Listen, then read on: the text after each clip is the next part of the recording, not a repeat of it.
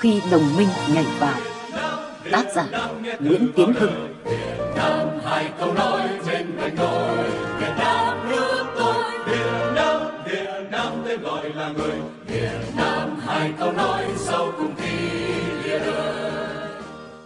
Chương 14 Lúc cơm chẳng lành, canh chẳng ngọt Sau 5 năm tương đối là hòa bình và ổn định, tình hình quân sự và chính trị bắt đầu chuyển hướng vào năm 60. Về quân sự, thì lực lượng Cộng sản bắt đầu tấn công vùng đồng bằng với những trận đánh vào dịp Tết tại Bến Tre và Tây Ninh. Ở Tây Bắc Sài Gòn, về chính trị, thì chính phủ Diệm ngày càng bị chỉ trích là độc tài, phe đảng và tham nhũng. Cuối mùa xuân 1960, một nhóm nhân sĩ họp nhau kiến nghị Tổng thống Diệm phải cải tổ toàn bộ chính phủ và chính sách. Nhưng ông Diệm cho rằng nó cũng chỉ nằm trong một kế hoạch đòi dân chủ hóa, tự do hóa, một phong trào đang thịnh hành ở nhiều nước vào lúc ấy. Ngoài ra, hai ông còn nghi ngờ có Mỹ đứng đằng sau giật dây vì khuyến nghị này lại giống như những lời cố vấn của đại sứ Mỹ Everett Dubrow. Tới mùa thu 1960 thì có đảo chính đạn bắn vào ngay phòng ngủ của Tổng thống Diệm. Đại sứ Mỹ Everett Dubrow cố vấn ông nên điều đình với phe đảo chính. Sau khi đảo chính thất bại, ông Dobrow lại khuyên phải khoan hồng với những sĩ quan làm loạn. Thế là từ bấy giờ giữa dinh độc lập và tòa đại sứ đã cơm chẳng lành, canh chẳng ngọt. Riêng Tổng thống Eisenhower thì vẫn tiếp tục ủng hộ ông Diệm. Ngày lễ độc lập 1960, ông viết thư nhắc đến những thành tích vẻ vang của lãnh đạo và nhân dân miền Nam. Cách đây gần nửa thế kỷ, máy lạnh là một loại hàng xa xỉ phẩm nhất là tại các nước đang phát triển. Việt Nam ta lúc ấy là xứ nghèo, lại đang trong hoàn cảnh chiến tranh. Ấy thế mà ở Sài Gòn đã có một cao ốc chọc trời 10 tầng gắn máy lạnh mát rượi.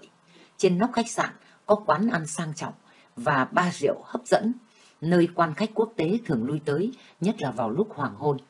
Nhâm nhi chai bia ba ba hay ly rượu mạnh khi tiếng đàn accordion dập dìu điệu tango, thực khách thưởng thức cảnh Sài Gòn bao quát từ trên cao, nhìn ra bờ sông, trông thật ngoạn mục.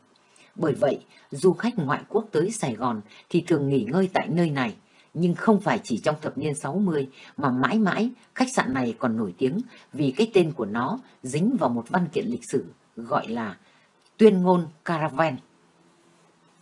Tuyên ngôn Caravan tháng 4 1960 Ngày nay, khi thấy bao nhiêu thảm cảnh tại miền Trung Đông, hiện lên tivi hầu như hàng ngày. Nào bom đạn, chết chóc, phá hoại, chém đầu, di tản, thì ta lại càng quý trọng khoảng thời gian hòa bình và phát triển trong năm đầu tiên của Cộng hòa Việt Nam. Nhưng vào thời điểm ấy thì khác. Trong khung cảnh thanh bình, phong trào đòi tự do hóa, dân chủ hóa lại nổi lên như sóng cồn. Về phương diện chính trị, chính phủ bị chỉ trích là độc tài, tham nhũng, bè đảng cá nhân Tổng thống Diệm thì mang tiếng là khép kín gia đình chị, thiên tư người công giáo. Bởi vậy, tới năm 1960, tình hình ổn định đã bắt đầu chuyển hướng. Mùa xuân bản tuyên ngôn Caravan được công bố, tới mùa thu lại có đảo chính, và cuối năm thì mặt trận giải phóng ra đời. Trong khung cảnh ấy, liên lạc Việt-Mỹ đang tốt đẹp, bỗng đi tới bước ngoặt.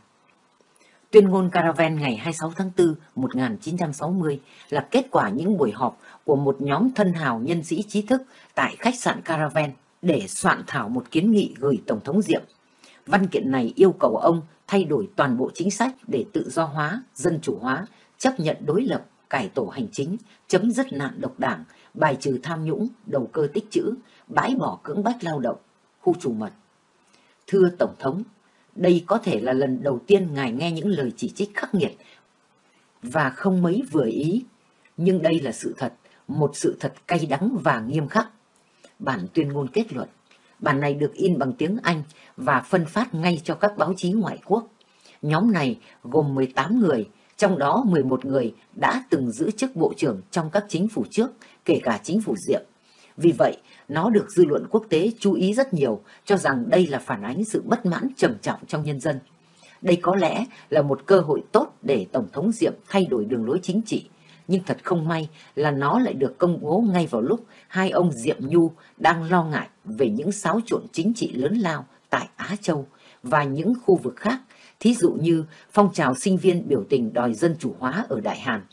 Tổng thống Lý Thừa Vãn sắp phải từ chức, quân đội nổi loạn ở Thổ Nhĩ Kỳ, biểu tình lớn ở Nhật Bản, Tổng thống Eisenhower phải hủy bỏ viếng thăm Tokyo, rồi tình hình quân sự ở Lào suy sụp, lực lượng của phe trung lập do Hoàng tử Suphanuvuma hợp lực với lực lượng Cộng sản Pha Thét Lào do Hoàng tử Suphanuvong lãnh đạo đang thắng thế. Biến chuyển bên Lào thì như vậy. Tại miền Nam thì tình hình an ninh từ năm 1960 bất chợt trở nên rất khó khăn. Theo như tin tình báo Hoa Kỳ thì việc mất miền Nam vào tay Cộng sản là có thể xảy ra nội trong năm 60. Ngày 7 tháng 3 năm 1960, Đại sứ Mỹ ở Sài Gòn, ông Dubrow đã phúc trình về Washington. Có nhiều dấu hiệu gia tăng cho thấy lực lượng Cộng sản đang mở một chiến dịch để đánh phá chính phủ của ông Diệm. Theo những nguồn tin của CAS, mật hiệu của CIA, lực lượng cán bộ võ trang của Cộng sản ở miền Nam đã gia tăng tới 3.000 trong vùng Tây Nam, gấp đôi số lượng trong tháng 9. Một báo cáo mới đây của CAS cho thấy Cộng sản có ý định mở rộng chiến tranh du kích trên toàn cõi Nam Việt Nam trong năm 1960 và họ tin chắc sẽ có thể thực hiện được một cuộc đảo chính trong năm nay. Trong bối cảnh ấy, hai ông Diệm Nhu chỉ tập trung vào vấn đề quân sự và cho rằng tuyên ngôn Caravan cũng chỉ nằm trong một kế hoạch chính trị để đòi dân chủ hóa, tự do hóa do một số người theo Tây học có chính kiến về những lý tưởng dân chủ của phương Tây. Ông Cố Vấn Nhu bình luận, nguyên việc chọn cái khách sạn máy lạnh lộng lẫy làm nơi để tung ra bản tuyên ngôn cũng đủ để thấy nhóm người này sống xa hoa, không thực tế, không gần dân. Dạn nứt giữa Tổng thống Diệm và Đại sứ Mỹ Dobrow. Hai ông Diệm Nhu nghi ngờ là có cố vấn Mỹ đứng đằng sau tuyên ngôn Caravan vì hai lý do. Thứ nhất, thấy những kiến nghị về tự do hóa, tổ chức lại quân đội, cải tổ hành chính đều là những điểm mà phía Hoa Kỳ đã cố vấn ông. Thứ hai, không thấy có bất cứ một sự bàn bạc hay bất đồng ý kiến nào giữa những người đến họp ở Caravan. Trái lại, tất cả 18 người đều đồng thuận và ký vào văn bản. Nó lại được in ngay bằng tiếng Anh, rất lưu loát và phân phát cho các báo chí ngoại quốc. Rồi đại sứ Mỹ Dobrow lại dùng ngay bản tuyên ngôn này để chứng minh cho Tổng thống Diệm là tình hình đã đến chỗ khẩn trương nên phải cải tổ. Tuy ông Diệm nghi nhưng lúc ấy cũng không có chứng cớ gì rõ rệt về việc Mỹ đã nhúng tay vào việc này. Theo tác giả Mai, trong cuốn Triumph Forsaken thì phải đợi tới nhiều năm sau trong một cuộc phỏng vấn về lịch sử truyền khẩu. Đại sứ Dobrer mới tiết lộ là thực ra thì một số người Mỹ đã giúp để viết bản tuyên ngôn Caravan. Lúc ấy, ông Dobrer muốn dùng văn kiện này để áp lực Tổng thống Diệm phải thay đổi nhân sự, đặc biệt là ông Nhu và chính sách như đề cập dưới đây. Sau vụ Caravan, ông Dobrer lại nhận được tình báo nói ông Diệm đã nối tay với chính phủ Thái Lan để gửi một toán quân nhân 100 người sang đánh phá bên Cao Miên vì quốc vương Norodom Sihanouk đã để cho Cộng sản dùng lãnh thổ để xâm nhập miền Nam, lại còn đòi thêm một phần đất nằm trong biên giới Việt. Việc này là trái với ý ông Dobrer vì ông đang muốn cho Việt Miên giao hảo tốt đẹp hơn. Ông đã tới gặp ông Diệm và chỉ trích gay gắt Ông Diệm trả lời, tôi đang lo ngại về tình hình ở đây hơn là về tình hình ở Washington vì tôi thấy đang có sự thoái trào trong mối liên lạc Việt-Mỹ do những báo cáo sai lầm mà ngài nhận được. Có thể, Tổng thống Diệm không lo ngại về tình hình ở Washington vì ông vẫn nhận được sự ủng hộ mạnh mẽ của Tổng thống Eisenhower. Trong buổi họp, chắc là Dobrer đã có những lời khiếm nhã nên ông Diệm hết sức buồn phiền. Sau khi Dobrer ra về, ông Diệm nổi sùng xanh mặt, theo như Bộ trưởng Phủ Tổng thống Nguyễn Đình Thuần kể lại. Sau đó, ông Dupre đề nghị Washington từ chối không cung cấp thêm quân viện như yêu cầu của ông Diệm. Tới đây, tôi nhớ đến câu chuyện về chuyến viếng thăm của phái đoàn Quốc hội Hoa Kỳ vào đầu tháng 3 năm 1975, đặc biệt là hai nữ dân biểu Bella Azung và Millicent Fenwick đã có thái độ hết sức khiếm nhã đối với Tổng thống Thiệu và sau đó đề nghị cúp quân viện cho Việt Nam Cộng Hòa. Khi đồng minh tháo chạy, trang 239-262. Nội bộ Mỹ bất đồng ý kiến về Tổng thống Diệm. Tuyên ngôn Caravan và những lời chỉ trích của đại sứ Dobro đã vọng về Washington vào ngày 9 tháng 5 năm 1960 trong buổi họp thứ 444 của Hội đồng An ninh Quốc gia, ông Robert Anne-Marie, giám đốc CIA, đã dùng tuyên ngôn Caravan để chứng minh việc ông Diệm thất sủng với nhân dân. Ông Livington Machan, Bộ Ngoại giao phát biểu, tôi hy vọng những gì đã xảy ra cho Tổng thống Lý Thừa Vãn ở Đại Hàn sẽ làm cho ông Diệm phải ngừng lại. Mấy tuần trước, Thủ tướng Lý Thừa Vãn đã phải từ chức vì những cuộc biểu tình của sinh viên. Tôi lại xin mở ngoặc ở đây để nhắc lại câu chuyện ông Thiệu nói với tôi về biểu tình. Hễ khi nào anh thấy Mỹ yêu cầu tôi làm một chuyện gì mà tôi không nghe thì chỉ vài tuần sau anh sẽ thấy có biểu tình. Tâm tư Tổng thống Thiệu trang 1 Về phe bên ông Diệm thì có ông William Colby, trạm trưởng CIA tại Sài Gòn từ tháng 6 năm 1960. Ông cho rằng đại sứ Dubrow chỉ đi lượm tin tức về sự phản ứng của nhân dân từ những người Việt Nam trí thức nói được tiếng Anh, tiếng Pháp, những người chính trị phòng trà. Colby cho rằng những đề nghị của Doppler là trái ngược với bản năng của chính phủ và xã hội Việt Nam nên sẽ hoàn toàn thất bại. Về việc Doppler khuyên ông Diệm loại bỏ ông Nhu, chuẩn tướng Edward London cũng có ý kiến như vậy là muốn cắt đi cánh tay mặt của ông Tổng thống. Ai là người được đề nghị thay thế và đây là phần quan trọng thứ hai của bất cứ bước đi nào nhưng không thấy ông đại sứ nói tới trong đề nghị. Mặc dù những công kích và sắp tới lúc hai đảng Dân Chủ và Cộng Hòa ra tranh cử, Tổng thống Eisenhower vẫn kinh nhất mực ủng hộ Tổng thống Diệm. Ông nhận xét, ông Ngô Đình Diệm tỏ ra bình tĩnh, yên lặng và có một nhân cách hơn ông Lý Thừa Vãn. Nói xong, ông còn cấm không được dùng viện trợ để hăm dọa ông Diệm. Trong mấy tháng sau đó, ông Dobre yên lặng, không còn đòi hỏi phải trừng phạt ông Diệm nữa. Về phần ông Diệm, cũng đã có nhiều biện pháp cải tổ, cởi mở hơn, bài trừ tham nhũng và giảm bớt căng thẳng đối với Cao Miên. Ngày 30 tháng 8 năm 1960, chính ông Dobre còn khen ông Diệm về những hành động này và gọi ông là người quốc gia quyết tâm chống cộng duy nhất có thể tìm thấy. Nhưng rồi đâu lại vào đấy, vừa khen như vậy xong, chỉ trên hai tuần sau, vào ngày 16 tháng 9, ông Doppler lại đề nghị về Washington là nếu ông Diệm không chịu có những hành động cải tổ mạnh mẽ, thì Hoa Kỳ có thể cần phải xem xét những biện pháp khác và lãnh đạo khác. Phe chống ông Diệm tại Bộ Ngoại giao thắng thế. Tuy Tổng thống Eisenhower ủng hộ, nhưng tiếp theo đề nghị của ông Doppler, ngày 7 tháng 10, Bộ Ngoại giao vẫn cho phép ông đem những đề nghị cải tổ này trình bày thẳng thắn với Tổng thống Diệm với thái độ chân thành và xây dựng, ông Doppler đến gặp ông Diệm một tuần sau đó, ngày 15 tháng 10, để khuyến cáo ông và sau đó trao lại cho ông một giác thư. Đây là văn kiện đầu tiên ghi những đề nghị của Hoa Kỳ đối với Tổng thống Diệm trên giấy trắng mực đen. Trong báo cáo đề ngày 15 tháng 10 năm 1960 gửi Bộ Ngoại giao về cuộc họp mặt với Tổng thống Diệm kéo dài 1 giờ 15 phút, Doppler nói ông đã đọc cho ông Diệm nghe bản đề nghị của chính phủ Hoa Kỳ rồi nói tôi lại khẩn khoản yêu cầu ngài lượng thứ cho phép tôi đưa ra một vấn đề hết sức nhạy cảm và tế nhị. Tôi nói đến sự chỉ trích ngày càng gia tăng nhắm vào bào đệ của ngài và bác sĩ Trần Kim Tuyến mà tôi gợi ý rằng họ nên được trao cho nhiệm vụ khác ở ngoại quốc. Ông Dupre báo cáo tiếp. Nghe tôi nói, ông Diệm không ngắt lời tôi, nhưng phong cách của ông ta xem ra có vẻ hơi buồn, và tôi nhận thấy ông hơi bị tổn thương. Trước khi tạm biệt, ông Dupre trao cho ông Diệm một văn kiện. Sau đây là một vài trích đoạn. Giác thư trao tay cho Tổng thống Diệm. Thưa Tổng thống, trong cuộc đấu tranh chống Việt Cộng để tồn tại, Ngài đã có những biện pháp khôn ngoan liên quan tới những lực lượng an ninh của chính phủ. Tuy nhiên, mối quan tâm nghiêm trọng của chúng tôi về tình hình hiện nay được căn cứ không những trên sự đe dọa an ninh do Việt Cộng gây ra mà còn trên điều mà đối với chúng tôi dường như là sự suy thoái trong sự ủng hộ chính trị của nhân dân đối với chính quyền của Ngài. Chúng tôi đề nghị Ngài cứu xét những thay đổi trong nội các, xem như một phần cần thiết của những biện pháp mạnh mẽ phải có để gia tăng sự chú tâm và ủng hộ của dân chúng. Phải có hành động cứng rắn để triệt bỏ cái cảm tưởng rằng có sự ưu đãi và phe đảng trong việc thăng cấp và bổ nhiệm nhân sự trong quân đội.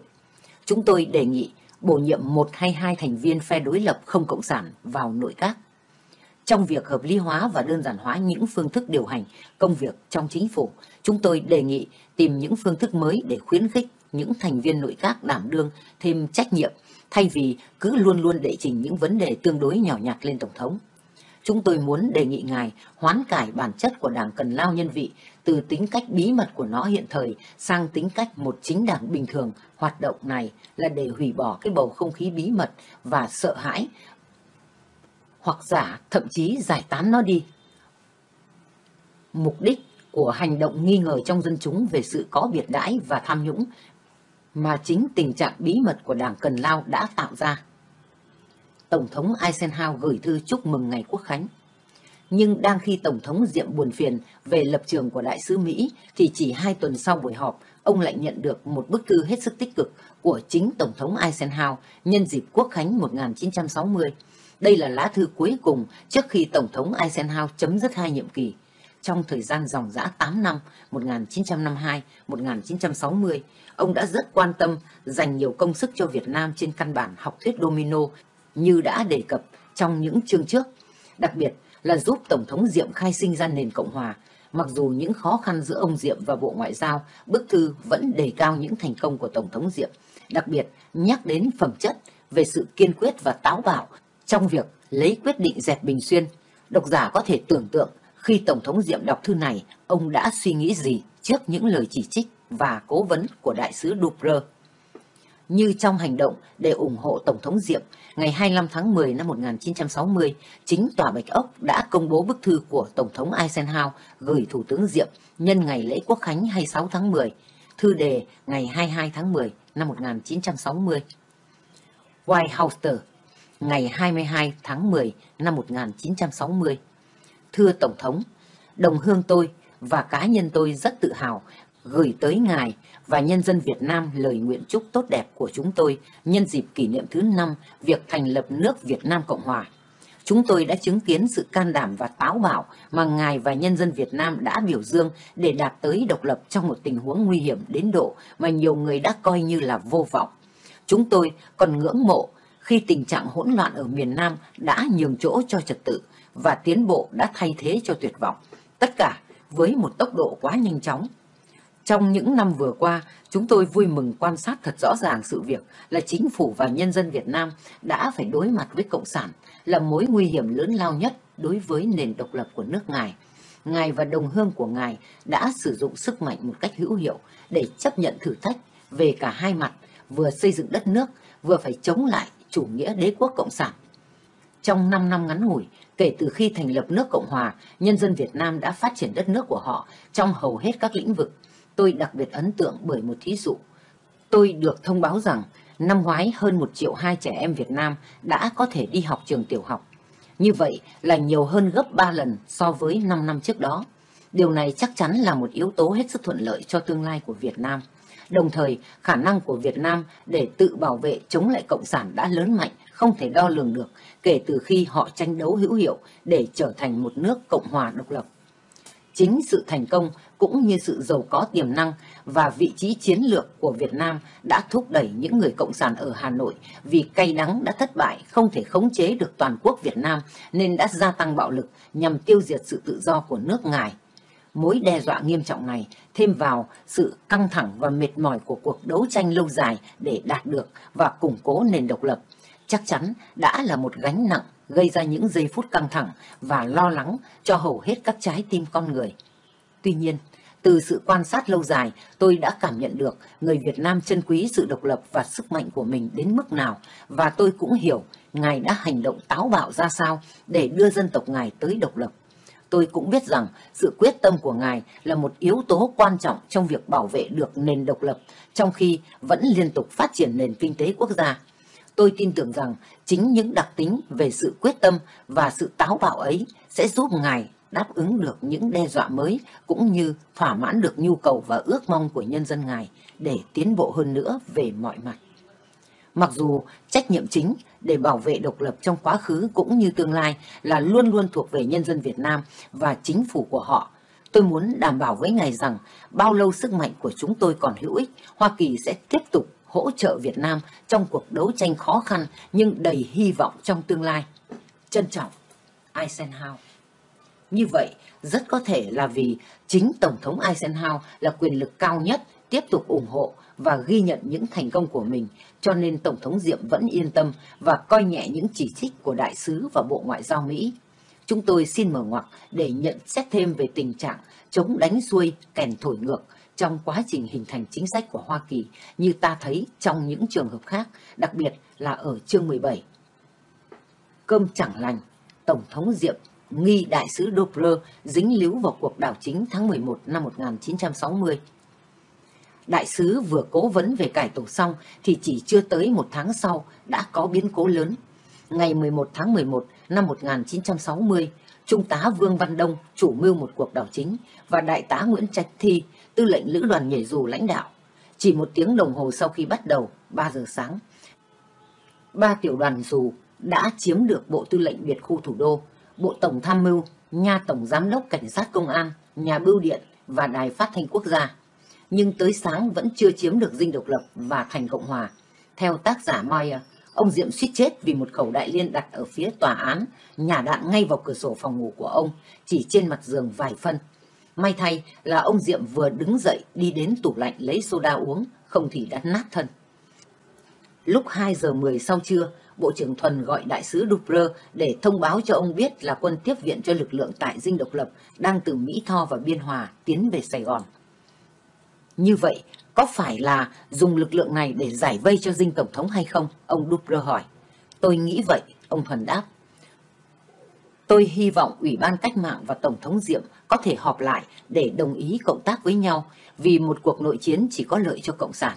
Dupre trả lời, và nếu bên này hay bên kia phải làm một vài nhượng bộ để đi tới một thỏa thuận thì tôi tin rằng đó là điều nên mong muốn để đảm bảo cho sự đoàn kết chống Cộng sản. Khi quân đội nổi loạn bắn Tổng thống mà đại sứ lại khuyên nhượng bộ làm ông Diệm hết sức bất bình.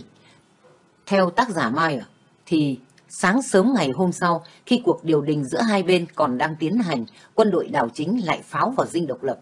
Đồng thời, lãnh đạo cuộc đảo chính kêu gọi nhân dân Đô Thành tới trước dinh để phản đối chính phủ Diệm. Nghe theo tiếng gọi, mấy trăm người kéo đến hô hào, đả đảo. Lực lượng bảo vệ dinh nổ súng làm thiệt mạng 13 người dân và một số khác bị thương. Nghe thấy có đổ máu, đồng thời nhiều đoàn quân đang kéo về, ông Dupre lại gọi điện thoại cho ông Diệm yêu cầu ngưng bắn ngay tức khắc. Toàn thể nhân dân sẽ nổi dậy chống cả hai bên và như vậy cộng sản sẽ chiếm ngay đô thành. Nếu cuộc tắm máu không ngừng ngay tất cả việt nam sẽ rơi vào tay cộng sản trong một thời gian ngắn. Dupre tỏ ý vô cùng bất mãn là ông Diệm đang giải quyết vấn đề bằng vũ lực. Rồi chỉ mấy giờ sau khi đảo chính thất bại, Doppler lại vào dinh độc lập khuyên ông Diệm nên đối xử khoan hồng với những người lãnh đạo cuộc đảo chính. Thế là từ bấy giờ cơm chẳng lành và canh không còn ngọt. Ông Diệm nghi ngờ là chính ông Doppler cũng đã dính líu tới vụ này. Sự căng thẳng Mỹ Diệm ngày một leo thang cho tới đỉnh vào mùa thu 1963. Chuẩn tướng Lensden bênh Tổng thống Diệm. Cùng ngày nổ súng, tại Bộ Quốc phòng Hoa Kỳ, chuẩn tướng Lensden lại một mực bênh ông Diệm và phân tích rõ ràng về vụ đảo chính. Ông cho rằng ông Diệm đã học được một bài học, nhưng không phải bài học là phải cải tổ, là bài học phải cẩn thận hơn nữa, kiểm soát chặt chẽ hơn nữa đối với quân đội. Langston liên tục gửi hai bản phân tích ngày 11 và 15 tháng 11 năm 1960. Ngày 11 tháng 11 năm 1960. Phiếu trình gửi Thứ trưởng Đáp Lớt. Người gửi chuẩn tướng Lendell. OSO trên OSD. Đề mục Việt Nam. Tiếp theo, tin Tổng thống Diệm đã dẹp tan được cuộc nổi loạn ở Sài Gòn và đang mau lẹ tái thiết lập quyền bính của ông. Tôi thiết tưởng ta nên suy nghĩ về điều gì sẽ xảy ra sau đó. Sau đây là một vài cảm nghĩ cá nhân sơ khởi có thể hữu ích trong việc cứu xét tình hình. Cuộc nổi loạn chắc chắn đã dạy cho ông Diệm một bài học. Rất có thể ông cho rằng bài học này đã dạy cho ông không thể tin cậy một số thành phần rộng lớn trong quân đội và có thể là ông còn nghi ngờ luôn cả sự hữu ích về việc cài đặt các cố vấn của phái bộ MAAG trong các đơn vị quân đội Việt Nam. Nghĩ cho cùng thì các sĩ quan và binh sĩ trong cuộc nổi loạn đã khá thân cận với giới quân sự Mỹ. Bởi vậy, có thể ông ta sẽ có khuynh hướng nắm quyền chỉ huy quân lực chặt chẽ hơn và làm một cuộc chỉnh lý do đích thân ông ta chỉ đạo. Nếu quả như vậy thì sẽ khiến cho vai trò của tướng Marquier, người quý mến ông Diệm, với chính phủ Diệm trở nên vô cùng quan trọng cho Hoa Kỳ. Lendlew đề nghị từ nay nên để tướng McCain được toàn quyền thảo luận với Tổng thống Diệm càng thân thiết và càng liên tục càng tốt, miễn sao đạt được những mục tiêu của Hoa Kỳ mà không cần ông đại sứ phải đòi hỏi cứ mỗi 5 phút McCain phải thỉnh ý ông ta. Ngoài ra, cũng nên triệu hồi ông Dubrow về nước. Đương nhiên, bài học mà chúng ta muốn ông Diệm học được là ông cần phải thay đổi một vài lề lối của ông ta bởi vì có một số người đã cảm thấy điều đó mạnh mẽ đủ để cầm súng chống lại ông ta. Bình thường ra, đó là việc của ông đại sứ khi cần phải đạo đạt lên vị quốc trưởng quan điểm của Hoa Kỳ về những vấn đề nội bộ tế nhị như vậy. Tuy nhiên tôi không tin rằng đại sứ Dubler còn giữ được chút uy tín cá nhân nào. Ông Diệm chắc là cảm thấy Dubler đã về hùa với đám loạn quân về phương diện tình cảm. Có lẽ ông còn cảm thấy rằng những ý kiến của Dubler trong những tháng vừa qua đã góp phần khơi lên cuộc nổi loạn. Cho nên, tiện nhất là đưa Dubler ra khỏi Sài Gòn. Có một cách làm hay nhất là triệu hồi gọi ông ta về nước để tham khảo.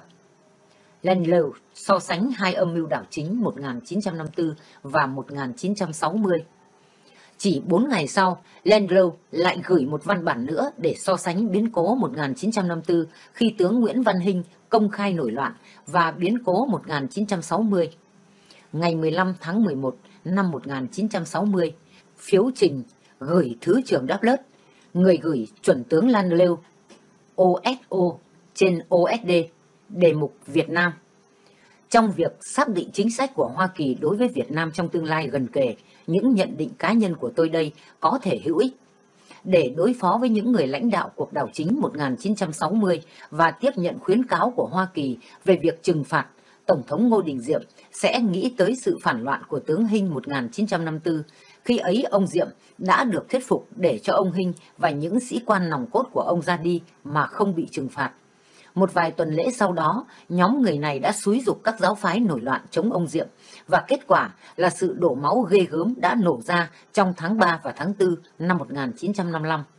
Những biến cố 1954 và 1960 có nhiều điểm giống nhau khiến cho ông nhớ ngay đến bài học năm 1954. Cả hai biến cố này đều xảy ra vào tháng 11. Người lãnh đạo quân sự của mỗi biến cố đều nói rằng trường hợp Nazar ở Ai Cập đã cho họ cảm hứng và họ đều có liên hệ khá thân mật với cựu hoàng Bảo Đại. Cả hai đều có những chương trình không xác thực về mục tiêu chính trị, được tuyên bố như là những lý tưởng chung chung, nghe giả tạo như tờ giấy bạc 3 đô la. Ý nói đến tiền giả vì Mỹ không in tờ 3 đô la, lời tác giả. Đối với những người mà họ muốn lôi kéo theo chính nghĩa của họ, nhưng lại trùng hợp với một bản phân tích của Pháp về những ước muốn của Đại sứ Hoa Kỳ và Ban tham mưu chính trị của ông. Cả hai phe muốn đảo chính năm 1954 và 1960 đều tin chắc rằng những đơn vị quân đội sẽ không hành động chống lại họ. Cả hai đều ve vãn những giáo phái và những chính đảng giống nhau. Cả hai đều có chung những thân hữu và người quen biết ở Pháp và Cao Miên. Những hành động của ông đại sứ chắc chắn đã làm cho Tổng thống Diệm càng nghi ngờ sâu đậm hơn nữa về ý đồ của ông ta ông Diệm không thể không suy nghĩ về những mục tiêu của Hoa Kỳ khi do một phát ngôn viên như Dupler nói ra. Trong giờ phút nghiêm trọng nhất của cuộc đảo chính, ông đại sứ Hoa Kỳ đã thúc giục ông Diệm chấp nhận những yêu sách của quân phản loạn để tránh đổ máu. Trước đó, ông cũng đã thúc đẩy những người khác khuyên ông Diệm thỏa hiệp với quân phản loạn. Quan điểm có thiện ý nhất mà ông Diệm có thể có là đại sứ của chúng ta là người đã nhận được thông tin sai lầm. Nhưng rồi ông cũng có thể tin rằng ông đại sứ đã quá cả tin những người không đáng tin. Ở Việt Nam, đó là những kẻ thù của ông Diệm. Thật ra thì đại sứ Doppler cũng không hoàn toàn đáng trách về những lỗi lầm của ông. Chính là nhân viên văn phòng Đông Nam Á, Bộ Ngoại giao, qua điện văn số 775 của Bộ Ngoại giao đã khuyến cáo ông đại sứ can thiệp vào công việc nội bộ của Việt Nam không đúng lúc và làm cho đối tác mất tinh thần. Landlew tiếp tục thúc đẩy sự tiến cử tướng McCain lên đại sứ, khen ngợi sự khôn ngoan của viên tư lệnh phái bộ viện trợ quân sự. Cả quân phản loạn lẫn quân trung thành với chính phủ đều tìm với ông McCain để xin ý kiến, dường như ông đã đối xử với họ một cách hoàn toàn lương thiện và vô tư. Điều này sẽ làm cho tiềm năng ảnh hưởng của ông với giới quân sự Việt Nam tăng lên trong tương lai. Những nhận định trên đây tôi đưa ra trên cơ sở là những người làm chính sách nhất thiết phải am hiểu sâu sắc hơn về những nhân sự và biến cố ở Việt Nam. Nếu chúng ta muốn giữ vững nền độc lập cho Đông Nam Á, Việt Nam là con bài chủ yếu của chúng ta trong vùng này và ta cần phải ứng đối với nó một cách đứng đắn. Biến ông Diệm thành vua lê lợi tân thời kiểu Mỹ. Đầu năm 1961, khi Hoa Kỳ có tổng thống mới là John Kennedy, ông Landlew lại được gửi sang Việt Nam để thẩm định tình hình. Khi về Washington, ông viết một báo cáo dài tiếp tục bênh ông Diệm, nhưng tiên đoán sẽ có đảo chính, chỉ trích những người chống đối ông Diệm. Landlew viết, nhiều người muốn tôi làm một phép lạ, đó là biến ông Diệm thành ra một ông vua lê lợi tân thời và theo kiểu Mỹ. Nhưng việc này đòi hỏi nhiều hành động hơn là chỉ dùng mánh lưới hoặc một câu trả lời đơn sơ. Nó đòi hỏi nhiều công sức và những công tác để theo dõi. Để nối lại tình cảm bị sứt mẻ Mỹ-Việt, Landlew đề nghị nên thay đổi bản chất của liên hệ này từ căng thẳng tới thân mật hơn, trên nguyên tắc tôn trọng lẫn nhau. Do vậy, việc cần thiết là phải thay đổi nhân sự, đặc biệt là triệu hồi đại sứ Doppler và giám đốc cơ quan viện trợ USOM là ông Gunner về Mỹ. Về việc cựu đại sứ Doppler cứ thôi thúc ông Diệm loại bỏ ông Nhu, Landler biện hộ. Thực tế là ông Diệm tin vào ông Nhu trong một số công việc mà ông ta không thể tin được ai khác. Nhu là cánh tay mặt của Diệm, bởi vậy thay vì cứ đòi ông Diệm phải dẹp ông này đi, cách tốt hơn là ta nên tập trung để ảnh hưởng vào cánh tay mặt của ông ta một cách hữu hiệu. Lời đề nghị của Landlew về thay đổi nhân sự đã được Tổng thống Kennedy nghe theo. Tuy nhiên kể từ cuối năm 1960, tình hữu nghị gắn bó Việt-Mỹ đã bắt đầu có chiều hướng phai nhạt thật nhanh. Mặc dù được cải thiện vào năm đầu của tân Tổng thống Hoa Kỳ như được đề cập trong chương sau. Phần 4. Chọn nơi đọ sức Chương 15. Thủa ban đầu lưu luyến mối dây liên lạc Việt-Mỹ đang căng thẳng cuối năm 1960 bỗng đổi chiều vào đầu năm 1961 khi Hoa Kỳ có Tổng thống mới. Nghị sĩ John Kennedy lên kế vị Tổng thống Eisenhower. Ở tuổi 42, ông là Tổng thống Mỹ trẻ nhất. Ngày đăng quang, ông hùng biện, tuyên bố một lập trường hết sức cứng rắn để đảm bảo sự sống còn và sự thành công của tự do. Vừa tuyên bố như vậy, thì ông phải đối diện ngay với thực tế và chịu hai cái thất bại liên tục. Một là ở Lào và một ở Cuba. Ông tâm sự, tôi không thể chấp nhận cái thất bại thứ ba, rồi tập trung vào Việt Nam, quyết định đẩy mạnh nỗ lực chiến thắng Cộng sản. Hai đơn vị chiến đấu cộng thêm một đơn vị công binh được gửi tới đóng trên cao nguyên và một đoàn biệt kích tới Nha Trang giúp huấn luyện quân đội. Đây chỉ là bước đầu của sự thay đổi của sứ mệnh người quân nhân Mỹ từ cố vấn và yểm trợ, chuyển sang chuẩn bị khả năng chiến đấu và tham chiến. Tổng thống Diệm nhận được bức thư đầu tiên của Tổng thống Kennedy đề nghị Hoa Kỳ tiếp tay với ông để tăng cường nỗ lực chiến thắng. Tình nghĩa hai bên thật nồng nàn thắm thiết vào thuở ban đầu của nhiệm kỳ Kennedy. Nhưng Tổng thống Diệm ra đi quá sớm, rồi tới Tổng thống Kennedy ba tuần sau. Rất tiếc là một lần nữa Việt Nam đã mất đi cơ hội phồn thịnh dưới thời Tổng thống Kennedy, số mệnh miền Nam Việt Nam thật long đong. Những người công dân Hoa Kỳ hãy đừng hỏi xem Tổ quốc làm được gì cho các bạn, hãy hỏi các bạn làm được gì cho Tổ quốc. Vừa giơ tay tuyên thệ xong, tân Tổng thống John Kennedy dõng dạc kêu gọi, mọi người vỗ tay hoan hô dần dần.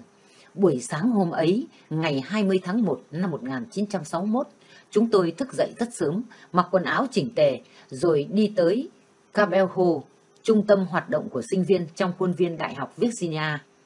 Phải đi cho sớm thì mới giành được chỗ tốt, nếu chậm thì hết xem, vì nhiều sinh viên sẽ ngồi chắn ngay trước mặt cái tivi đen trắng bé xíu. Tôi thật náo nức vì sắp được xem lễ tấn phong Tổng thống Mỹ lần đầu tiên và cuộc bầu cử tháng 11 năm 1960 đã hết sức sôi động, có thể là sôi động nhất trong lịch sử Hoa Kỳ cho tới thời điểm đó. Ông Kennedy vừa trẻ, đẹp trai, học giỏi, con nhà giàu, lại có tài hùng biện. Ông đã mang tới cho nước Mỹ một luồng gió mới. Bó đuốc Olympic đã chuyển từ tay thế hệ cao niên sang thế hệ trẻ trung. Trong kỳ bầu cử tổng thống năm ấy, ông đã vượt qua được ba cái trở ngại lớn lao. Đó là còn quá trẻ, lúc ra tranh cử chỉ mới lên 41. Theo đạo công giáo, gia đình Kennedy sùng đạo công giáo nổi tiếng, mà đa số người Mỹ lại theo đạo tin lành. Và ông chưa có kinh nghiệm về hành chính. Riêng về tôn giáo lúc ông tranh cử thì nhiều người, nhất là ở miền Nam, đều cho rằng nếu lên chức Tổng thống, ông Kennedy sẽ trung thành với Thánh Kinh và Đức Giáo Hoàng ở Vatican nhiều hơn là với hiến pháp và nước Mỹ. Nghe ông kêu gọi, hỡi những người thanh niên, thì tôi thấy rất hùng biện, cân đối, nhưng thực ra thì chỉ là nói tới bổn phận của người công dân. Người Mỹ thì chỉ nghe nhiều về cách quyền của con người, của công dân, chứ người Việt Nam thì từ bé đã hầu như chỉ nghe thấy hai từ bổn phận. Bổn phận làm con, bổn phận học trò, bổn phận người chồng, người cha, người mẹ, bổn phận công dân. Có tiếng hò hét thật to khi Tổng thống Kennedy cao giọng dằn từng chữ. Từ lúc này và từ nơi này, chúng tôi nhắn nhủ bạn hữu cũng như thù địch rằng bó đuốc đã được chuyển sang tay một thế hệ người Mỹ mới. Họ sinh ra trong thế kỷ này, kiềm chế vì chiến tranh, kỷ luật, bởi một hòa bình khó khăn và cay đắng, tự hào về những di sản cổ xưa của chúng tôi. Thế là chúng tụ rồi, quyền hành đã được chuyển sang cho thế hệ trẻ. Bao nhiêu sinh viên bắt đầu có những ước mơ. Sinh ra ở Mỹ thì dù có trẻ cũng có hy vọng làm tổng thống, chứ ở các nước khác thì vào thời điểm ấy khó có ai lại lên được vai trò lãnh đạo khi mới 42 tuổi. Trời Washington sáng 21 tháng 1 năm 1961 có tuyết rơi lất vất. Chúng tôi còn nhớ mãi hình ảnh Tổng thống David Eisenhower mặc chiếc áo măng tô đen, khăn quàng trắng, ngồi trên bục giữa những quan chức của chính quyền cũ. Xem ra phần đông là đã có tuổi.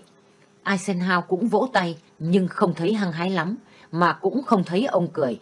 Kennedy tiếp tục.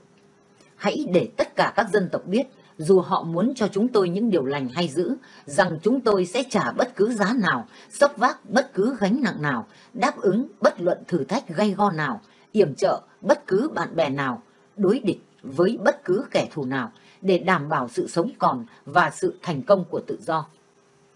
Nhìn mặt các sinh viên chung quanh tôi thì thấy khí phách bừng bừng như vừa nghe kèn trumpet thúc quân ra trận.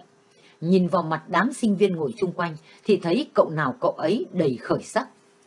Chúng tôi xin mở ngoặc nơi đây để chia sẻ với độc giả. Cuộc bầu cử Tổng thống Obama năm 2008 đã nhắc lại cho chúng tôi cuộc bầu cử 48 năm về trước. Cũng hai nghị sĩ Thượng viện Đảng Dân Chủ ra tranh cử Tổng thống sau 8 năm quyền bính vào tay Đảng Cộng Hòa. Cả hai đều bị chỉ trích là quá trẻ. Ông Kennedy 42 tuổi, ông Obama 47 tuổi. Cả hai phải vượt trở ngại lớn nhất là kỳ thị. Ông Kennedy bị kỳ thị về tôn giáo, còn ông Obama thì vì da màu. Cả hai đều dùng chiêu bài phải thay đổi chính sách. Cuối cùng thì hai ông đều thắng cử. Chắc chắn là độc giả sẽ nghe thấy hai từ chính sách thật nhiều trong kỳ tổng tuyển cử 2016. Tổng thống Kennedy bỏ Lào tập trung vào Việt Nam. Nếu tình hình khẩn trương như vậy, tại sao ngài không hành động gì cả? Tổng thống Kennedy hỏi ý kiến Tổng thống Eisenhower về chính sách đối với Lào. Kennedy vừa tuyên bố cho cả thế giới nghe vào cuối tháng 1 rằng Hoa Kỳ sẽ sốc vác bất cứ gánh nặng nào để đảm bảo sự thành công của tự do, thì chỉ tới tháng 3 năm 1960, tình hình ở Lào đã đi đến chỗ khủng hoảng. Lực lượng pha thét Lào đánh chiếm cánh đồng chung ở miền Trung Lào. Chính phủ thân Mỹ, tướng Fomi Nosavan lâm nguy nên cầu cứu Mỹ. Nusavan là người được Hoa Kỳ yểm trợ mạnh, nhất là từ tháng 4 năm 1959, khi đơn vị 559 của Việt Minh sang Lào trong công tác tiếp vận vào Nam Việt Nam. Ngay ngày trước khi Kennedy tấn phong, Tổng thống Eisenhower lúc làm bàn giao đã căn dặn tân Tổng thống phải nghĩ ngay đến khả năng can thiệp trực tiếp bằng quân sự vào Lào. Kennedy hỏi lại là tại sao ngài không hành động gì cả. Tổng thống Eisenhower trả lời, tôi cũng đã định can thiệp đấy, nhưng không nghĩ rằng có thể mang quân vào một khi chính quyền mới sắp bắt đầu. Tuy Tổng thống Eisenhower khuyên như vậy, nhưng sau khi suy xét kỹ và bàn bạc với các cố vấn, Tổng thống Kennedy thấy Lào là nơi rất khó cho việc điều động quân đội. Địa thế hiểm trở, lại bị bao quanh trong đất liền, không có lối ra biển, như vậy rất khó cho việc tiếp vận. Ngoài ra quân đội của Fumi lại quá yếu, bởi vậy Kennedy quyết định chọn giải pháp nhân nhượng điều đình để đi tới việc thành lập một chính phủ liên hiệp giữa các phe đối nghịch ở Lào. Đây là một cách che đậy cho sự rút lui của Mỹ, ngược hẳn lại với lập trường trong những tháng cuối cùng của chính quyền Eisenhower tại nước này. Việc này làm cho các lãnh đạo ở Á Châu, nhất là Tổng thống Diệm, hết sức lo âu.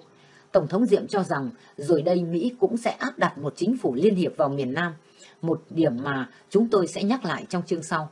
Nơi đây độc giả nhớ lại Hiệp định Paris năm 1973 đã sắp xếp một chính phủ liên hiệp ba thành phần cho Việt Nam Cộng Hòa.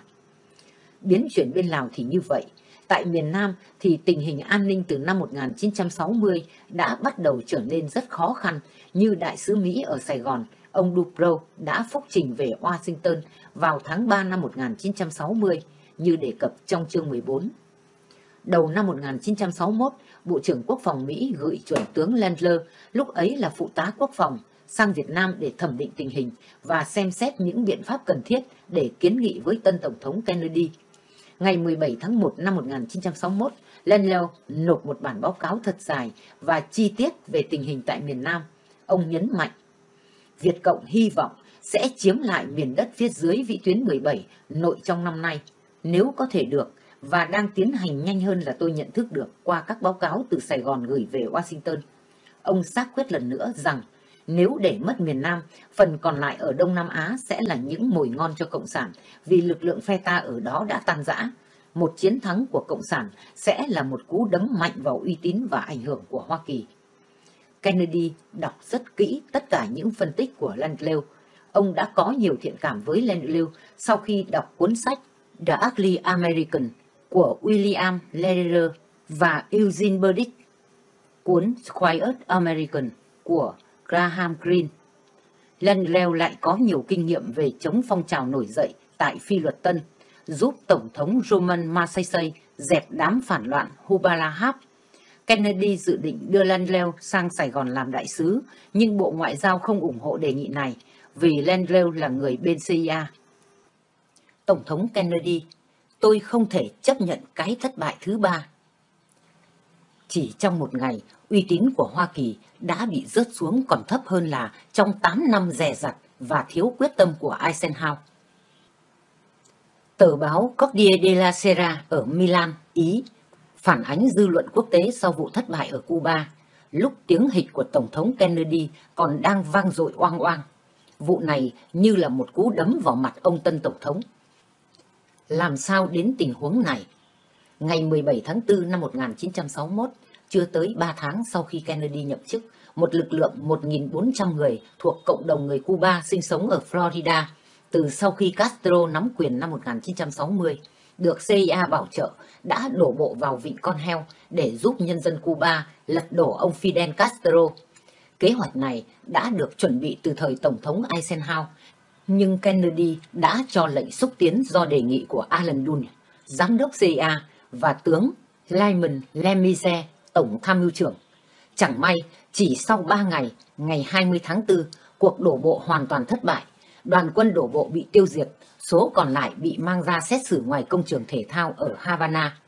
TV Cuba chiếu lên cho cả thế giới xem. Đây là một dịp hiếm có để Castro nhục mạ Hoa Kỳ, một thảm họa lớn lao về mặt tuyên truyền đối với Kennedy.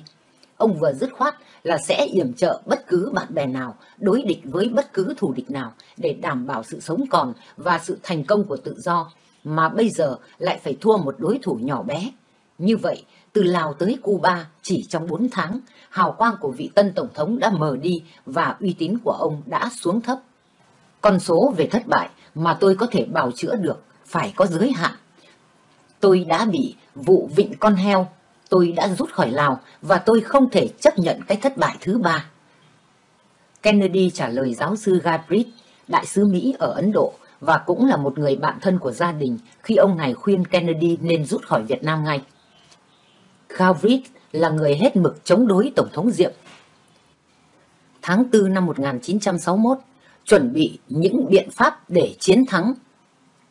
Ngược lại lời khuyến cáo của giáo sư Gavitt, Tổng thống Kennedy lại ra tay ngay, vì nếu không muốn chấp nhận thêm một thất bại thứ ba, ông phải có những biện pháp mau lẹ đối với tình hình ở Việt Nam như Lan Lêu đã phân tích.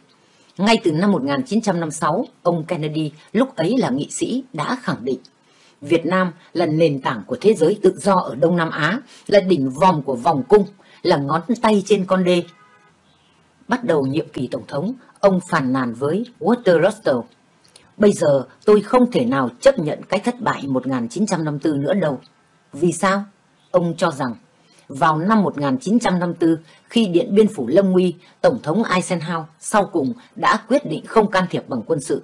Nhưng lúc ấy, ông Eisenhower có thể đổ lỗi cho Pháp bất lực và lấy cớ là Mỹ không ủng hộ chính sách thuộc địa. Còn bây giờ thì khác. Pháp đã rút về cả 5 năm rồi và miền Nam đã trở thành một nước Cộng hòa hoàn toàn độc lập. Nếu Mỹ rút lui thì các nước khác sẽ cho rằng vì chính sách của Mỹ cũng là thuộc địa nên đã thất bại giống như Pháp. Và như vậy thì uy tín của Mỹ sẽ ra sao? Cho nên ông Kennedy quyết định ra tay hành động. Trước hết, ông xem xét và chấp thuận một chương trình chống nổi dậy, một kế hoạch đã được nghiên cứu dưới thời Tổng thống Eisenhower. Chương trình này chủ liệu một kế hoạch giúp tăng quân số Việt Nam thêm 20.000 nữa, tăng từ 150.000 lên 170.000 và tài trợ một lực lượng dân vệ để chống du kích. Nhưng chương trình ấy lại đặt một điều kiện ăn miếng trả miếng hay bánh ít đi, bánh quy lại. Điều kiện để thi hành chương trình này là Tổng thống Diệm phải cải tổ về quân sự và hành tránh. Về quân sự, ông phải có chính sách tân quyền để cho lãnh đạo quân sự gồm 42 người, 38 tỉnh trưởng, 3 tư lệnh quân khu và tham mưu trưởng được chia sẻ quyền hành và hoạt động theo một kế hoạch hành động sẽ được cùng thiết lập. Về hành tránh, ông phải nới rộng chính phủ và mang một số người đối lập vào tham gia nội các. Đây là những điều kiện thật khó khăn đối với Tổng thống Diệm. Nhưng bây giờ thì đối với tân Tổng thống, nó lại không còn quá quan trọng nữa. Ông Kennedy quyết định ủng hộ ông Diệm và gạt bỏ việc đặt điều kiện. Đòi ông Diệm phải thi hành thì mới có viện trợ. Đi xa hơn bước nữa, ngày 20 tháng 4 năm 1961, Tổng thống Kennedy chỉ thị cho ông Roosevelt L. Ginfacich, Thứ trưởng Quốc phòng, phải thành lập ngay một ủy ban đặc nhiệm liên bộ để nghiên cứu gấp một chương trình của Tổng thống dành cho Việt Nam. Chương trình nghiên cứu gồm hai mục tiêu. Một, thẩm định tình hình hiện tại và khả năng Cộng sản đánh chiếm miền Nam. Và hai, đề nghị một loạt biện pháp quân sự, chính trị, kinh tế, công khai hay ngấm ngầm để ngăn chặn việc miền Nam bị mất vào tay Cộng sản. Chỉ một tuần sau, ngày 27 tháng 4 năm 1961, Gorbachev hoàn thành và đệ trình bản dự thảo của Ủy ban đặc nhiệm. Ngày 6 tháng 5, Lenleu thay mặt Gorbachev đệ trình báo cáo cuối cùng đề nghị những biện pháp để chiến thắng. Đây là một văn kiện lịch sử vì nó bao gồm những biện pháp đã thực sự được thi hành sau đó. Sau đây là một đoạn.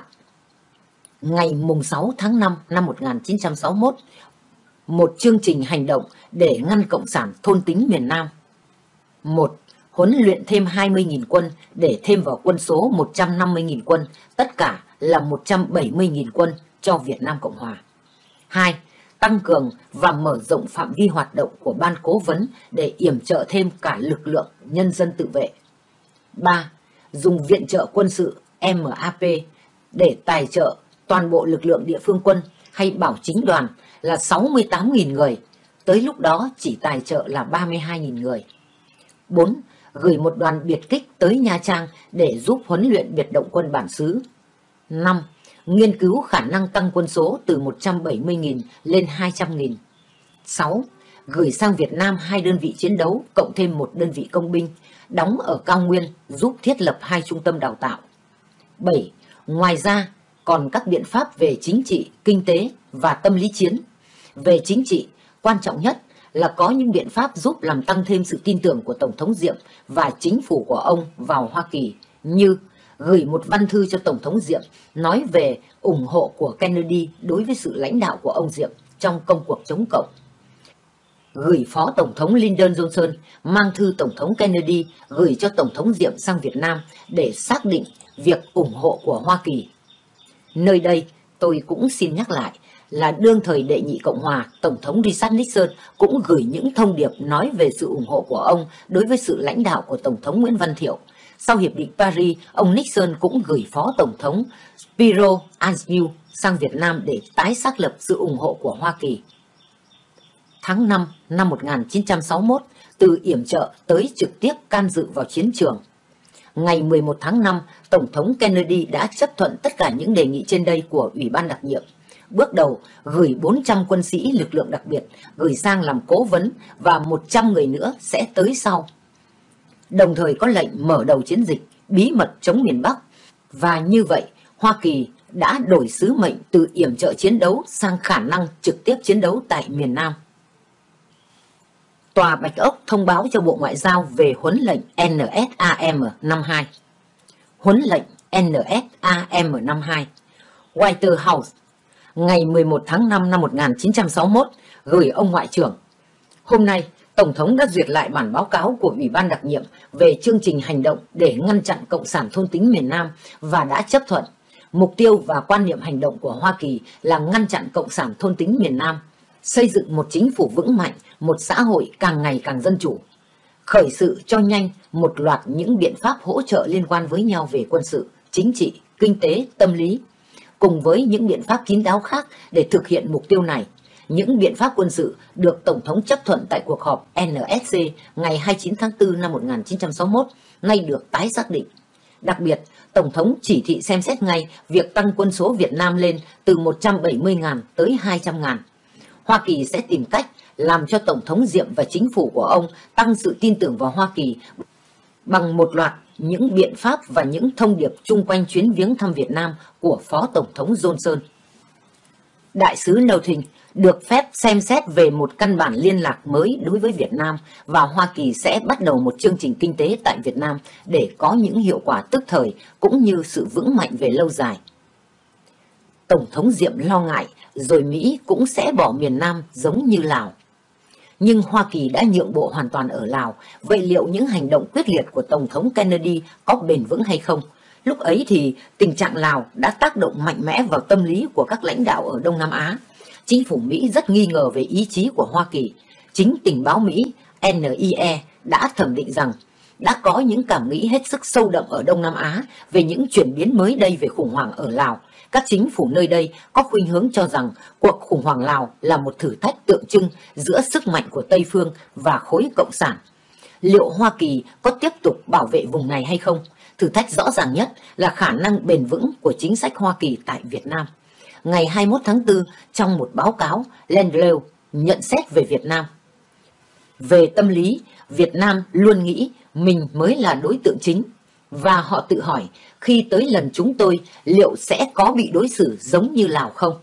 Chính sách của Mỹ đã biến Lào thành nước trung lập với một chính phủ liên hiệp, làm cho Tổng thống Diệm hết sức lo âu vì nghĩ rằng sau Lào thì Mỹ sẽ tính đến việc trung lập hóa Việt Nam và áp đặt một chính phủ liên hiệp với Cộng sản. Bởi vậy, Len Lêu cho rằng việc chính là phải làm sao cho chính phủ miền Nam tin tưởng rằng việc rút lui ở Lào không có nghĩa là sẽ rút khỏi Việt Nam. Tổng thống Kennedy, chúng tôi sẵn sàng tiếp tay với ngài. Để làm tăng thêm sự tin tưởng vào Hoa Kỳ, Phó Tổng thống Johnson được gửi sang thăm viếng Tổng thống Diệm.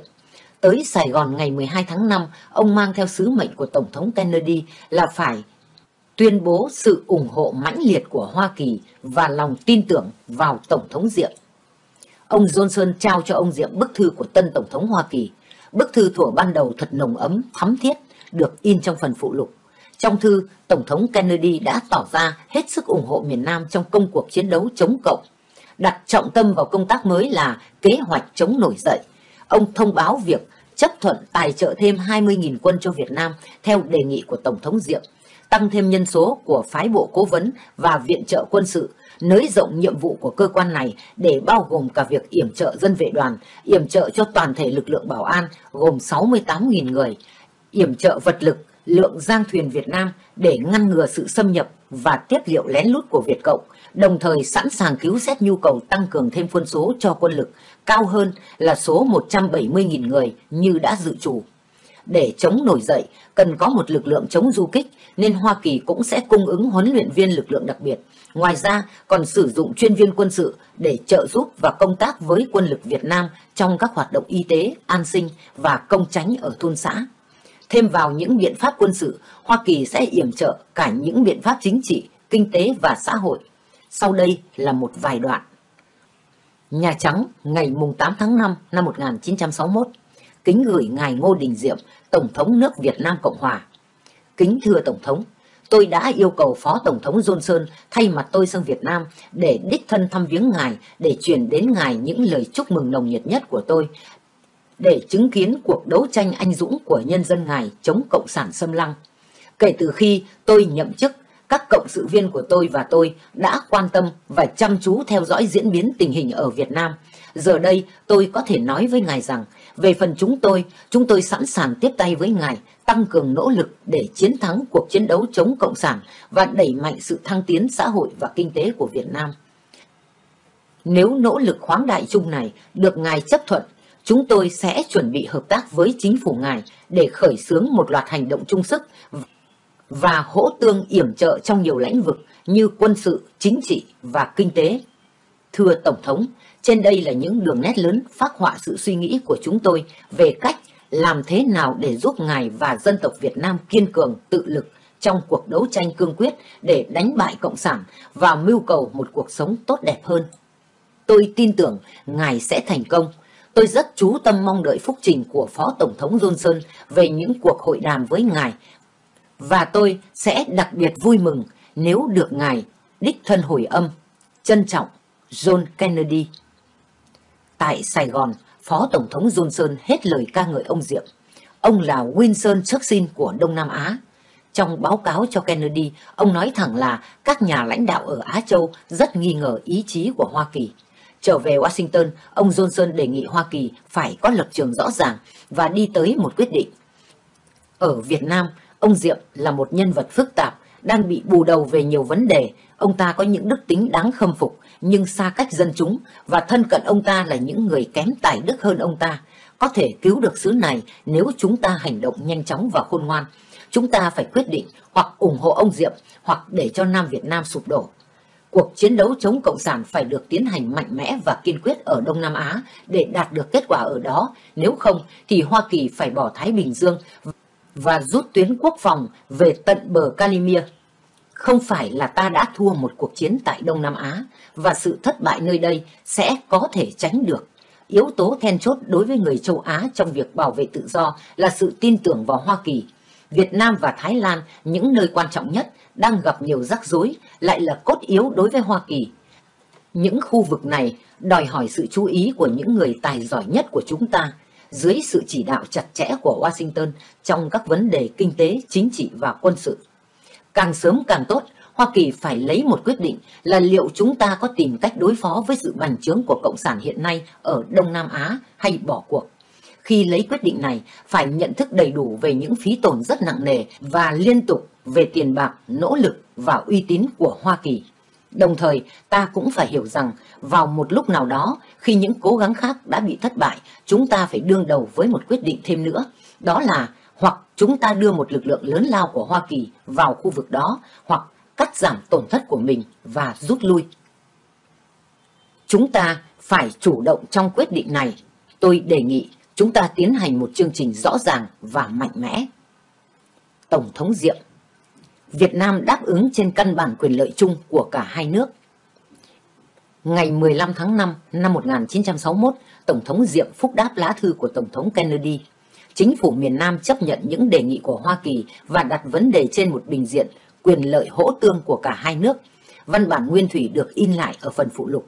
Độc giả lưu ý là nhân dịp này Tổng thống Diệm đã bắt đầu phàn nàn với vị tân Tổng thống về việc quan chức Mỹ ở Sài Gòn cứ tự tiện hành động mà không tham khảo với chính phủ Việt Nam Cộng Hòa, phản ánh tâm lý ông về chủ quyền quốc gia. Ông cũng nói đến sự quan ngại của ông với chính sách của Mỹ về Lào.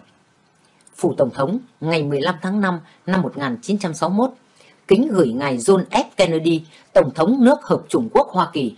Thưa Tổng thống, Bức thư đầy ân cần và cảm thông của ngài đề ngày 8 tháng 5 năm 1961 do Phó Tổng thống trao đến tay tôi chứa đựng nhiều đề nghị khôn ngoan và nhìn xa thấy rộng. Cho nên tôi đã hoan hỉ và không do dự khẳng định với Phó Tổng thống Johnson rằng Chính phủ Việt Nam chấp nhận những đề nghị trong quý văn thư là cộng tác với chính phủ Hoa Kỳ khởi xướng một loạt hành động chung, hỗ tương, yểm trợ để giành thắng lợi trong cuộc đấu tranh chống chủ nghĩa cộng sản tại Việt Nam và để đẩy mạnh sự phát triển của nước chúng tôi. Trong các cuộc đàm thoại thẳng thắn và có kết quả của chúng tôi, Phó Tổng thống Johnson đã có nhã ý yêu cầu tôi gợi ý cho biết những nhu cầu nào mà chúng tôi cho là khẩn cấp nhất.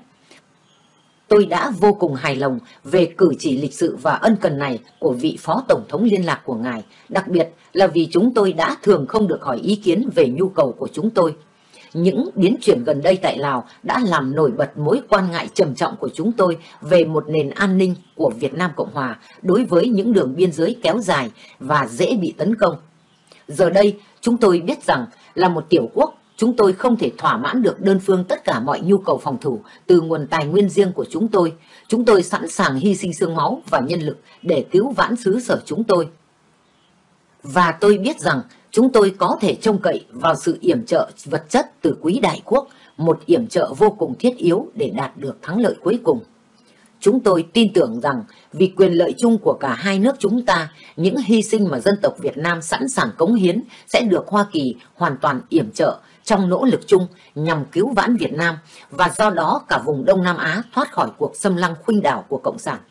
Kính thư Ngô Đình Diệm khi đã duyệt lại kỹ lưỡng bản báo cáo của Ủy ban đặc nhiệm và quyết định áp dụng một chương trình hành động để ngăn chặn Cộng sản thôn tính miền Nam theo như tinh thần của huấn lệnh NSAM năm 2 ngày 11 tháng 5 như đã đề cập ở trên. Tổng thống Kennedy đã cho phép đại sứ Hoa Kỳ ở Sài Gòn thăm dò một bước đi khá quyết liệt. Đó là được mở những cuộc thương thuyết với chính phủ Việt Nam Cộng Hòa về một hiệp ước quốc phòng song phương. Tuy nhiên, lúc ấy việc này chỉ là thả một quả bong bóng vì viên đại sứ cũng được chỉ thị là không được cam kết bất cứ điều gì mà không trình Tổng thống trước. Thế nhưng, trong cuộc họp giữa Tổng thống Diệm và Phó Tổng thống Johnson, theo chỉ thị của Tổng thống Kennedy, Johnson còn đề nghị hai phương án, mang quân đội Mỹ vào Việt Nam hoặc là Hoa Kỳ ký với miền Nam một hiệp ước quốc phòng song phương. Vì không muốn Hoa Kỳ phải dính líu vào quá nhiều, lại còn có thể mất danh dự quốc gia, Tổng thống Diệm đã không muốn cả hai. Ông cho rằng Việt Nam Cộng Hòa vẫn đủ khả năng đương đầu với Cộng sản nên chỉ cần Hoa Kỳ giúp tăng quân số và yểm trợ vật chất, huấn luyện là được rồi. Về một hiệp ước Mỹ-Việt thì về sau Tổng thống Diệm đã đổi ý khi áp lực của Cộng sản gia tăng mạnh vào tháng 9 sau vụ Phước Thành. Chiều 29 tháng 9 1961, nhân chuyến viếng thăm Sài Gòn của Đô đốc Harry fitt Tổng tư lệnh quân đội Hoa Kỳ tại Thái Bình Dương, một buổi họp tại Dinh Độc Lập được triệu tập với sự tham dự của Đại sứ Northing. Ngày hôm sau, Northing báo cáo về Washington rằng ông Diệm đồng ý về một hiệp ước song phương với Hoa Kỳ. Trong một cuộc bàn thảo rất lâu, ông Diệm đặt ngay một vấn đề. Ông yêu cầu có một hiệp ước phòng thủ song phương với Hoa Kỳ. Yêu cầu quan trọng và hoàn toàn bất ngờ này chỉ được thêm vào sau cuộc bàn luận về nhiều vấn đề khác. Khi tôi hỏi kỹ lại thì thấy đây là một yêu cầu thật nghiêm túc. Nhưng lúc ấy, hầu hết phía quân sự Hoa Kỳ thì chỉ muốn đưa quân vào Việt Nam chứ không để ý tới một hiệp ước quốc phòng song phương. Theo tài liệu nội bộ thì vào tháng 9 năm 1961, sau khi Cộng sản tấn công Phước Bình, cách Sài Gòn chỉ có 55 dặm, chính Tổng thống Diệm đã đề nghị với đại sứ Nô Thinh một hiệp ước quốc phòng Việt-Mỹ. Nô Thinh hết sức bỡ ngỡ vì theo như ông biết qua Bộ trưởng Nguyễn Đình Thuần thì Tổng thống Diệm đã bác đi. Như vậy, có thể là ông Thuần đã không phản ánh trung thực lập trường của Tổng thống Diệm nên đã làm cho đại sứ Nô tinh hiểu lầm. Xem chương sau. Nếu có một hiệp ước như vậy thì có thể là lịch sử đã khác hẳn. Tôi xin mở ngoặc ở đây là chắc chính phủ Iraq đã học được kinh nghiệm của miền Nam nên tháng 11 năm 2008 đã yêu cầu Mỹ ký một hiệp ước song phương nhưng không thành. Vấn đề quân đội Mỹ vào miền Nam Về việc mang quân đội tác chiến Mỹ vào Việt Nam, ngày 18 tháng 5, chuẩn tướng Landrieu đã tóm tắt lập trường của Hoa Kỳ và báo cáo Thứ trưởng Quốc phòng Griffith như sau.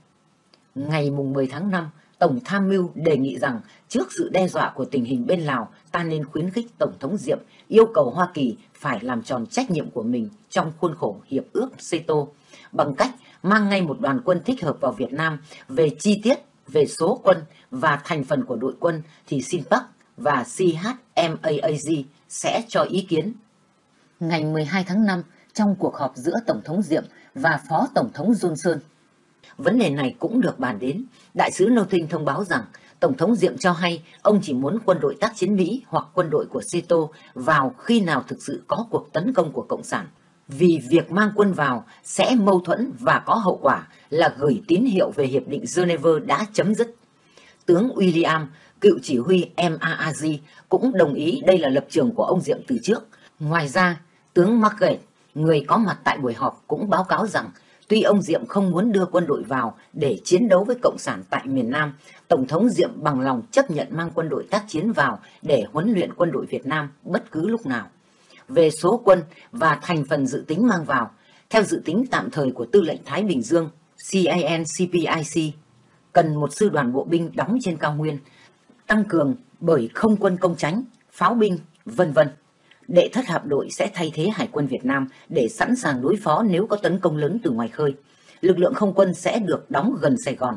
Về địa điểm cho bộ binh, mặc dù ý kiến chung là đóng ở cao nguyên, nhưng tướng William cho rằng nên đóng ở Đà Nẵng, Nha Trang, Phan Thiết vì đường biển, đường bộ và xe lửa sẽ giúp việc dễ dàng điều động mang thêm quân vào khi cần thiết. Kiến nghị vì việc điều động số quân vào thì cần có yêu cầu của chính phủ Việt Nam. Vì chưa có được sự yêu cầu này, đề nghị Bộ trưởng nêu vấn đề này với Bộ trưởng Nguyễn Đình Thuần khi ông tới Washington tuần sau để đi tới định nghĩa rõ ràng về việc mang quân tác chiến vào Việt Nam. Nhưng khi chưa bàn định lại vấn đề này với ông Thuần thì cùng ngày 18 tháng 5, Tổng tham mưu Hoa Kỳ đã nhắc lại đề nghị nộp cho thượng cấp vào ngày 10 tháng 5. Theo đó thì một Hoa Kỳ nên mang ngay vào Việt Nam một lực lượng tác chiến 2. Hối thúc Tổng thống Diệm yêu cầu Hoa Kỳ đem một số quân đội vào để thực thi bổn phận của Hoa Kỳ là phải giúp miền Nam tự vệ chiều theo Hiệp ước CETO vì tình hình bên Lào đang sôi động. Tướng McGrath từ Sài Gòn đề nghị mang số quân là 16.000 người và nếu ông Diệm không đồng ý thì rút xuống là 10.000 người để giúp thiết lập các trung tâm đào tạo quân đội Việt Nam.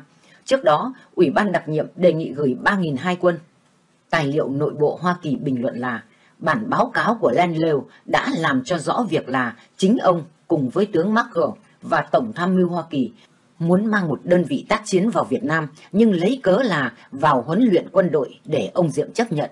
Lan Lêu viết, bất cứ địa điểm nào đề nghị để mang quân vào đều là chỗ tốt để có thể mở các trại huấn luyện như vùng cao nguyên, Đà Nẵng, Nha Trang, Phan Thiết.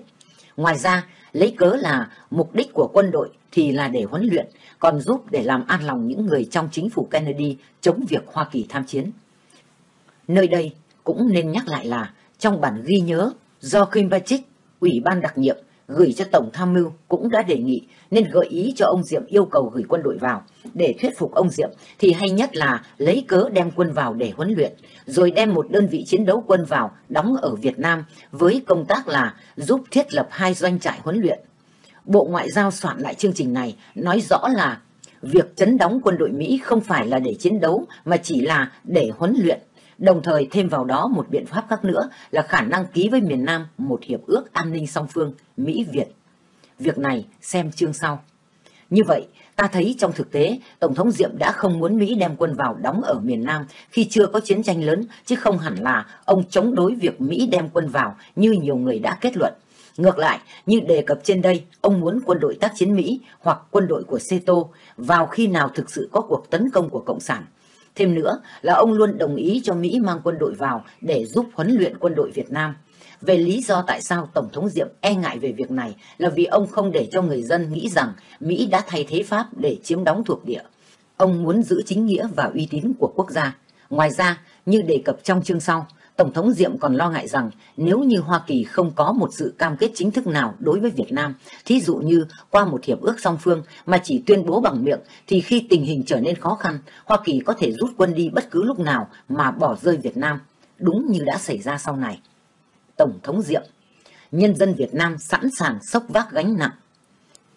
Vài tuần sau cuộc viếng thăm của Phó Tổng thống Johnson, Tổng thống Diệm cử Bộ trưởng Nguyễn Đình Thuần đi Washington để bàn định về nhu cầu quân sự của Việt Nam theo lời mời của Tổng thống Kennedy. Ông Thuần mang theo nghiên cứu nhu cầu quân sự kèm theo một bức thư của Tổng thống Diệm. Trong thư này, Tổng thống Diệm hoàn toàn không nói gì tới việc Mỹ mang quân vào Việt Nam, mà chỉ đề nghị yểm trợ về vật chất và huấn luyện quân đội Việt Nam.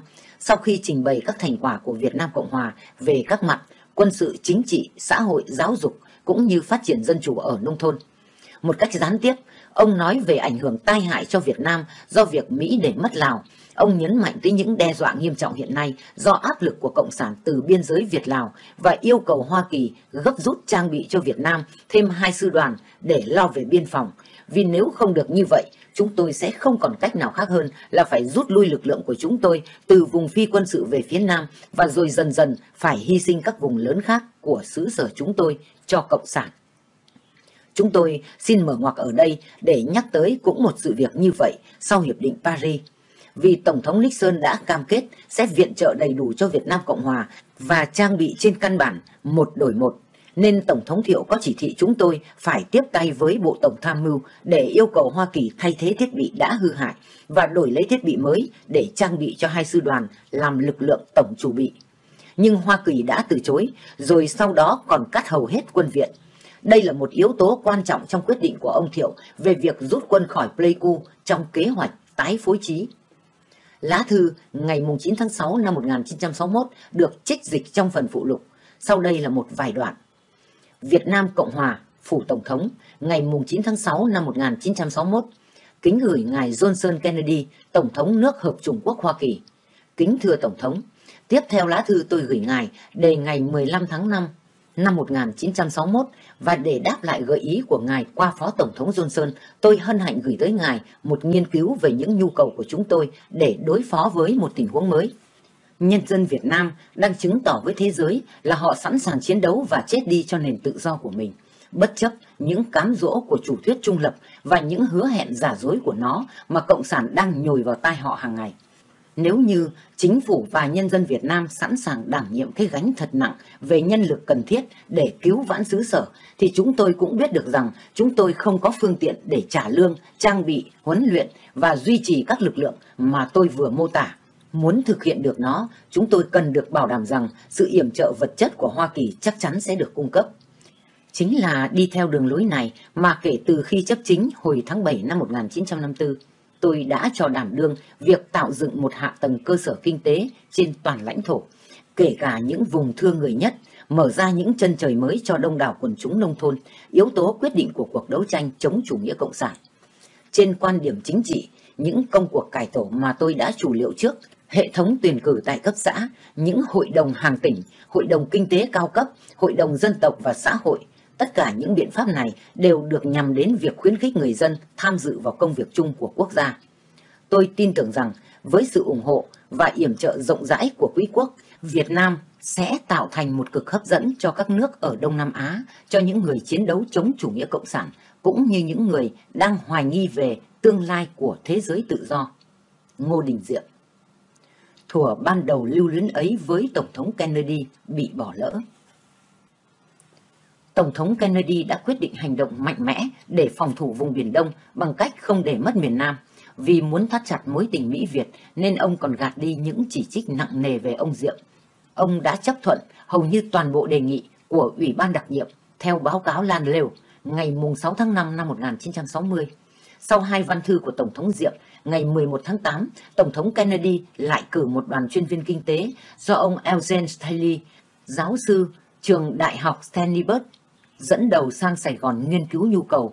Phái đoàn Staley làm việc với nhóm chuyên viên do giáo sư Vũ Quốc Thúc điều khiển đã hoàn thành một kế hoạch hành động, đề nghị miền Nam duy trì một quân đội 270.000 nếu mức độ chiến tranh gia tăng. Ngoài ra, còn đề nghị nhiều biện pháp kinh tế, tài chính rất rộng rãi và đầy đủ để giúp Việt Nam phát triển ngay trong thời chiến, chứ không phải đợi tới thời bình. Tổng thống Diệm đã đáp lại tấm thịnh tình ấy nhưng ông tỏ ra rất tư cách đối với đồng minh.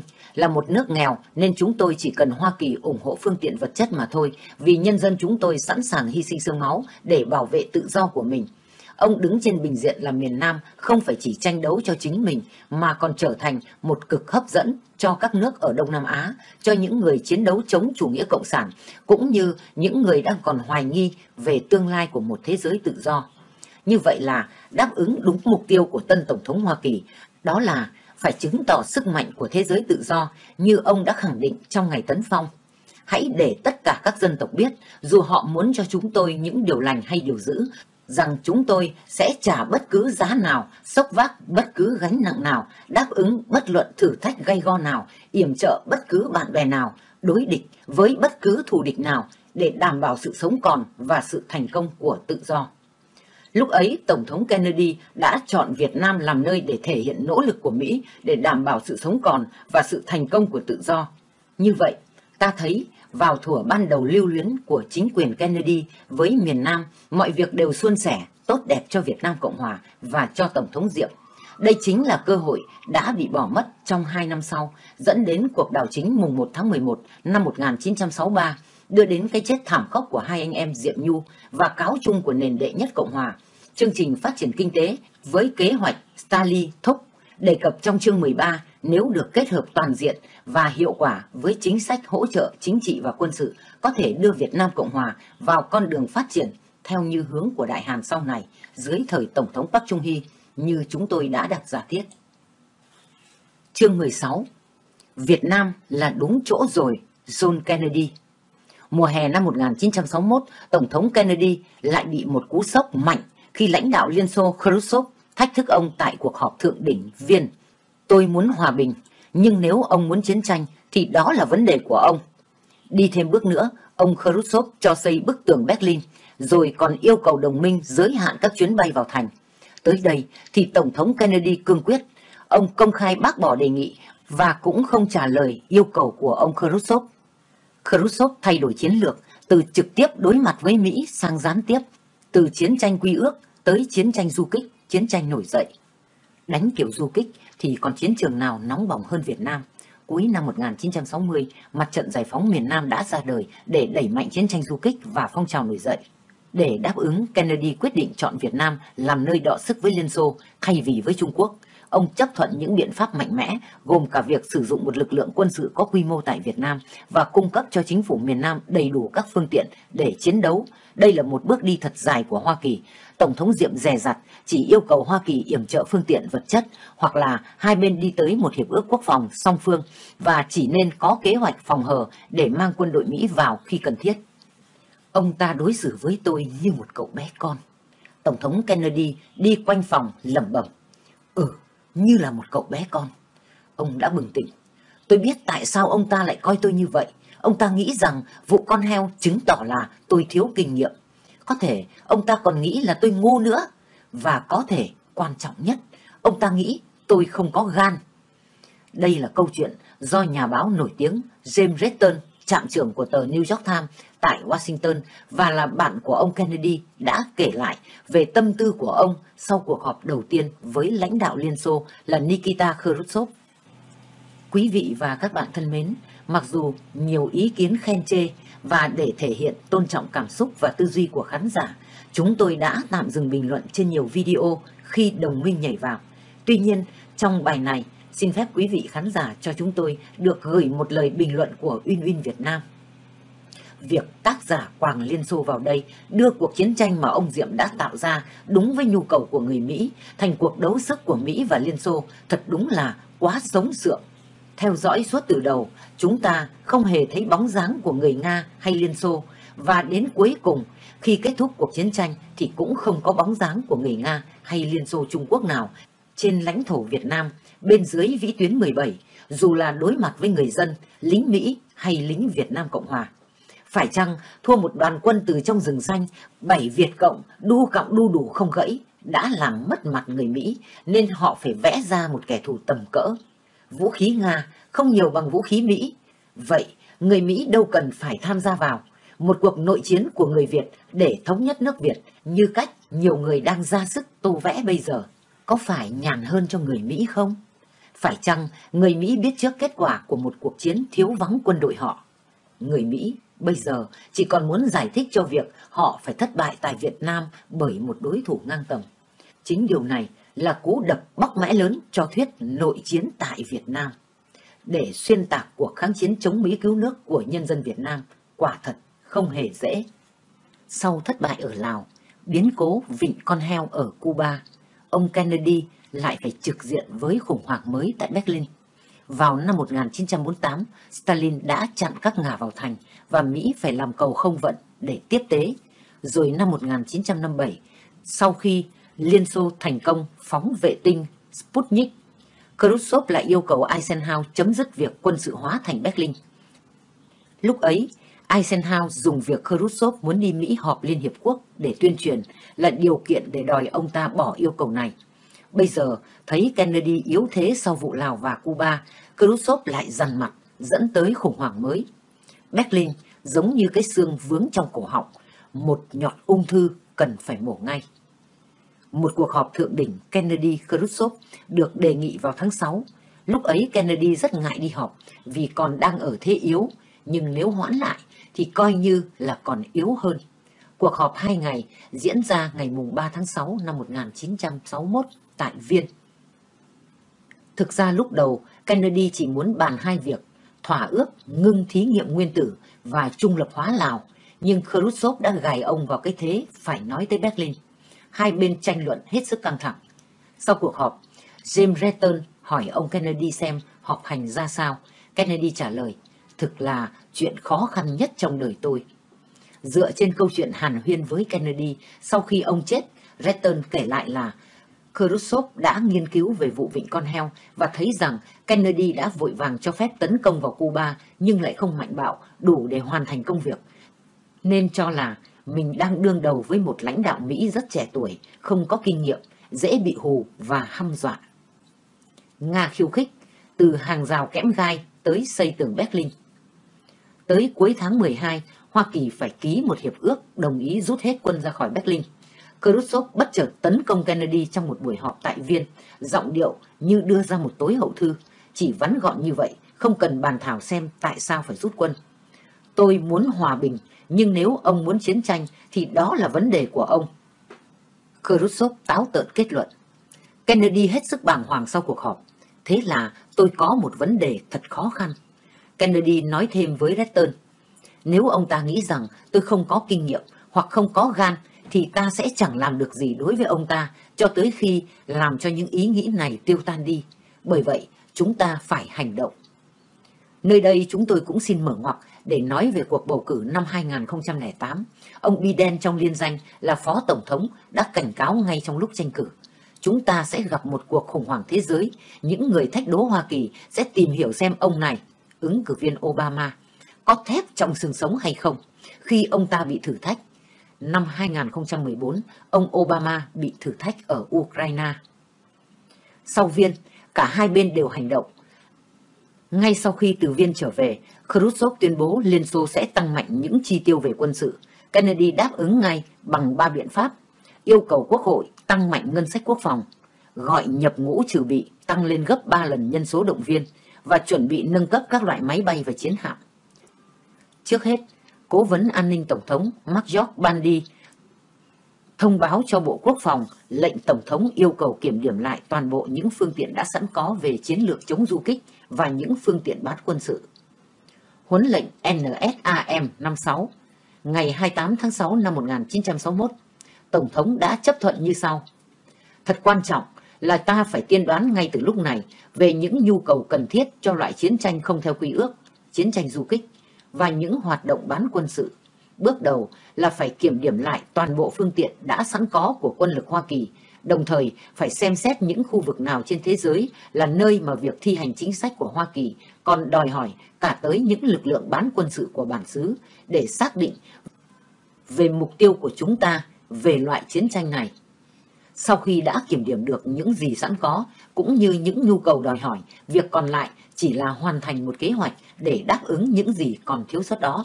Tổng thống chỉ thị cho Bộ trưởng Quốc phòng điều hợp với Ngoại trưởng và Giám đốc CIA để ước tính nhu cầu về công tác này và đề nghị những phương tiện để đáp ứng nhu cầu.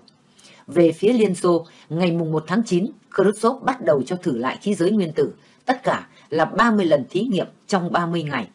Kennedy lại đáp ứng cho tái trắc nghiệm các loại bom nguyên tử dưới lòng đất. Trước tình hình gay go giữa hai cường quốc và nghe những tuyên bố căng thẳng về Berlin, dân chúng từ bên Đông Đức do Cộng sản kiểm soát ào ào đi sang Tây Đức.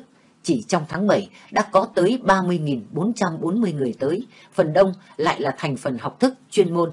Ngày 13 tháng 8, xe cảnh sát, xe tải, xe tăng của chính phủ Đông Đức rầm rộ tiến tới tuyến chia ranh giới giữa hai bên trong thành phố Berlin.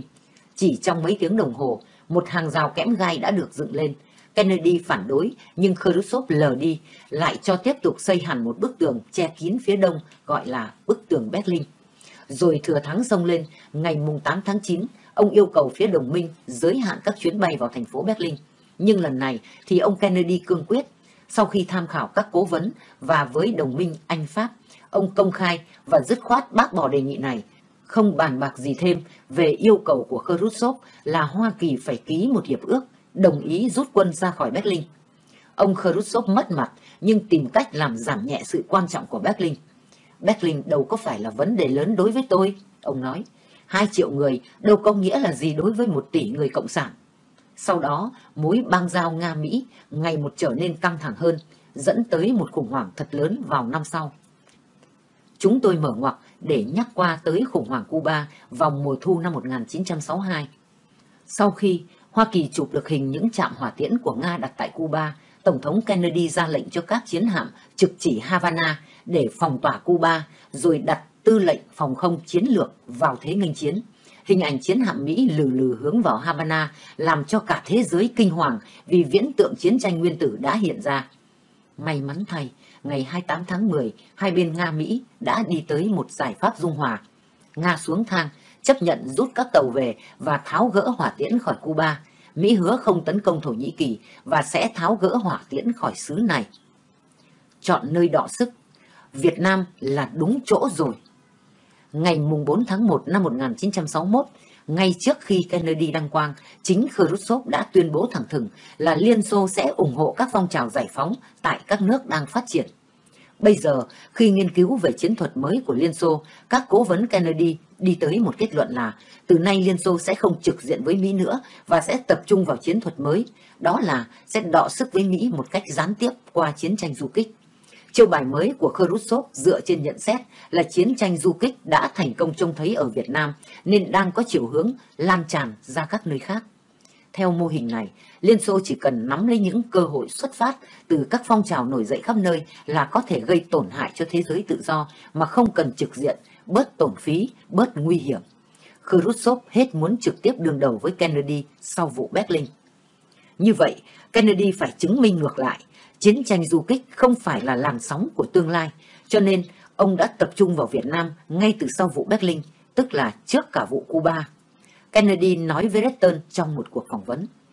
Giờ đây, chúng ta có một vấn đề, đó là cố làm sao để quyền lực của Hoa Kỳ phải được kính nể và Việt Nam là đúng chỗ rồi. Thế là sân đấu võ đã được chọn. Đọc chương 23, độc giả sẽ thấy sau Kennedy, Tổng thống Johnson đã chấp thuận huấn lệnh ghi ở số NSAM 288, trong đó còn nhắc lại. Cuộc chiến ở Nam Việt Nam đã được coi là một trường hợp trắc nghiệm khả năng của Hoa Kỳ yểm trợ một quốc gia đương đầu với loại chiến tranh giải phóng của Cộng sản. Ông đánh kiểu nào, tôi đánh kiểu ấy. Tôi không thể thấy tính cách xảo quyệt của cuộc đấu tranh mới mẻ và sâu đậm này. Kennedy bình luận về lập trường của mình đối với Khrushchev. Có thể nói rằng đây là lập trường đối mặt với thách thức mới. Ông đánh kiểu nào, tôi đánh kiểu ấy. Trong một buổi nói chuyện với các biên tập viên báo chí, ông xác định tôi đang phải trực tiếp với một cuộc đấu tranh ở mọi nơi trên thế giới. Nó đi xa hơn cả sự đụng độ giữa các đạo binh hay giữa khí giới nguyên tử. Dĩ nhiên là những đoàn quân, rất nhiều đoàn quân, những khí giới nguyên tử thì vẫn còn đó, nhưng nó chỉ là một màn che. Đằng sau màn che này là những cuộc nổi dậy, xâm nhập và những chiến thuật mới đang được phát triển, nhằm vào những khu vực còn yếu, từng nơi một, làm sao để ta khó mà can thiệp bằng quân sự. Chiến thuật du kích mới ấy đang được phát triển mạnh mẽ, nhất là ở Việt Nam.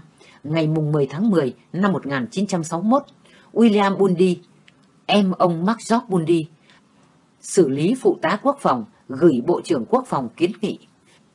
Chúng ta phải có biện pháp cấp tốc tại Việt Nam vì Cộng sản sắp thành lập một chính phủ lâm thời giống mô hình siêng khoảng ở Lào, ngay ở Con Tum là nơi Mỹ đang định mang quân lực Ceto vào đóng.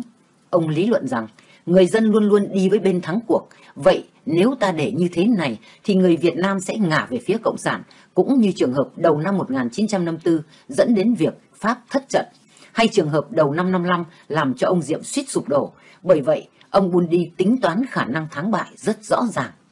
Một cuộc tấn công cho mạnh sẽ có cơ may tốt là 70% theo tính toán của tôi để chặn đứng được những biến chuyển này và giúp cho ông Diệm tạo thanh. Về 30% còn lại thất bại là vì có thể ta cũng kết thúc như Pháp vì người da trắng không thể thắng loại chiến tranh này, chiến tranh du kích.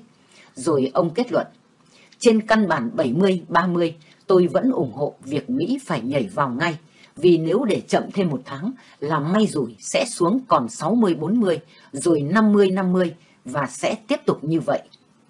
Ngày hôm sau, trong một cuộc họp tại Tòa Bạch Ốc, Tổng thống Kennedy đã chấp thuận bản phân tích này vì nếu để chậm thì phần trăm may rủi sẽ thay đổi. Một, gửi phi đoàn dân Lê Diêm vào giúp huấn luyện quân đội Việt Nam. Hai, gửi một phái đoàn do tướng Marcel Taylor hướng dẫn cùng với Rostow, Lanleu và các đại diện GCS, ISA sang Sài Gòn để xem xét tính khả thi về cả mặt chính trị lẫn quân sự về ba lựa chọn. Một, một kế hoạch để can thiệp bằng quân sự. Hai, kế hoạch đóng một số quân tác chiến ở Đà Nẵng với một mục tiêu giới hạn là thiết lập sự có mặt của Hoa Kỳ tại Việt Nam. Hay là ba, thay vì đóng quân sẽ gia tăng mạnh hoạt động huấn luyện cho quân đội Việt Nam cũng như cung cấp thêm quân cụ, đặc biệt là trực thăng, máy bay nhỏ và các phương tiện chuyên trở. Tổng thống Diệm chỉ nên có sẵn một kế hoạch phòng hờ để sử dụng quân đội Hoa Kỳ nếu trở nên cần thiết. Để thực thi điểm 2, ngày 13 tháng 10 năm 1961, Tổng thống Kennedy cử tướng Maxen Taylor cùng với ông Watt Rustow, phụ tá cố vấn an ninh và một số quan chức của Bộ Ngoại giao và Quốc phòng sang Sài Gòn để thẩm định tình hình. Đây là một chuyến công tác lịch sử vì nó dẫn đến việc can thiệp quân sự trực tiếp vào Việt Nam. Taylor là một tướng nổi danh, đã từng làm tư lệnh sư đoàn 82 nhảy dù xuống Normandy năm 1945 và chỉ huy trường võ bị West Point. Phái đoàn Taylor đến Sài Gòn ngày 18 tháng 10 năm 1961. Giữa lúc đang có một trận lụt ở đồng bằng sông Cửu Long, trận lụt lớn nhất kể từ năm 1937. Sau những buổi họp sơ khởi, Đại sứ Nortina gửi công điện số 516 ngày 20 tháng 10 về Washington báo cáo rằng chính tướng tây lo đã đặt vấn đề đưa quân đội tác chiến vào Việt Nam, nhưng Tổng thống Ngô Đình Diệm tỏ ý lo ngại về vấn đề mang quân tác chiến Hoa Kỳ vào Việt Nam và ngỏ ý ông chỉ muốn có được một thỏa ước song phương với Hoa Kỳ và được giúp hàng không về chiến lược, trực thăng tuần tiễu ngoài hải phận và tiếp vận. Để giảm thiểu khía cạnh quân sự, ông Diệm còn đề nghị không nên dùng phi công quân sự mà chỉ dùng phi công dân sự để lái những chiếc trực thăng này. Theo ông Nothing Tổng thống Diệm nói tới hai khía cạnh khó khăn của vấn đề mang quân sự vào. Thứ nhất, nhân dân miền Nam lo ngại vì vẫn chưa thấy có một sự cam kết chính thức của Hoa Kỳ đối với Việt Nam và như vậy thì khi tình hình trở nên khó khăn, Hoa Kỳ sẽ bỏ rơi Việt Nam. Nếu mang quân đội vào mà không có một cam kết chính thức của Hoa Kỳ qua một hiệp ước song phương, lời tác giả, thì Hoa Kỳ sẽ có thể rút quân đi bất cứ lúc nào. Bởi vậy, sự cam kết chính thức là quan trọng nhất, đứng về mặt tâm lý. Và thứ hai, chỉ nên có sẵn một kế hoạch phòng hờ để sử dụng quân đội Hoa Kỳ nếu trở nên cần thiết. Bộ trưởng Quốc phòng Thuần yêu cầu một lực lượng Hoa Kỳ vào đóng ở vĩ tuyến 17. Về điểm cuối cùng, Đại sứ Nô Thinh báo cáo thêm rằng khi ông ta hỏi lại ông Diệm cho rõ hơn xem ông Diệm muốn nói tới loại quân đội nào, quân đội tác chiến hay cố vấn đào tạo, thì thấy ông Diệm lảng đi không nhắc lại việc sử dụng quân đội Hoa Kỳ nữa. Ông Nô Thinh nhận xét rằng Điều này thì lại khác với điều mà ông Bộ trưởng Nguyễn Đình Thuần đã nói với tôi. Theo ông Nothing, thì ông Thuần Bộ trưởng Quốc phòng có yêu cầu Mỹ mang một số quân vào miền Nam. Và như vậy là có thể không phải ý kiến Tổng thống Ngô Đình Diệm. Ông Nothing đã báo cáo. Bộ trưởng Thuần có đặt vấn đề với tôi về việc yêu cầu một lực lượng Hoa Kỳ tượng trưng vào đóng ở vĩ tuyến 17 thay cho quân đội Việt Nam để họ đi chiến đấu tại các nơi khác. Tôi hỏi đây có phải là để thay thế cho yêu cầu của Tổng thống Diệm về việc ký kết một hiệp ước an ninh song phương hay không? Lúc đầu thì ông ta trả lời đây là bước thứ nhất của hiệp định ấy. Nhưng sau đó, khi bàn đến những thủ tục rắc rối để ký một hiệp định, thí dụ như những khó khăn đối với CETO, với Ủy ban Kiểm soát Đình Chiến, rồi thủ tục phê chuẩn tại Quốc hội Mỹ, thì ông Thuần lại đổi ý và nói là nếu Mỹ chấn đóng một số quân ở Việt Nam thì đã đủ và còn tốt hơn cả một hiệp ước quốc phòng nữa. Như vậy, chắc là ông ta chưa suy nghĩ chín chắn hoặc chưa bàn bạc với Tổng thống Diệm. Nhìn lại lịch sử, có thể là ông Thuần đã để lỡ cơ hội ký một hiệp ước phòng thủ song phương Việt-Mỹ và đã làm trái ý Tổng thống Diệm. Lách Hiệp định Geneva mang quân đội Mỹ vào cứu trợ lũ lụt. Trong chương trước, độc giả thấy có lúc Mỹ đã nại đến công tác huấn luyện để mang một số quân vào miền Nam.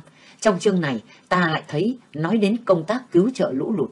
Đang khi phái đoàn Tây Lo ở Sài Gòn ngày 23 tháng 10, tướng McGain, chỉ huy trưởng cơ quan viện trợ quân sự MAAG, gửi một công điện về ngũ giác đài. Chật lụt rất nặng ở đồng bằng Cửu Long, nặng nhất kể từ năm 1937 cho thấy ta có thể dùng việc cứu trợ lũ lụt để biện hộ cho việc mang quân vào làm công việc nhân đạo, để rồi có thể giữ quân đội này lại nếu muốn. Tướng Taylor và ông đại sứ đang cân nhắc tính khả thi và cân nhắc xem có nên làm hay không. Ngày 26 tháng 10, Bộ Quốc phòng Mỹ hỏi ý kiến luật sư xem gửi quân vào cứu lũ lụt như vậy có vi phạm Hiệp định Geneva không. Trong một bản phân tích dài, ý kiến luật sư là có vi phạm nhưng có thể dùng hình thức bảo vệ chung theo như Hiệp ước CETO trích dẫn trong phụ lục của chương này. Từ Sài Gòn, tướng Taylor liền đánh điện tối mật về cho Tổng thống Kennedy và Bộ trưởng Ngoại giao, Bộ Quốc phòng và Tham mưu trưởng. Quan niệm của tôi là ta nên gửi một lực lượng đặc nhiệm vào giúp cứu trợ lũ lụt và đồng thời để thiết lập sự có mặt của Hoa Kỳ tại đây giúp đảm bảo với Tổng thống Diệm là Hoa Kỳ sẵn sàng nối vòng tay với ông ta trong cuộc đấu tranh với Việt Cộng hay Việt Minh nếu ta nối kết việc điều quân vào Việt Nam với nhu cầu cứu trợ lũ lụt ở đồng bằng sông Cửu Long thì có nhiều cái lợi vì việc đó có tính cách là một công tác nhân đạo tránh được sự chỉ trích là ta đã tự nhận lấy trách nhiệm an ninh của nước này. Rồi khi xong việc, ta có thể rút đoàn quân này về nếu muốn hoặc đưa sang công tác khác nếu muốn giữ lại lâu hơn. Từ Baguio, Philoten, trên đường từ Sài Gòn về Washington, tướng Taylor lại gửi hai điện tín tối mật về cho Tổng thống Kennedy. Ông đề nghị rất nhiều biện pháp, đặc biệt là nhắc lại nhu cầu phải đưa ngay vào Việt Nam một lực lượng quân đặc nhiệm không quá 8.000 người để thiết lập sự có mặt của Hoa Kỳ tại miền Nam, cứu trợ lũ lụt, thực hiện những cuộc hành quân tác chiến để tự bảo vệ và lo cho an ninh tại những vùng Mỹ hoạt động, cung cấp một lực lượng trừ bị cho quân đội Việt Nam đề phòng trường hợp khẩn cấp và tiền phong cho những đoàn quân Mỹ tiếp theo khi nào cần thi hành kế hoạch quân sự của Tư lệnh Thái Bình Dương hay SITO.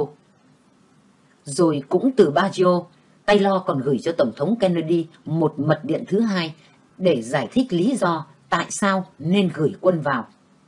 Về tới Washington ngày 3 tháng 11 năm 1960, Taylor rất trình báo cáo như trích dịch ở phần dưới, trong đó có phần nhận xét về Tổng thống Diệm như sau. Mặc dù những nhược điểm, ông Diệm có khả năng đặc biệt, cứng đầu, gan dạ. Và mặc dù có thất vọng, quân đội Việt Nam cũng như công chức kính trọng ông tới mức dù có phàn nàn và có thể còn tính tới lật đổ ông nữa thì cũng chỉ là việc làm nửa vời. Họ sẵn sàng làm việc với ông nếu ông để cho họ có cơ hội. Bởi vậy, Hoa Kỳ nên làm việc với ông ta và những người giới quyền ông ta hơn là tìm cách loại bỏ ông vì Việt Nam rất hiếm những người quản lý giỏi và một cuộc đảo chính sẽ dẫn tới hỗn loạn. Chào mừng nền Cộng Hòa lên 6 tuổi. Ngày 26 tháng 10, Tổng thống Diệm nhận được lá thư của Tổng thống Kennedy chúc mừng nền Cộng Hòa lên 6 tuổi. Văn thư đề ngày 24 tháng 10. Tổng thống Kennedy viết với những lời lẽ thắm thiết. Về quá khứ, ông nhắc tới lịch sử oai hùng của Việt Nam đã hai lần đánh bại những đạo quân Mông Cổ dưới sự lãnh đạo của nguyên soái Trần Hưng Đạo đánh thành Cát Tư Hãn năm 1257 và 1285, rồi trong trận chiến quyết định ở Bạch Đằng Giang 1288. Về hiện tại, ông nói tới những thành công của miền Nam, nước Mỹ và thật vậy, tất cả những người tự do phải chịu ơn cái gương mà quý quốc đã làm. Còn về tương lai thì hòa bình và tự do tất sẽ phải đến. Sau đây là trích một vài đoạn. Nhà Trắng ngày 24 tháng 10 năm 1961. Kính gửi Ngài Ngô Đình Diệm, Tổng thống Việt Nam Cộng Hòa.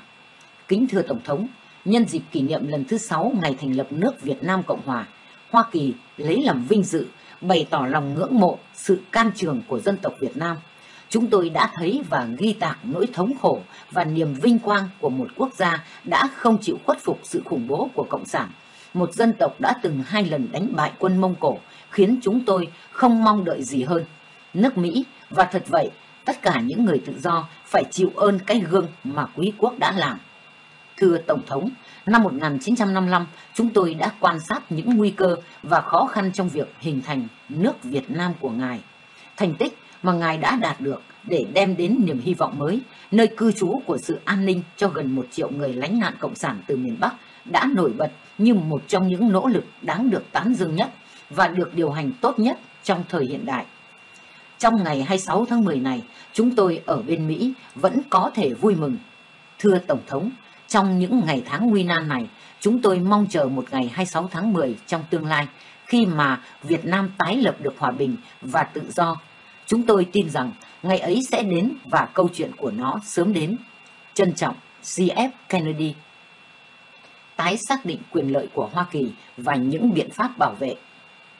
Trong thư, Tổng thống Kennedy có viết rằng ông đang quan tâm chờ đợi bản phúc trình của Đại tướng Marcel Taylor để xem xét những biện pháp cần thiết trợ lực cho Việt Nam trong công cuộc đấu tranh chống Cộng. Ngày 11 tháng 11 năm 1961, Bộ trưởng Ngoại giao Dindrop cùng với Bộ trưởng Quốc phòng McNamara đồng trình lên Tổng thống Kennedy một báo cáo rất dài và rõ ràng của phái đoàn Maxen Taylor về quyền lợi của Hoa Kỳ tại Việt Nam và những biện pháp quyết liệt để bảo vệ được tóm tắt như sau. Báo cáo của phái đoàn Tây Lo. Thứ nhất, về quyền lợi của Hoa Kỳ tại Việt Nam. Tình hình suy sụp ở Nam Việt Nam đòi hỏi chúng ta phải chú ý đến tính chất và tầm quan trọng của quyền lợi quốc gia Hoa Kỳ ở xứ này. Nếu miền Nam Việt Nam mất vào tay Cộng sản thì sẽ đưa tới việc giao 20 triệu dân của thế giới tự do cho khối Cộng sản mất miền Nam Việt Nam sẽ làm cho bất kỳ cuộc thảo luận tiếp theo nào về tầm quan trọng đối với thế giới tự do trở thành vô nghĩa vì chúng ta sẽ phải đương đầu với một sự việc gần như chắc chắn là phần còn lại ở Đông Nam Á và Indonesia sẽ phải thỏa hiệp hoàn toàn với Cộng sản nếu không muốn nói là chính thức sát nhập vào khối Cộng sản. Để Việt Nam mất vào tay Cộng sản không những sẽ phá vỡ tổ chức Liên phòng Đông Nam Á, CETO, mà còn làm lung lay sự tín nhiệm đối với những cam kết của Hoa Kỳ ở những nơi khác. Hơn nữa, mất Nam Việt Nam sẽ gây ra những cuộc tranh cãi gay go trong nội bộ Hoa Kỳ và sẽ bị những phần tử cực đoan nắm lấy để chia rẽ đất nước và phá rối chính quyền. Thứ hai, về những khó khăn trong việc yểm trợ miền Nam. Xem ra thì khó mà nghĩ được rằng một dân tộc gồm 20 triệu người lại phải thua một lực lượng du kích chỉ khoảng 15 tới 20 ngàn quân nhưng miền Nam Việt Nam chưa được tổ chức chặt chẽ và có được một guồng máy chính phủ hữu hiệu. Nhân dân lại thờ ơ vì phần đông chưa được trực tiếp hoạt động, lại còn bị đe dọa khủng bố bởi nhóm du kích khắp nông thôn. Thứ ba, mục tiêu của Hoa Kỳ tại Nam Việt Nam. Hoa Kỳ nên cam kết theo đuổi một mục tiêu rõ ràng là ngăn chặn không để cho Việt Nam rơi vào tay Cộng sản. Những phương tiện cơ bản để hoàn thành mục tiêu này phải nhằm đặt chính phủ Nam Việt Nam vào một tư thế có thể thắng cuộc chiến tranh của chính họ, chống lại quân du kích. Song chúng ta cũng phải thừa nhận rằng có lẽ chính phủ Nam Việt Nam không thể thắng được cuộc chiến này chừng nào mà dòng người và tiếp liệu từ miền Bắc vẫn tiếp tục đổ vào đây mà không bị ngăn chặn, và quân du kích vẫn được hưởng một nơi đất thánh an toàn ở lãnh thổ láng giềng bởi vậy, chúng ta nên chuẩn bị đưa các lực lượng tác chiến Hoa Kỳ vào nếu việc này trở nên cần thiết để đạt được sự thành công. Tùy theo tình hình, có thể lực lượng Hoa Kỳ cần phải đánh vào chính cội nguồn của sự xâm lược ở miền Bắc Việt Nam. Thứ tư, sử dụng quân đội Hoa Kỳ tại miền Nam Việt Nam. Lực lượng Hoa Kỳ đưa vào Nam Việt Nam gồm hai loại khác nhau.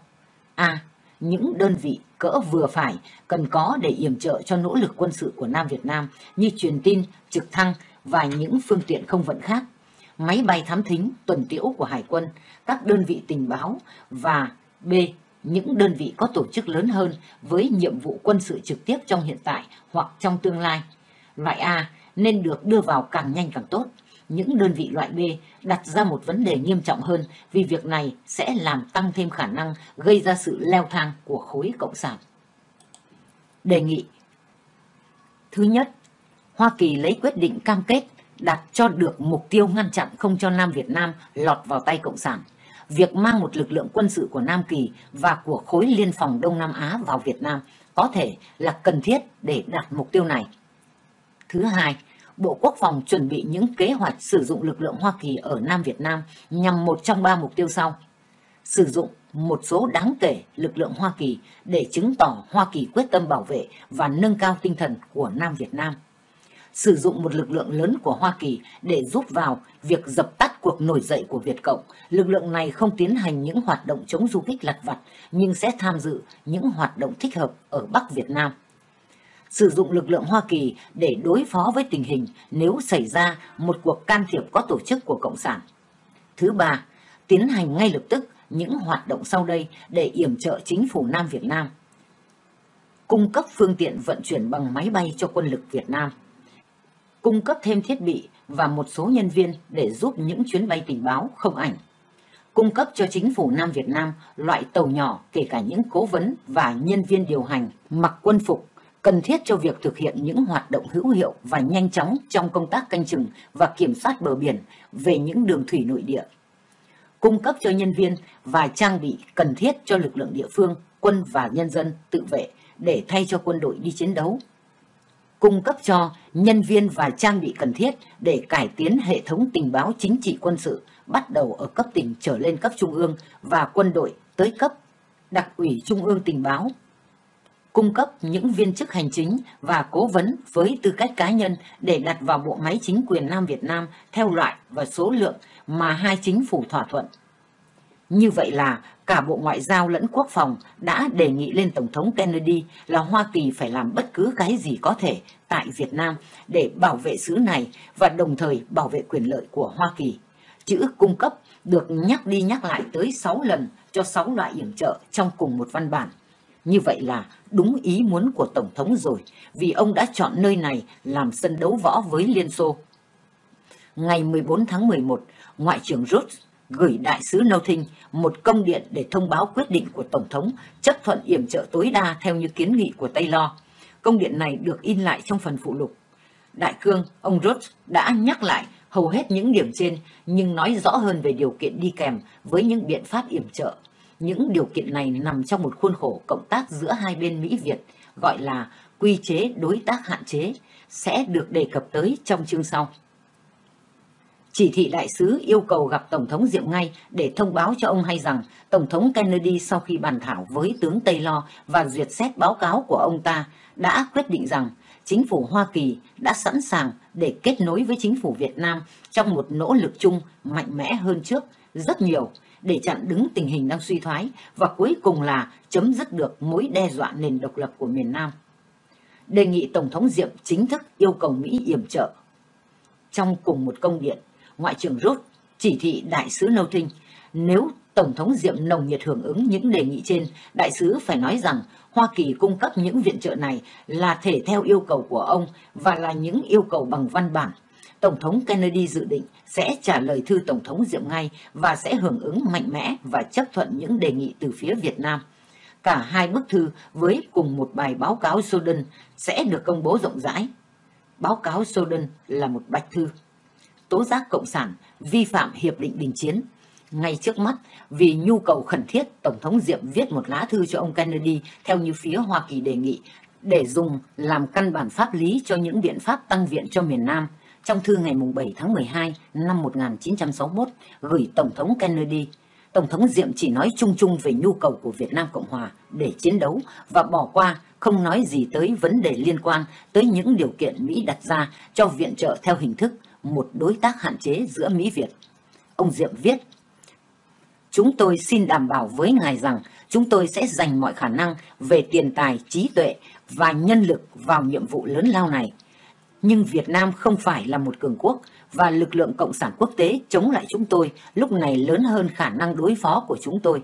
Chúng tôi phải có sự trợ giúp thêm nữa của Hoa Kỳ nếu muốn thắng cuộc chiến tranh đang chống lại chúng tôi. Đúng như các bước đã được hoạch định, nhận được thư ông Diệm là ông Kennedy phúc đáp ngay. Lá thư với lời lẽ rất khôn ngoan đặt sự yểm trợ của Mỹ trên căn bản Bắc Việt vi phạm Hiệp định Geneva Hoa Kỳ không ký vào hiệp định nhưng đã tuyên bố vào lúc ký kết là sẽ xem xét bất cứ sự gây hấn nào vi phạm hiệp định với mối quan tâm đặc biệt, coi như là đe dọa trầm trọng nền hòa bình và an ninh thế giới. Hoa Kỳ yểm trợ là theo lời tuyên bố ấy và theo như yêu cầu của Tổng thống Diệm để tự vệ, chứ không phải để tấn công. Tòa Bạch Ốc ngày 14 tháng 12 năm 1961 kính gửi Ngài Ngô Đình Diệm, Tổng thống và Bộ trưởng Quốc phòng nước Việt Nam Cộng Hòa, Sài Gòn, Việt Nam. Kính thưa Tổng thống, tôi đã nhận được bức thư mới đây của ngài, trong đó ngài đã mô tả rất rõ ràng về tình trạng nguy ngập do miền Bắc Việt Nam gây ra trong nỗ lực lấn chiếm quý quốc. Nhân dân Hoa Kỳ và tôi đã biết rất rõ hoàn cảnh tứ bề thọ địch của nước ngài. Chúng tôi cảm thấy bất ổn bởi cuộc tấn công này. Bức thư của ngài làm rõ nét điều mà thông tin của chính chúng tôi đã lưu ý một cách rất rõ, rằng chiến dịch bạo lực và khủng bố hiện đang tiến hành chống lại nhân dân và chính phủ của ngài đã được yểm trợ và chỉ đạo từ bên ngoài bởi chính quyền Hà Nội.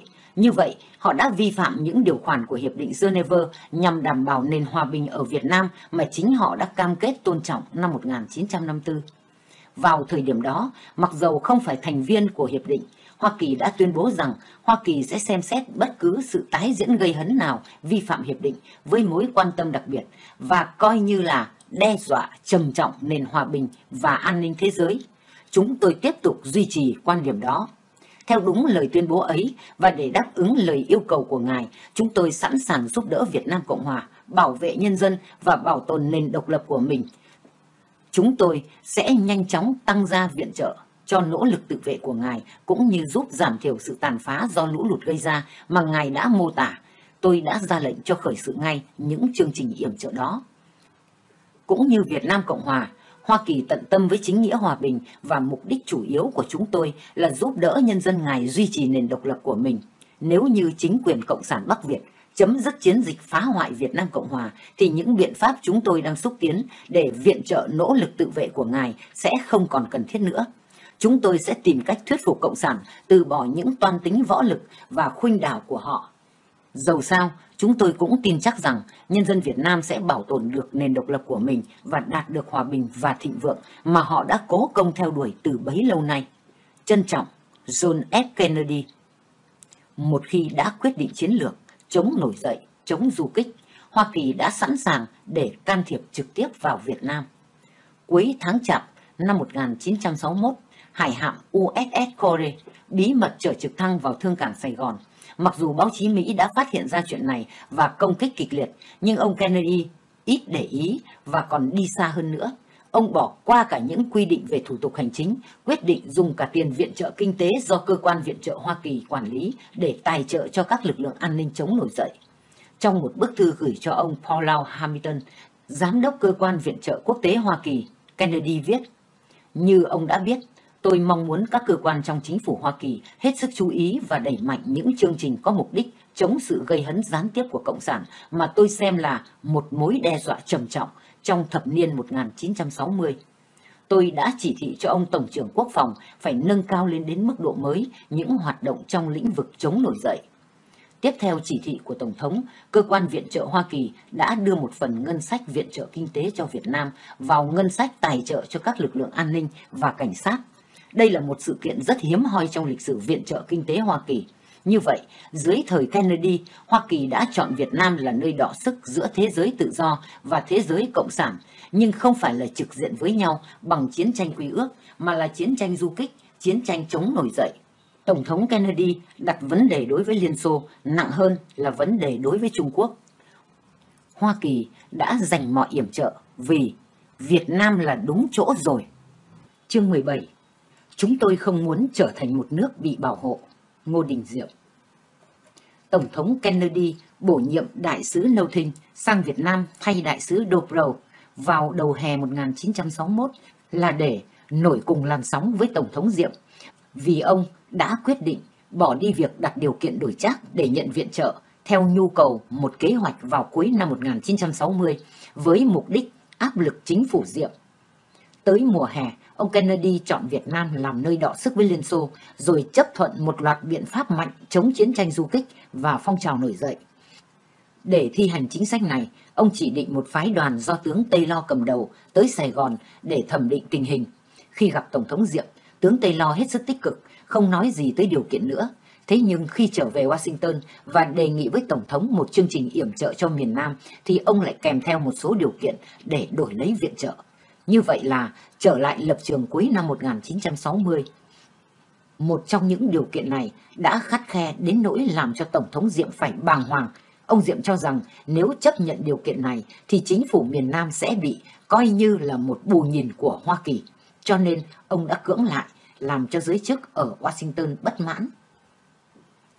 Ngay từ năm 1956, ông Kennedy lúc ấy là nghị sĩ đã ủng hộ Tổng thống Diệm và khẳng định Việt Nam là nền tảng của thế giới tự do ở Đông Nam Á, là đỉnh vòng của vòng cung, là ngón tay trên con đê. Đầu năm 1961, khi ông vừa nhậm chức, thì một người bạn thân thiết với gia đình ông là giáo sư kinh tế học nổi tiếng John Kenneth Galbraith, đại sứ Mỹ ở Ấn Độ, đã khuyên ông là phải ngừng ủng hộ Tổng thống Diệm và xem xét để rút khỏi Việt Nam. Nhưng ông đã không nghe, ông hành động ngược lại. Thay thế đại sứ Dobro, khi Dubrow còn ở Sài Gòn, một chương trình chống nổi dậy đã được chủ liệu để yểm trợ chính phủ Diệm. Nhưng chương trình này đặt ra một điều kiện, cái này đổi lấy cái kia để nhận viện trợ. Đó là Tổng thống Diệm phải cải tổ về quân sự và chính trị. Đây là những điều kiện thật khó khăn đối với Tổng thống Diệm. Nhưng bây giờ thì đối với tân Tổng thống, vấn đề này không còn quan trọng nữa. Ông Kennedy quyết định ủng hộ Tổng thống Diệm và gạt bỏ việc đặt điều kiện, đòi ông Diệm phải thi hành thì mới cho viện trợ.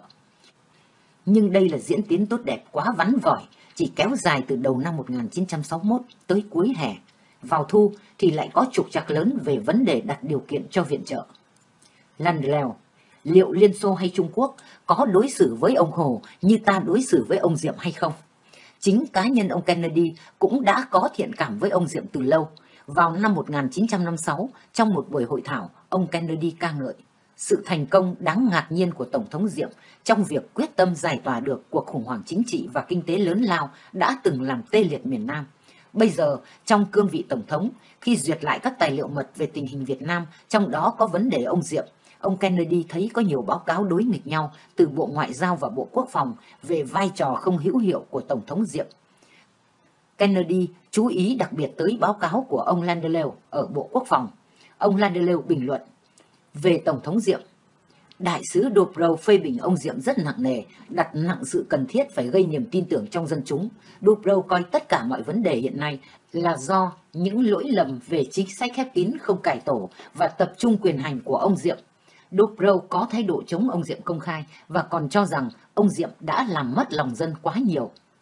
Về tình hình chính trị, Len Lêu binh vực ông Diệm và cho rằng ông Diệm là người Việt Nam duy nhất có đủ khả năng và quyết tâm làm một tổng thống hữu hiệu. Len lưu bình luận là nếu cuộc đảo chính tháng 11 vừa qua thành công, một số người rất ích kỷ và tầm thường đã cãi cọ nhau để tranh giành quyền hành, trong khi Cộng sản cứ từ từ tiến hành chiếm đoạt miền Nam. Chắc chắn rằng Cộng sản sẽ tỉnh táo hơn để khai thác một cuộc đảo chính khác, và lúc này hầu hết phe đối lập đều tin tưởng rằng Hoa Kỳ sẽ hưởng ứng một cuộc đảo chính thành công về đại sứ Dobro. Lan Lêu viết, dù đúng hay sai, chính phủ được Mỹ công nhận ở Việt Nam không coi ông ta là bạn và tin rằng ông có thiện cảm mạnh với những người lãnh đạo cuộc đảo chính vừa qua. Thêm về ông Diệm, Lan Lêu kết luận rằng hầu hết những người nói chuyện với ông ta đều ít có thiện cảm và thông cảm với ông vì họ không nhìn thấy rằng ông Diệm cũng chỉ là con người nên ông tất nhiên không muốn thấy người ta mưu mô, giết mình vì căm thù. Xúc động, Lan Lêu viết thêm, Cuộc đảo chính lúc 3 giờ sáng bắt đầu bằng những tiếng súng đại liên bắn thẳng vào phòng ngủ của ông Diệm, rõ ràng là muốn tiêu diệt ông ta ngay trên giường. Bảy năm trời bị Cộng sản công kích vì biết rằng ông là trở ngại chính yếu nên phải tiêu diệt cho bằng được trước khi Hà Nội có thể chiến thắng. Những tấn công tâm lý hàng ngày, ngay trên xứ sở của ông ta, bằng ngôn ngữ của ông ta và tất cả nhân dân ông ta đều nghe thấy. Muốn chấm dứt những điều này, ông Diệm chỉ còn có cách là buông xuôi, khỏi phải làm những việc mà ông ta và chính chúng ta đều tin tưởng vào. Len Lêu cho rằng Hoa Kỳ là người bạn mạnh mẽ nhất của ông Diệm thì lại luôn luôn chỉ trích ông nặng nề và áp lực với ông ta. Liệu Liên Xô hay Trung Quốc có đối xử với ông Hồ Chí Minh một cách khắt khe và suối bẩy ông Hồ làm bậy như vậy hay không? Báo cáo Len Lêu 17 tháng 1 năm 1961 mùa hè năm 1961 những biện pháp ủng hộ Tổng thống Diệm vô điều kiện. Báo cáo Lan Lều đã có tác dụng với Tổng thống Kennedy. Đầu hè, ông bổ nhiệm ông Frederick Knowlton làm đại sứ với sứ mệnh là phải nổi vào cùng một làn sóng với ông Diệm. Frederick Knowlton là một nhà ngoại giao chuyên nghiệp có tiếng, học thức, tiến sĩ triết học, mềm dẻo, nói tiếng Pháp, thật là lý tưởng để nối lại mối dây liên lạc tốt đẹp giữa hai nước đã bị sứt mẻ vào cuối nhiệm kỳ của đại sứ Dobrau. Nâu Thinh tới đầu tháng 5, Thoạt đầu tuy rất thích ông Diệm, nhưng đọc qua những báo cáo của người tiền nhiệm, ông cũng lo ngại về sự hữu hiệu của ông Diệm. Nhưng chỉ 3 tháng sau, khi thấy chính phủ Việt Nam có những hành động mới, Nâu Thinh lạc quan hơn và ông bắt đầu áp dụng chính sách mới, được cùng hành động, cùng chung một làn sóng với ông Diệm. Dùng thuyết phục thay vì áp lực. Cùng thời gian này, khi Phó Tổng thống Johnson được gửi sang Sài Gòn để ủng hộ Việt Nam Cộng Hòa, ông hết lòng ca ngợi ông Diệm. Ông cho rằng ông Diệm là Winston Saxey của Đông Nam Á. Trong báo cáo cho Kennedy, Johnson đề nghị Hoa Kỳ phải có một lập trường rõ ràng và đi tới một quyết định. Ở Việt Nam, ông Diệm là một nhân vật phức tạp, đang bị bù đầu về nhiều vấn đề. Ông ta có những đức tính đáng khâm phục, nhưng xa cách dân chúng, và thân cận ông ta là những người kém tài đức hơn ông ta. Có thể cứu được xứ này nếu chúng ta hành động nhanh chóng và khôn ngoan. Chúng ta phải quyết định hoặc ủng hộ ông Diệm hoặc để cho Nam Việt Nam sụp đổ. Như đã đề cập trong hai chương trước, sau khi Tổng thống Kennedy đề nghị tiếp tay với Tổng thống Diệm để chiến thắng và khẳng định Việt Nam là nơi để thi hùng với Liên Xô về chiến tranh du kích và phong trào nổi dậy. Tới tháng 10 năm 1961, ông gửi phái đoàn Taylor Rostow sang Sài Gòn để thẩm định tình hình và đề nghị những biện pháp hành động. Khi về Washington, hai ông đã đề nghị những biện pháp quân sự cực mạnh, gồm cả việc đưa quân đội Mỹ vào miền Nam và cung cấp mọi phương tiện cho chính phủ Diệm. Hai Bộ trưởng Ngoại giao và Quốc phòng trình Tổng thống Phúc Trình Taylor và được ông chấp thuận ngay. Sang thu 1961, Tổng thống Diệm cay đắng vì lại đặt điều kiện đổi lấy viện trợ. Như vậy, từ đầu năm 1961, chính sách của Hoa Kỳ đối với chính phủ Diệm hết sức cởi mở, thông thoáng, nhưng vào mùa thu năm 1961 thì lại có khó khăn. Đó là tuy Phúc Trình tây lo đề nghị nhiều biện pháp mạnh và Tổng thống Kennedy đã chấp thuận để yểm trợ chính phủ Việt Nam Cộng Hòa như đề cập trong chương 14, nhưng những yểm trợ này lại nằm trong khuôn khổ của một công thức mới gọi là đối tác hữu hiệu. Đề xướng việc Mỹ cùng làm việc chung với chính phủ miền Nam trong mục tiêu chống cộng, vì muốn có tiến bộ cho thật nhanh để kế hoạch chống nổi dậy của Tổng thống Kennedy sớm thành công, giới lãnh đạo ở Washington đã trở nên nôn nóng về mặt chính trị. Để được cung cấp hầu như mọi thứ, chỉ thị từ Ngoại trưởng Dinrich gửi đại sứ Nâu Thinh có đoạn. Chỉ thị ngày 14 tháng 11 năm 1961, Ngoại trưởng Dinrich gửi đại sứ Nâu Thinh.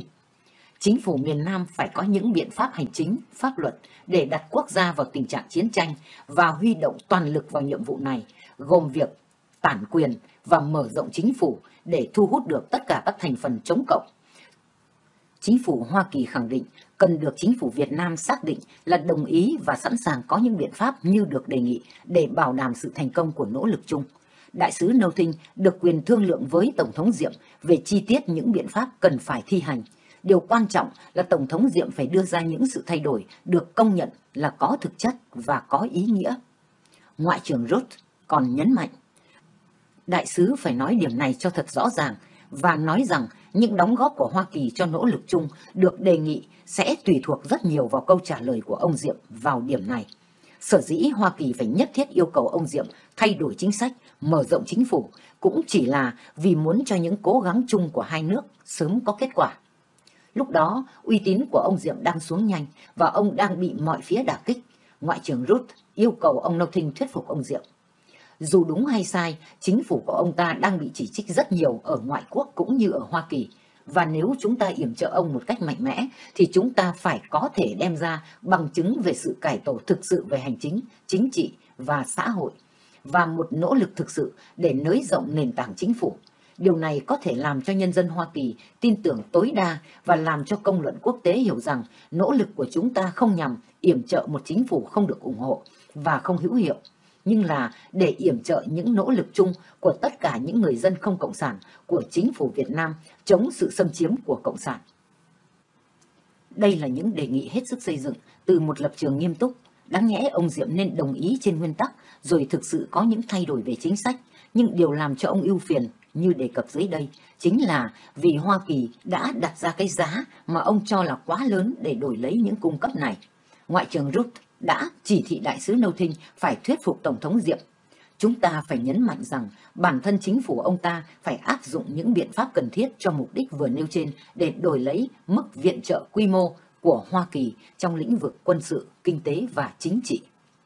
Mỹ yêu cầu được chia sẻ việc hoạch định chính sách Nghe tới đặt điều kiện đổi trác thì Tổng thống Diệm đã khựng lại rồi, nhưng Hoa Kỳ còn đi một bước xa hơn nữa, đó là muốn can dự trực tiếp vào việc hoạch định chính sách của Việt Nam, một điều mà ông Diệm không thể nào chấp nhận được.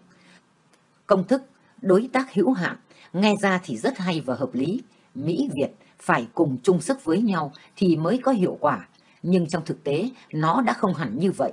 Phía chính phủ Diệm thấy sức ép của đồng minh ngày một nặng nề vì công thức đối tác này lại không phải hạn chế mà là vô giới hạn.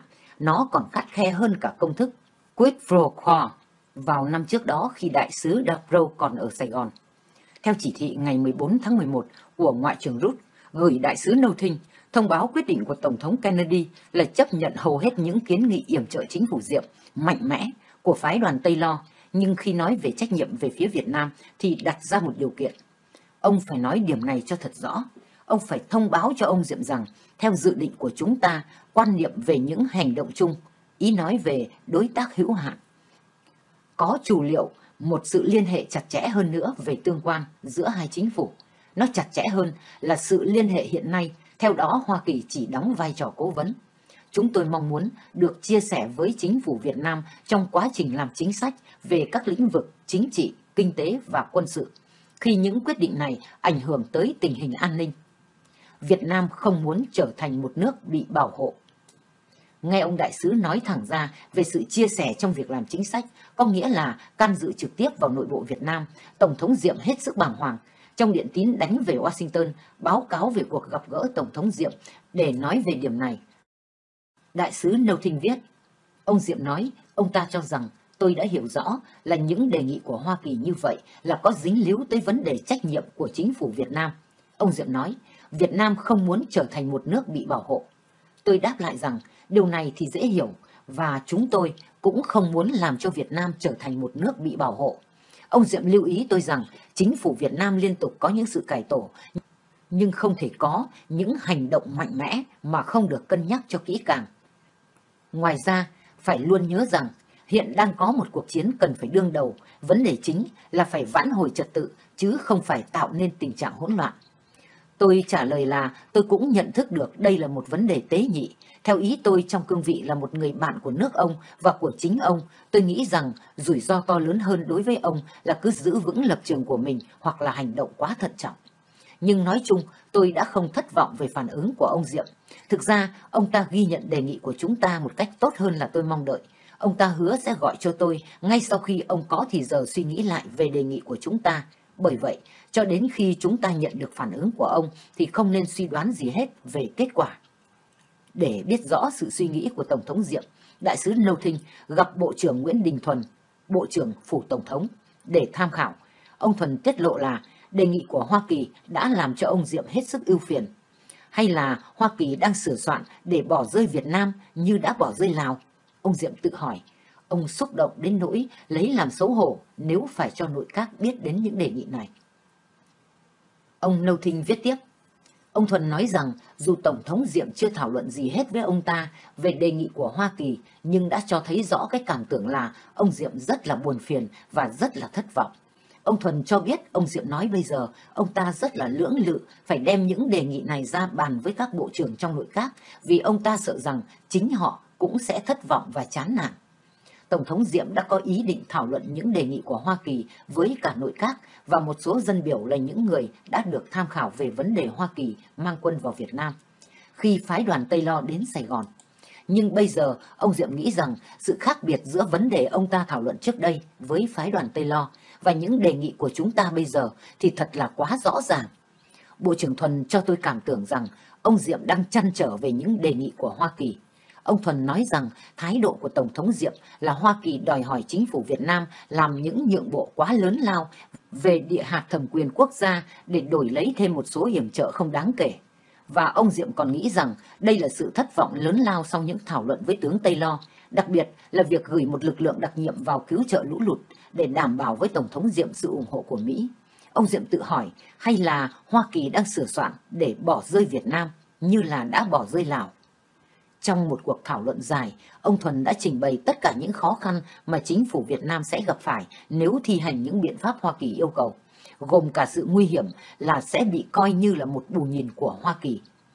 những gì tướng Tây Lo đã đồng ý với Tổng thống Diệm lại khác với thông điệp từ Washington.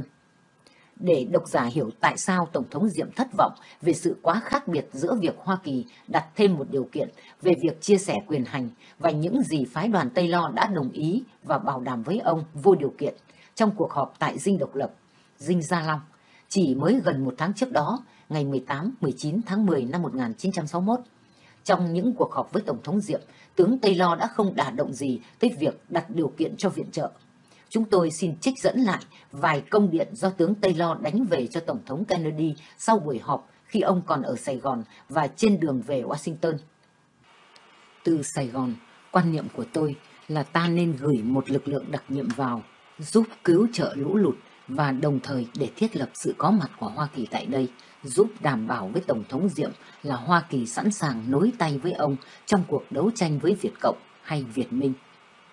Từ Phi Luật Tân, trên đường về Washington, ông Taylor còn nhắc lại nhu cầu phải đưa vào Việt Nam một lực lượng đặc nhiệm khoảng 8.000 người để thiết lập sự có mặt của Hoa Kỳ tại miền Nam, thực hiện những cuộc hành quân tác chiến để giữ an ninh tại những vùng Mỹ hoạt động lực lượng đặc nhiệm này sẽ trở thành đoàn quân tiền phong cho những đoàn quân Mỹ tiếp theo.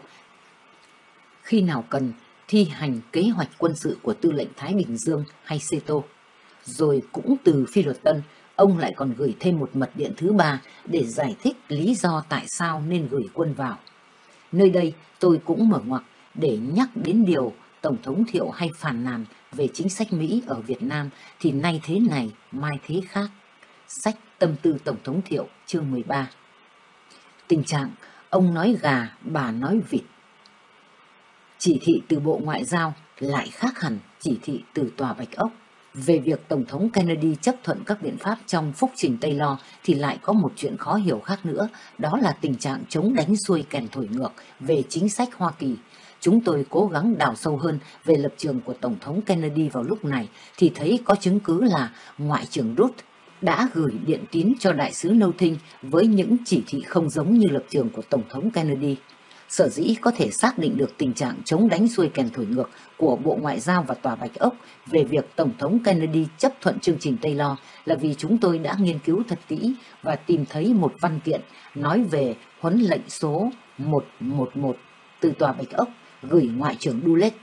Chính thức thông báo lệnh của Tổng thống Huấn lệnh này đề ngày 22 tháng 11 năm 1961, tức là hơn một tuần sau khi Ngoại trưởng Ruth gửi chỉ thị cho đại sứ ở Sài Gòn thông báo lệnh Tổng thống ngày 14 tháng 11 năm 1961. Chuyện này dù đối với các tác giả Hoa Kỳ có thể không phải là chuyện đáng chú ý và chúng tôi cũng chưa thấy tác giả nào nói tới, nhưng đối với lịch sử miền Nam nó có nhiều ý nghĩa và nó cũng là một bài học quý giá cho các đồng minh của Hoa Kỳ về tình trạng ông nói gà bà nói vịt đôi khi xảy ra trong quá trình làm chính sách của Hoa Kỳ.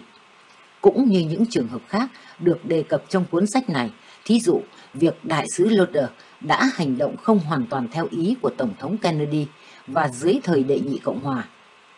Tiến sĩ Kissinger cũng đã không luôn luôn báo cáo trung thực và làm theo ý Tổng thống Richard Nixon. Bởi vậy, chúng tôi in lại văn bản nguyên thủy trong phụ lục để độc giả dễ so sánh. Trước hết là huấn lệnh 111 do Cố vấn An ninh Tổng thống là Mark George Bundy gửi chính thức cho Đại sứ Nâu Thinh theo lệnh Tổng thống như sau. Theo huấn lệnh NSAM 111 ngày 22 tháng 11 năm 1961, Nhà Trắng gửi Ngoại trưởng về vấn đề giai đoạn thứ nhất của chương trình Việt Nam. Tổng thống đã cho phép Ngoại trưởng chỉ thị cho đại sứ của chúng ta tại Việt Nam để thông báo cho Tổng thống Diệm như sau. Trước rất nhiều để chặn đứng tình hình đang suy thoái thêm nữa tại miền Nam. Nỗ lực này đòi hỏi những hành động của cả hai chính phủ như sau. Về phía Mỹ, Hoa Kỳ sẽ có ngay những biện pháp sau đây để yểm trợ chính phủ Việt Nam. Cung cấp các phương tiện giống như điện tín của Ngoại trưởng Rút trong chương trước từ mục 1 đến mục 10. Về phần chính phủ Việt Nam sẽ cần có những hành động sau đây. Một, những biện pháp luật pháp và hành chính đặt quốc gia vào tình trạng chiến tranh để huy động toàn lực. Điều này gồm việc tản quyền và mở rộng chính phủ để tận dụng được hết tiềm năng của tất cả những thành phần chống cộng. Hai, năng động hóa những cơ quan có trách nhiệm về chiến tranh với đầy đủ quyền hành để thi hành bổn phận một cách hữu hiệu. 3. Tu bổ lại lực lượng quân sự và cơ cấu chỉ huy để tạo dựng một tổ chức quân sự hữu hiệu để chiến đấu và bảo đảm được khả năng tấn công lưu động của lục quân. Mark Zuckerberg Lệnh của Tổng thống chỉ có như vậy. Chấm hết. Với lời văn ngắn gọn, đơn giản, kính trọng đối tác, văn kiện hoàn toàn không có những lời lẽ điều kiện khắt khe, nhưng chỉ thị từ Bộ Ngoại giao thì lại khác hẳn. Trong chỉ thị của Ngoại trưởng Rút gửi Đại sứ Nâu Thinh ngày 14 tháng 11 năm 1961 như viện dẫn trên đây, tức là chỉ có 8 ngày trước chỉ thị từ Tòa Bạch Ốc, thì ngoài việc nói tới vấn đề chính phủ Diệm bị chỉ trích nặng nề ở mọi nơi đã đặt điều kiện cho viện trợ và quan trọng hơn là đòi hỏi chia sẻ quyền hành với chính phủ miền Nam. Để độc giả thấy rõ sự khác biệt, chúng tôi xin nhắc lại là trong công điện gửi cho Đại sứ Nâu Thinh ngày 14 tháng 11, ông Rút đã thêm hẳn đoạn 3-4 năm với những chỉ thị. Điều quan trọng là ông Diệm phải đưa ra những sự thay đổi được công nhận là có thực chất và có ý nghĩa.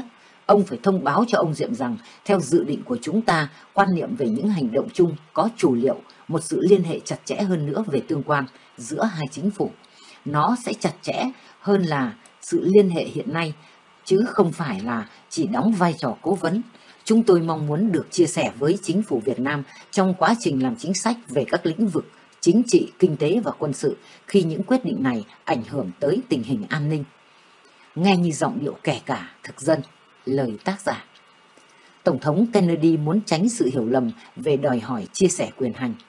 Về sự việc này, có thể là sau khi nhận được báo cáo của đại sứ Nâu Thinh nói về phản ứng thất vọng của Tổng thống Diệm, Tổng thống Kennedy đã biết được tình trạng chống đánh xuôi kèn thổi ngược nên đã chỉ thị phải thay đổi ngay.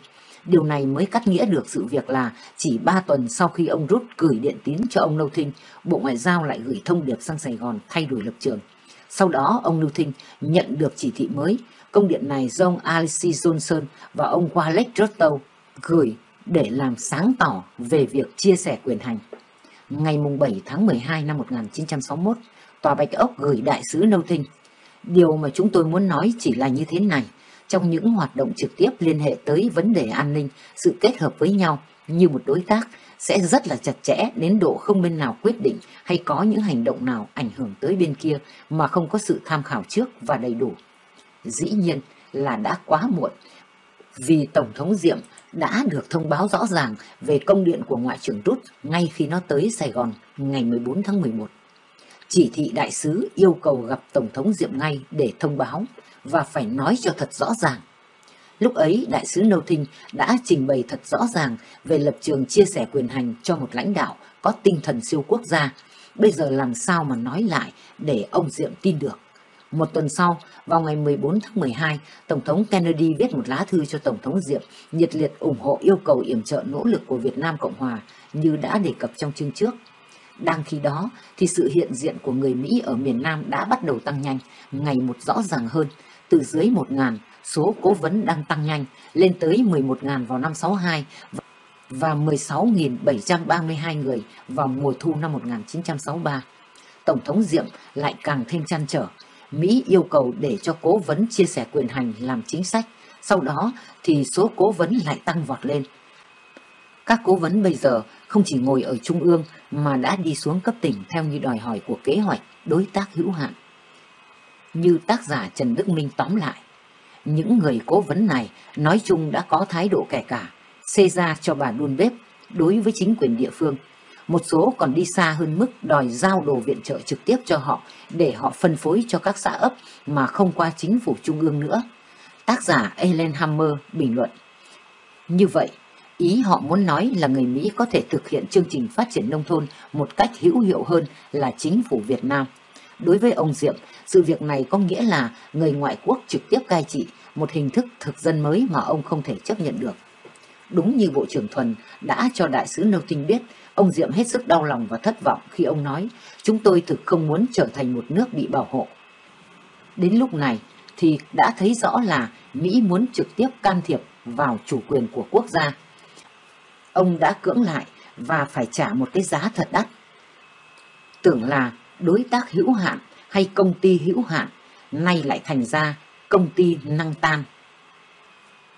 Giáo sư Gabriel người đã xúi Tổng thống Kennedy thay đổi lập trường. Nghiên cứu về giai đoạn này, chúng tôi thấy có một chuyện hơi lạ, đó là về phần Tổng thống Kennedy, có thể nói là ông kính trọng Tổng thống Diệm từ lâu. Đầu năm 1961, khi vừa nắm chính quyền, ông lại đã quyết định hủy bỏ vấn đề đặt điều kiện với chính phủ Diệm và gửi ông Nô Thinh sang làm đại sứ để cùng làm việc theo cùng một làn sóng với ông Diệm. Bởi vậy, rất khó hiểu tại sao chỉ mấy tháng sau ông lại có thể lật ngược lại lập trường và đòi hỏi một sự liên hệ chặt chẽ hơn nữa đối với tương quan giữa hai chính phủ. Nó phải đi xa hơn là sự liên lạc như hiện nay, nghĩa là Hoa Kỳ không phải chỉ đóng vai trò cố vấn mà thôi. Và vì vậy, chúng tôi mong muốn được chia sẻ với chính phủ Việt Nam trong quá trình làm chính sách về các lĩnh vực chính trị, kinh tế và quân sự. Chuyện này là xúc phạm không những tới cá nhân ông Diệm là người có tinh thần siêu quốc gia mà còn tới cả nguyên tắc chủ quyền của một nước. Như vậy là cho Cộng sản cái độc quyền về tinh thần quốc gia hay sao? Ông Diệm phàn nàn. Theo như nghiên cứu của chúng tôi, thì chưa thấy tác giả nào cả Mỹ lẫn Việt soi sáng cho rõ về vấn đề này. Nhưng như tài liệu của Bộ Quốc phòng thì chúng tôi thấy rất rõ là Tổng thống Kennedy sau cùng đã bị ảnh hưởng bởi khuyến cáo của giáo sư Gabriel. Tiến sĩ John Kenneth Gabriel là một nhà kinh tế học nổi danh, đặc biệt là viết cuốn sách Xã hội giàu có, là bạn thân của gia đình Kennedy và đã được bổ nhiệm làm đại sứ tại Ấn Độ. Như đã đề cập trên đây, khi Kennedy mới nhậm chức, Gabriel đã thuyết phục tân tổng thống không ủng hộ ông Diệm và có thể tìm đường rút khỏi Việt Nam, nhưng Kennedy không nghe. Bây giờ, vào mùa thu trong một báo cáo đề ngày 20 tháng 11 năm 1961 về thẩm định tình hình gửi Tổng thống Kennedy, Gabriel viết lại thuyết phục. Tôi không có một chút hy vọng nào về những cải tổ hành chính và chính trị mà ta đang áp đặt đối với ông Diệm sẽ đưa lại kết quả thực sự. Ông nói, tôi không thể hiểu được tại sao một đạo binh tới 250.000 người mà không đánh lại được một lực lượng du kích chỉ có khoảng từ 15.000 tới 18.000 người. Tiếc rằng ông Gabriel không còn sống tới ngày nay để nhìn vào chiến tranh du kích của Al-Qaeda và ISIS bên Trung Đông để có thể hiểu nổi tại sao. Lời tác giả. Bởi vậy, ông viết tiếp, không có giải pháp nào mà không đòi hỏi phải thay đổi chính phủ. Nói rằng không có người nào thay được ông Diệm thì là vô nghĩa.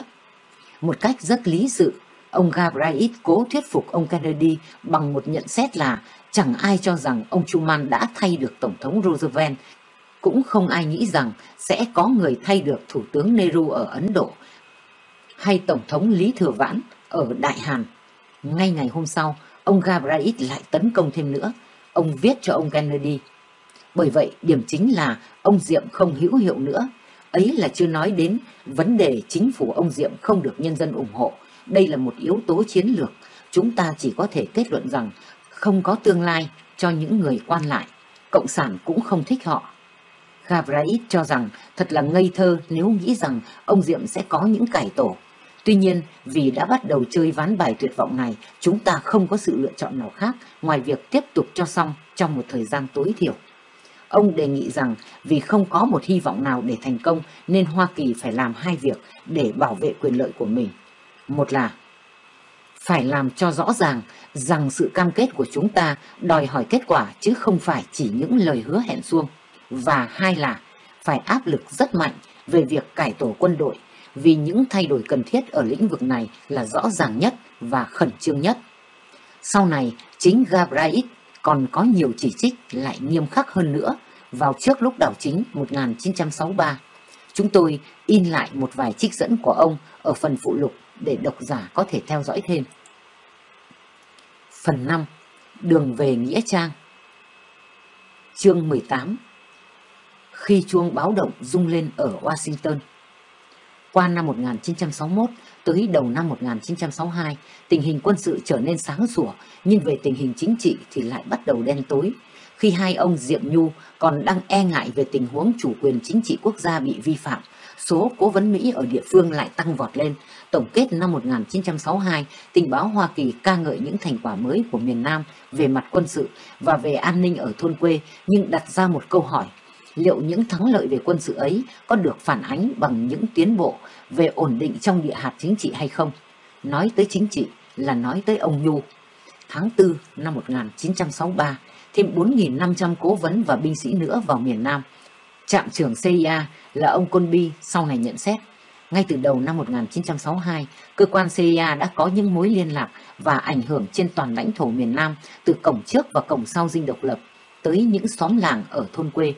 Trong một cuộc phỏng vấn với tờ Washington Post vào tháng 5, ông Nhu tuyên bố Mỹ có thể rút đi một nửa số cố vấn. Báo chí thổi phồng lên, Tổng thống Kennedy phật lòng tuyên bố sẵn sàng rút đi.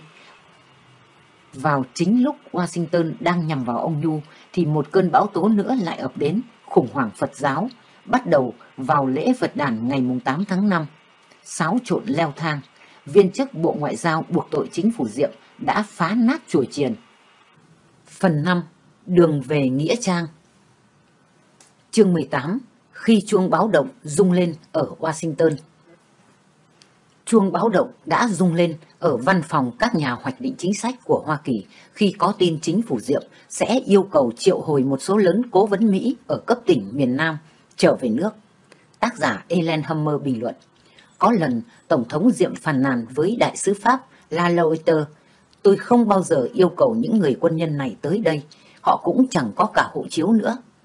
La Loiter cố vấn ông rằng nên yêu cầu Hoa Kỳ một cách nhẹ nhàng để họ rút đi. Về sau, đại sứ Lala Outer cho rằng lý do chính đưa tới quyết định của Mỹ loại bỏ ông Diệm là vì tháng 4 năm ấy, ông đã toàn tính yêu cầu Mỹ rút đi số cố vấn từ cấp tỉnh. Hoa Kỳ đã chọn Việt Nam làm nơi đọ sức với Liên Xô, mà bây giờ ông Diệm lại muốn yêu cầu cố vấn Mỹ ở cấp địa phương nên ra đi nhưng đối với chính phủ miền Nam thì làm sao cho nhân dân ở thôn quê hiểu được sự khác biệt giữa sự có mặt của người Pháp và người Mỹ, rồi đến việc Mỹ muốn chia sẻ quyền hành như đã đề cập ở chương trước. Tổng thống Diệm đã xấu hổ đến nỗi không dám mang vấn đề này ra bàn ở nội các. Vậy làm sao ông có thể cho nhân dân biết? Cho nên sự căng thẳng Việt-Mỹ ngày một gia tăng. Bây giờ đã có chút ít thắng lợi về quân sự, Mỹ chuyển sang vấn đề chính trị, bắt đầu nói nhiều hơn về tình trạng bất ổn có thể xảy ra vì nhân dân than trách chế độ gia đình trị của Tổng thống Diệm. Năm 1962, năm khởi sắc. Sang năm 1962, chương trình quân viện và đào tạo cho quân lực Việt Nam Cộng Hòa lên tới cao độ, theo đúng như hứa hẹn của Tổng thống Kennedy. Nhờ những phương tiện và khả năng cơ động mới, năm 1962 là năm khởi sắc của miền Nam, quân đội Việt Nam Cộng Hòa liên tiếp thành công, đem lại hăng say và sự tự tin cho cả dân, quân chính. Hoa Kỳ hết sức hoan nghênh. Ngoài ra, chương trình ấp chiến lược cũng được phát triển. Được chính Đại tướng Lyman Lemnitzer Tổng tham mưu trưởng Liên quân Hoa Kỳ, ca ngợi là có những lợi ích chắc chắn và rất có thể là chìa khóa then chốt đưa tới thành công của chương trình Bình Định. Tuy nhiên, ông Roger Human, giám đốc cơ quan tình báo và nghiên cứu tại Bộ Ngoại giao, lại không đồng ý. Ngày 18 tháng 6 năm 1962, cơ quan này nộp một báo cáo nói đến những khuyết điểm của ấp chiến lược. Đặc biệt là chính phủ Diệm không chịu đền thiệt hại cho dân, thiếu hướng dẫn, thiếu điều hợp và yểm trợ vật chất từ Trung ương, lại còn đặt ưu tiên của chương trình này cao hơn là kế hoạch đồng bằng do Mỹ yểm trợ.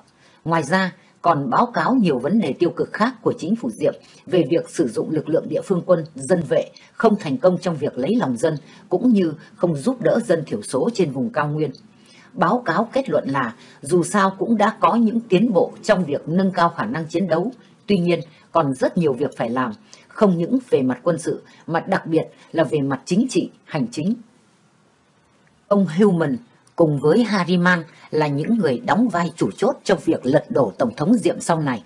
Còn báo chí Mỹ nói chung thì lại chỉ nhằm vào một số nhược điểm như việc rời cư của một số xã ấp làm cho dân chúng bất mãn, sự tiếp ứng không kịp thời mỗi khi bị tấn công và sự quá nồng nhiệt hăng say của một số chính quyền địa phương đốc thúc dân chúng quá mạnh mẽ gây ra bất bình.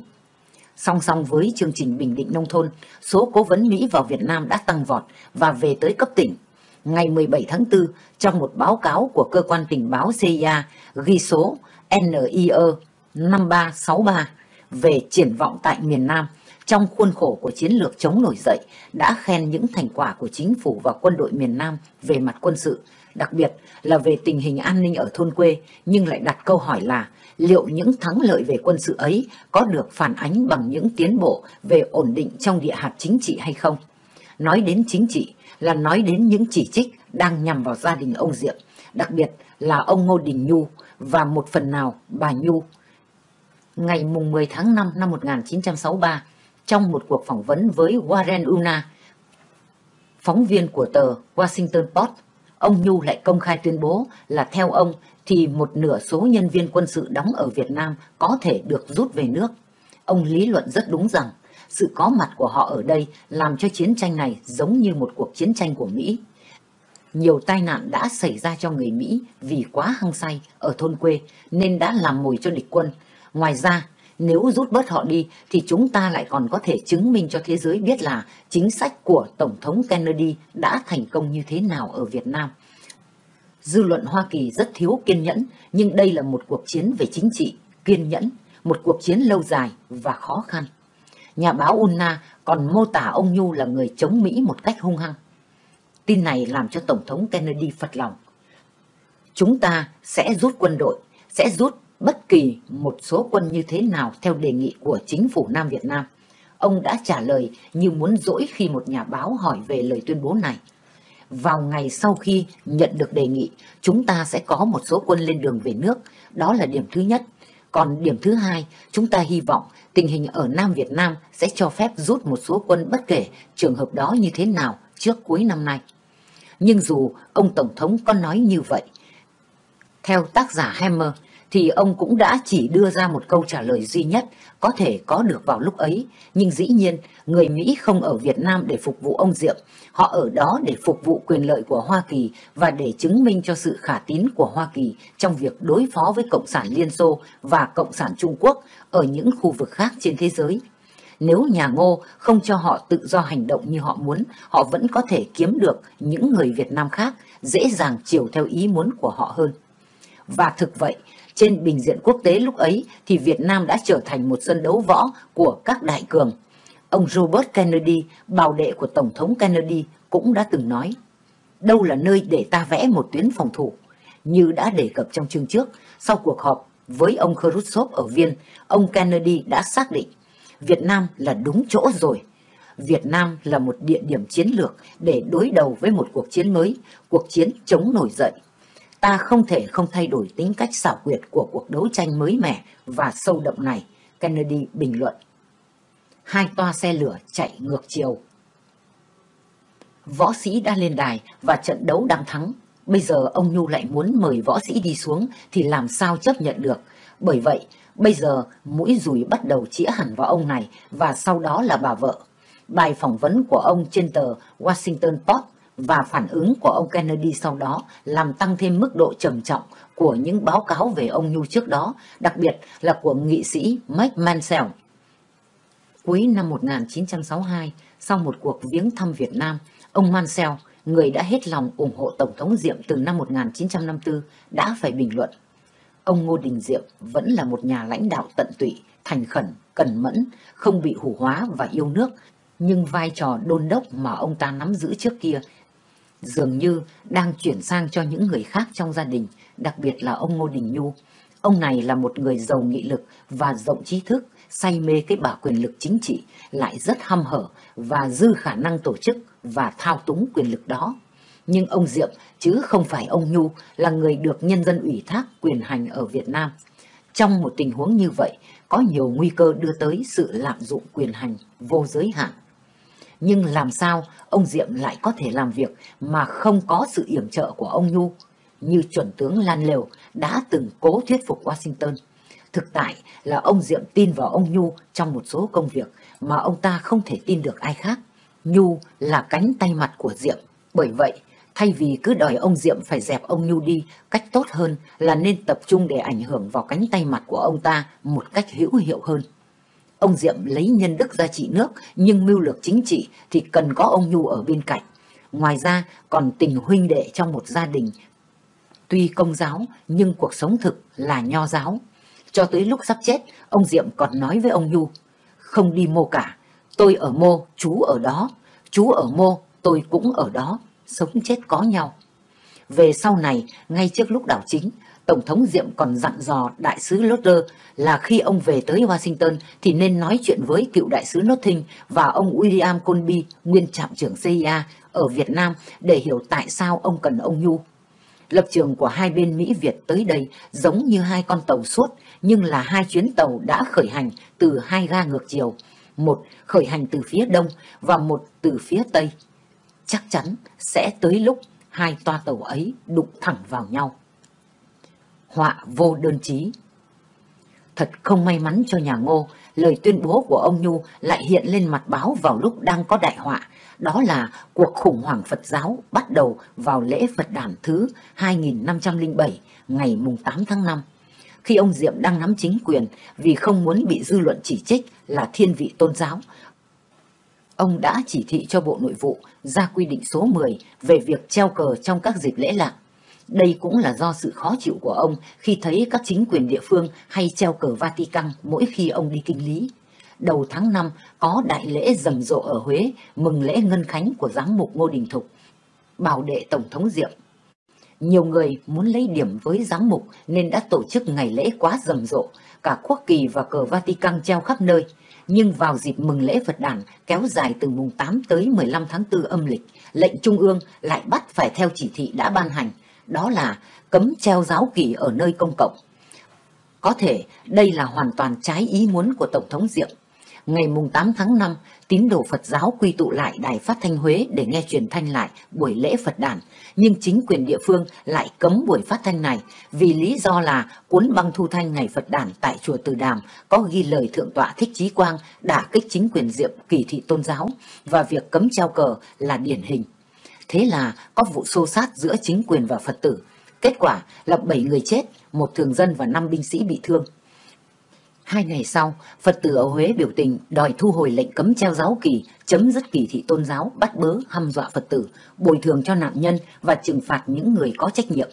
Một sớm một chiều, tình hình trở nên hết sức căng thẳng và biến cố ở Huế như con đê đã vỡ, trở thành một dịp may hiếm có cho những người chống đối nhà Ngô. Và dĩ nhiên là một số nhà báo Mỹ ở Sài Gòn. Bây giờ, cơ hội đã tới để có thể đổ thật nhiều dầu vào ngôi nhà đã bắt đầu cháy. Đàn áp tôn giáo là một điều tối kỵ trong một nền dân chủ. Cho tới nay, sự thật về biến cố Phật giáo vẫn còn là một vấn đề tranh luận. Tại Washington, hai ông Harriman và Human chỉ thị đại sứ Nâu Thinh phải đến gặp Tổng thống Diệm tức khắc để yêu cầu ông phải có những hành động hòa hoãn ngay với Phật giáo, tuyên bố công khai để giải tỏa bất bình, chỉ định một ủy ban điều tra cặn kẽ vấn đề này. Rồi ngày mùng 4 tháng 6, Phó Đại sứ Chue Hát lại gặp Bộ trưởng Thuần để cảnh cáo thêm. Hai ông Diệm Nhu đã thực sự nghe những lời cố vấn này và ngay sau đó, ngày mùng 5 tháng 6, đã đi tới một thỏa thuận trên nguyên tắc để thỏa mãn một số yêu cầu của Phật giáo.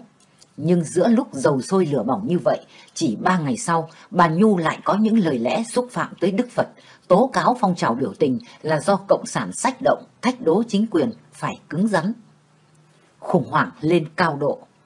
Thế rồi, ngày 12 tháng 6, cả thế giới bàng hoàng thấy hình thượng tọa Thích Quảng Đức tự thiêu ở ngã tư đường Lê Văn Duyệt và Phan Đình Phùng. Ngày hôm trước đó, 11 tháng 6, do phóng viên Malcolm Brown đã chụp được. Brown là người đã được thông báo trước về sự sắp xếp này. Thôi thế là đúng rồi, một chính phủ được Hoa Kỳ hết mình yểm trợ, bây giờ quay ra đàn áp tôn giáo. Cá nhân chúng tôi không quên được cả một trang phổ biến trên hai tờ báo Washington Post và New York Times do một số mục sư Hoa Kỳ đăng tải với hình ảnh ông Brown chụp. Dưới có đề, nhà sư này, Thượng tọa Quảng Đức, đã tự thiêu. Ông ta đã chết đi để phản đối việc đàn áp Phật giáo và tín đồ Phật giáo là 70% nhân dân Việt Nam. Xử lý thường vụ đại sứ Hoa Kỳ Chu Ân Hát một lần nữa cảnh cáo ông Diệm là phải đáp ứng tất cả các yêu cầu của Phật giáo ngay. Nếu không thì chính phủ Hoa Kỳ rất có thể Hoa Kỳ sẽ công khai tố giác hành động đàn áp Phật giáo của ông. Cũng ngày hôm đó, ông Chuan Hát gặp Phó Tổng thống Thơ theo chỉ thị của Harriman và Human ông dì tai ông Thơ là nếu vấn đề chính trị làm cho ông Diệm không thể tiếp tục cai trị được nữa thì Hoa Kỳ sẽ ủng hộ ông lên kế vị. Ngày 16 tháng 6, vấn đề được giải quyết.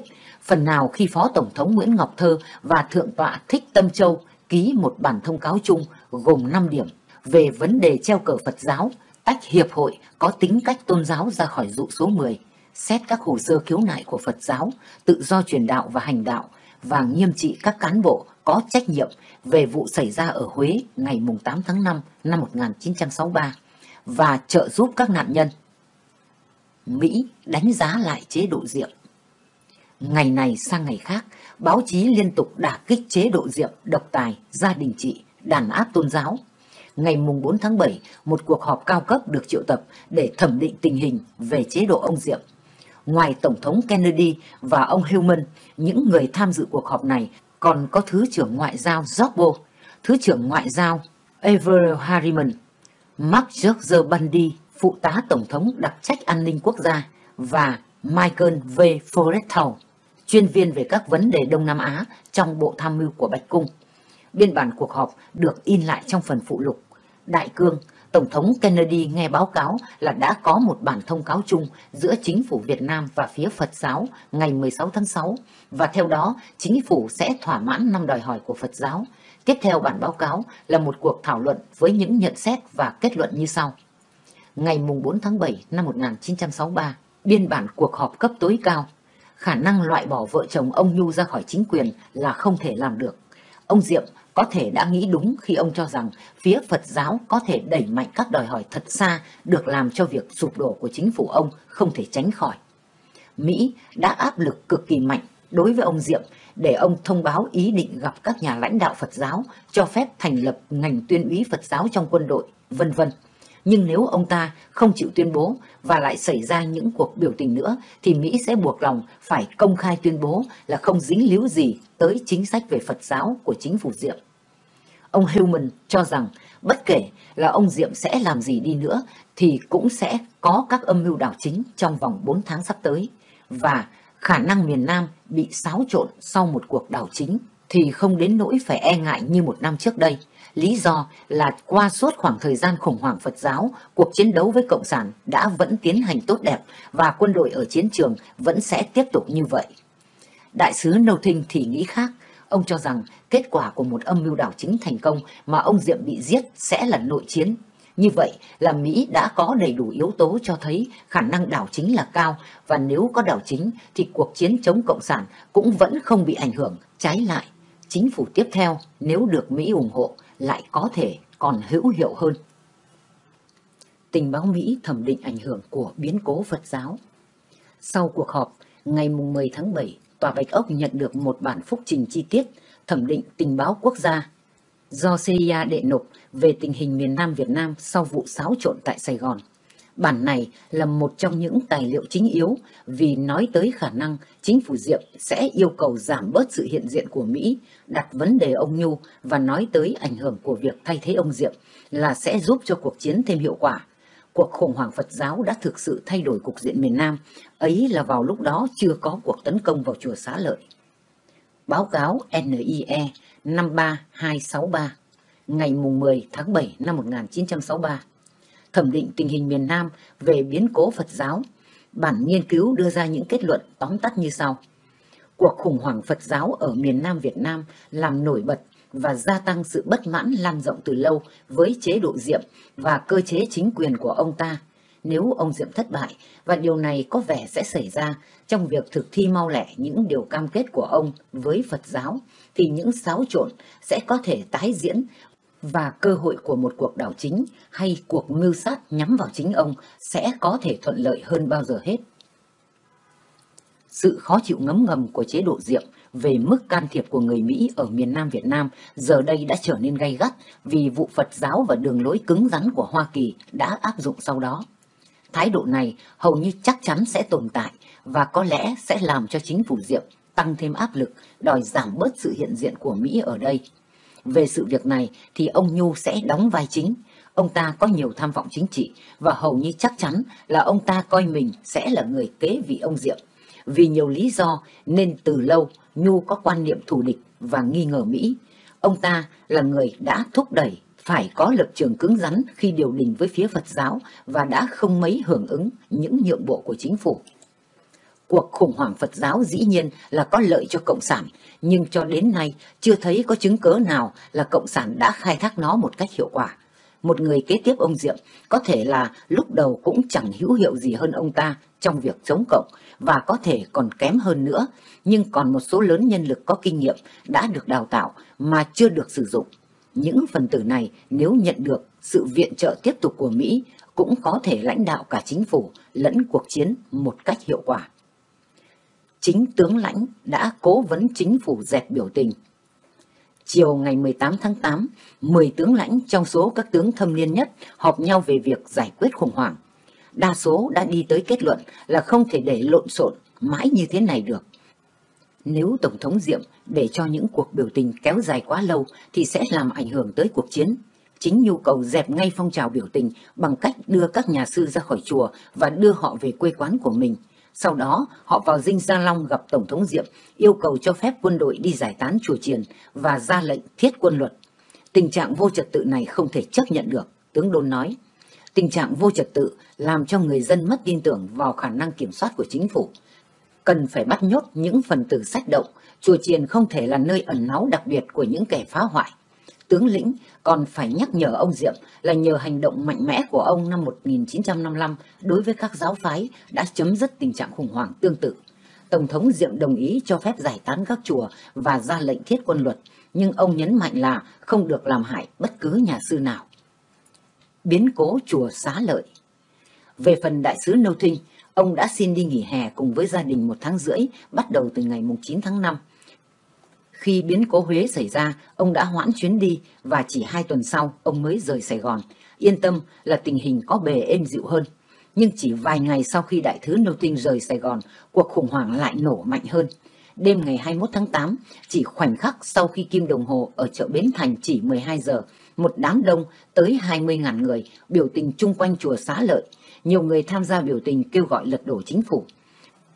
Phó đại sứ Chue Hát cho rằng những tố cáo chính phủ đàn áp tôn giáo đã như tấm bình phong che đậy cho nhiều nhóm người chống đối chính phủ Diệm và lợi dụng cơ hội này vì nhiều mục đích khác. Ông thêm rằng, cho dù Tổng thống Diệm đã bắt đầu có những hành động hòa hoãn như phía Hoa Kỳ mong muốn, nhưng cũng đã không có ảnh hưởng gì đối với nhóm người chống đối này nhưng hành động của chính phủ bao gồm việc tái xác nhận tự do tôn giáo được hiến pháp hoàn toàn bảo đảm, đồng thời lên án những hành động phân biệt tôn giáo thay thế cấp lãnh đạo ở Huế và ra bản thông cáo chung gồm 5 điểm ký kết giữa đại diện chính phủ và Phật giáo. Đối với giới báo chí Mỹ, đây quá là một tin tức giật gân. Từng trăm nhà sư bị bắt nhốt và nhiều người bị quân đội và cảnh sát đánh đập. Harpestam cấp tốc gửi báo cáo về tờ New York Times. Như vậy là anh xác nhận về vai trò của quân đội trong vụ tấn công vào chùa. Nhưng chỉ ngày hôm sau, Halberstam lại thay đổi hẳn, tránh né vai trò quân đội và đổ cho ông Nhu. Tờ New York Times đăng thật to về tin mới của Halberstam. Sau này, ông Đôn đã xác nhận là chính ông và các tướng khác đã thuyết phục Tổng thống Diệm cho phép di tản các đám đông trong chùa, chứ không phải ông Nhu. Nhưng vào lúc ấy, theo như báo cáo của CIA ngày 23 tháng 8, ông Đôn đã đòi hỏi phía Hoa Kỳ là tại sao lại đổ cho quân đội. Đây là dịp hiếm có cho những viên chức tại Bộ Ngoại giao muốn dẹp ông Nhu. Ba viên chức Harriman, Human và Foretto đồng nhận xét về biến cố 21 tháng 8 cũng giống như báo chí rằng chính phủ Diệm phá nát chùa chiền, rồi đi đến kết luận chính phủ Mỹ không thể nào chấp nhận một tình huống là quyền lực nằm trong tay ông Nhu. Ngày hôm sau, Đài Tiếng Nói Hoa Kỳ VOA loan tin là chính ông Nhu chứ không phải quân đội có trách nhiệm. Chương 19 Đao phủ Henry đội mũ đen Nhiều người, trong đó có tôi, luôn cho rằng nếu như có một tay hung ác đội mũ đen trong thảm kịch Sài Gòn năm 1963 và cái chết của hai anh em Diệm Nhu thì đó chính là Logic. Tác giả James W. Douglas kết luận trong một cuốn sách nghiên cứu công phu xuất bản năm 2008. Đại sứ Cabotlot đã không trực tiếp ra lệnh đảo chính Tổng thống Diệm, nhưng ông có trách nhiệm lớn lao đưa tới lệnh ấy và khi thi hành mệnh lệnh thì lại dùng nhiều thủ đoạn kể cả bóp méo những chỉ thị từ Washington nhằm triệt hạ cho bằng được hai anh em Diệm Nhu Tên ông Lốt là Henry Cabot Lốt, nên chúng tôi gọi ông này là Đao Phủ Henry. Chương này giúp độc giả hiểu rõ con người ông Cabot Lốt và trả lời những câu hỏi như tại sao Tổng thống Kennedy lại bổ nhiệm ông ta làm đại sứ ở Việt Nam? Tại sao ông ta lại quyết tâm loại bỏ ông Nhu rồi đánh lừa cả Tổng thống Diệm? Bối cảnh của bức mật điện lịch sử ngày 24 tháng 8 năm 1963 về việc Washington ủng hộ đảo chính được soạn thảo và chuyển tới Sài Gòn trong tình huống như thế nào? Tổng thống Kennedy đã bất mãn với chỉ thị ấy ra sao? Và đao phủ Henry đã đi những bước nào để triệt hạ chính phủ Diệm? Thật cũng lạ, nếu như thời đệ nhị Cộng Hòa có tay đao phủ tên là Henry Kissinger, người đã đẩy miền Nam xuống vực thẳm, thì thời đệ nhất Cộng Hòa lại cũng có một tay đao phủ khác tên là Henry. Thông thường khi nói tới viên đại sứ Mỹ cuối cùng trong thời đệ nhất Cộng Hòa thì ta hay nói đến ông Cabot Lodge. Tên đầy đủ của ông là Henry Cabot Lodge. Vậy chúng tôi gọi ông này là đao phủ Henry I và Henry Alires Kissinger là đao phủ hai. Trong cuốn sách nghiên cứu công phu, tác giả James W. Dowler viết nhiều người trong đó có tôi luôn cho rằng nếu như có một tay hung ác đội mũ đen trong thảm kịch Sài Gòn năm 1963 và cái chết của anh em ông Diệm Nhu thì đó chính là Lốt. Ông Lốt đã không trực tiếp ra lệnh đảo chính nhưng có trách nhiệm lớn lao về đảo chính và về cái chết bi thảm của Tổng thống Diệm và cố vấn Nhu. Trong thực tế, vào giai đoạn cuối cùng thì chính ông là người đã đóng vai trò đao phủ. Cuối tháng 6 năm 1963, đang khi tình hình ở Sài Gòn có vẻ lắng dịu xuống, thì ngày 27 tháng 6 có tin từ Washington là vào tháng 8 thì Hoa Kỳ sẽ thay thế đại sứ Nothing, người đã nhất mực ủng hộ Tổng thống Diệm. Sau 3 năm phục vụ, đại sứ Nothing yêu cầu được thiên chuyển về Mỹ vì lý do gia đình. Đang khi chờ đợi quyết định của Tổng thống Kennedy, gia đình ông Nothing đi nghỉ ở Hy Lạp. Để theo dõi tình hình tại Sài Gòn, ông thường xuyên gọi điện cho lãnh sự Mỹ ở Athens, thủ đô Hy Lạp, để hỏi xem Phó Đại sứ Chuahed ở Sài Gòn có gửi điện tín gì cho ông không. Tuyệt nhiên là không. Đến khi ông mua một tờ báo nhỏ ở đảo Mykonos và thấy hình một nhà sư tự thiêu do Marco Brown chụp ngày 11 tháng 6, ông giật mình. Lại gọi cho ông Chuahet một lần nữa, nhưng cũng không có thông điệp gì cả. Cho đến khi về tới New York, ngày mùng 1 tháng 7, ông mới nhận được lá thư của Bộ trưởng Phủ Tổng thống Nguyễn Đình Thuần viết cho ông rằng Tổng thống Diệm yêu cầu ngài về Sài Gòn gấp. Trong khi ông Nâu Thinh đi nghỉ, ông Thuần cũng đã yêu cầu Tòa Đại sứ Mỹ thông tin cho Đại sứ Nâu Thinh là Tổng thống Diệm muốn ông trở về để làm trung gian giải quyết cuộc khủng hoảng. Chua Hét có hứa sẽ chuyển lời nhưng đã thất hứa cả hai lần. Giả như ông Nâu Thinh nhận được yêu cầu của Tổng thống Diệm thì chắc chắn ông đã trở về Sài Gòn để làm cho bầu không khí căng thẳng Việt-Mỹ dịu đi phần nào. Về tới Sài Gòn, ông Nâu Thinh thấy ông Diệm thực sự đã thi hành một số biện pháp theo yêu cầu của Bộ Ngoại giao Mỹ. Ngày 18 tháng 6, ông Diệm cho phát sóng một thông điệp kêu gọi toàn thể chính phủ phải thực thi bản tuyên cáo chung giữa chính phủ và lãnh đạo Phật giáo vào ngày 16 tháng 6 ông cho phép các nhà sư trở về những ngôi chùa bị cô lập hóa, rồi trừng phạt viên đại tá là người đã tổ chức cuộc biểu tình chống Phật giáo. Trong những ngày cuối cùng, khi Newton còn làm đại sứ ở Sài Gòn, ông vẫn cố thuyết phục Washington là cuộc khủng hoảng Phật giáo đang dần dần lắng dịu và Washington nên tuyên bố ủng hộ ông Diệm. Nhưng đồng thời, tại Bộ Ngoại giao Hoa Kỳ, bè phái Hariman và Human không quan tâm đến những nhượng bộ và hành động của ông Diệm, một mực cãi lại là phải áp lực ông Diệm cho thật nhiều vì chính phủ của ông không cố gắng đủ để hòa giải với Phật giáo. Human đánh điện cho Nothing nói sẽ có đảo chính trong mấy tháng nếu không phải là mấy tuần nữa. Bởi vậy, nếu Washington tuyên bố ủng hộ ông Diệm thì sẽ phải chịu cái rủi ro là ủng hộ bên thua cuộc và có thể còn kéo dài cuộc khủng hoảng lâu hơn nữa với những hậu quả rất bất lợi cho cuộc chiến chống cộng. Tuy nhiên, Human cũng đã thừa biết là Washington sẽ không chịu cái rủi ro ấy vì ông Lốt cũng sắp sửa thay thế ông Nothing rồi. Cabot Lốt là ai? Ông Henry Cabot Lốt sinh tại Nahan, Massachusetts. Cha ông là Sir Arthur Cabot Lốt, một nhà thơ. Năm 1924, ông tốt nghiệp hạng ưu tại Đại học Harvard. nơi ông là một thành viên của hai hội Hitty Pudding và câu lạc bộ Ford. Năm 1933, ông được bầu vào Hạ viện tiểu bang Massachusetts và năm 1936 được bầu làm nghị sĩ Đảng Cộng Hòa tại Thượng viện Hoa Kỳ.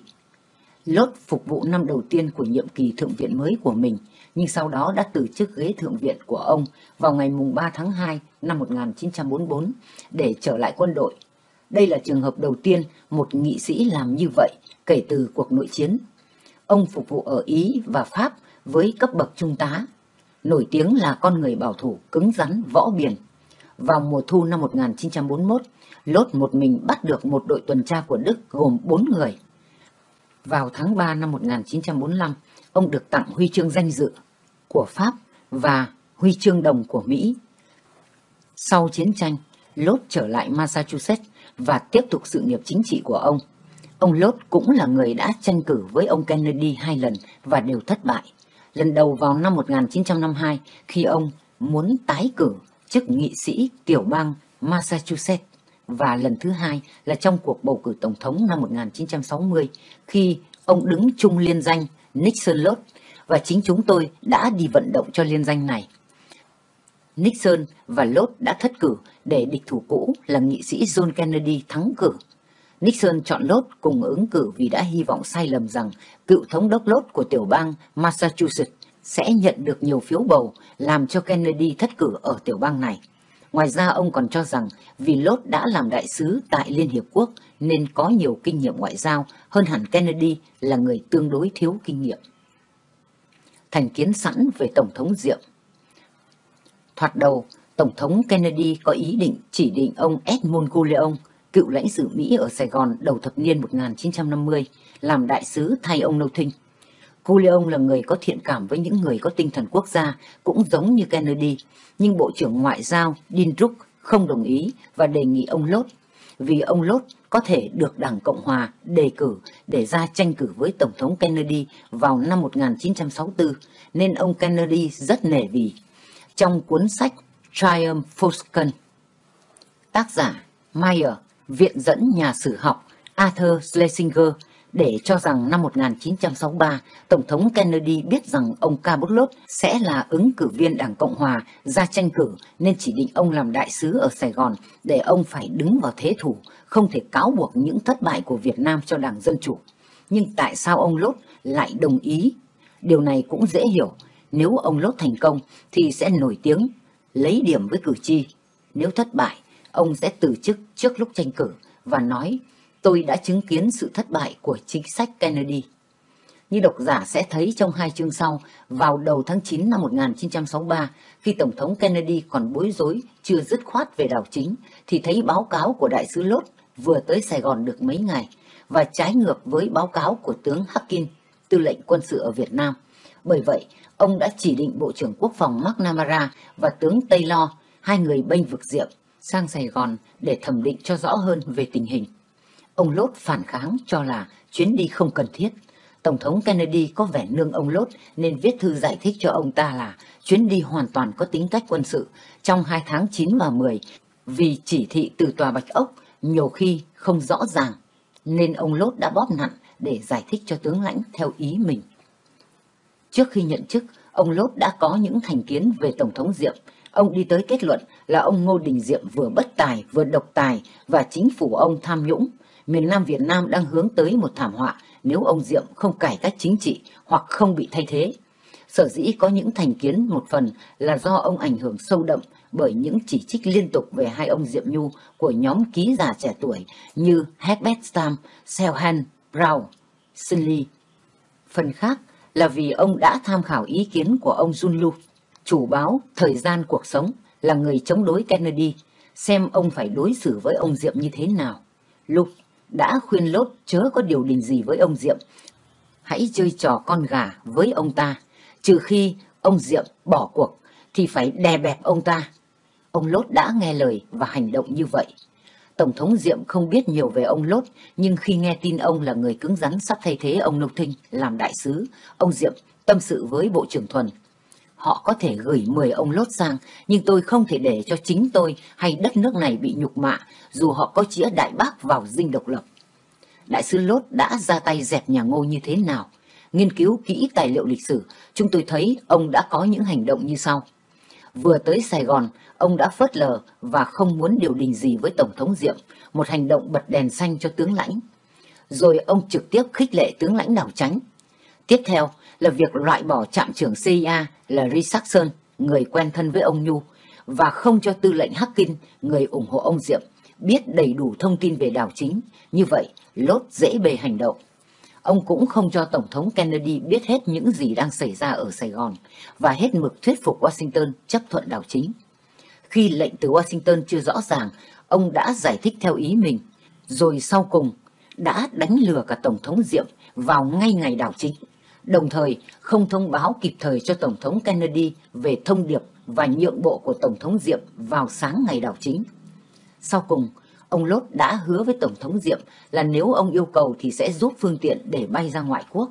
Nhưng tới khi ông Diệm gọi điện lần thứ hai để nhờ cậy việc này vào sáng sớm ngày mùng 2 tháng 11 thì ông Lốt đã từ chối. Vì hoàn toàn thất vọng cho nên Tổng thống Diệm mới gọi cho tướng lãnh ở Bộ Tổng Tham mưu, một điều cho đến nay ít người biết. Chúng tôi sẽ trở lại điểm này trong chương 22. Câu hỏi đặt ra là tại sao ông Lốt lại quá hăng say và quyết tâm dẹp cho được ông Diệm và dẹp một cách vội vàng như vậy?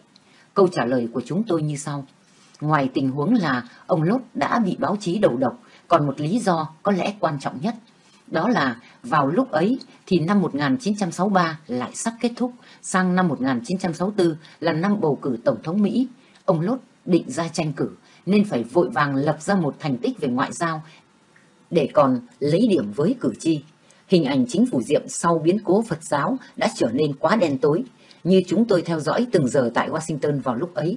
Nếu như lốt thành công trong việc đảo chính và một chính phủ mới hữu hiệu và đạt được những thành quả chống cộng tốt đẹp, thì thật may mắn cho ông ta trong kỳ tuyển cử năm 1964. Tuy nhiên, mưu lược của con người cũng không thoát qua khỏi được sự sàng lọc của lưới trời. Đọc chương này và ba chương sau, độc giả sẽ thấy rõ những bước đi của đao phủ Henry I. Bức mật điện lịch sử 24 tháng 8 năm 1963 cho phép đảo chính. Tại Sài Gòn, ông Lốt vừa tới nơi là đã họp ngay với báo chí và thăm các nhà sư trước cả các nghi lễ trình diện với Tổng thống Diệm. Hôm sau, tướng Trần Văn Đôn gửi ông Lốt một bức thư qua Conien nói rằng quân đội không nhúng tay vào biến cố Phật giáo vừa qua. Ông Lốt lập tức báo cáo về Washington mà không cần kiểm tra lại sự chính xác của thông tin này. Washington phản ứng ngay vì những người chống ông Diệm ở Bộ Ngoại giao trong nhóm gọi là biên cương mới, chữ mà Tổng thống Kennedy hay dùng, đang cố đổ hết tội cho ông Nhu. Ngày 24 tháng 8, nhằm ngày thứ Bảy cuối tuần, quan chức cao cấp ở Washington đi nghỉ. Tổng thống Kennedy thì về cảng Hennit. Tại Washington, các ông Harriman, Thứ trưởng Ngoại giao, Hillman, Phụ tá Ngoại trưởng, và Foreto, Phụ tá Tòa Bạch Cung, soạn thảo một mật điện tín ra chỉ thị đầu tiên về việc đảo chính. Thật xui cho ông Diệm. Sau khi soạn xong văn bản, phụ tá Foreto chỉ gọi cho Tổng thống Kennedy để đọc cho ông nghe qua điện thoại. Đang nghỉ ngơi chiều thứ bảy mà lại nghe văn thư này nọ, ông Kennedy bảo, thôi cứ để đến sáng thứ hai triệu tập một cuộc họp rồi hãy tính. Harriman cùng với Human thúc giục là cần gửi gấp Kennedy đồng ý với điều kiện là phải hỏi các sếp của hai ông. Human gọi báo cho Ngoại trưởng Root. Không biết ông nói như thế nào mà ông Root hiểu lầm rằng Tổng thống đã đồng ý nên ông cũng ok. Còn McNamara và sếp CIA McCon thì chưa được thông báo nhưng điện văn được gửi đi ngay. Vì đây là một tài liệu nòng cốt cho những âm mưu tiếp theo để đi tới cuộc đảo chính mùng 1 tháng 11. Chúng tôi in lại hầu như toàn bộ văn kiện của Bộ Ngoại giao Mỹ gửi đại sứ Lốt trong phần phụ lục cho chương này. Sau đây là vài đoạn. Ngày 24 tháng 8 năm 1963, Bộ Ngoại giao 243, TC CAS 265 TABE, Bộ Ngoại giao gửi đại sứ Lốt. Chính phủ Hoa Kỳ không thể khoan thứ một tình huống mà quyền bính nằm trong tay ông Nhu. Ta phải cho ông Diệm cơ hội dứt bỏ ông Nhu cùng với vây cánh và thay thế họ bằng những nhân vật chính trị và quân sự giỏi nhất hiện có. Nếu mặc dầu tất cả những cố gắng của đại sứ mà ông Diệm vẫn ngoan cố và từ khước thì ta phải đối diện với khả năng là không thể bảo tồn chính bản thân ông Diệm nữa. Đồng thời, chúng ta phải thông báo cho những người lãnh đạo quân sự nòng cốt biết rằng Hoa Kỳ không thể tiếp tục yểm trợ chính phủ Việt Nam Cộng Hòa về quân sự và kinh tế nữa nếu không ngay lập tức áp dụng những biện pháp nói trên. Trong đó chúng tôi nhìn nhận phải đưa ông bà Nhu ra khỏi chính trường Chúng tôi muốn cho ông Diệm có một cơ hội hợp lý để loại trừ ông Nhu, nhưng nếu ông ấy vẫn ngoan cố thì chúng tôi sẵn sàng chấp nhận hậu quả hiển nhiên là chúng tôi không thể ủng hộ ông Diệm được nữa.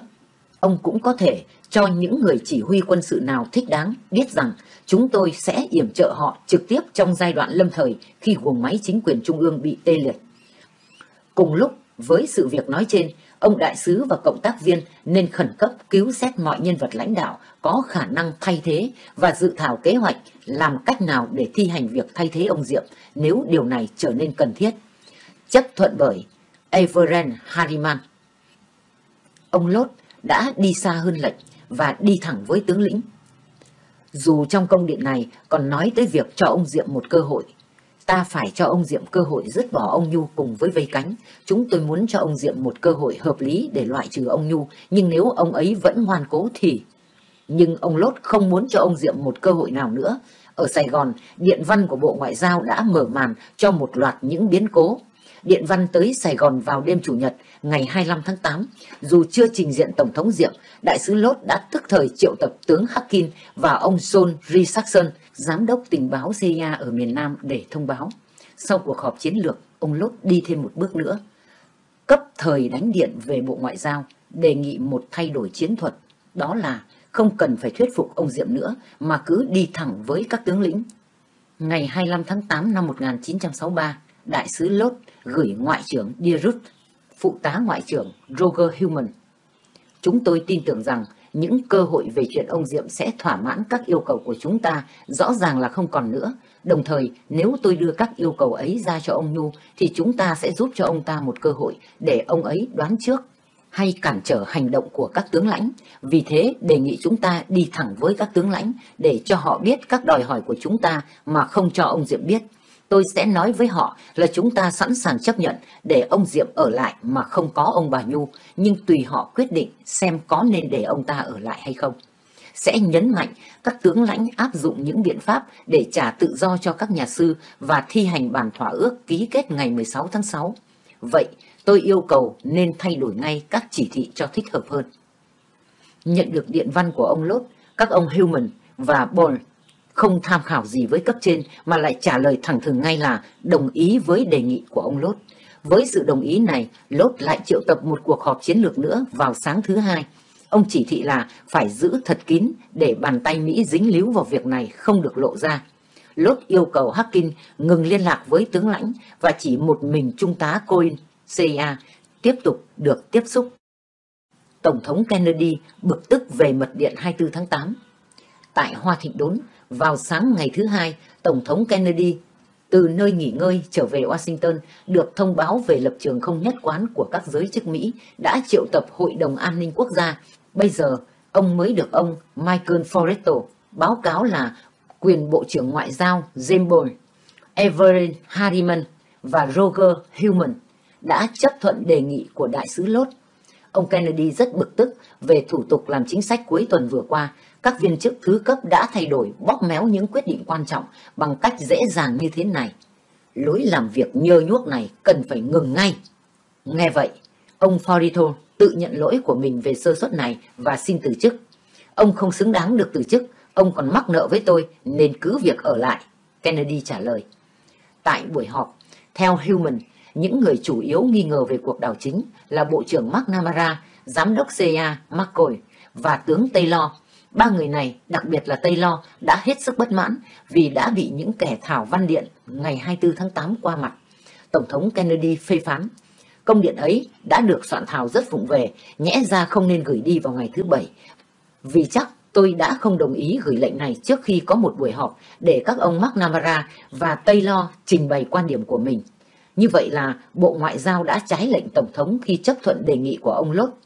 Bộ có thể là Human đã chỉ thị đài VOA đưa tin là quân đội không dính líu gì vào vụ tấn công chùa Chiền, đây là do cảnh sát dưới quyền ông Nhu.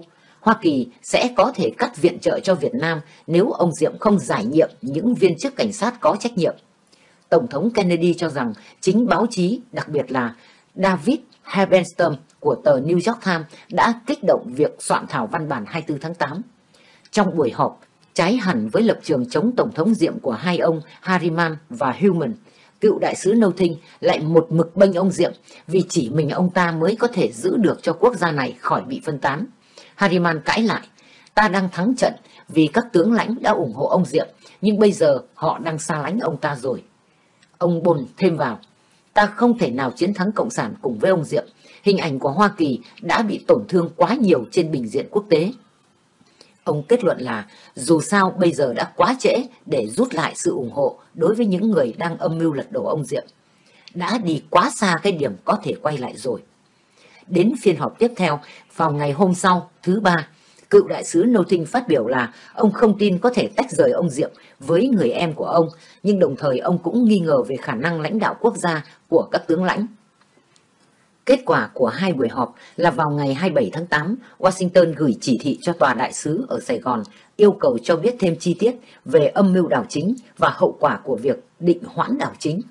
Vì ý kiến của đại sứ Lốt và tướng Hakin khác hẳn nhau nên chỉ thị này đã làm cho sự giãn nứt giữa hai người trở nên rất căng thẳng, làm cho các quan chức ở Washington lại càng thêm chia rẽ về quan điểm chính sách tướng Hakin gửi một điện văn riêng nói ông không thấy lợi thế rõ rệt cho những người âm mưu đảo chính và không có lý do để ủng hộ ồn ào âm mưu này và một cách tế nhị đã cho rằng đại sứ Lốt đã lấn lướt quan điểm của ông. Ngay từ đầu, chính Tổng thống Kennedy đã ủng hộ đảo chính.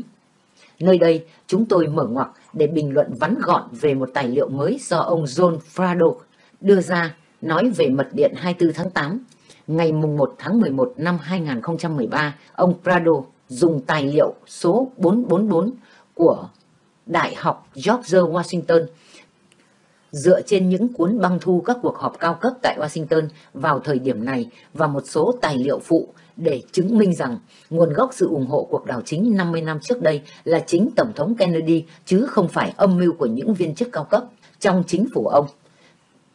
Câu chuyện về mưu đồ của những viên chức này cùng với đại sứ Cabot đã có trách nhiệm với cuộc đảo chính thì chỉ là huyền thoại. Luận cứ này chỉ đúng có một phần, đó là Tổng thống Kennedy có đồng ý về bức mật điện 24 tháng 8 cho phép đảo chính, nhưng đã thật rõ ràng là nhóm chống ông Diệm tại Bộ Ngoại giao và Michael Forito, nhân viên Hội đồng An ninh Quốc gia, đã cấu kết với nhau để soạn thảo bức điện ấy, rồi gọi cho ông Kennedy lúc ông đang đi nghỉ ngày thứ Bảy cuối tuần. Tổng thống Kennedy đồng ý với điều kiện là phải hỏi các sếp của hai ông. Phe này đã không làm như vậy như đề cập ở trên. Khi trở về Washington, Tổng thống Kennedy biết được sự việc đã hết sức bực tức. Chúng tôi cho rằng ông Frado cũng chưa nghiên cứu kỹ những tài liệu như trình bày trong cuốn sách này và chỉ đưa ra những trích dẫn từ những cuốn băng ghi những buổi họp đông người với những lời trao đổi, bàn cãi, nói qua nói lại giữa người này người kia vào cuối tháng 8 năm 1963.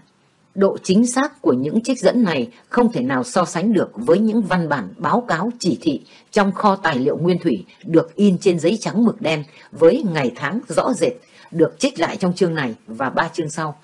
Cốt lõi của sách pre- in số 444 là nói về lệnh cho đảo chính ngày 24 tháng 8 năm 1963. Nhưng chính Tổng thống Kennedy đã phàn nàn công điện ấy đã được soạn thảo rất vụng về, nhẽ ra không nên gửi đi vào ngày thứ bảy, vì chắc tôi đã không đồng ý gửi lệnh này trước khi có một buổi họp để các ông McNamara và Taylor trình bày quan điểm của mình. Và ông đã chỉ thị, lối làm việc nhơ nhuốc này cần phải ngừng ngay. Ngoài ra, sau lệnh ngày 24 tháng 8, vào ngày 29 tháng 8 thì chính tướng Minh đã thông báo cho phía Mỹ biết là bỏ cuộc đảo chính. Vậy ai là những người cứ tiếp tục thúc đẩy tướng lĩnh đảo chính và đảm bảo sẽ ủng hộ họ sau đảo chính nếu không phải là Lốt và những viên chức cao cấp trong chính phủ Kennedy. Như sẽ đề cập dưới đây, chính bảo đệ của Tổng thống Kennedy là Robert Kennedy, Bộ trưởng Tư pháp, cũng đã phân tích rõ về việc này và kết luận rằng chính ông, nhóm thảo lệnh, đã có trách nhiệm. Tóm lại, sự thực vẫn là Thoạt đầu, Tổng thống Kennedy chỉ muốn làm áp lực để Tổng thống Diệm tách rời khỏi ông Nhu vì qua báo cáo của nhóm người chống ông Diệm ở Bộ Ngoại giao, ông Kennedy cho rằng ông Nhu là chướng ngại vật lớn nhất cho sự thành công của cuộc chiến chống Cộng sản. Cho nên, ông Kennedy mới đồng ý để đảo chính nếu như ông Diệm không chịu dẹp ông Nhu. Chính nhóm Harriman, Human, Fretto và bồ vận dụng mọi mánh lới để đưa tới quyết định ấy. Dù lệnh này còn nói phải để cho ông Diệm một cơ hội, nhưng ông Lốt đã đề nghị ngược lại, rồi đi thẳng với tướng lĩnh. Sau đó ông Nhu đã nhượng bộ và sửa soạn ra đi. Tại sao ông Lốt không báo cáo rõ hơn về việc này cho ông Kennedy? Đến đúng ngày đảo chính, Tổng thống Diệm gửi thông điệp nhượng bộ cho Tổng thống Kennedy qua ông Lốt, nhưng ông này chỉ gửi thông điệp qua ưu tiên thấp, cho nên nó chỉ tới tòa Bạch Ốc sau khi tiếng súng đã nổ ở Sài Gòn. Vì vậy, trách nhiệm nặng nề nhất về cái chết của hai anh em Diệm vẫn thuộc về ông Lốt và nhóm chống ông Diệm ở Bộ Ngoại giao như phân tích tiếp theo. Đao phủ Henry I đề nghị thẳng thừng phải đảo chính. Trở lại những diễn biến sau mật điện 24 tháng 8, về phía tướng lĩnh thì vào ngày 29 tháng 8, chính tướng Minh thay vì tướng Đôn đã gặp Trung tá Conin để yêu cầu cung cấp bằng chứng rõ rệt là Mỹ sẽ không tiết lộ âm mưu đảo chính với ông Nhu. Bằng chứng ấy theo ông Minh là Hoa Kỳ ngưng viện trợ kinh tế cho Tổng thống Diệm. Tổng thống Kennedy vẫn chưa dứt khoát vì ông còn yêu cầu cả hai phe, Lốt và Hackin, cho biết ý kiến một lần nữa. Nhưng cùng ngày 29 tháng 8, 30 tháng 8 giờ Washington, ông Lốt lại gửi thêm một thông điệp hết sức thuyết phục, đề nghị thẳng thừng là phải lật đổ chính phủ Diệm. Ông nêu lên hai lý do. Thứ nhất, uy tín của Hoa Kỳ và thứ hai, nhu cầu chiến thắng. Hai yếu tố quan trọng của chính sách Hoa Kỳ đối với Việt Nam, trích dẫn phần đầu của điện văn này như sau. Ngày 29 tháng 8 năm 1963, Đại sứ Lốt gửi Ngoại trưởng Rút. Chúng ta đã bước vào một cuộc hành trình mà không thể nào trở lại một cách đàng hoàng được nữa. Việc lật đổ chính phủ diện. Tại sao không có cách nào quay trở lại được? Đó là vì uy tín của Hoa Kỳ nói chung đã cam kết công khai vào mục tiêu này và theo tôi với chính phủ Diệm ta sẽ không có khả năng thắng được cuộc chiến này. Cơ hội về cuộc đảo chính của các tướng lĩnh này thuộc vào họ tới mức độ nào, nhưng cũng tùy thuộc phần lớn vào chúng ta. Chúng ta nên xúc tiến các nỗ lực toàn diện để các tướng lĩnh hành động cho mau lẹ. Về phần tướng Hakin, ông vẫn tiếp tục thuyết phục phải cho ông Diệm một cơ hội cuối cùng để loại bỏ ông Nhu. Bởi vậy, trong cùng một công điện, ông Lốt viết Tướng Hacking nghĩ rằng tôi nên yêu cầu ông Diệm loại trừ vợ chồng Ngô Đình Nhu trước khi thúc đẩy các tướng lĩnh hành động. Nhưng tôi tin rằng một biện pháp như vậy không có cơ hội đạt được thành quả mong muốn và sẽ có một hậu quả vô cùng nghiêm trọng mà các tướng lĩnh Việt Nam coi như một dấu hiệu về sự thiếu quyết tâm và trì hoãn của Mỹ. Đại sứ Lốt yêu cầu Washington chỉ thị tướng Hacking phải làm cho tướng lãnh yên tâm. Để khích lệ tướng lĩnh, ông Lốt còn yêu cầu Washington chỉ thị để chính tướng Harkin, người chống đảo chính, phải đích thân lập lại với các tướng lĩnh những điều mà các nhân viên CAS, CIA đã nói với họ trước đây để chứng tỏ tính cách đích thực của các thông điệp ấy. Tướng Harkin phải có lệnh để làm việc này. Lốt lý luận là vì các tướng lãnh đã bị ám ảnh bởi cái tư tưởng là chúng ta sẽ bỏ rơi họ, mặc dầu theo chỉ thị chúng tôi đã nói với họ là cuộc chơi thực sự đã mở màn. Yêu cầu của Lốt được chấp thuận ngay. Tại sao như vậy? Rất có thể là Lốt đã thuyết phục được Tổng thống Kennedy trên căn bản là uy tín của Hoa Kỳ đòi phải lật đổ chính phủ Diệm và không thể chiến thắng nếu còn chính phủ Diệm. Ngày 29 tháng 8 năm 1963, ENG 272 TC Sài Gòn 375 TABB Bộ Ngoại giao gửi đại sứ Lốt và tướng Hackin. Phiên họp cao cấp nhất trưa hôm nay đã duyệt xét công điện số 375 của ông và tái xác định đường lối căn bản có những quyết định rõ ràng như sau. Để đáp ứng đề nghị của ông, nay cho phép, thực ra là chỉ thị, lời tác giả tướng Khắc Kinh nhắc lại với các tướng lãnh những điều mà ông Lốt nói tới trong những công điện do các viên chức CAS, CIA chuyến đi trước đây. Hắc Kinh phải nhấn mạnh rằng chính phủ Hoa Kỳ ủng hộ hành động triệt hạ bọn Nhu ra khỏi chính quyền. Nhưng trước khi đi đến những thỏa hiệp với các tướng lãnh, tướng Hackin phải biết những ai dính líu vào việc này, họ có những lực lượng nào và kế hoạch tổng quát của họ để đảo chính ra sao chính phủ Hoa Kỳ sẽ ủng hộ một cuộc đảo chính có cơ may tốt để thành công, nhưng không dự tính việc quân lực Hoa Kỳ tham gia trực tiếp. Hackin phải tuyên bố rằng ông sẵn sàng thiết lập liên lạc với những người thiết kế cuộc đảo chính và duyệt xét các kế hoạch, nhưng sẽ không tham gia trực tiếp vào công việc thiết kế đảo chính. Nay ông được quyền tuyên bố ngưng viện trợ cho Việt Nam qua chính phủ Diệm vào một thời điểm và trong hoàn cảnh nào tùy ông lựa chọn. Lo ngại, ông Nhu kêu gọi Bắc Việt. Vì tướng Hakin một mực cho rằng nên gặp và thuyết phục ông Diệm một lần nữa để loại bỏ ông Nhu đang khi ông Lốt chống đối nên cùng ngày 29 tháng 8 năm 1963 Bộ Ngoại giao lại gửi thêm chỉ thị. Sau đây là một vài trích dịch trong điện tín này, bộ ngả theo hướng của ông Lốt và e ngại là nếu gặp ông Diệm như ông Hắc đề nghị thì ông Diệm coi như mình đã bị dồn vào xó tường nên có thể tính tới chuyện quái đản là kêu gọi Bắc Việt trợ giúp để trục xuất người Mỹ. Ngày 29 tháng 8 năm 1963, Bộ Ngoại giao 279 TC Sài Gòn 375 TABB, Bộ Ngoại giao gửi đại sứ Lốt. Điểm duy nhất mà ông và tướng Harkin có quan điểm khác nhau là vấn đề có nên thử nói với ông Diệm hãy triệt bỏ ông bà Nhu hay không. Nhưng trừ phi ta đưa ra trong câu chuyện một lời gian đe thực sự, ví dụ như dọa cắt viện trợ, thì tôi thấy nói gì ông Diệm cũng không hoàn toàn cho là nghiêm trọng. Nhưng nếu ta dùng sự răn đe trong khi nói về chuyện ấy thì cũng có một nguy cơ rất cao là ông Diệm sẽ coi đó chỉ là dấu sắp có hành động chống lại ông ta và ông bà Nhu đến nơi. Và tối thiểu rất có thể ông ta sẽ có biện pháp mạnh đối với các tướng lãnh hay thậm chí có hành động quái đản, thí dụ như kêu gọi Bắc Việt trợ giúp trục xuất người Mỹ đi. Tôi sẽ vui mừng đón nhận quan điểm của ông về việc ông có tính đến chuyện hội đàm thêm với ông Diệm để tiếp tục đàm luận với ông ta nữa hay không. Không, ông Lốt không muốn hội đàm thêm với ông Diệm nữa. Ông gửi cho Ngoại trưởng Rút ngay hôm sau, 30 tháng 8, một điện tín dài. Lốt lý luận nếu tôi đến thăm ông Diệm để yêu cầu loại vợ chồng ông Nhu, chắc chắn là ông Diệm sẽ không đồng ý và điều này sẽ làm cho các tướng lãnh hoài nghi về ý đồ của chúng ta và tình trạng bất động sẽ kéo dài thêm nữa. Ngoài ra, một cuộc đến thăm như vậy sẽ khiến cho vợ chồng ông Nhu coi như một tối hậu thư và có thể sẽ hành động phá tan bất cứ kế hoạch nào để chống đối ông ta. Bởi vậy, Lốt kết luận Cơ hội tốt đẹp nhất để thực hiện điều này là để các tướng lãnh nắm lấy toàn bộ chính phủ, nắm lấy chìa khóa, kho đạn và nòng súng, rồi mới quyết định xem có nên để ông Diệm cầm quyền trở lại hay không.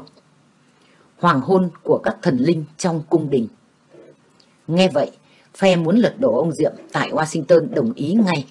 Cùng ngày 30 tháng 8, một bản ghi nhớ được Roger Hillman gửi đi trong bất cứ hoàn cảnh nào, vợ chồng Nhu cũng không được phép ở lại trong vùng Đông Nam Á gần gũi Việt Nam vì họ sẽ có những âm mưu lấy lại quyền hành. Còn nếu các tướng lãnh quyết định đưa ông Diệm đi đầy thì cũng phải đưa ông ta ra khỏi vùng Đông Nam Á. Dựa vào tài liệu bạch thư của hãng TV NBC, cái chết của ông Diệm. Tác giả Ellen Hummer thêm rằng trong cùng một bản ghi nhớ ấy, Human đã tiên đoán biến cố mà ông ta gọi là Rotterdam Rung trong cung điện. Chữ Rotterdam Rung khởi đầu bằng chữ ranarok về chuyện thần thoại của người Scandinavia Bắc Âu, có nghĩa là hoàng hôn của các thần linh trong cung đình, ám chỉ ngày tàn lụi của chế độ.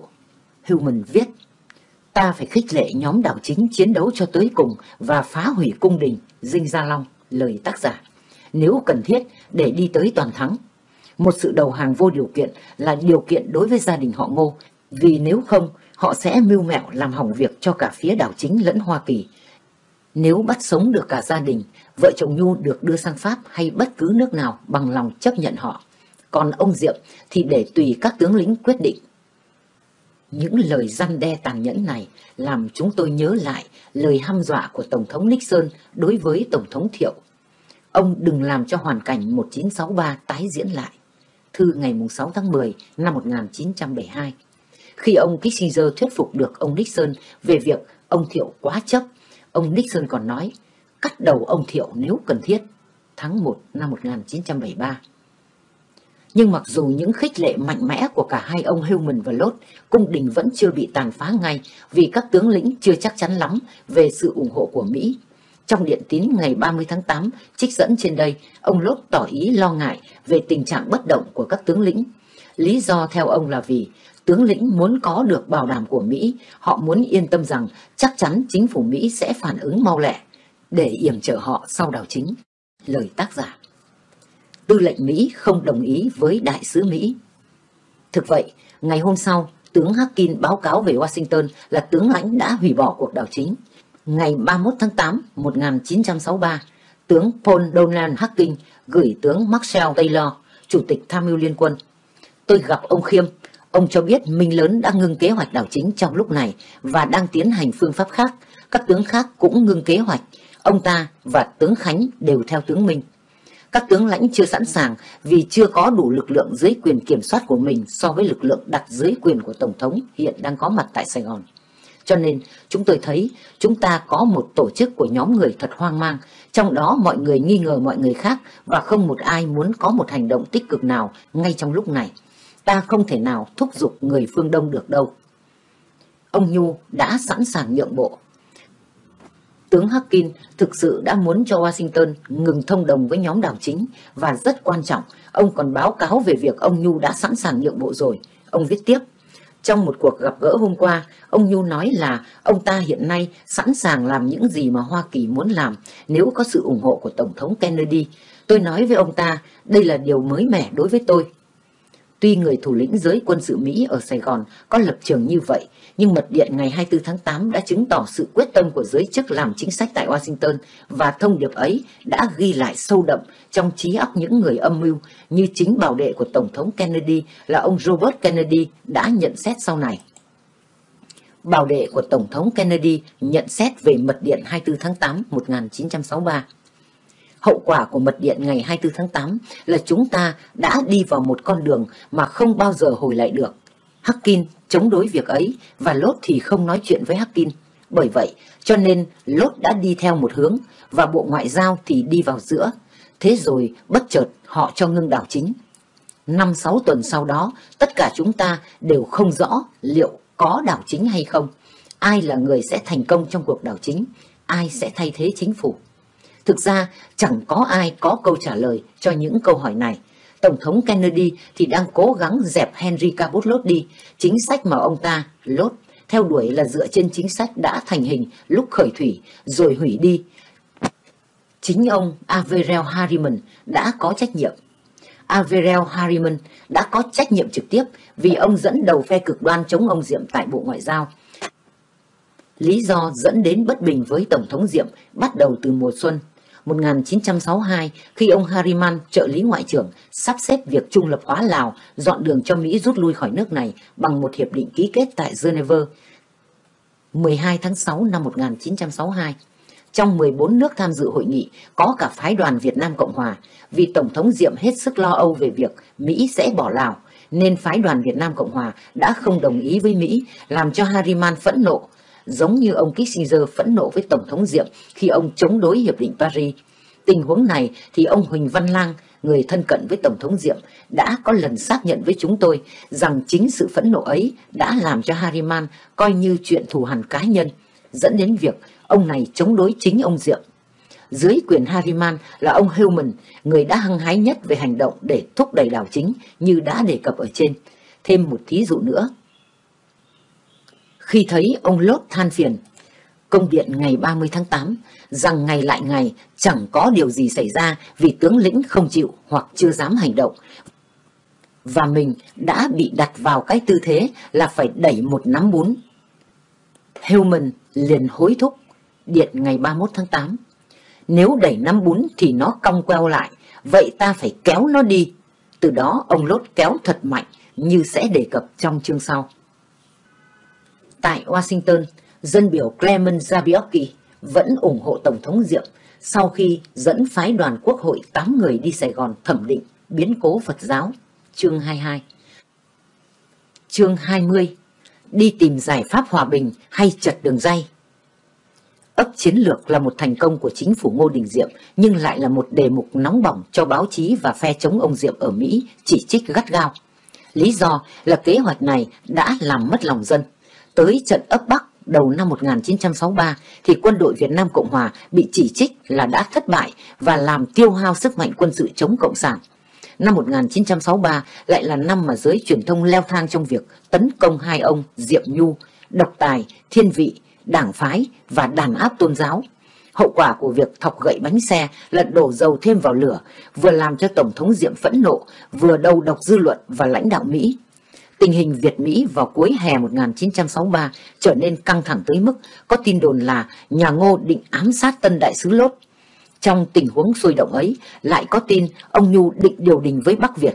Đại sứ Lốt vừa tới Sài Gòn được một tuần, thông báo ngay về Washington rằng chính ông cũng có nghe như vậy. Về sự việc này thì ngày nay ta đã có thêm tài liệu để soi sáng cho rõ hơn về ý định của hai ông Diệm và Nhu là chỉ muốn đi tìm một giải pháp hòa bình vì biết trước sau rồi Mỹ cũng bỏ miền Nam. Nhưng vào lúc ấy thì sau điện tín của ông Lốt, ông Human, Giám đốc tình báo và nghiên cứu Bộ Ngoại giao, đã bình luận về mục tiêu tối thiểu và tối đa của ông Nhu rồi đi đến kết luận. Ông Nhu đã quyết định dấn thân vào một cuộc mạo hiểm. Cho nên, ta không thể nào tiếp tục con đường hòa giải với ông ta được nữa. Nhiều chiếc trực thăng đã được chuẩn bị để đáp xuống nóc tòa đại sứ Mỹ ở Sài Gòn. Ông đại sứ và nhân viên Mỹ sẽ được bốc đi ngay khi có lệnh. Lối tàu thoát đã được nghiên cứu kỹ càng. Ngoài khơi, một lực lượng thủy quân lục chiến Mỹ tập họp để giúp việc di tản. Đây là cảnh tượng sáng ngày 30 tháng 4 năm 1975. Không, đây là sự sắp xếp phòng hờ để cứu nhân viên tòa đại sứ Mỹ vào mùa hè năm 1963 nếu bị lực lượng của ông Diệm tấn công. Nghe như chuyện giả tưởng, ấy thế mà đã thực sự có kế hoạch này. Bầu không khí Sài Gòn hết sức ngột ngạt ngay từ lúc ông Tân Đại sứ Lốt vừa tới Sài Gòn. Ngày ông trình ủy nhiệm thơ, tướng Paul Hackin, chỉ huy trưởng cơ quan MAAG cùng với John McLean, nhân viên tòa đại sứ cùng một số người khác tháp tùng ông vào dinh độc lập. Này Paul, có lẽ anh không nên đi cùng với tôi. Ông Lốt nói với tướng Harkin. Nếu bọn họ có dở trò gì thì ít nhất vẫn còn một trong hai chúng ta còn ở ngoài. Có tin đồn rằng nhà ngô định tổ chức ám sát ông đại úy. Ông Lốt cho rằng thật là khôi hài nếu hai ông Diệm và Nhu dám nghĩ tới chuyện này. Nhưng ông vẫn đánh điện về báo cáo Ngoại trưởng Rút và Harriman là nhân viên tòa đại sứ cho rằng nó có thể xảy ra. Dường như ông Nhu có vẻ hài lòng về việc tấn công vào chùa triển và người ta nói rằng ông ta khó chịu với tôi vì đã khuyên ông ta nên ra khỏi nước ít lâu. Cũng có báo cáo là ông ta hút thuốc viện.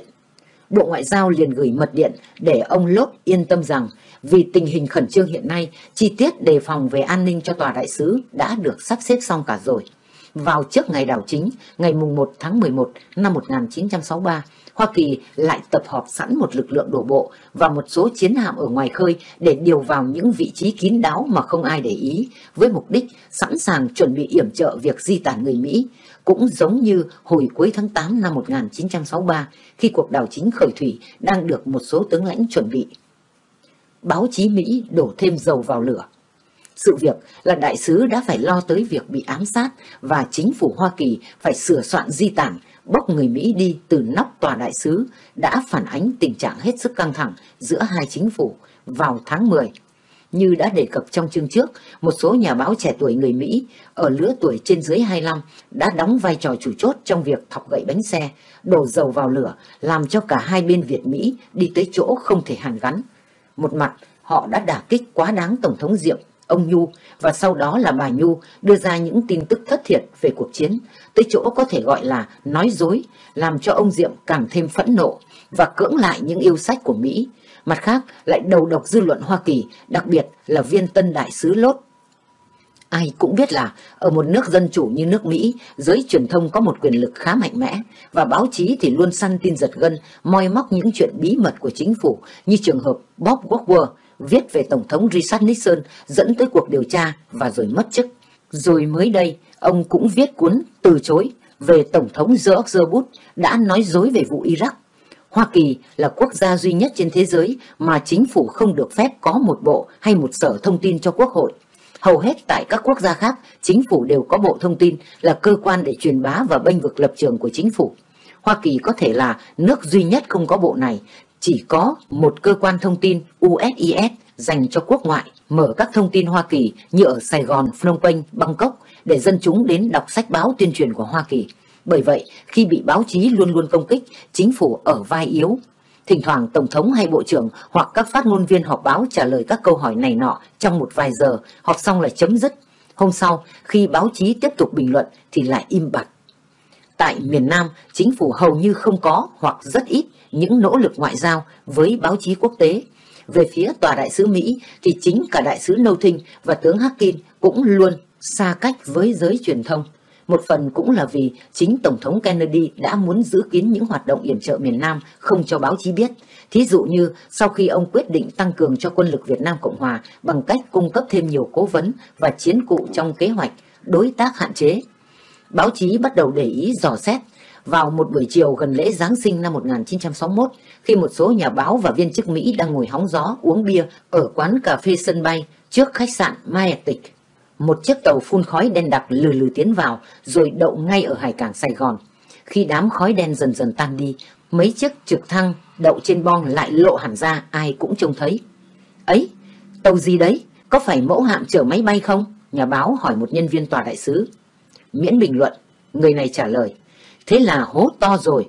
Đó là chiếc tàu chở quân cụ, máy bay, phi công và nhân viên kỹ thuật vào Việt Nam các máy chữ hối hả đánh bài tường thuật về Hoa Kỳ và từ đó là có chuyện lớn. Báo chí bắt đầu cho là chính phủ Hoa Kỳ đã hoạt động bí mật giấu giếm dân chúng. Trước đó, họ lại không được đi theo những cuộc hành quân của quân đội nên càng nghi hơn. Ngày 15 tháng 11, có một nhà báo hỏi Tổng thống Kennedy liệu lính Mỹ có đi hành quân với quân đội Việt Nam không? Ông đã chối phát đi. Thực ra, phi công Mỹ đã lái các máy bay A-26, AD-6, T-28 nhưng các máy bay này đều sơn dấu hiệu quân lực miền Nam.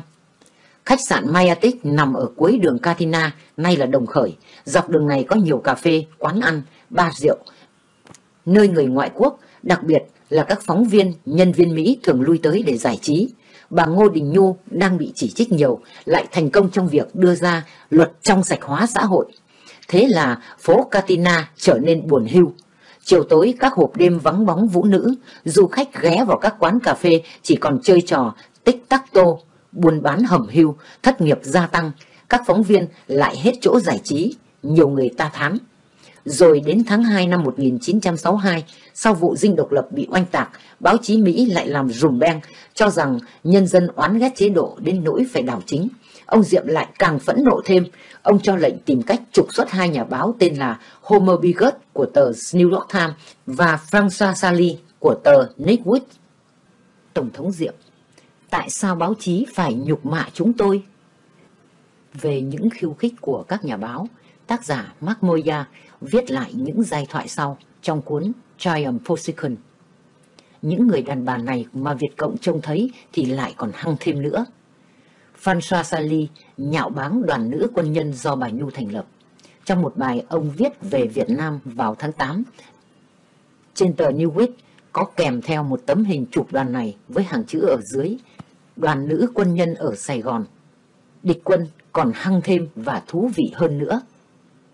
Chúng tôi cũng còn nhớ là vào thời gian này có người bạn Mỹ đọc bài báo này còn khen Hoa Kỳ cũng chưa có các nữ quân nhân được tổ chức thành đội ngũ mà Việt Nam các anh đã có rồi.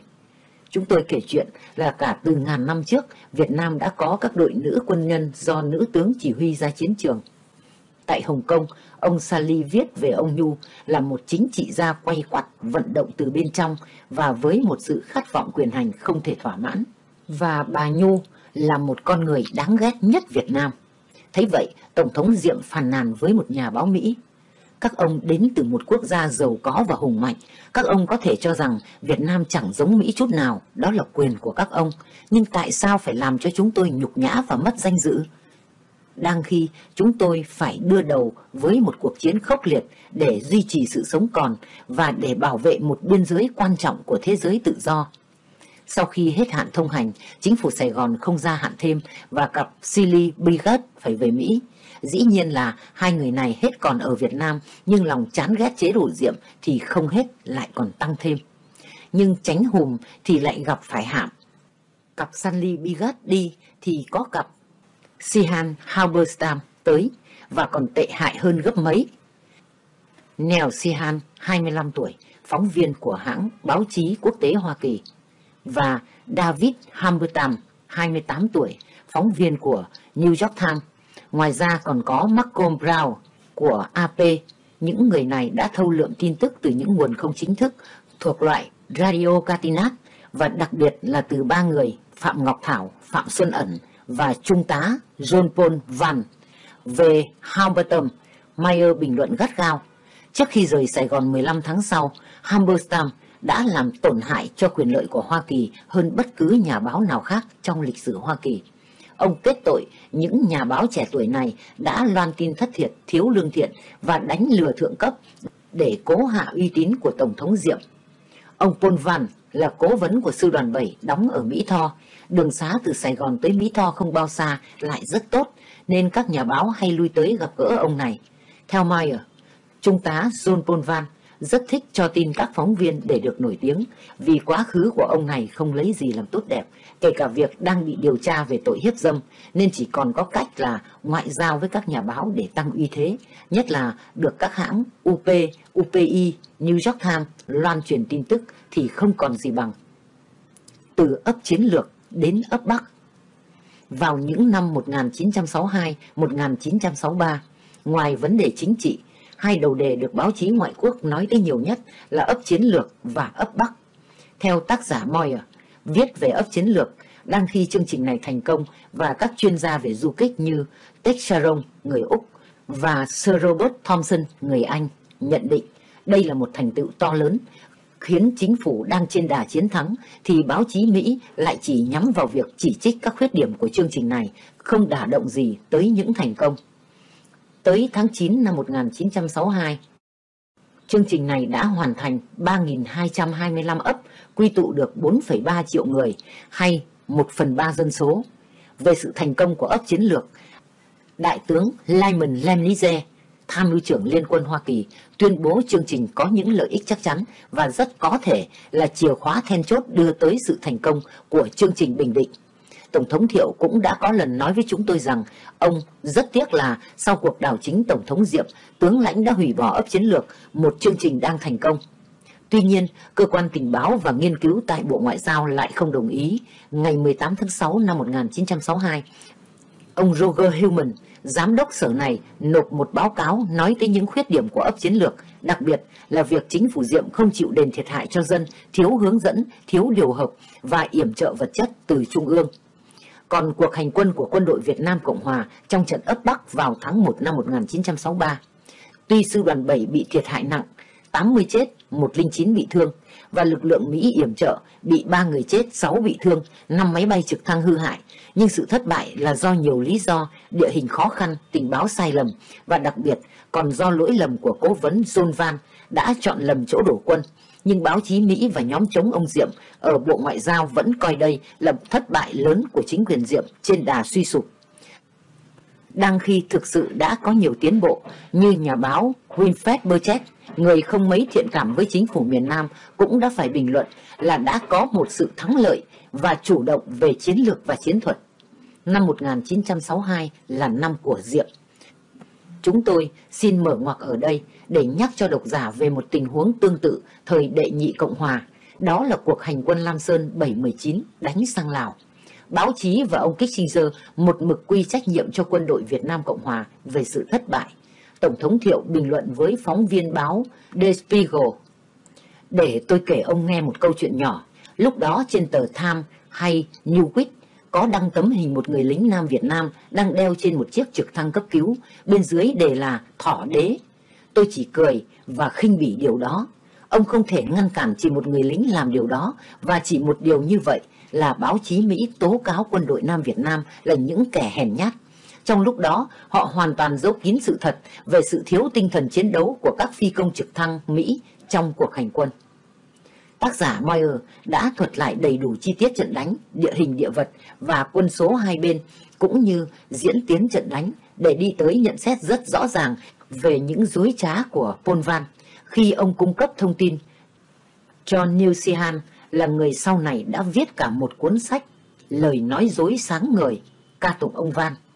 Ông Meyer bình luận là sau những đả kích thì đến vụ khủng hoảng Phật giáo một cơ hội vàng cho các nhà báo triệt để khai thác và họ đã đầu độc dư luận, ảnh hưởng sâu xa vào lãnh đạo Hoa Kỳ, đặc biệt là người đại diện Mỹ tại chỗ là tân đại sứ Lốt. Ngay cả trước khi tới Sài Gòn, ông Lốt cũng đã đầy ác cảm với nhà Ngô. Bởi vậy, dù chưa có đủ thời giờ để quan sát và tìm hiểu tại chỗ, ông đã có sẵn một định kiến khác, chắc chắn như đinh đóng cột, đó là phải thay đổi chính phủ Diệm. Vừa tới Sài Gòn chiều ngày 22 tháng 4, ông Lốt đã mời ngay Sihan và Haberstam dùng cơm tối thật lâu để nghe trình bày về sự chống đối chế độ Diệm Nhu. Ngày hôm sau, ông đã tới gặp hai nhà sư đang trú ẩn tại trụ sở cơ quan viện trợ Mỹ USOM. Như vậy là ông đã trình diện với hai nhà sư trước Tổng thống Diệm. Chật đường dây Theo như tác giả Ellen Hammer kể thì vào cuối tháng 8, ông Trương Công Cửu vừa được chỉ định làm xử lý thường vụ Bộ Ngoại giao, có tổ chức một tiệc chiêu đãi phái đoàn ngoại giao. Hôm đó, có cả đại diện của một nước cộng sản, ông Mijeslan Maneli, trưởng đoàn Ba Lan trong Ủy hội quốc tế kiểm soát đình chiến và sứ thần tòa thánh Vatican Đức ông Atta.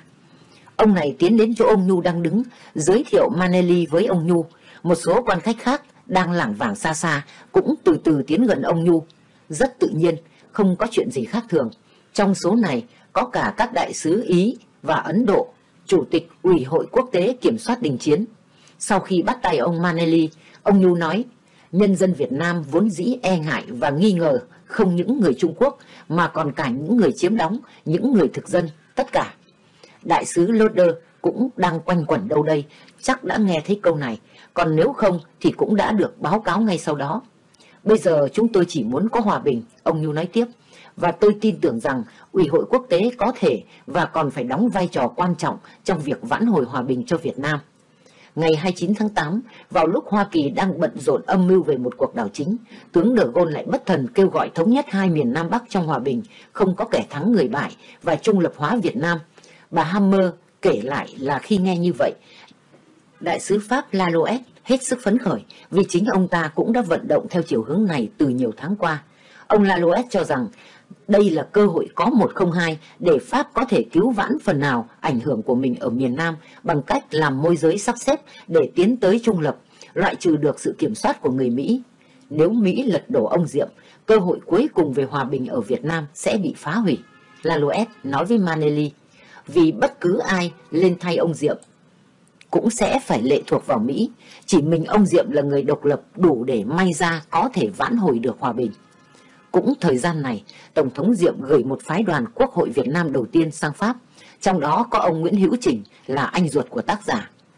Từ hồi tháng 7, tình báo Hoa Kỳ đã lưu ý Washington là ông Nhu có thể yêu cầu giảm cố vấn Mỹ. Suy nghĩ lại về giai đoạn này, Đại sứ Pháp Laloet, người đã chứng kiến và tham gia vào nhiều biến cố tại Việt Nam, đã cho rằng quyết định của ông Nhu vào hồi tháng 4 yêu cầu rút cố vấn cấp tỉnh đã là lý do chính để người Mỹ quyết định lật đổ ông Diệm. Hai ông Diệm Nhu muốn thương thuyết với Hà Nội. Như đã đề cập trong chương trước, ngày 29 tháng 8 trong một điện tín gửi cho Lốt số 272, Tòa Bạch Ốc nói về việc có nên thử nói với ông Diệm hãy triệt bỏ ông bà Nhu hay không, đã kết luận rằng sẽ không thành công nếu chỉ thuyết phục xuông, trừ phi đưa ra một lời gian đe dọa cắt viện trợ. Thế nhưng nếu răn đen như vậy thì có nguy cơ rất cao là ông Diệm sẽ coi đó là chỉ dấu sắp có hành động chống lại ông và ông bà Nhu đến nơi rồi. Và tối thiểu rất có thể ông ta sẽ có biện pháp mạnh đối với các tướng lãnh hay thậm chí có hành động quái đản, thí dụ như kêu gọi Bắc Việt trợ giúp việc trục xuất người Mỹ đi. Quá là nhanh. Chiều ngày 31 tháng 8, ông Loder báo cáo Washington ngay về việc này rằng chính ông ta cũng đã có nghe tin ông Nhu đã bí mật giao thiệp với Hà Nội và Việt Cộng qua Đại sứ Pháp và Ba Lan. Cả hai chính phủ các nước này đều tán thành một giải pháp trung lập giữa Bắc và Nam Việt Nam. Như vậy là đã chật đường dây. Đầu năm Quý Mão 1963, có tin đồn về việc Chủ tịch Hồ Chí Minh gửi tặng Tổng thống Ngô Đình Diệm một cành hoa đào thật đẹp vào dịp Tết và cành đào được trưng bày ngay ở phòng khánh tiết Dinh Gia Long. Bây giờ, chính đại sứ Mỹ lại báo cáo có nghe tin ông Nhu bí mật giao thiệp với Hà Nội về câu chuyện cành đào, tác giả Minh Võ đã viết rõ trong cuốn Ngô Đình Diệm và Chính nghĩa dân tộc. Trong một chuyến đi Hà Nội, Manila có gặp và hỏi ý kiến Thủ tướng Phạm Văn Đồng xem nên hành động như thế nào khi gặp ông Nhu. Cứ việc nghe cho kỹ, có một điều chắc chắn là người Mỹ phải ra đi. Trên cơ sở đó chúng tôi sẽ thương thuyết mọi việc. Mọi việc Chúng tôi thực sự mong muốn chấm dứt chiến tranh, lập lại hòa bình và thống nhất trên một cơ sở hoàn toàn thực tế. Sau buổi tiếp tân của ông Cửu, ngày mùng 2 tháng 9, ông Nhu cho mời ông Manelli vào nói chuyện ở Dinh Gia Long. Bà Hammer viết lại là, ông Nhu nói, ông ta không chống lại các cuộc thương thuyết và hợp tác với miền Bắc. Người Việt Nam không bao giờ quên ai là người Việt Nam, ai là người nước ngoài, ngay cả trong những trận đánh ác liệt nhất. Nếu chúng ta có thể bắt đầu một cuộc đối thoại trực tiếp, thì có thể đạt tới một sự thỏa thuận. Làm sao mà ông đại sứ Lốt lại không biết cuộc viếng thăm này? Ông đã thấy và nghe ông Manelli nói chuyện với ông Nhu trong buổi tiếp tân. Bây giờ hai bên lại gặp gỡ nhau. Một người thông minh như ông Nhu thì cũng dư biết là ông Lốt đã theo dõi mình. Bởi vậy có thể là ông Nhu đã muốn đi bước trước bằng cách tự mình cho ông Lốt hay về cuộc gặp gỡ với Manelli và nói cho ông hay là cũng có những cuộc tiếp xúc giữa hai bên còn trước đó nữa. Về sự tiếp xúc này thì nhiều tác giả đã bàn đến. Theo sự nghiên cứu của chúng tôi thì có hai nhân chứng khả tín là ông Manelli, trưởng đoàn Ba Lan trong Ủy hội Kiểm soát Đình Chiến, người trực tiếp làm môi giới giữa Bắc Nam và ông Cao Xuân Vĩ là người đi cùng với ông Ngô Đình Nhu gặp ông Phạm Hùng. Bởi vậy, ta nên xem hai ông đã thuật lại như thế nào. Ông Cao Xuân Vĩ Tác giả Minh Võ đã viết lại cuộc phỏng vấn của ông Vĩ như sau. Hỏi, khi ông cùng ông Nhu đi gặp Phạm Hùng ở Bình Tuy, ông Nhu có cho biết hai ông họ bàn những chuyện gì không? Đáp, lúc ấy thì không, chỉ biết chúng tôi cùng đến quận Tánh Linh, ở đây có một vùng do cộng quân kiểm soát. Ban đầu cứ tưởng đi săn cọp như mọi khi, nhưng đến nơi ông Nhu bảo chúng tôi ở ngoài, còn ông đi về phía trước độ vài trăm mét. Có Phạm Hùng chờ ở đó. Sau này về nhà tôi cũng không tiện hỏi ông Nhu, nhưng qua những gì ông tự ý nói ra vào một lúc nào đó thì nội dung câu chuyện trên một tiếng đồng hồ gồm nhiều điều cho tới nay vẫn chưa được tiết lộ. Có một điều mà phía họ rất quan ngại, nếu không bảo là sợ, rất sợ. Chương trình ấp chiến lược. Họ yêu cầu cho biết ai là người chủ trương và mục đích để làm gì. Ông Như trả lời, đó chỉ là một chủ trương của chính phủ nhằm bảo vệ sinh mạng và tài sản của người dân, ngăn ngừa sự xâm nhập phá phách của du kích các ông. Các ông bảo cán bộ đừng tìm cách đánh phá làng xã thì chúng tôi sẽ bỏ luật 10 năm 9 Cán bộ các ông có thể về sống với dân lành tại các ấp.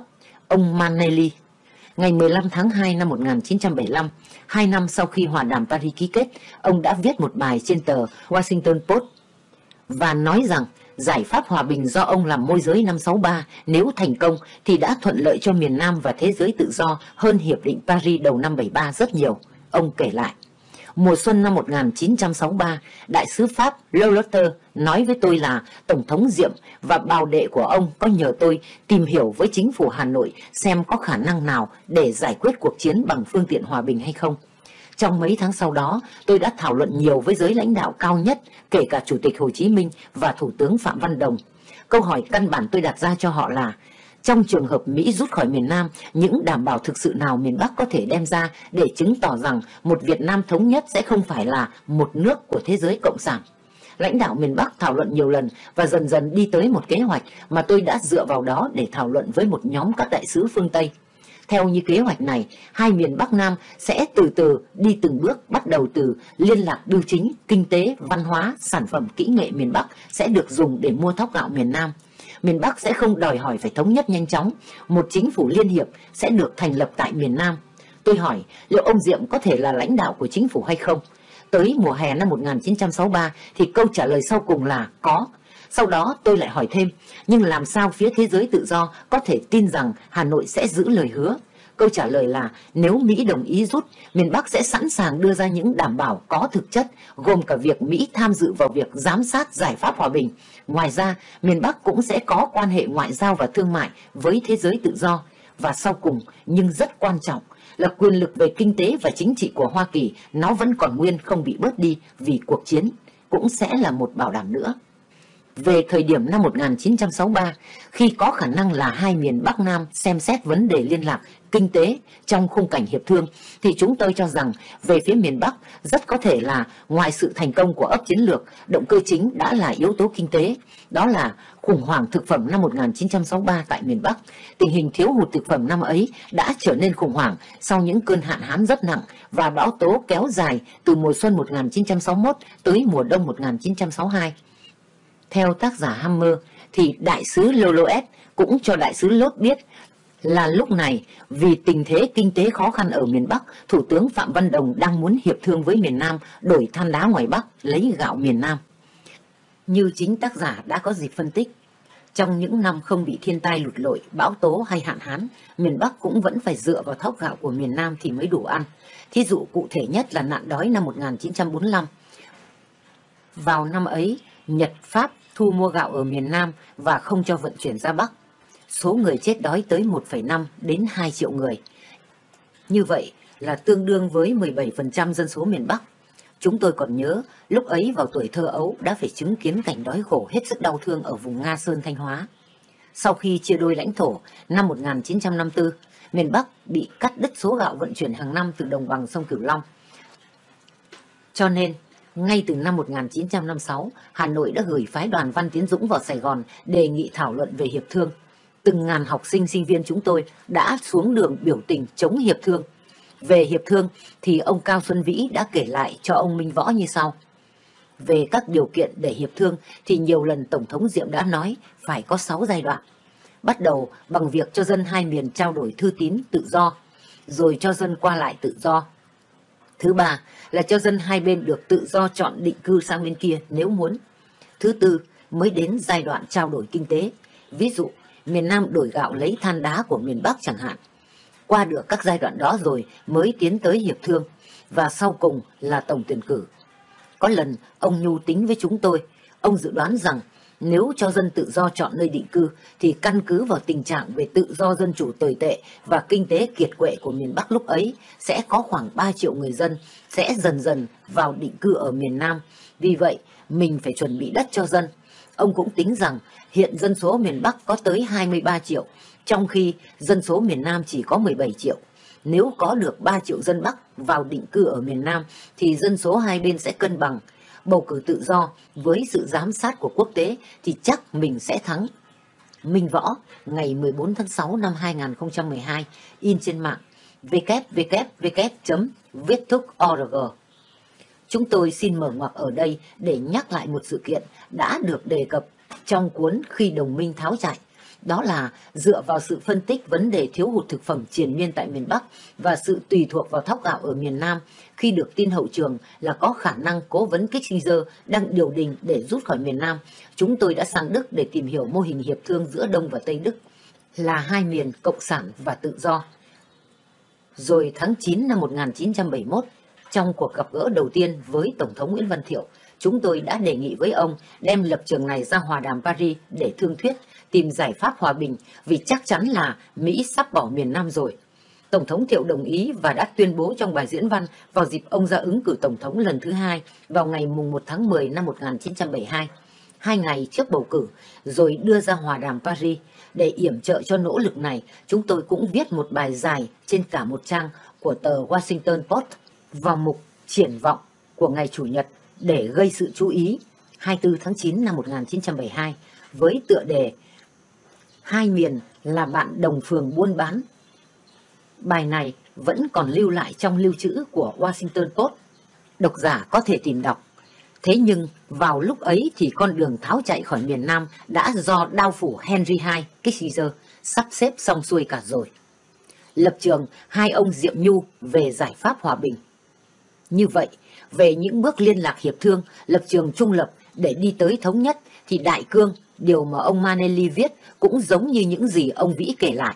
Theo như tác giả Hammer thì ngày mùng 2 tháng 9 ông Nhu có tiếp đại sứ Lốt và nói tới việc ông dự định về hưu ở Đà Lạt.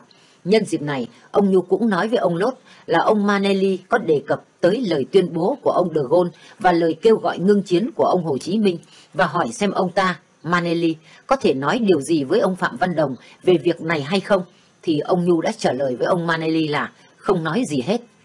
Ông Nhu còn thêm rằng, dù ông De Gaulle có quyền có ý kiến, nhưng những ai không tham dự vào cuộc chiến này thì không có quyền can thiệp vào cuộc chiến.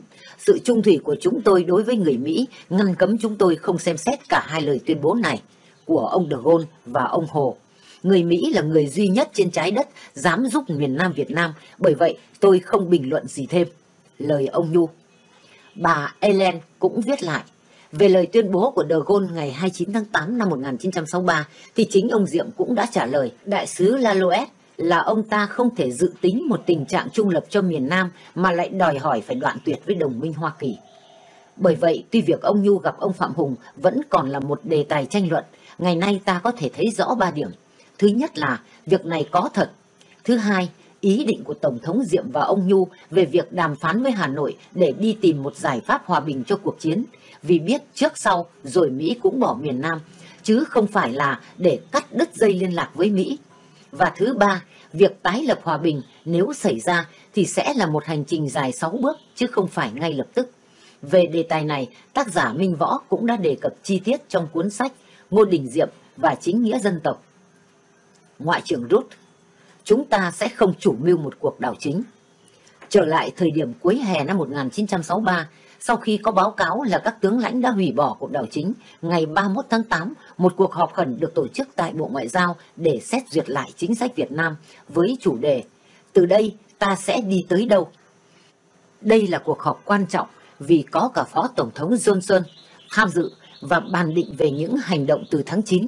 Chúng tôi in lại toàn bộ biên bản trong phần phụ lục. Kết luận của Ngoại trưởng Rút về cuộc họp là sẽ không chủ mưu đảo chính, được Bộ trưởng McNamara và Phó Tổng thống Johnson ủng hộ. Lập trường gây ra tranh luận trong buổi họp là do ông Paul M. Kattenburg đưa ra. Ông này đứng đầu nhóm công tác liên bộ về Việt Nam. Kattenburg đề nghị Mỹ nên rút chân ra vì tình hình không còn có thể cứu vãn được nữa, dù là có hay không có Tổng thống Diệm. Ông cho rằng nếu Hoa Kỳ tiếp tục sống với chế độ của ông Diệm thì có thể bị tống ra khỏi Việt Nam trong vòng 6 tháng. Phe bênh hai ông Nhu Diệm gồm có Bộ trưởng McNamara, Phó Tổng thống Johnson và cựu đại sứ Nâu Thinh. Ngoại trưởng Rút cho rằng thật là không thực tế khi đòi ông Nhu phải ra đi. Ông McNamara cũng đề nghị nên mở lại cuộc tiếp xúc với Tổng thống Diệm. Ngược lại, phụ tá Ngoại trưởng Hillman nhắc hội đồng về tình thế bết bát tại Việt Nam và nếu cứ chấp nhận một chính phủ có sự ngự trị mạnh mẽ của ông Nhu thì sẽ ảnh hưởng đến hình ảnh và chính sách của Mỹ ở khắp nơi. Hillman đưa ra bốn lý do để đả kích ông Nhu, đặc biệt là lý do thứ ba. Ông Nhu đã khởi xướng một nỗ lực nhằm rút các cố vấn Mỹ tại cấp tỉnh ra và tuyên bố rằng ông đã nói chuyện với người Pháp. Để làm bằng chứng, ông đưa ra nội dung của một bức điện văn mà Hoa Kỳ đã kiểm thính được. Tới đây, ông Bundy đòi xem bức điện này. Ông Nâu Thinh thì nhất mực bênh ông Diệm và ông Nhu, quả quyết rằng ông Nhu sẽ không bao giờ điều đình theo như những điều kiện của ông Hồ. Nhưng ông Human lại đưa ra những yếu tố tiêu cực khác gồm tâm trạng của dân chúng, đặc biệt là các hạ sĩ quan đều nhất loạt chỉ trích chính phủ Diệm. Ảnh hưởng xấu của việc Mỹ chấp nhận ông Nhu đối với các chương trình khác của Mỹ tại Đông Nam Á và vấn đề dư luận báo chí chống chính phủ. Phân tích của Kattenburg và Hillman bị các ông Rút và McNamara bác đi. Sau cùng, Ngoại trưởng Rút yêu cầu rằng chính sách của Mỹ phải dựa trên hai điểm. Chúng ta sẽ không rút ra khỏi Việt Nam trước khi chiến thắng và rằng chúng ta sẽ không chủ mưu một cuộc đảo chính. Ông McNamara ủng hộ quan điểm này và Phó Tổng thống Johnson đồng ý hoàn toàn. Ông yêu cầu là chúng ta phải chấm dứt cái trò con lừa và kẻ trộm và trở lại nói chuyện thẳng với chính phủ Diệm để đi tới chiến thắng. Ông Hillman bình luận về hai mục tiêu của ông Nhu. Dù Ngoại trưởng đã xác định là chúng ta sẽ không chủ mưu một cuộc đảo chính và Phó Tổng thống đã yêu cầu phải nói chuyện thẳng với chính phủ Diệm để đi tới chiến thắng. Ông Hillman không lùi bước. Ngày 16 tháng 9, ông lại viết một bản ghi nhớ bình luận về mục tiêu tối thiểu và tối đa của ông Nhu. Tối thiểu là sẽ giảm mạnh số người Mỹ đang giữ những chức vụ chính yếu tại các tỉnh và trong chương trình ấp chiến lược. Và tối đa là ông ta sẽ điều đình với Bắc Việt để ngưng chiến, rồi chấm dứt sự có mặt của Mỹ, đi tới một miền Nam trung lập, hoặc theo kiểu Tito, nhưng vẫn có một phần đất riêng biệt. Human kết luận rằng, ông Nhu đã quyết định dấn thân vào một cuộc mạo hiểm, và bởi vậy, không thể nào tiếp tục con đường hòa giải với ông ta bằng cách dùng ngoại giao và thuyết phục được nữa, mà phải đi theo con đường dùng áp lực. Tiếp theo đó là chuyến viếng thăm Sài Gòn từ ngày 23 tháng 9 đến ngày mùng 2 tháng 10 của phái đoàn Taylor McNamara.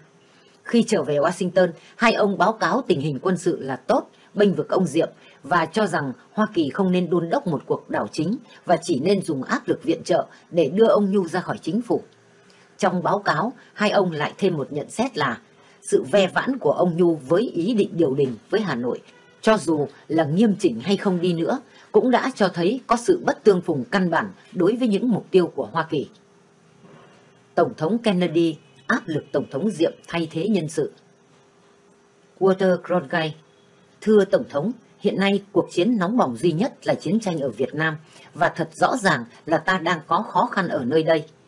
Tổng thống Kennedy Tôi không nghĩ cuộc chiến có thể thắng được trừ phi chính phủ cố gắng hơn nữa để dân chúng ủng hộ nỗ lực ấy. Theo ý tôi, trong hai tháng qua, chính phủ đã không còn gần gũi với nhân dân nữa. Cuộc đàn áp Phật giáo thật là không khôn ngoan chút nào cả. Cronkite. như vậy liệu chính phủ này có đủ thời giờ để lấy lại sự ủng hộ của nhân dân hay không? Kennedy, tôi nghĩ là có. Với những thay đổi về chính sách và có lẽ về cả nhân sự nữa, tôi nghĩ chính phủ ấy vẫn còn có thể làm được việc đó. Nhưng nếu chính phủ không thực hiện những sự thay đổi thì tôi nghĩ triển vọng lấy lại sự ủng hộ của dân chúng không được khả quan lắm. Đó là cuộc phỏng vấn trong buổi khai mạc chương trình tin tức buổi chiều do Walter Cronkite thực hiện chiều mùng 2 tháng 9 về áp lực kinh tế. Tổng thống Kennedy lần đầu tiên đã công khai làm áp lực thẳng. Ông Diệm phải áp dụng những bước tiến để lấy lại sự ủng hộ của nhân dân sau các cuộc đàn áp Phật giáo. Nếu không thì cuộc chiến không thể thắng được. Thành công có thể đạt tới với những thay đổi trong chính sách và có thể cả nhân sự nữa. Ông Kennedy không nói rõ nhân sự là ai, nhưng chắc chắn là ám chỉ việc phải thay thế ông Nhu. Tin này hết sức giật gân. Ở Sài Gòn, nhiều chính trị gia và tướng lãnh cho rằng như vậy là Washington đã hết ủng hộ chính phủ Diệm. Theo tác giả Homer, nhiều năm sau đó khi chính tướng Đôn được hỏi là ông đã hiểu thế nào về lời của Kennedy, thì ông trả lời Kennedy ủng hộ bất cứ sự thay đổi nào, bất cứ thay đổi nào. Cũng theo bà Helmer, thì đài TV CBS đã không trung thực khi chiếu lại cuộc phỏng vấn Tổng thống Kennedy vì cuộc phỏng vấn hơi dài đối với chương trình vào buổi chiều chỉ kéo dài một nửa giờ nên đài đã tự tiện cắt bớt đi một phần mà không hỏi ý kiến tòa bạch ốc. Phần này nói về sự kính nể và thông cảm của Tổng thống Kennedy đối với Tổng thống Diệm. Sau đó, chính phụ tá báo chí của Tổng thống là Pierre Salinger đã gọi chuyện này là sự xuyên tạc đi một phần. Một việc làm lu mờ quan niệm tổng quát của Tổng thống Kennedy đối với Tổng thống Diệm. Ngày hôm sau, trong một cuộc họp của Hội đồng An ninh Quốc gia, Tổng thống Kennedy chỉ thị phải cho ông Lốt biết để ông ấy cho mọi người hiểu rằng cuộc phỏng vấn trên TV không có nghĩa là Tổng thống Kennedy muốn tấn công Tổng thống Diệm và phải gửi bản sao toàn bộ cuộc phỏng vấn cho ông Lốt. Thế nhưng, không có chứng cớ gì là ông Lốt đã tuân theo chỉ thị này. Ngược lại, sau cuộc phỏng vấn ông Lốt lại vào gặp ông Diệm để cảnh cáo đủ chuyện, rồi nhắc tới lời ông Kennedy về nhu cầu phải thay đổi nhân sự và chính sách. Một tuần sau, khi thấy ảnh hưởng quá tai hại của cuộc phỏng vấn, Tổng thống Kennedy đã cố làm nhẹ bớt sự nghiêm trọng của lời cảnh cáo bằng cách nói vớt vát lại trong một buổi phỏng vấn khác trên đài NBC qua chương trình tin tức rằng ông không tin việc cắt viện trợ là cần thiết đối với mục tiêu của Hoa Kỳ ở Việt Nam trong lúc này. Nhưng đã quá muộn, vì nhiều người cho rằng ông đã bật đèn xanh lời cảnh cáo của ông đã vang dội vào sâu trong tai nhóm âm mưu đảo chính mà không còn cách nào moi ra được nữa, nhất là trên căn bản những gì đã diễn biến sau đó. Hai ông Diệm Nhu đã thực sự nhượng bộ, nhưng Washington tiếp tục tấn công. Ít người để ý rằng thực ra thì hai ông Diệm Nhu đã nhượng bộ đòi hỏi của Mỹ là ông Nhu phải ra khỏi chính quyền. Cùng ngày mùng 2 tháng 9, có cuộc họp giữa ông Lốt và ông Nhu. Cùng đi với ông Lốt có đại sứ Ý Auckland trong cuộc họp này, ông Nhu nói thẳng với ông Lốt rằng ông có ý định sẽ về hưu ở Đà Lạt.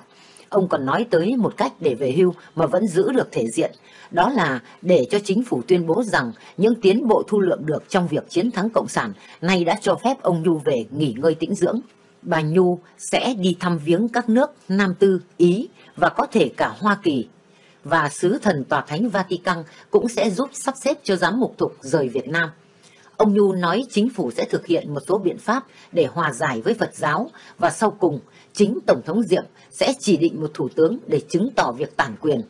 Như vậy có thể là ông Lốt đã không báo cáo về Washington cho rõ ràng về việc ông Nhu dự định về nghỉ ở Đà Lạt. Về sự việc này thì như đã đề cập trong chương trước, chính tư lệnh Mỹ ở Việt Nam là tướng Harkin cũng đã báo cáo về Bộ Quốc phòng là trong một cuộc gặp gỡ hôm qua, ông Nhu nói với tôi là ông ta hiện nay sẵn sàng làm những gì mà Hoa Kỳ muốn nếu có sự ủng hộ của Tổng thống Kennedy. Tôi nói với ông ta, đây là điều mới mẻ đối với tôi. Mấy ngày sau đó, trong khi đại sứ Ý và sứ thần Vatican trao đổi với ông Nhu về việc thực thi những biện pháp như trên, thì lại có tin là nghị sĩ Franchot sắp đem ra một nghị quyết đình chỉ viện trợ Mỹ. ông Nhu hết sức chăn trở, nói là sẽ từ chức nhưng sẽ không rời Việt Nam. Theo như dự định, đúng ngày 7 tháng 9, giám mục thục lên đường đi Vatican và hai ngày sau bà Nhu cũng ra khỏi nước. Như vậy là phía hai ông Diệm và Nhu đã bày tỏ thiện chí, nhưng mặc dù hai ông đã nhượng bộ, những sự việc không may lại liên tục xảy ra như sau.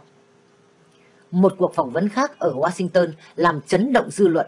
Ông David Bell, giám đốc cơ quan viện trợ Hoa Kỳ, AID, tỏ ý lo ngại là Quốc hội sẽ cắt viện trợ nếu chính phủ Diệm không thay đổi chính sách đàn áp hiện nay. Ngày 11 tháng 9, ông Lốt gửi điện tín số 478 về Washington đề nghị nên duyệt xét lại toàn bộ chương trình viện trợ để xem những loại viện trợ nào có thể dùng để áp lực ông Diệm. Hôm sau, nghị sĩ Frank Truth đưa ra quyết nghị lên án chính phủ Việt Nam đàn áp Phật giáo và đề nghị chấm dứt viện trợ trừ phi những hành động đàn áp được chấm dứt ngay. Ngày 14 tháng 9, Bộ Ngoại giao gửi điện tín số 411 thông báo cho đại sứ Lốt biết việc chấp thuận hoãn giải ngân số tiền 18,5 triệu cho chương trình nhập cảng cho tới khi có những quyết định căn bản mới về chính sách với Việt Nam. Như đã viện dẫn ở trên, ngày 16 tháng 9, ông Human viết bản ghi nhớ, kết luận là ông Nhu đã quyết định dấn thân vào một cuộc mạo hiểm và bởi vậy không thể nào tiếp tục có con đường hòa giải với ông ta nữa. Ngày 17 tháng 9, Hội đồng An ninh Quốc gia xem xét hai sự lựa chọn về chính sách áp lực mạnh hoặc chấp nhận vớt vát những gì còn có thể được đối với chính phủ Diệm. Hội đồng đi tới quyết định làm áp lực mạnh mẽ, đòi hỏi ông Diệm phải gạt ông Nhu ra khỏi chính quyền. Đòn bẩy cho 13 yêu sách Sau phát súng lệnh, chính quyền Kennedy đã đi vào một chiến dịch áp lực mà bất kể ý định ra sao cũng đã có tác động là khích lệ các tướng lãnh đạo trong quân đội cố gắng đảo chính một lần nữa. Theo như bình luận của tài liệu Bộ Quốc phòng, mời độc giả theo dõi những bàn bạc giữa Tòa Bạch Ốc và Đại sứ Lốt trong hai văn kiện quan trọng sau đây để hiểu rõ về mức độ của áp lực đối với ông Diệm vào lúc này. Theo điện tín của Tòa Bạch Ốc gửi ngày 17 tháng 9, Đại sứ Lốt được trao cho quyền hành rộng rãi để sử dụng viện trợ như đòn bẩy để làm áp lực.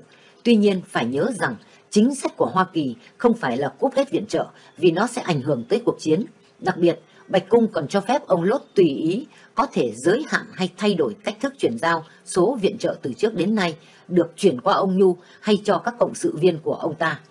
Tuy vậy, Bạch Cung cũng khuyến cáo ông Lốt nên chọn con đường làm áp lực để ông Diệm thay đổi thay vì đảo chính và ông Lốt nên tiếp xúc lại với Tổng thống Diệm để đối thoại. Nhưng ông Lốt đã khước từ. Sau đây là tóm tắt. Ngày 17 tháng 9 năm 1963, Tòa Bạch Ốc gửi đại sứ Lốt Phiên họp cấp tối cao hôm nay đã chấp thuận những nét lớn của một chương trình gồm những đề nghị hành động. Chúng tôi thấy không có cơ hội nào tốt hơn để hành động nhằm triệt bỏ chính phủ hiện nay trong tương lai gần nhất. Bởi vậy, như các điện văn gần đây nhất của ông đề nghị, chúng ta phải tạm thời làm áp lực tùy nghi để có thể có bất cứ sự cải thiện nào về tình hình. Chúng tôi đồng ý với ông là sự tăng cường tốt nhất cho vị thế thương lượng của ông trong giai đoạn lâm thời này là đưa ra chứng cứ rõ ràng rằng mọi viện trợ của Hoa Kỳ chỉ được cấp khi ông nói cấp mà thôi. Ông được quyền trì hoãn bất cứ sự giao hàng tiếp liệu hay chuyển giao ngân quỹ do bất cứ cơ quan nào của chính phủ Hoa Kỳ, cho đến khi ông hài lòng rằng nó phù hợp với quyền lợi của Hoa Kỳ. Sau đây là những hành động hữu ích mà chính phủ Việt Nam có thể làm theo thứ tự quan trọng. Tác giả dùng số 1 tới 13 thay vì từ A tới M như trong tài liệu. 1. Làm cho bầu không khí dễ thở, mọi người phải trở lại làm việc và chú tâm vào việc chiến thắng Việt Cộng. 2. Phật giáo và sinh viên phải được thả ra và không làm hại họ. 3. Báo chí phải cho phép được phát biểu rộng rãi. 4. Cảnh sát mật vụ và giã chiến hạn chế vai trò của họ để chỉ nhắm vào việc hành quân chống Việt Cộng. 5. Nội các phải cải tổ để đưa người mới vào là những người không tì vết, loại bỏ những đối tượng làm dân chúng bất mãn. 6. Bầu cử Phải tổ chức bầu cử, bầu cử phải tự do và kết quả được tôn trọng rộng rãi. 7. Quốc hội Phải được triệu tập sau khi bầu cử. 8. Đảng cần lao Không được ẩn tích hay trá hình, phải là một tổ chức rộng rãi.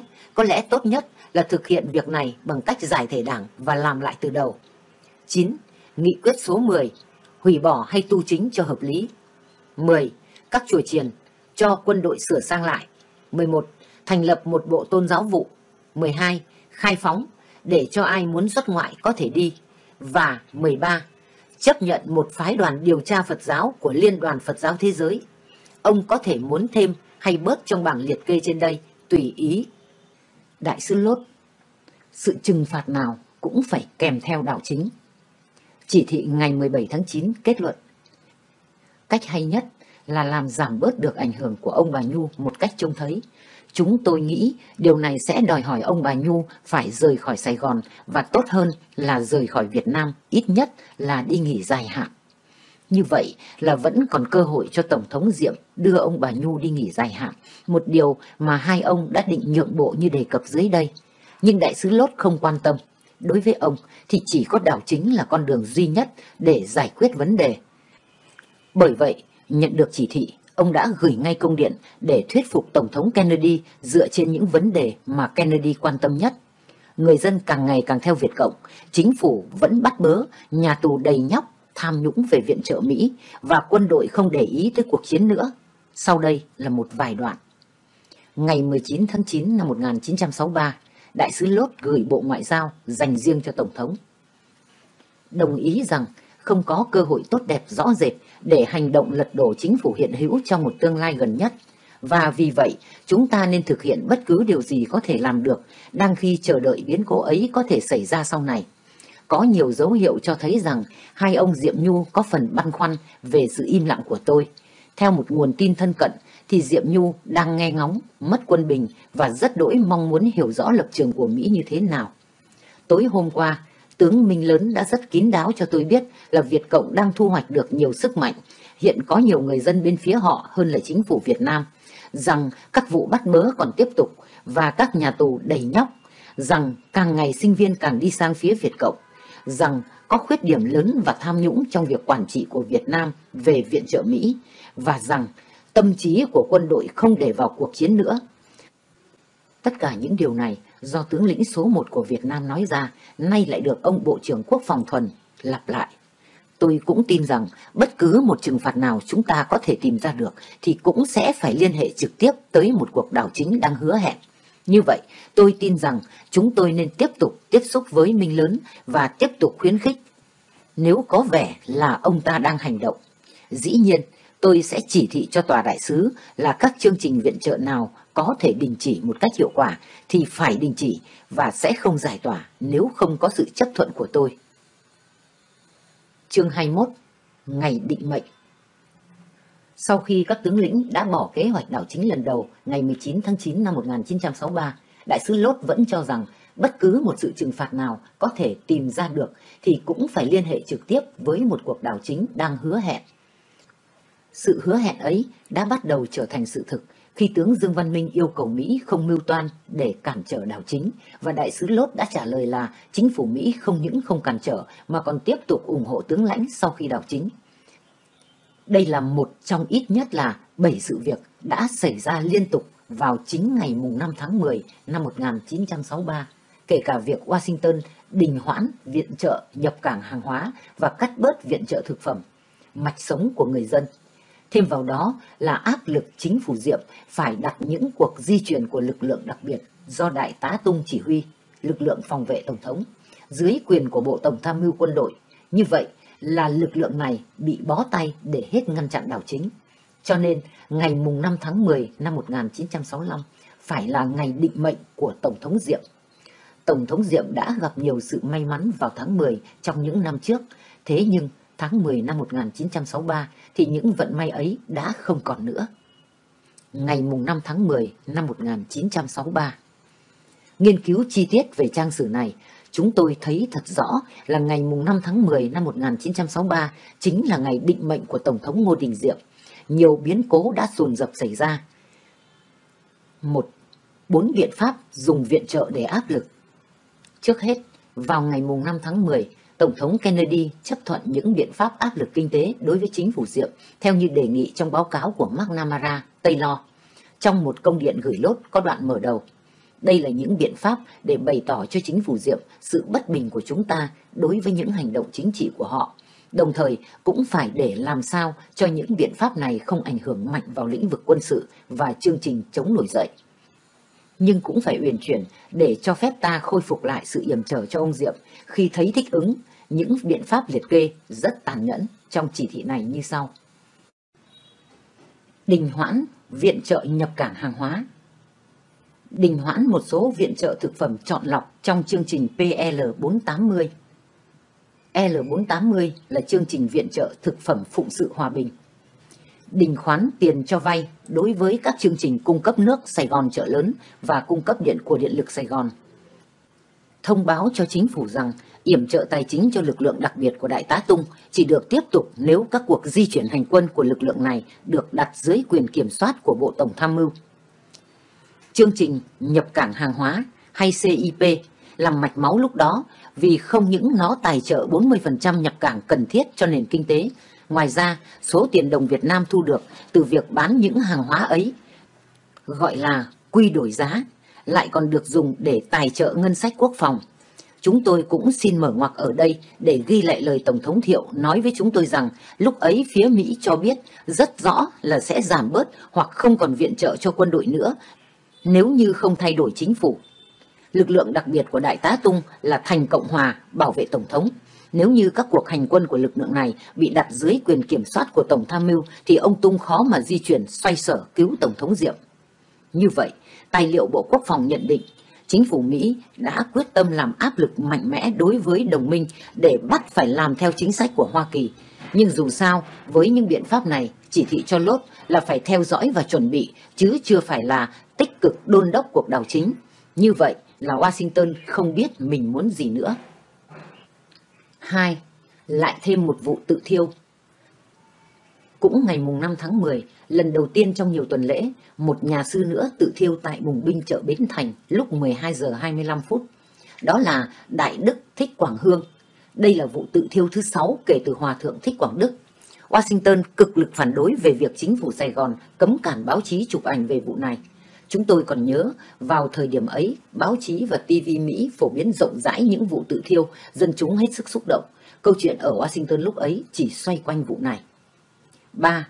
Thay đổi giám đốc CIA ở Sài Gòn Ngày mùng 5 tháng 10 còn có sự việc quan trọng khác, đó là việc ông Richardson rời Sài Gòn.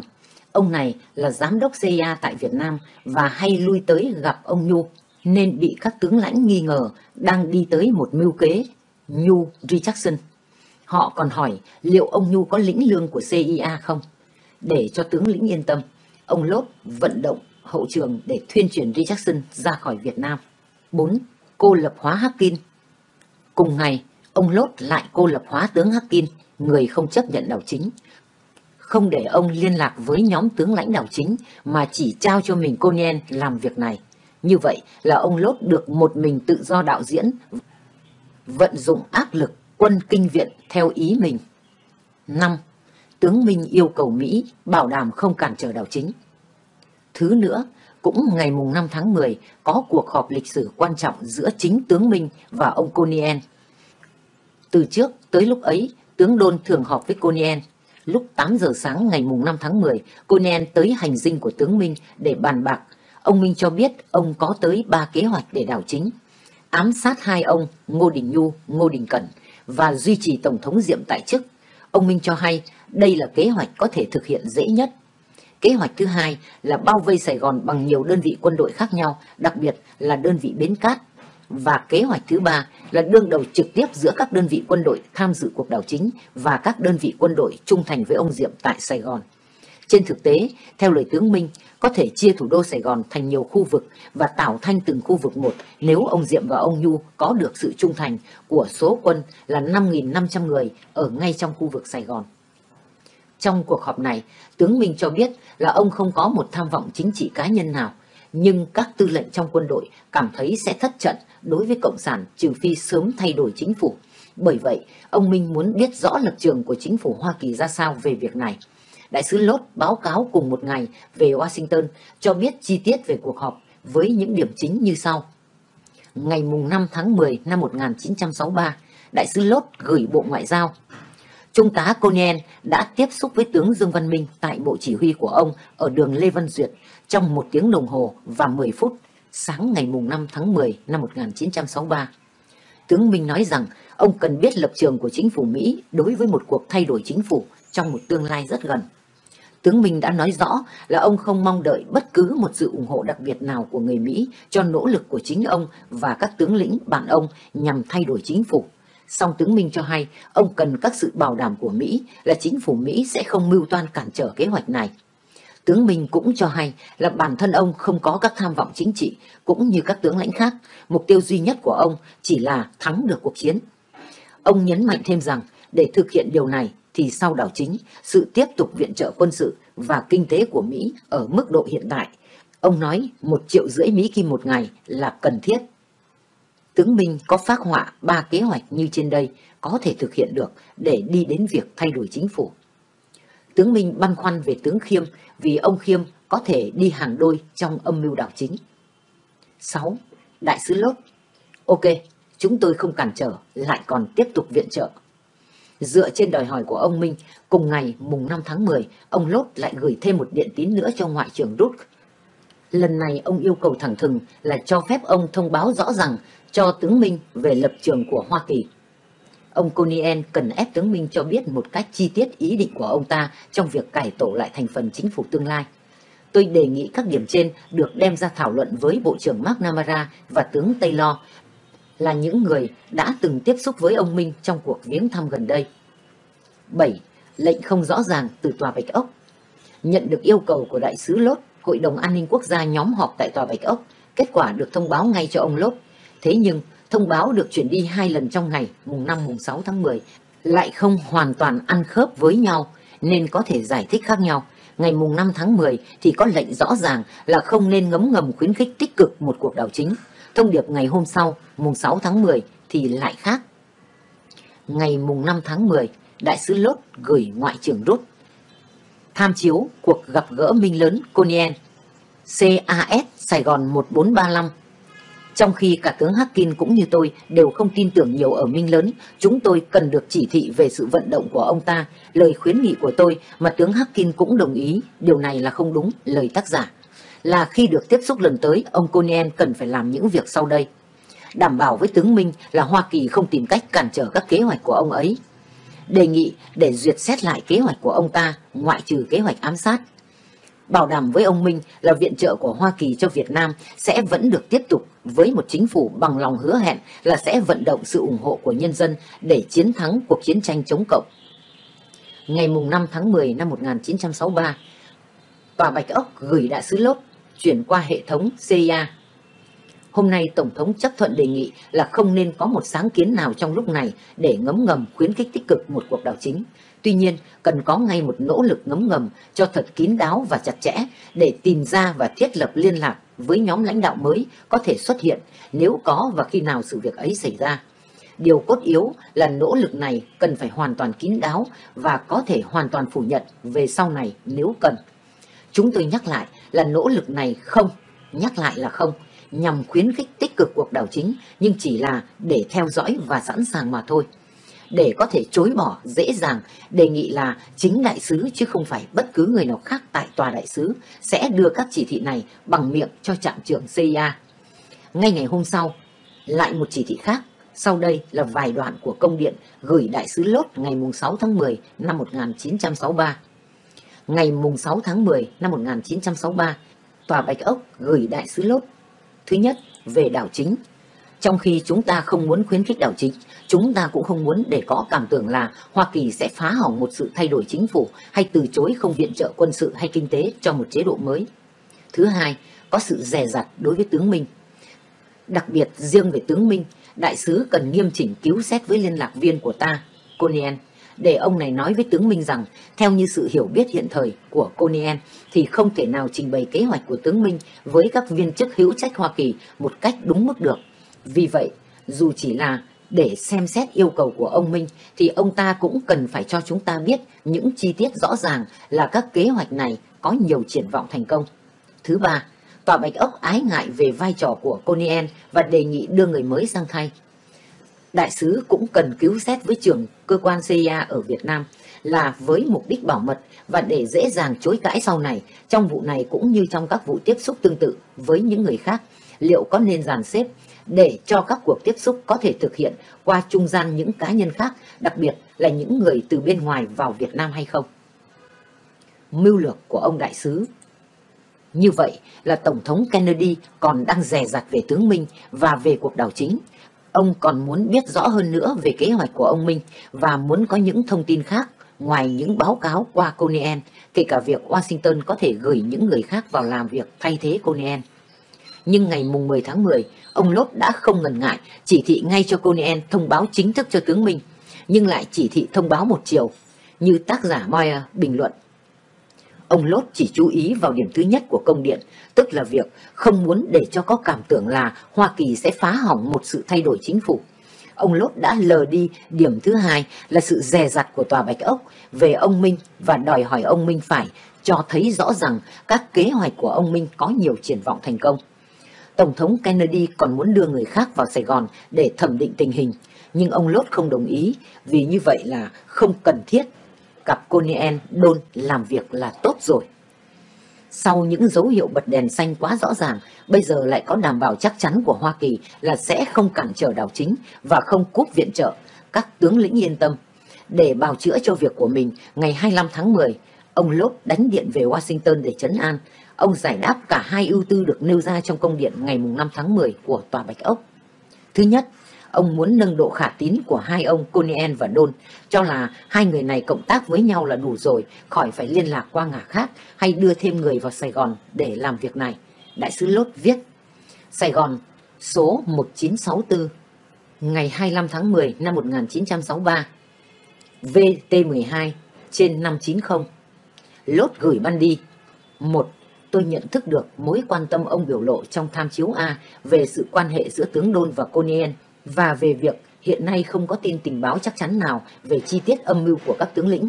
Tôi hy vọng rằng tham chiếu B sẽ giúp giải tỏa một vài nghi ngờ về kế hoạch của các tướng và tôi mong rằng những kế hoạch chi tiết mà ông Đôn đã hứa cung cấp hai ngày trước khi đảo chính sẽ giải tỏa nốt những nghi ngờ còn lại. 2. CAS, tình báo CIA, đã rất chu đáo trong việc thi hành những huấn thị của tôi. Tôi đã đích thân chấp thuận mỗi cuộc họp giữa tướng Đôn và Conien Lần đầu tiên Conien cũng thi hành lệnh của tôi một cách dứt khoát. Mặc dù tôi chia sẻ sự e ngại của ông về việc Conien tiếp tục dính dấp vào vụ này, hiện nay không có ai thích hợp để thay thế anh ta làm đầu mối liên lạc chính. Như ông đã biết, Conien là bạn của tướng Đôn đã 18 năm nay và tướng Đôn đã biểu lộ ông ấy rất e ngại phải giao tiếp với bất cứ ai khác. Tôi không tin rằng đưa một người Mỹ khác vào để liên lạc chặt chẽ với các tướng sẽ có lợi ích gì. 3. Còn về việc tướng Harkin đã nói chuyện gì với tướng Đôn mà để ông ta lặp lại là có liên quan tới một chỉ thị của Tổng thống Kennedy nên yêu cầu gặp tôi. Nhưng để cẩn thận và đề phòng, tôi đã từ chối và không gặp ông Đôn. Thứ hai, ông Lốt giải thích về lý do Tòa Bạch Ốc còn chưa rõ về kế hoạch của các tướng. Đó là vì các tướng còn e ngại bị người Mỹ tiết lộ. Ông Lốt đề nghị Washington khỏi phải ưu tư về thiện trí của ông Đôn hay lo ngại về việc mắc mưu ông Nhu. Ông viết tiếp.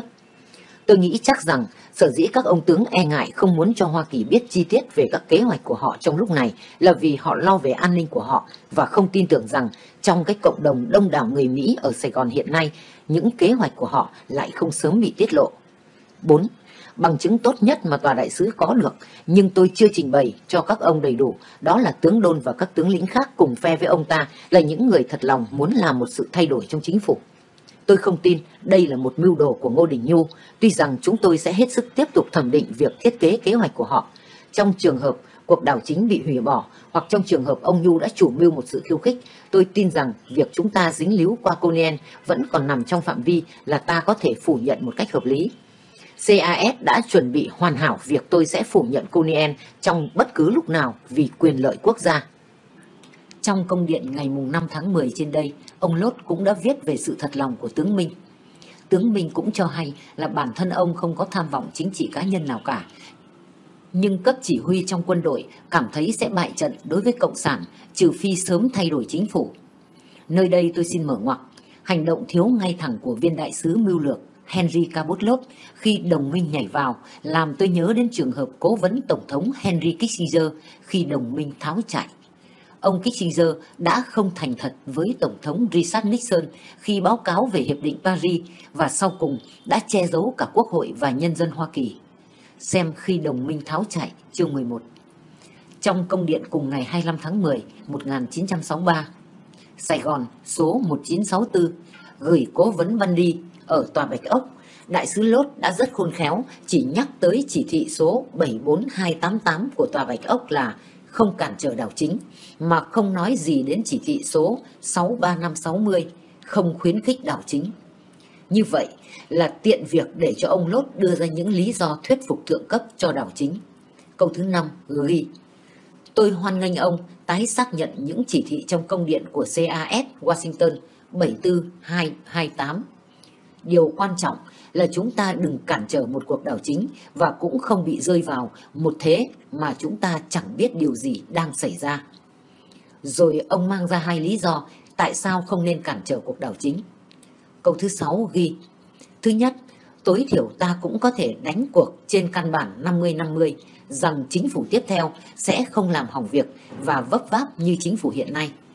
Thứ hai, về lâu dài sẽ vô cùng thiếu khôn ngoan nếu chúng ta dội nước lạnh lên một mưu toan đảo chính.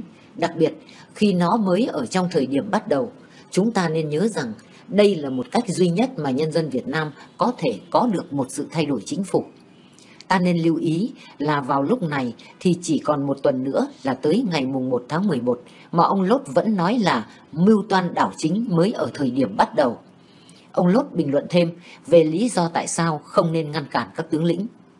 Mỗi khi chúng ta cản trở âm mưu đảo chính như chúng ta đã làm trong quá khứ thì chúng ta phải hứng chịu sự oán giận kéo dài rất lâu. Trong khi xét đoán những vụ đảo chính được đề xuất, chúng ta phải cứu xét tác động của chúng đối với nỗ lực chiến tranh. Chắc chắn là một chuỗi nối tiếp những vụ tranh giành quyền hành sẽ gây trở ngại cho nỗ lực chiến tranh. Nhưng cũng phải nói rằng, nỗ lực chiến tranh đã bị trở ngại rồi bởi sự thiếu khả năng của chính quyền hiện tại và những xáo trộn nó đã gây ra. Bản sao kính gửi tướng Hakin. Trong công điện trên, câu thứ bảy ông Lốt đã tính tới việc hậu đảo chính và đề nghị một chính phủ mới có thể bao gồm cả Thượng tọa Thích Chí Quang hay ông Trần Quốc Bửu. Nhưng cùng ngày 25 tháng 10, ông Văn Đi lại gửi thêm cho ông Lốt một thông điệp nữa từ Tòa Bạch Ốc để tiếp tục bày tỏ sự e ngại về đảo chính. Đang khi chia sẻ với ông đại sứ về quan niệm là chúng ta không nên ngăn cản đảo chính, chúng tôi vẫn muốn có sự lựa chọn. Chúng tôi vẫn biết Chúng tôi muốn biết về sự phán đoán của ông và được thông báo về bất cứ kế hoạch đảo chính nào thiếu khả năng thành công. Tướng Harkin cực lực phản đối đại sứ Lốt. Nhận được bản sao công điện ngày 25 tháng 10 của đại sứ Lốt, cũng như được biết thêm tin tức về âm mưu đảo chính, tướng Harkin hết sức bất mãn. Đã gần đến ngày đảo chính rồi mà ông Lốt vẫn nói như mưu toan này đang còn trong giai đoạn bào thai như đã nhận định. Có thể đây là cách được đánh lạc hướng ông Hakin vì ông Lốt có chỉ thị phải thông báo cho ông tướng này. Trái với lập trường của Lốt, Hakin cực lực chống đảo chính. Ông viết cho tướng Taylor. Tôi nói với tướng Đôn rằng tôi không muốn bàn tới đảo chính vì đó không phải là việc của tôi. Tôi có nghe nhiều tin đồn về đảo chính. Từ Washington, tướng Taylor trả lời Hakin ngay. Quan niệm của ông là đúng và ta vẫn cứ xa lánh việc dúng tay vào đảo chính ngày 30 tháng 10, Hakin lại gửi thêm về cho tướng Taylor ba bức điện liên tục, nói lên sự phẫn uất của ông với đại sứ Lốt vì đã không cho ông hay biết tất cả mọi sự việc liên hệ, kể cả việc ông Conien gặp ông Đôn thường xuyên và việc ông Lốt đã giải thích mệnh lệnh từ Washington khác với mình. Ông Đôn đã cho đại sứ Lốt hay rằng dù nhóm đảo chính không cho biết chi tiết, nhưng ông đại sứ sẽ nhận được toàn bộ kế hoạch đảo chính để nghiên cứu hai ngày trước khi khởi sự. Thế mà ông Lốt chưa cho tôi biết ông đã nhận được kế hoạch nào hay chưa. Tôi nói chuyện với ông luôn ngày hôm qua khi tôi từ Bangkok trở về và không thấy ông này cho biết thông tin gì cả. Tôi phải nói rằng nguyên tắc hành động của ca bốt lốt khác hẳn với đại sứ Nô Trinh. Luôn luôn thông báo để có sự đồng nhất của tôi hoặc nhân viên văn phòng tôi về những thông điệp liên hệ tới quân sự. Ông Richardson cũng làm như vậy nếu liên hệ tới MACV nhưng bây giờ thì không như vậy. Thí dụ như mật điện số 1896 và 1925. Chắc ông Taylor cũng còn nhớ là tôi đã không nhận được những thông điệp của chính ông gửi lúc ông còn đang ở Sài Gòn. Về sự lắt léo của Lốt, Hackin còn khiếu nại là mình đã hành động theo hướng dẫn trong công điện 63560 ngày 5 tháng 10 là không khuyến khích đảo chính và công điện tiếp theo ngày hôm sau, mùng 6 tháng 10, số 74288 chỉ là để hướng dẫn thêm về đường lối chính sách căn bản của công điện ngày hôm trước là Hoa Kỳ không chủ động trong việc khuyến khích cuộc đảo chính. Hacking trình bày là ông Lốt đã hành động ngược lại. Ông phàn nàn. Ông đại sứ cho rằng chỉ thị 74288 đã thay thế chỉ thị 63560 và một cuộc thay đổi chính phủ là điều ta mong muốn và đảo chính là cách duy nhất để thay đổi chính phủ. Về tướng Đôn, ông Hacking viết, ông Đôn hoặc là nói dối hoặc là đi hàng đôi. Điều ông ta nói với tôi thì khác hẳn điều ông ta nói với cô Nien. Ông ta nói với cô Nien là sẽ có đảo chính trước ngày mùng 2 tháng 11, nhưng lại nói với tôi là không có kế hoạch đảo chính nào cả. Tôi ngồi với cả hai ông, Đôn và Minh, trong 2 giờ đồng hồ dự cuộc duyệt binh thứ bảy vừa qua. Không thấy ông nào nói với tôi về đảo chính. Tướng Hacking bênh vực Tổng thống Diệm. Tướng Hacking nói tiếp, tôi không phản đối việc phải có sự thay đổi, nhưng là thay đổi về phương pháp cai trị, chứ không phải thay đổi toàn bộ nhân sự. Trong những liên hệ của tôi ở đây, tôi không thấy ai có uy lực và đặc tính như ông Diệm. Ít nhất là trong việc chống cộng. Chắc chắn là không có ông tướng nào đủ khả năng để thay thế ông ta. Bản thân tôi cũng không phải là người phe Diệm. Chắc chắn rằng tôi cũng đã nhìn thấy những khuyết điểm của ông ta. Nhưng tôi đang ở đây để giúp 14 triệu người dân miền Nam cùng với lãnh đạo của họ ta hãy cố chiến thắng về mặt quân sự, rồi sau đó để tùy họ muốn thay đổi gì thì tùy ý. Dù sao, đúng hay sai, ta đã ủng hộ ông Diệm trong 8 năm trường khó khăn. Đối với tôi, thật là phi lý nếu bây giờ ta lại lật ông, đấm đá ông và loại bỏ ông. Trong công điện tiếp theo, ông Hackin nói về tình hình quân sự. Nói chung, ta đang thắng thế trong cuộc chiến đấu với Cộng sản. Sẽ có những lúc lên xuống, nhưng chiều hướng tổng quát là đang đi lên. Rồi tiếp tục phàn nàn rằng ông đại sứ không để ý tới những ý kiến đóng góp của mình về những hoạt động và kế hoạch quân sự tiến bộ của chính phủ. Như vậy, một khi ông Lốt đã quyết tâm loại trừ Tổng thống Diệm thì ông sẽ đi tới cùng bất kể sự thành công về quân sự và bất kể sự chống đối của tướng Hắc Kim. Tới đây thì trong thực tế số phận của ông Diệm coi như đã được quyết định rồi. Tổng thống Diệm đã gặp may mắn vào tháng 10 trong những năm trước tháng 10 năm 1954, độc giả nhớ lại là vào khi khủng hoảng chính trị đang nóng bỏng ở Sài Gòn và Pháp đang âm mưu loại bỏ Thủ tướng Diệm. Tổng thống Eisenhower đã viết bức thư đầu tiên thông báo quyết định của Hoa Kỳ viện trợ thẳng cho Việt Nam thay vì thông qua chính phủ Pháp. Tôi đã chỉ thị cho đại sứ Mỹ ở Việt Nam để xem xét với ngài. Với tư cách, ngài là lãnh đạo của chính phủ, làm sao để một chương trình của Hoa Kỳ viện trợ thẳng cho chính phủ của ngài có thể yểm trợ được nước Việt Nam trong giờ phút thử thách này. Tháng 10 năm 1955, Việt Nam Cộng Hòa khai sinh và ông Diệm trở nên Tổng thống đầu tiên. Tháng 10 năm 1956, cột trụ của chính thể mới là hiến pháp của nền Cộng Hòa bắt đầu có hiệu lực. Tháng 10 năm 1960, Tổng thống Eisenhower viết thư cho Tổng thống Diệm ca ngợi thành quả của Tổng thống Diệm và nhân dân miền Nam chúng tôi đã chứng kiến sự can đảm và táo bạo mà Ngài và nhân dân Việt Nam đã biểu dương để đạt tới độc lập trong một tình huống nguy hiểm đến độ nhiều người đã coi như là vô vọng. Chúng tôi còn ngưỡng mộ khi tình trạng hỗn loạn ở miền Nam đã nhường chỗ cho trật tự và tiến bộ đã thay thế cho tuyệt vọng. Tất cả với một tốc độ thật nhanh chóng. Tháng 10 năm 1961, nhân dịp kỷ niệm 6 năm thành lập Việt Nam Cộng Hòa, Tổng thống Kennedy viết cho Tổng thống Diệm Thành tích mà Ngài đã đạt được đã đem lại một niềm hy vọng mới, nơi cư trú và sự an ninh cho gần một triệu người lánh nạn Cộng sản từ miền Bắc đã nổi bật như một trong những nỗ lực đáng được tán dương nhất và được điều hành tốt nhất trong thời hiện đại. Thế nhưng, tháng 10 năm 1963 thì những sự khuyến khích và cơ may ấy đã không còn nữa.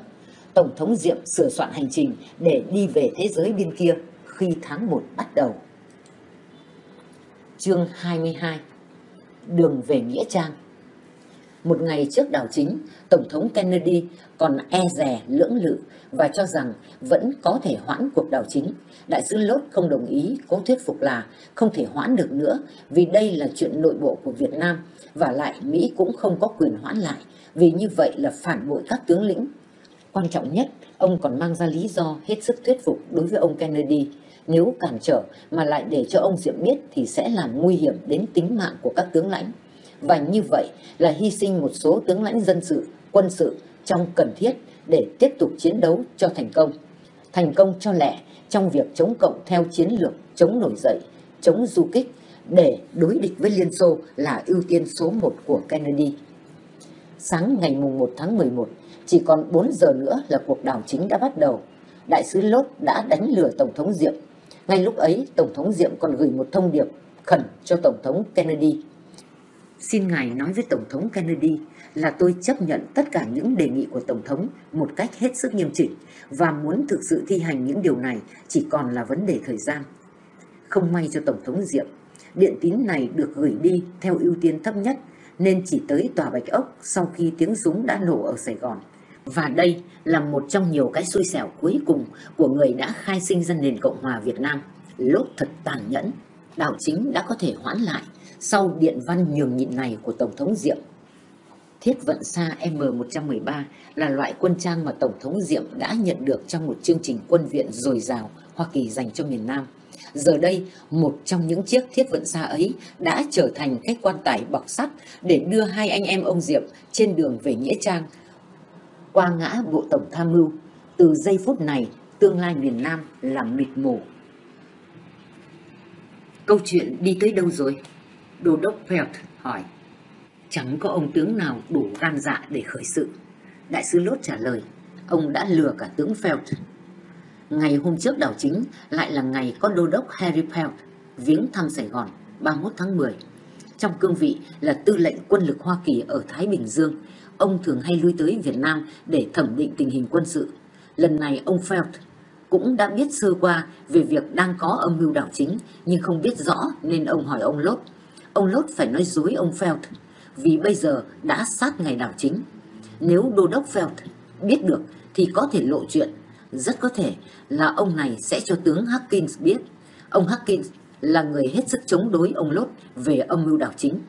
Tới giờ chót, Hawkins cũng không biết rõ vì khi ông cùng với ông Đôn tiễn đưa đô đốc Felt ra phi trường lúc 11 giờ 30 ngày hôm đó, mùng 1 tháng 11, thì ông harkin lại còn mời ông Đôn về nhà mình để ăn trưa. Dĩ nhiên là ông Đôn đã từ chối vì ông phải vội vã trở về Bộ Tổng Tham mưu trước giờ khởi sự đảo chính. Về tới nơi, ông đã thấy Conien ngồi chờ sẵn với một máy truyền tin nối với tòa đại sứ và một cặp tiền. Conan đã làm theo yêu cầu của ông Đôn là hãy mang tới bất cứ số tiền nào có thể mang được. Conan mang tới 3 triệu đồng, tương đương với 42.000 đô la vào lúc bấy giờ. Về số tiền 3 triệu đồng này, trong cuốn Việt Nam Nhân chứng, tướng Trần Văn Đôn đã viết lại rất chi tiết ở cuối sách sau trang 562 với đầy đủ biên lai nhận tiền do các người nhận trong một phiếu đệ trình với trích yếu về số bạc 3 triệu của ông Conien cho mượn để thù lao cho các đơn vị trong ngày cách mạng. Nếu như Hackin biết được tin tức qua lốt thì ông chỉ cần thông báo cho ông Diệm, tức khắc diễn biến lịch sử chắc chắn đã khác rồi.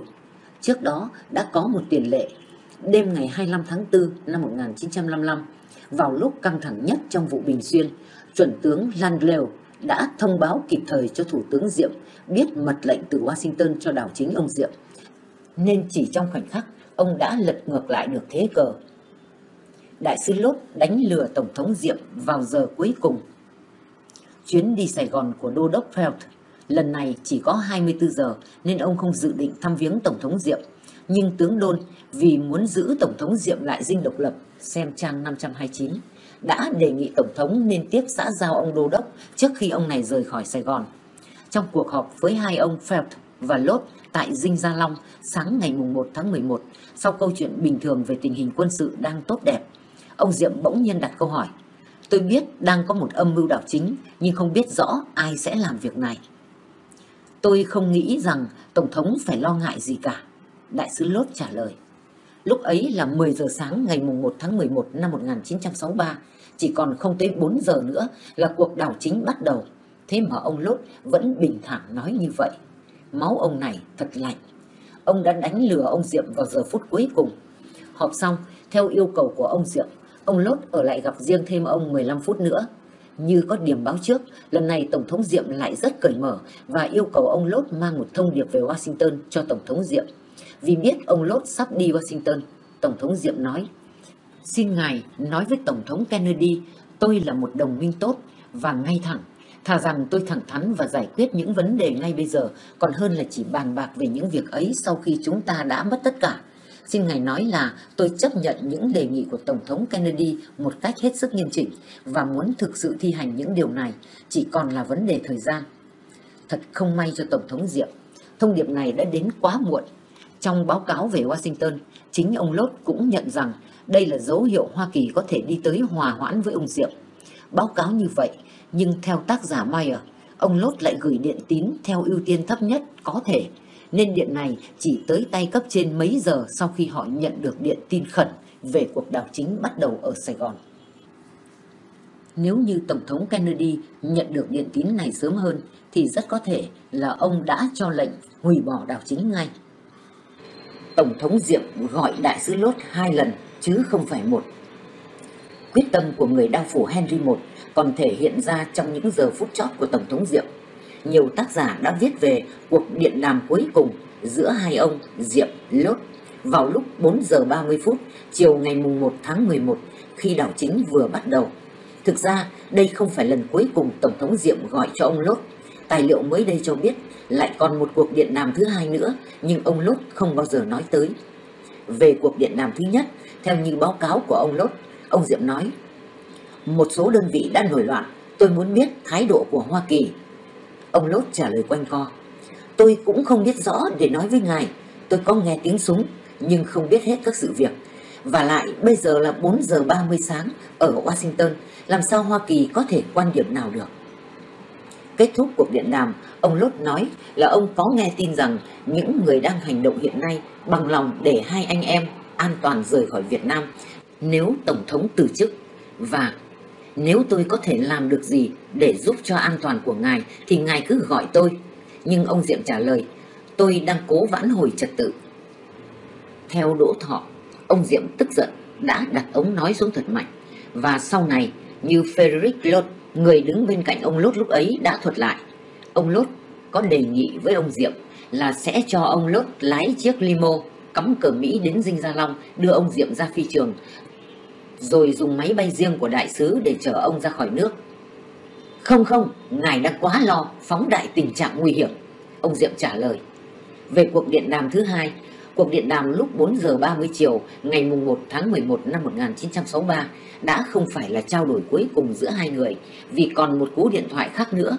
Cho đến nay, ít người biết. Đó là lúc ở tại nhà thờ Cha Tam sáng ngày mùng 2 tháng 11, ông Diệm đã gọi ông Lốt lần cuối cùng để yêu cầu giúp phương tiện ra đi vì ông Lốt đã hứa rằng nếu tôi có thể làm được gì để giúp cho an toàn của ngài thì ngài cứ gọi tôi. Tác giả Meyer khẳng định là ông Lốt đã không bao giờ thông báo cho Washington về cuộc điện đàm này. Nhưng có hai nhân chứng đã xác định. Một là ông Mai Đăng, phụ tá trưởng của đại sứ, là người đứng bên ông Lốt khi ông nói điện thoại với ông Diệm. Theo ông Đăng, thì ông Lốt chỉ nói với ông Diệm là tòa đại sứ Mỹ có thể cho ông trú ẩn và bất cứ điều gì khác nhưng không thể giúp phương tiện chuyên trở. Và như vậy là trái hẳn với đề nghị của ông Lốt chiều hôm trước là có thể cho máy bay chở ông Diệm sang Phi Luật Tân. Ngay lúc ấy, ông Đăn nói với ông Lốt rằng ông xin tự nguyện đến chở hai ông Diệm Nhu để bảo vệ cho hai ông. Nhưng ông Lốt đã ngăn lại. Về sau này, ông Đăn đã phản nàn. Tôi thật ngạc nhiên là ta đã không làm gì thêm để giúp đỡ cho hai anh em họ ngô. Nhân chứng khác nữa là nhà báo Joseph Fry của tờ New York Daily News. Trong một báo cáo vào ngày 5 tháng 11 năm 1963, ông Fider đã xác nhận về cuộc điện đàm thứ hai này. Tổng thống Kennedy bối rối lưỡng lự.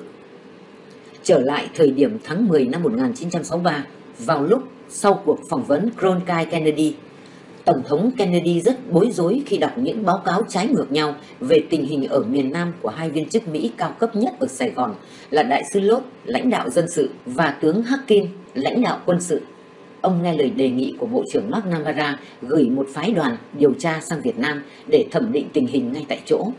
Phái đoàn gồm tướng Victor Hatrulat, chuyên viên cao cấp nhất của ngũ giác đài về chiến tranh phản du kích, và Joseph Friendenheim, chuyên viên Bộ Ngoại giao, cũng là nguyên cố vấn chính trị tòa đại sứ Mỹ ở Sài Gòn. Hai người trở về sau chuyến đi vội vàng chỉ có 4 ngày để báo cáo về kết quả hội thảo với các viên chức Mỹ ở Sài Gòn. Trở về Washington, hai ông nộp báo cáo cho Tổng thống với những nhận xét hoàn toàn trái ngược nhau. Rulak thì báo cáo theo lập trường của tướng Harkin chỉ huy cơ quan viện trợ quân sự MAAG, rằng hiện đang có nhiều tiến bộ về mặt quân sự, cuộc chiến đang thắng và tuy có ít nhiều bất mãn với ông Diệm trong giới quân đội, cũng chẳng ai liều lĩnh đủ để lật đổ ông ta. Krulak đề nghị nên tiếp tục làm việc với ông Diệm cho tới khi toàn thắng. Ngược lại, Mendenhall trình bày theo lập trường của đại sứ Lốt và cảnh cáo rằng sự sụp đổ của chính phủ miền Nam rất có thể xảy ra và thế là có một cuộc nội chiến về tôn giáo. Bởi vậy, Mendenhall kết luận nếu không thay đổi ông Diệm ngay thì không thể chiến thắng Cộng sản. Vậy có phải hai ông đã đến nghiên cứu tại cùng một nước hay không? Tổng thống Kennedy bực mình hỏi lại. Nghe hai bên báo cáo, ông Kennedy càng thêm hoang mang nên quyết định gửi chính Bộ trưởng McNamara và tướng Taylor sang tìm hiểu sự thực.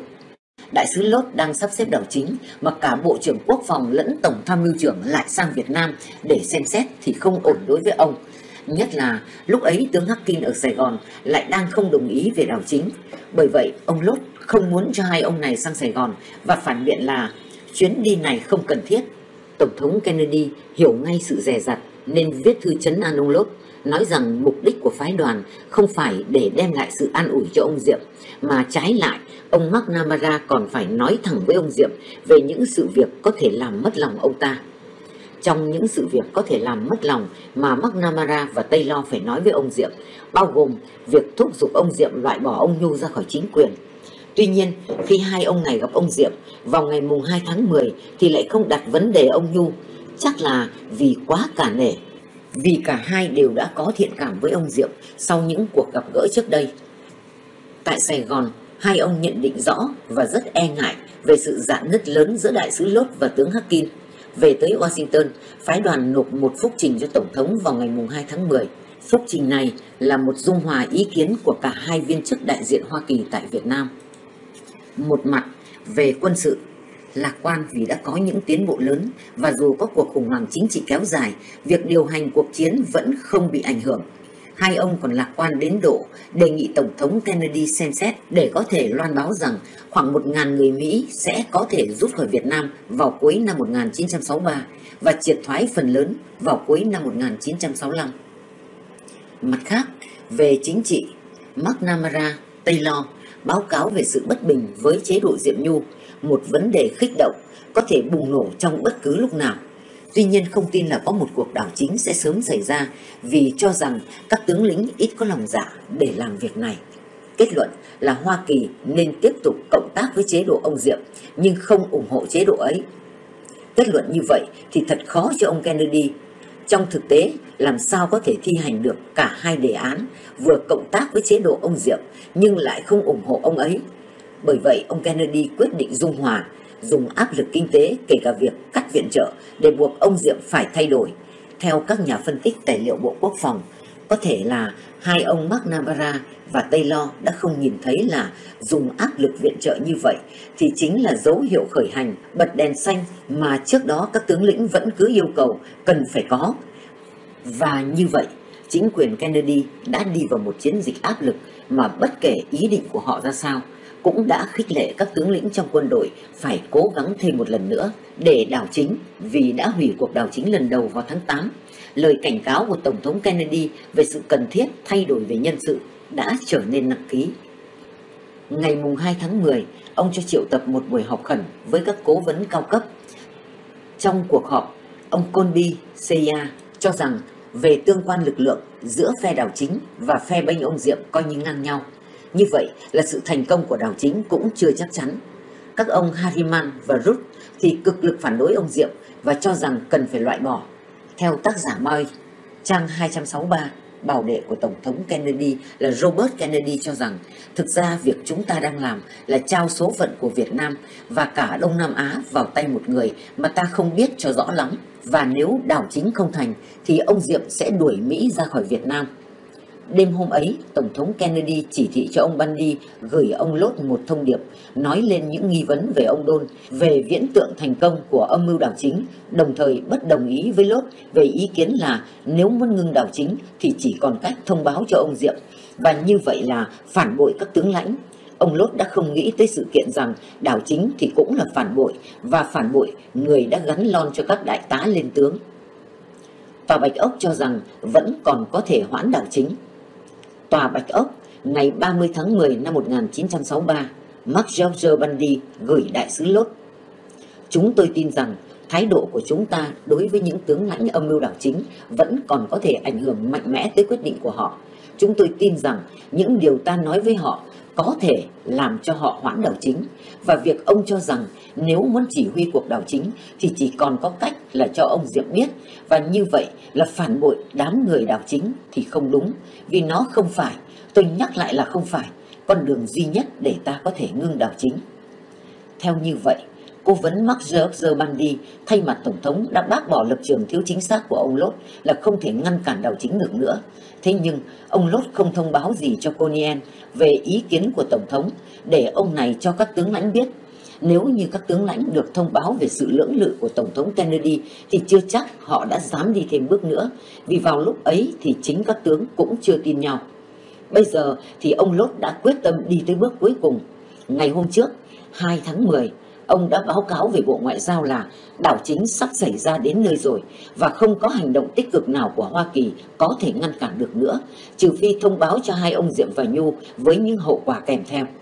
Lốt thêm rằng, vì tướng Đôn đã thông báo lại cho ông là các tướng lĩnh chỉ cho chúng ta biết 4 giờ đồng hồ trước đảo chính, chứ không phải hai ngày như đã hứa. Nên từ lúc biết tin cho tới lúc đảo chính khởi sự sẽ không còn có đủ thời giờ cho tôi hỏi ý kiến Washington nữa. Như vậy là hết phải báo cáo, cứ để cho kế hoạch xúc tiến. Thực ra cho đến lúc chót vẫn còn có thể ngăn cản được cuộc đảo chính. Chiều ngày 31 tháng 10, khi nhóm tướng lãnh đảo chính họp nhau ở chợ lớn, vẫn chưa có sự tin tưởng nhau và đồng ý hoàn toàn. Việc các tướng lãnh nghi ngờ nhau thì đã do chính ông Lốt báo cáo trước đó trong công điện ngày 5 tháng 10 năm 1963, chương 21. Tới sau khi đảo chính đã bắt đầu, các tướng lãnh cũng vẫn chưa yên tâm. Theo như ông Nguyễn Văn Ngân, phụ tá chính trị của Tổng thống Thiệu, thì chính ông Thiệu đã kể lại rằng nếu ông Diệm và ông Nhu không ra trình diện vào sáng ngày mùng 2 tháng 11, chỉ cần nán lại tới trưa cùng ngày thì các tướng lãnh sẽ lên máy bay chạy hết vì lo sợ và nghi ngờ lẫn nhau. Tại Washington cũng vẫn còn nhiều người ủng hộ ông Diệm. Dân biểu Clement G.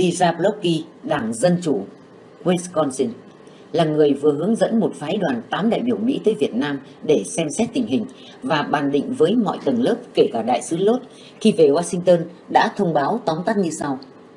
Tất cả phái đoàn đều kết luận rằng mặc dù những khuyết điểm, ông Diệm vẫn là người mà chưa thấy ai có thể thay thế được và việc những đại diện của Hoa Kỳ nối tay với những người muốn lật đổ ông như hồi tháng 8 vừa qua là gây ra tai hại. Ngoài ra, phái đoàn cho rằng báo chí Mỹ ở Sài Gòn ngạo mạn, dễ bị xúc động, thiếu khách quan và không được thông tin đầy đủ. Tôi xin mở ngoặc ở đây là khi chúng tôi gặp ông Zablocki hè năm 1962, ông hết mực khen ngợi Tổng thống Diệm. Đại sứ Lốt, ta không có quyền hoãn cuộc đảo chính lại nữa. Nhận được công điện sáng sớm ngày 30 tháng 10 nói tới việc Tòa Bạch Ốc cho rằng vẫn còn có thể hoãn lại cuộc đảo chính. Nhưng ông Lốt đã chờ đến chiều tối mới trả lời. Lại một lần nữa, ông biện luận là không thể hoãn được cuộc đảo chính. Biện lẽ đây là việc thuộc nội bộ của Việt Nam, Mỹ không nên dính vào. Công điện ngày 30 tháng 10 do ông Lốt gửi cố vấn Bundy được tóm tắt như sau. Ngày 30 tháng 10 năm 1963, Đại sứ Lốt gửi cố vấn Bundy tòa Bạch Ốc.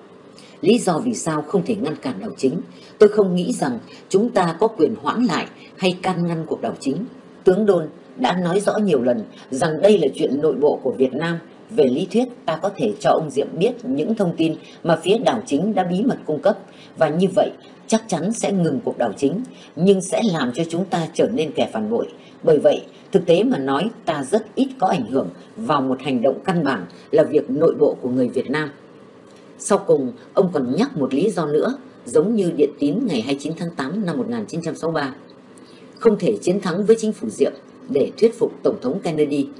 Nếu cản trở đảo chính thì sẽ ảnh hưởng tới cuộc chiến chống cộng như tướng Minh đã từng nêu lên, một điều mà Kennedy luôn cho là ưu tiên số một. Hơn nữa, việc này cho ông Diệm biết thì sẽ làm nguy hiểm đến tính mạng của các tướng lãnh, của những người dân sự ủng hộ họ, cũng như những sĩ quan trực thuộc. Và như vậy là hy sinh một số lãnh đạo dân sự, quân sự quan trọng, cần thiết để tiếp tục chiến đấu cho đến thành công. Sau khi cố gắng của ta là không ngăn cản đảo chính, bây giờ lại thay đổi lập trường, như vậy là từ nay sẽ mất hết khả năng cải tổ chính phủ cho tốt hơn. Về việc Tòa Bạch Ốc muốn chuẩn bị cho những sự việc có thể xảy ra sau đảo chính, đặc biệt là về trường hợp bên này hay bên kia yêu cầu Mỹ yểm trợ, ông Lốt viết. Tôi tiên đoán rằng khi đảo chính bắt đầu thì trừ khi nó được kết thúc cho thật nhanh chóng, chính phủ Việt Nam sẽ yêu cầu tôi hoặc tướng Harkin dùng ảnh hưởng của chúng tôi để kêu gọi ngừng đảo chính. Tôi tin rằng trách nhiệm của chúng tôi không thể nào lớn hơn trách nhiệm của ông Tổng thống Diệm, là tư lệnh tối cao của quân đội. Vì vậy, nếu chính ông ta không thể kêu gọi ngưng đảo chính thì chắc chắn chúng tôi cũng không làm được, mà lại còn đặt mạng sống của người Mỹ vào tình trạng nguy hiểm nếu muốn can thiệp vào vấn đề nội bộ của Việt Nam. Thế là mỉa mai và chớ trêu khi ông Lốt lý luận rằng nếu chính ông Diệm là tổng thống mà cũng không kêu gọi ngưng đảo chính được thì làm sao ông ta chỉ là đại sứ lại có thể làm được. Lốt đang sắp xếp đảo chính, một hành động can thiệp vào nội bộ sâu rộng nhất mà lại nói đến việc đặt mạng sống người Mỹ vào tình trạng nguy hiểm nếu muốn can thiệp vào nội bộ Việt Nam. Tới đây, ông Lốt còn nói dài dòng về việc chính phủ Sài Gòn có thể yêu cầu ông giúp phương tiện di tản một số quan chức ra ngoại quốc hoặc xin tị nạn ở tòa đại sứ Mỹ và cho rằng như vậy là rất phiền toái, liên lụy, không thể để cho máy bay và phi công Mỹ bị kẹt giữa làn đạn của hai bên, vân vân. Như vậy, ta hiểu được là tại sao ông Lốt đã làm mọi việc để cho các tướng thành công để đảo chính cho thật lẹ. Chỉ có hai ngày, như việc cô lập hóa tướng Harkin, hoãn chuyến đi Washington để ở lại Sài Gòn theo dõi, đánh lừa Tổng thống Diệm, không báo cáo lời nhắn và sự nhượng bộ của Tổng thống Diệm về cho Tổng thống Kennedy, không giúp Tổng thống Diệm ra đi khi ông gọi điện cho ông Lốt lần thứ hai vào sáng ngày 2 tháng 11 để yêu cầu. Có thể ông Lốt cho rằng để cho Tổng thống Diệm chết đi là xong chuyện, khỏi phải bị liên lụy. Vì nếu sau đảo chính mà ông Diệm còn sống thì ông Lốt sẽ ăn nói ra sao? Nhất là chính ông Lốt đã đánh lừa ông Diệm đúng ngày đảo chính. Nếu ông Diệm công khai kêu gọi Hoa Kỳ cho tị nạn thì Hoa Kỳ sẽ cư xử như thế nào? Tổng thống Eisenhower và nhất là Tổng thống Kennedy đã từng viết bao nhiêu văn thư ca ngợi nhà Ngô trong suốt 9 năm trời. Trở lại công điện của Lốt gửi ngày 30 tháng 10 năm 1963. Về việc các tướng lãnh cần tiền, ông Lốt viết theo lời yêu cầu của các tướng lãnh, họ có thể cần tới ngân khoản vào phút chót để mua chuộc nhóm chống đối. Để các ngân khoản này có thể trao một cách kín đáo, tôi tin chúng ta có thể cung cấp ngân khoản ấy một cách kín đáo, miễn là chúng ta phải có thể tin được rằng cuộc đảo chính ấy được tổ chức khá đầy đủ và có cơ hội thành công. Để kết luận, Lốt còn thêm rằng thời gian chưa cho phép tôi xem xét kỹ lưỡng vấn đề này với tướng Harkin và xác nhận tướng Harkin đã đọc điện văn này và không đồng ý. Phải hoãn đảo chính nếu khả năng thành công không cao. Trong một điện tín nữa, cùng ngày 30 tháng 10 do Tòa Bạch Ốc gửi cho ông Lốt, Bundy đã bày tỏ sự lo ngại về khả năng thành công của nhóm người đảo chính. Họ phải chứng tỏ được rằng sẽ thành công mau chóng, còn nếu như không có khả năng này thì phải thuyết phục họ ngừng ngay, vì nếu đảo chính thì phải thành công. Chúng tôi không chấp nhận như một căn bản của chính sách Hoa Kỳ là chúng ta không có quyền lực để trì hoãn hay can ngăn một cuộc đảo chính. Trong đoạn 12, chính ông đã nói rằng nếu ông nhận thức thấy cuộc đảo chính sẽ thất bại, thì ông sẽ làm mọi điều để có thể chặn đứng nó lại. Chúng tôi tin rằng trên căn bản ấy, ông nên hành động để thuyết phục những người lãnh đạo đảo chính hay đình chỉ hay chỉ hoãn bất cứ cuộc điều quân nào mà theo sự xét đoán tốt nhất của ông không rõ rệt có triển vọng thành công cao. Bởi vậy, nếu ông xác định rõ ràng là không có hy vọng thành công cao độ, ông phải thông tin sự nghi ngờ này cho tướng lãnh một cách tính toán, làm sao để thuyết phục họ ngưng lại ngay, ít nhất là cho đến khi nào thuận lợi. Chúng tôi muốn nhận được những trao đổi đánh giá vào giờ chót về việc này. Lốt không hoãn đảo chính, lại hoãn luôn chuyến đi Washington. Lúc ấy, có một sự kiện rắc rối là ông Lốt đã có ý định về Washington ngày 30 tháng 10 để bàn bạc. Trong cùng một văn bản này, Tòa Bạch Ốc đã gửi chỉ thị rất rõ ràng như sau. Trong thời gian ở Sài Gòn, ông sẽ là trưởng toán quốc gia trong mọi tình huống và chỉ thị duy nhất của chúng tôi là ông phải thông báo đầy đủ cho Harkin trong mọi giai đoạn và sử dụng khuyến cáo của Harkin lẫn Smith trong những chỉ thị cho các đầu mối liên lạc và đánh giá cuộc đảo chính. Khi ông đi khỏi Sài Gòn và trước khi xảy ra đảo chính, Phó Đại sứ Chu e h sẽ là trưởng toán quốc gia. Chúng tôi muốn tất cả chỉ thị của Conan phải được thông qua ý kiến của Harkin và Smith để cho cả ba người đều biết rõ những gì đã cho Conan biết. Bất cứ sự bất đồng ý kiến nào giữa ba người về chỉ thị này phải được báo cáo cho Hoa Thịnh Đốn và đợi chúng tôi giải quyết nếu thì giờ cho phép. Nếu ông đã rời Sài Gòn mà xảy ra đảo chính, sự chỉ đạo của toán quốc gia phải được trao cho một quan chức thâm niên nhất, có kinh nghiệm, quyết định quân sự. Và theo quan điểm của chúng tôi, quan chức đó là Harkin. Ấy chết, đào phủ sắp hành động mà lại trao trách nhiệm cho người chống đào phủ, đâu có được. Bởi vậy, ông Lốt đã thay đổi chương trình và hoãn chuyến đi. Như vậy thì lần này Tổng thống Diệm không may mắn như hồi tháng 4 năm 1954. Lúc ấy, cao ủy Mỹ là Colin, người chống ông Diệm, về Washington tham khảo với Tổng thống Eisenhower. Phó đại tướng Kider thay mặt ông ở Sài Gòn. Tới lúc tướng Pháp là Paul Ely muốn giúp phe đảo chính và hỏi ý kiến ông Kider thì ông này đã nói Mỹ không ủng hộ đảo chính nên cứu được ông Diệm. Bây giờ thì ông Lốt đã học được kinh nghiệm ấy nên ông đã không muốn cho tướng Harkin điều khiển thay thế khi ông đi vắng cũng trong điện tín ngày 30 tháng 10 năm 1963. Ông đã phản kháng việc tướng harkin thay thế ông lúc ông không có mặt. Thật không hợp lý nếu để một viên chức quân sự đảm nhiệm một việc quá chính trị như là việc thay đổi một chính phủ. Bởi vậy, muốn cho đảo chính thành công thì chắc ăn nhất là cứ ở lại Sài Gòn, cho nên ông Lốt quyết định hoãn chuyến đi Washington. Thứ đến là việc đại sứ Lốt hoãn ngày về Mỹ Ông đã định ra đi ngày 31 tháng 10, chỉ thị từ Washington là ông Lốt đi vắng thì tướng Hackin sẽ thay thế ông để điều khiển ở Sài Gòn. Nếu ông Hackin điều khiển thì khó có thể đảo chính. Sau cùng, Washington lại quyết định cho phép ông Lốt hoãn chuyến đi vài ngày. Ngày đảo chính, mùng 1 tháng 11 là ngày lễ các thánh, ngày lễ nghỉ của người công giáo nên ông Diệm có thể đi kinh lý hoặc thăm viếng chỗ này chỗ kia. Trước hôm đảo chính, tướng Đôn đề nghị là Tổng thống Diệm nên tiếp xã giao đô đốc Phẹt vừa tới Sài Gòn. Đoạn 6 của chỉ thị trên nói tới việc Hoa Kỳ sẽ bác bỏ những lời kêu gọi can thiệp trực tiếp của bất cứ bên nào. Trong trường hợp bất phân thắng bại, Hoa Kỳ có thể tùy nghi đồng ý làm bất kỳ hành động nào được cả hai bên thỏa thuận. Ví dụ, di tản những nhân vật nòng cốt. Tuy nhiên, trong những hành động đó, Hoa Kỳ sẽ giáng sức tránh ra vẻ áp lực với bên nào. Trong trường hợp đảo chính thất bại hay sắp thất bại đến nơi, có thể tùy nghi cho phép tị nạn những người mà ta có nghĩa vụ. Tuy nhiên, họ nên tìm sự che chở của những tòa đại sứ khác nữa ngoài chúng ta. Điểm này cần được nhấn mạnh nếu thấy cần. Nếu đảo chính phải thành công. Sau cùng, trước sự thôi thúc liên tục và mãnh liệt của viên đại sứ, Tòa Bạch Ốc đã chỉ thị nhưng một khi cuộc đảo chính dưới sự lãnh đạo có trách nhiệm đã khởi sự và trong phạm vi những giới hạn đó thì chủ ý của Hoa Kỳ là nó phải thành công. Tác giả Moyer bình luận rằng nếu như vị đại sứ Mỹ ở Sài Gòn không phải là ông Lốt, một người có thể được Đảng Cộng Hòa chọn ra ứng cử Tổng thống vào năm sau 1964, thì rất có thể Kennedy đã đi xa hơn và chỉ thị phải ngưng ngay việc âm mưu đảo chính, nhưng Kennedy đã cho phép Lốt lấy quyết định cuối cùng về việc ủng hộ đảo chính nếu chắc chắn là sẽ thành công. Những cái xui xẻo cuối cùng của Tổng thống Diệm. Trong khi cuốn Khi đồng minh tháo chạy, chúng tôi có viết ôn lại những bất hạnh của nền đệ nhị Cộng Hòa, tôi thấy câu họa vô đơn chí, phúc bất trùng lai là đúng. Tai họa thường hay theo nhau mà đến, nghiên cứu về trang sử này, chúng tôi cũng nhận thấy là vào lúc kết thúc nền đệ nhất Cộng Hòa, những cái suy xẻo cũng đã xảy ra liên tục cho Tổng thống Diệm như đã đề cập trong vài ba ngày cuối cùng. Tiếp theo, những gì đã xảy ra vào ngày định mệnh mùng 5 tháng 10. Tóm tắt những điều xui xẻo như sau.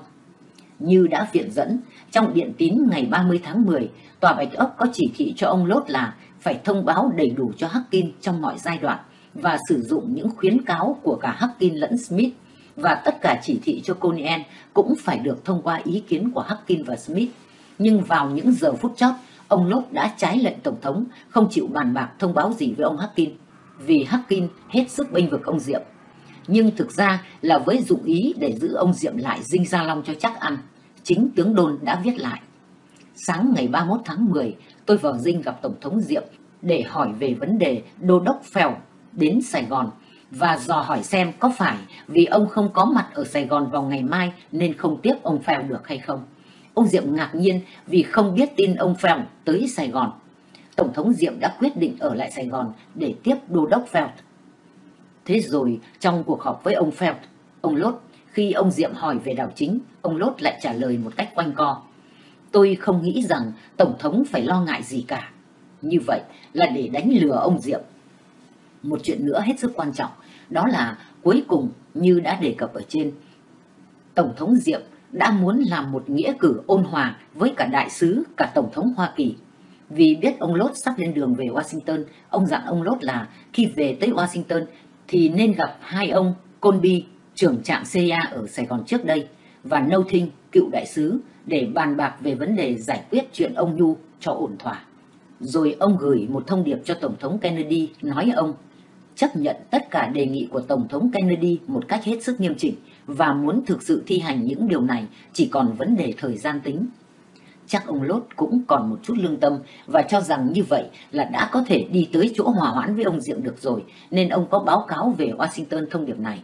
Thế nhưng, vô tình hay hữu ý, theo tác giả Moyer, thì ông Lốt lại gửi điện tín này theo thủ tục ưu tiên thấp nhất. Nên khi thông điệp này tới Washington thì tiếng súng đã bắt đầu nổ ở Sài Gòn rồi. Theo một tác giả khác, James Dowlett trong cuốn GFK và giờ không thể tưởng tượng được. Thì Lốt đã cố tình trì hoãn để khi Kennedy nhận được điện tín này, tin đã quá trễ ngày mùng 1 tháng 11 cũng là sinh nhật của Đại tá Hồ Tấn Quyền, tư lệnh Hải quân, là người trung thành với Tổng thống Diệm và đã cứu ông trong dịp đảo chính tháng 2 năm 1962. Sau khi chơi quần vợt với một số đồng đội, họ mời ông dùng cơm trưa để mừng sinh nhật thứ 36 của ông. Thoạt đầu, ông đã từ chối. Buổi sáng hôm ấy, ông cũng đã trột dạ vì thấy có những cuộc chuyển quân hơi lạ nên muốn theo dõi để báo cáo cho ông Diệm. Nhưng rồi viên sĩ quan phụ tá cố nài ép, ông nể lòng lúc đang trên đường đi tới một quán nhậu ở ngoại ô Sài Gòn, ông đã bị sát hại. Như vậy là ông Quyền đã đi trước và dọn đường cái chết cho hai ông Diệm Nhu theo sau. Theo tác giả Moyer, thì khi cuộc đảo chính sắp bắt đầu, một viên sĩ quan chỉ huy lữ đoàn lực lượng đặc biệt đề nghị với Tổng thống Diệm cho ông dùng xe thiết giáp tấn công tổng hành dinh của nhóm đảo chính để bắt chọn ổ số tướng lãnh đang họp hành. Thành công là chắc chắn viên sĩ quan cố thuyết phục ông Diệm vì chỉ có một số lính đang tập sự đứng gác ở tổng tham mưu. Và đúng như vậy nếu những tướng chủ mưu bị bắt thì quân đội đảo chính tất sẽ bị rối loạn.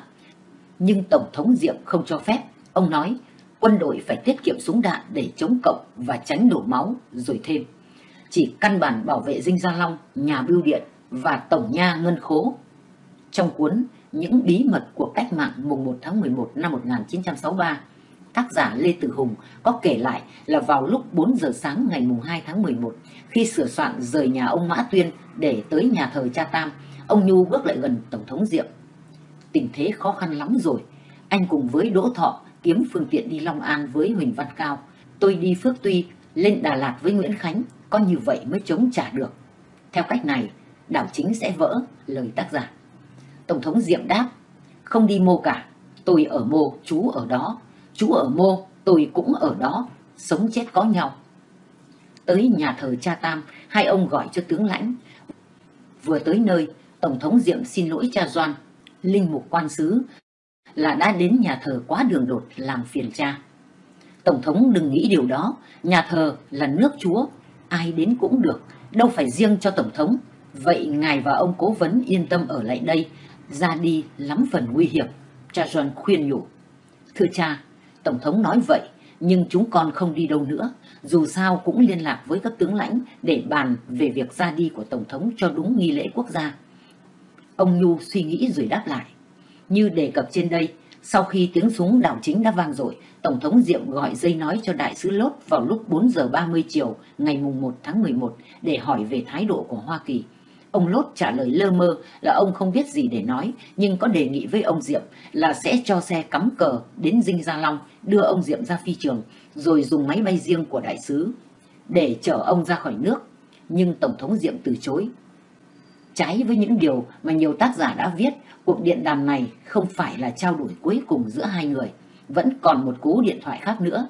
Đó là lúc tại nhà thờ Cha Tam, ông Diệm đã gọi cho ông Lốt lần cuối cùng để yêu cầu giúp đỡ phương tiện ra đi, vì ông Lốt đã hứa rằng nếu tôi có thể làm được gì để giúp cho an toàn của ngài thì ngài cứ gọi tôi. Nhưng bây giờ ông Lốt lại trả lời là tòa đại sứ Mỹ chỉ có thể cho ông trú ẩn và bất cứ điều gì khác nhưng không thể giúp phương tiện chuyên chở ông ra khỏi nước. Như vậy là trái hẳn với đề nghị của ông Lốt chiều hôm trước. Ông Mai Đan, phụ tá trưởng của đại sứ, là người đứng bên ông Lốt khi ông này nói điện thoại với ông Diệm, đã xin tự nguyện đến chở hai ông Diệm Nhu đi để bảo vệ cho hai ông, nhưng ông Lốt đã không đồng ý. Tôi thật ngạc nhiên là ta đã không làm gì để giúp cho hai anh em họ ngô, ông Đan phản nàn. Một nhân chứng nữa cũng khẳng định về việc này là nhà báo Joseph Fried của tờ New York Daily News trong một báo cáo vào ngày 5 tháng 11 năm 1963. Sau khi ông Lốt từ chối giúp đỡ, Tổng thống Diệm hoàn toàn thất vọng. Khoảng 7 giờ sáng ngày mùng 2, ông quyết định gọi điện cho Bộ Chỉ huy Đảo Chính, thông báo là ông đã ra lệnh cho lính phòng vệ phủ Tổng thống ngừng bắn và ông đầu hàng vô điều kiện. Đây là một việc không may mắn nhất cho Tổng thống Diệm vì cho tới ngày đảo tránh, nhóm tướng lĩnh vẫn còn nghi ngờ nhau, chưa có sự tin tưởng và đồng ý hoàn toàn. Chính Tổng thống Thiệu đã kể lại với phụ tá Nguyễn Văn Ngân là nếu ông Diệm và ông Nhu không ra trình diện, gọi điện thoại. Vào sáng ngày mùng 2 tháng 11, chỉ cần nán lại tới trưa cùng ngày thì các tướng lãnh sẽ lên máy bay chạy hết vì lo sợ và nghi ngờ lẫn nhau là đã mắc mưu của ông Nhu. Trước đó, trong giai đoạn chuẩn bị đảo tránh, tướng Paul Hackin, tư lệnh Mỹ ở Việt Nam cũng báo cáo về cho tướng Maxen Taylor, chủ tịch tham mưu liên quân về nhóm tướng lãnh. Tôi thấy chúng ta có một tổ chức của nhóm người thật hoang mang. Trong đó, mọi người nghi ngờ người khác. Các tướng lãnh yêu cầu Conan sắp xếp máy bay, nhưng CIA trả lời là cần 24 giờ thì mới thu xếp được. Nhưng thật ra là đã có sẵn một chiếc máy bay ở Sài Gòn để chở đại sứ Lốt về Washington và ông này đã hoãn chuyến đi. Khi nghe nói đến 24 giờ, tướng Minh gắt lên. Chúng tôi không giữ họ lâu thêm được nữa. Tổng thống Thiệu, lúc ấy là đại tá, còn kể lại với chúng tôi rằng khi được lệnh đánh Dinh Gia Long, ông đã có ý định tìm Tổng thống Diệm và mời ông lên xe dép mở môi để đi về Bộ Tổng Tham mưu rồi đưa ông ra ngoại quốc. Nhưng khi chiếm Dinh xong thì thấy ông Diệm đã đi rồi. Ông Thiệu thêm, nếu như Tổng thống Diệm đi xe dép mui trần như vậy thì không ai dám sát hại ông. Đến khi ông Thiệu được tin, Tổng thống Diệm gọi điện thoại về Bộ Tổng Tham mưu, ông còn đề nghị với tướng Minh để cho ông đi đón Tổng thống Diệm từ nhà thờ Cha Tam. Nhưng ông Minh gạt đi và nói, mày khỏi phải lo, tao đã có người rồi. Đường về Nghĩa Trang Ngày mùng 2 tháng 11 là ngày lễ các linh hồn, ngày lễ của các người chết. Hôm ấy, tín đồ công giáo tưởng niệm tới linh hồn của những người đã quá cố, nhưng định mệnh an bài từ trước. Vào lúc thật sớm, khi bầu trời đô thành Sài Gòn còn chập chờn trong bóng tối, hai anh em ông Diệm tới nhà thờ cha Tam để cầu nguyện. Buổi lễ đầu tiên sắp sửa bắt đầu nên đèn nến thắp sáng trưng. Hai anh em quỳ xuống lâm dâm đọc kinh, kính lạy cha như những giáo dân khác. Xin cha tha nợ cho chúng tôi như chúng tôi cũng tha kẻ có nợ chúng tôi. Người tùy viên trung tín của Tổng thống Diệm là Đỗ Thọ có kể lại rằng trước đó ông cũng đã chối chăng là dạng tướng Nguyễn Khánh hãy lập chiến khu chống lại cho tới khi thành công. Hãy tha thứ cho những kẻ phản bội, thương dân và đùm bọc cậu cận. Tiếp đến hai ông đọc kinh ăn năn tội. Một lời cầu khấn người công giáo thường đọc khi gặp nguy hiểm đến tính mạng hay vào lúc dọn mình chết. Thánh lễ do Linh Mục Doan chủ tế tiếp theo. Hai ông cầu nguyện và rước lễ giống như đã lĩnh đầy đủ các phép bí tích để sửa soạn cho cuộc hành trình về thế giới bên kia. Thiết vận xa M113 là loại quân trang mà Tổng thống Diệm đã được nhận trong một chương trình quân viện dồi dào mà Hoa Kỳ dành cho miền Nam bắt đầu từ năm 1961. Sau khi Tổng thống Diệm viết cho Tổng thống Kennedy, chúng tôi sẵn sàng hy sinh xương máu và nhân lực để cứu vãn xứ sở chúng tôi. Và tôi hiểu rằng chúng tôi có thể trông cậy vào sự yểm trợ vật chất từ quý đại quốc ngày 15 tháng 5 năm 1961. Giờ đây, một trong những chiếc thiết vận xa ấy đã trở thành cách quan tài bọc sắt để đưa hai ông lên đường về Nghĩa Trang qua ngã Bộ Tổng Tham mưu. Bộ Tổng Tham mưu lại là một địa điểm tượng trưng cho những cố gắng trong năm của Tổng thống Diệm để xây đắp một nền Cộng hòa. Tới giờ chót, ông Diệm cũng đã không cho phép lực lượng đặc biệt tấn công vào nơi này vì đó là biểu hiện của quyền lực quân đội. Đại tướng Dương Văn Minh, người đã lãnh đạo cuộc đảo chính ngày 1 tháng 11 năm 1963, sau cùng cũng lại là người viết bức thư ngày 28 tháng 4 năm 1975 để yêu cầu Hoa Kỳ triệt thoái khỏi Việt Nam. Bức thư này do chính đại sứ Martin chối lại cho tác giả khi đồng minh tháo chạy trang 36. Vô tình, hữu ý hay chỉ là cái nghiệp chướng mà ông phải gánh chịu. Nhưng khi ông Minh giơ hai ngón tay lên, ra lệnh cho đại úy Nhung sát hại hai anh em ông Diệm, nền đệ nhất Cộng Hòa đã chấm dứt. Đến khi ông đặt hai ngón tay xuống, ký lá thư gửi đại sứ Martin Hoa Kỳ rút khỏi miền Nam, chấm dứt nền đệ nhị Cộng Hòa. Như vậy là một tướng quân, hai nền Cộng Hòa. Tại Washington, Tổng thống Kennedy đang họp, được thông báo rằng hai anh em Tổng thống Diệm đã chết. Ông xanh mặt và đứng nhổm dậy bước ra khỏi phòng. Ông sửng sốt và mất tinh thần. Theo lời tướng tây lo ông Markel, giám đốc CIA cũng có mặt trong buổi họp. Kể lại là trước đó ông Kennedy đã ra lệnh bết bát nhất thì cũng phải để cho ông Diệm ra khỏi nước. Ông có ngờ đâu đến nông nỗi này, nhưng một khi đã cho lệnh đảo chính thì việc ám sát cũng không còn xa lắm. Như vậy là ông đã có trách nhiệm về việc sát hại người Tổng thống đầu tiên của miền Nam Việt Nam, một người ông đã hết lòng ca ngợi trong những năm trước. Ông rất hối hận. Ngày 4 tháng 11 năm 1963, ba ngày sau vụ ám sát, Tổng thống Kennedy đọc để ghi xuống một bản ghi nhớ bày tỏ sự hối tiếc của mình. Với một giọng buồn rầu, ông nói, Tôi cảm thấy rằng chúng ta phải chịu phần lớn trách nhiệm. Một phần là vì bắt đầu với bức điện tín tháng 8, trong đó chúng ta đề nghị đảo chính. Theo tôi, bức điện đó đã được soạn thảo thật bết bát, đáng lẽ không bao giờ được gửi đi vào ngày thứ bảy. Tôi đã bị sốc bởi cái chết của ông Ngô Đình Diệm. Tôi gặp ông ta cùng với tránh án Dallas nhiều năm trước đây. Ông là một nhân vật phi thường, dù ông càng ngày càng trở nên khó khăn để làm việc. Trong những tháng cuối năm, tuy nhiên trong khoảng thời gian 10 năm, ông đã quy tụ được quốc gia của ông đứng lại với nhau. Bảo đệ của Tổng thống Kennedy là Robert Kennedy cũng nhận xét về bức điện tín ngày 24 tháng 8 năm 1963. Hậu quả của mật điện ngày 24 tháng 8 là chúng ta đã đi vào một con đường mà không bao giờ quay lại được nữa. Tướng Harkin chống đối việc ấy và đại sứ Lốt thì không nói chuyện với tướng Harkin. Bởi vậy cho nên ông Lốt đã đi theo một phương hướng và Bộ Ngoại giao thì đi vào giữa.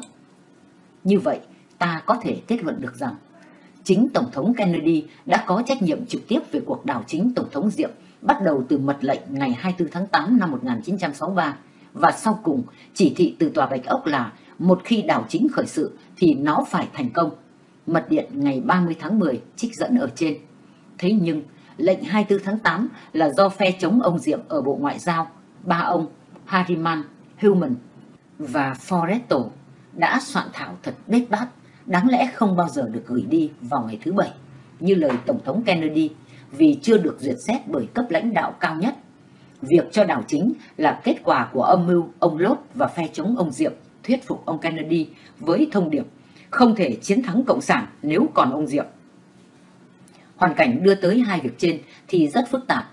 Nó gồm nhiều yếu tố như đề cập trong những chương trước, tóm lược như sau.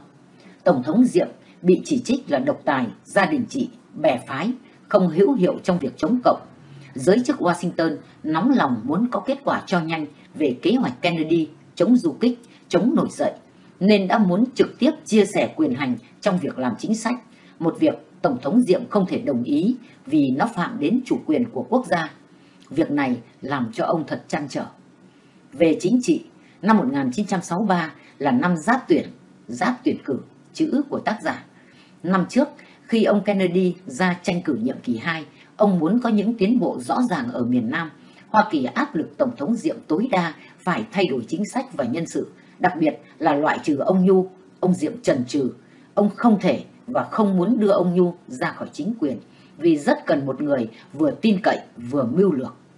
Vào chính lúc hai bên căng thẳng thì số cố vấn Mỹ lại tăng vọt lên và về tới địa phương.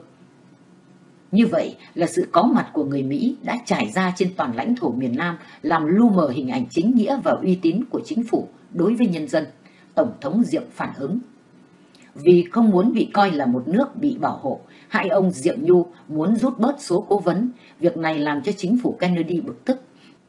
Người thân cận với Tổng thống Kennedy là giáo sư Kenneth Galbraith, đại sứ Mỹ ở Ấn Độ, là người đã ảnh hưởng rất nhiều tới Tổng thống Kennedy vào giai đoạn này về việc phải thay thế chính phủ Diệm. Đang khi Mỹ áp lực Tổng thống Diệm thay thế ông Nhu thì lại có tin ông Nhu điều đình với Bắc Việt về giải pháp hòa bình và nói chuyện với Pháp về trung lập hóa miền Nam. Đây là một điều Washington tối kỵ. Trong bối cảnh dầu sôi lửa bỏng ấy thì đại họa trượt tới, khủng hoảng Phật giáo. Báo chí đổ thật nhiều dầu vào lửa, phe chống ông Diệm ở Bộ Ngoại giao kết luận hai ông Diệm Nhu phá nát chủ triền và đàn áp tôn giáo. Tướng lãnh được bật đèn xanh nên đã chuẩn bị đảo chính vào tháng 8 năm 63 nhưng rồi hoãn lại. Sau cùng thì chính đại sứ Cabot là người đao phủ. Ông đã thành công trong hai việc, thuyết phục Washington cho đảo chính và thúc đẩy tướng lãnh đảo chính. Thêm vào diễn tiến trên là mâu thuẫn căn bản giữa hai anh em ông Diệm và giới chức Washington về chính những quan niệm nòng cốt về dân tộc và dân chủ, về ưu tiên an ninh và quân sự, về kế hoạch phát triển nông thôn và nông nghiệp, như tác giả Edward Millett bình luận. Phần nào những điểm này phản ảnh hai nền văn hóa khác nhau, hai luồng tư tưởng khác nhau, Đông và Tây thật khó gặp nhau. Vấn đề phức tạp là như vậy chứ không phải chỉ đơn giản là vì Tổng thống Diệm đã không cho Mỹ đem quân vào Việt Nam nên đã bị triệt hạ như quan niệm thông thường của dư luận. Tổng thống Diệm đã không chống đối việc Mỹ đưa quân vào Việt Nam, ông chỉ e ngại vì một số lý do và chỉ muốn quân đội Mỹ vào trong hai trường hợp. Thứ nhất, khi miền Nam thực sự bị Cộng sản tấn công và thứ hai, vào bất cứ lúc nào để huấn luyện quân đội Việt Nam. Xem trang 366, 368 và 384, 385. Bên cạnh trách nhiệm của lãnh đạo một cường quốc, đối với lãnh đạo một tiểu quốc đồng minh lại còn một vấn đề tâm linh khác nữa. Ông Kennedy là Tổng thống Công giáo đầu tiên của Hoa Kỳ và ông Diệm là Tổng thống Công giáo đầu tiên của Việt Nam Cộng Hòa. Kết thúc cuộc đời của hai người đều vào tháng 11 năm 1963. Trong vòng đúng 3 tuần lễ, cả hai ông đều đã phải đến trình diện trước mặt Thiên Chúa để lĩnh nhận sự phán xét cuối cùng của Ngài. Chỉ có sự phán xét ấy mới thật là công bình và là công lý tuyệt đối.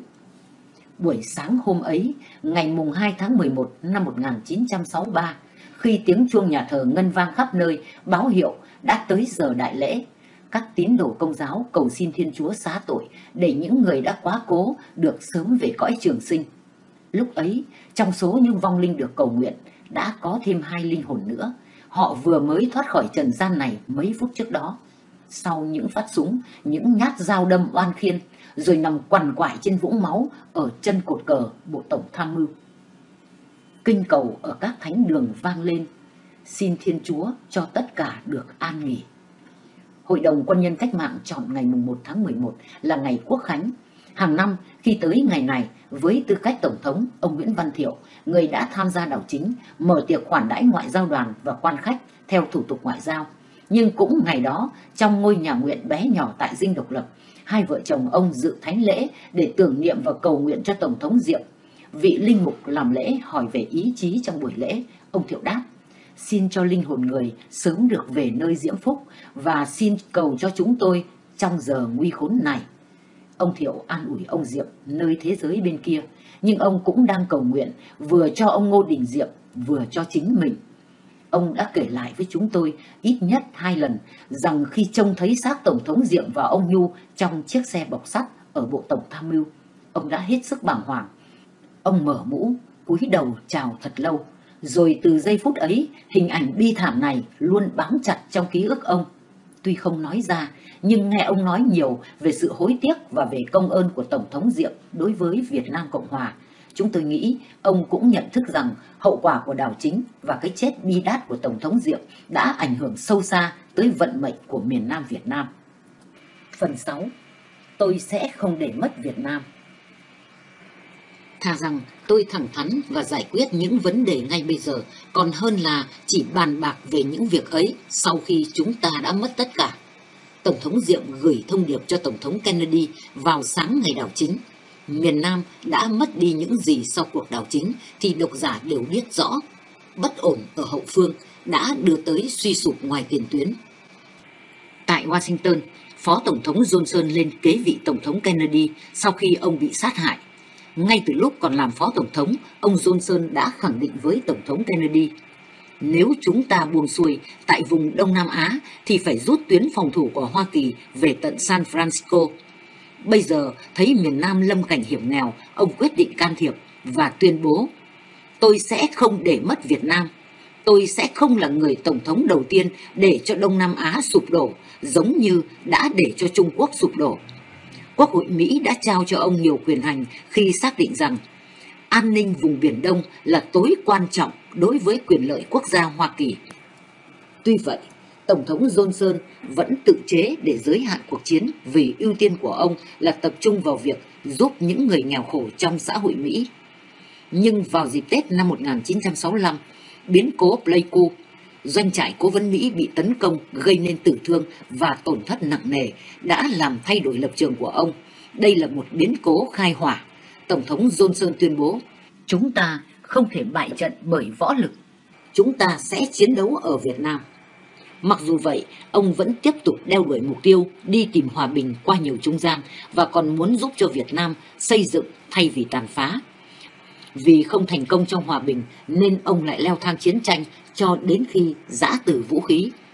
Sau biến cố mậu thân, ông quyết định không ra tranh cử nhiệm kỳ 2 giúp Phó Tổng thống Hubisi Hamfusi tranh cử với ông Richard Nixon. Tổng thống Thiệu đánh ván bài liều giúp ông Nixon thắng cử. Cuốn sách Khi đồng minh tháo chạy bắt đầu từ thời điểm này.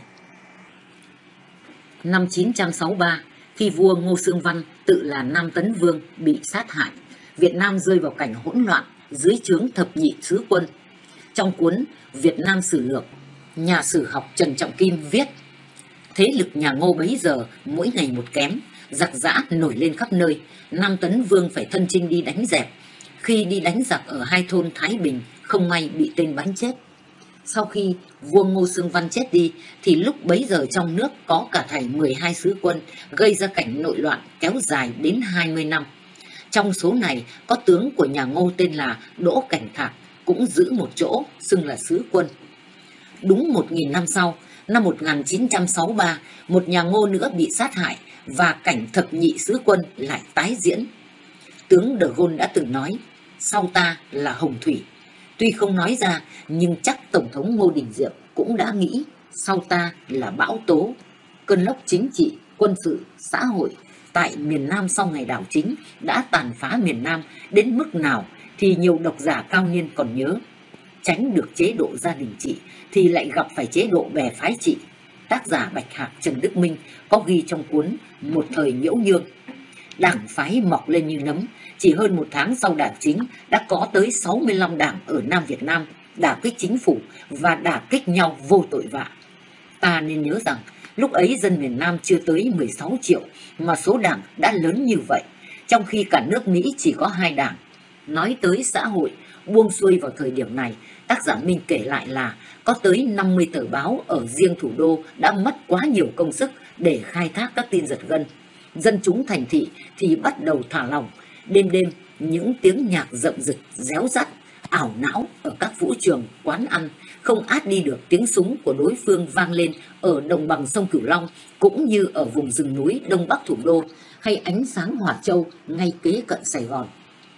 Trên mặt chính trị, các thế lực xuất phát từ tôn giáo lại chống chọi nhau theo giáo sư Lê Xuân Khoa ghi lại, chỉ trong vòng 20 tháng, miền Nam đã trải qua hơn 10 biến cố chính trị, trong đó có năm thể chế không có hiến pháp, từ Hội đồng Quân nhân Cách mạng tới Ủy ban lãnh đạo quốc gia, 6 chính phủ, ba lần tướng lãnh loại trừ nhau, hai cuộc đảo chính bất thành, cùng với những cuộc biểu tình Phật giáo, Công giáo, sinh viên tại nhiều nơi, tạo nên một tình thế hỗn loạn hầu như vô chính phủ. Bất ổn ở hậu phương tới suy sụp ngoài tiền tuyến. Tình trạng rối ren ở Sài Gòn đã ảnh hưởng sâu xa tới tình hình quân sự. Theo tác giả Minh, nội trong tháng 11 năm 1963 đã có tới 475 vụ tấn công lớn nhỏ nhằm vào ấp chiến lược cũng như các đơn vị quân đội miền Nam. Tình hình an ninh, nhất là ở vùng đồng bằng sông Cửu Long, giảm xuống nhanh chóng kể từ sau đảo chính. Trong một điện tín gửi về Washington, đại sứ Lốp đã kèm theo luôn một báo cáo của đại diện USOM ở tỉnh Long An ngày 7 tháng 12 năm 1963. Thành quả duy nhất ở Long An trong tháng 11 là của Việt Cộng, phá hủy những ấp chiến lược hàng ngày, tăng mạnh ảnh hưởng vào dân cư cũng như những tấn công. Tháng 9 năm 1963, số ấp chiến lược được hoàn tất và đáp ứng được 6 chỉ tiêu đã lên 219. Ngày 30 tháng 10 chỉ còn 65. Tất cả là 27 ấp bị tấn công vào tháng 11 so với 77 ấp vào tháng 6. Vậy có phải là tiến bộ không? Không, vì an ninh ở nhiều ấp đã bị sa sút Việt Cộng thấy chỉ còn 27 ấp là đáng tấn công.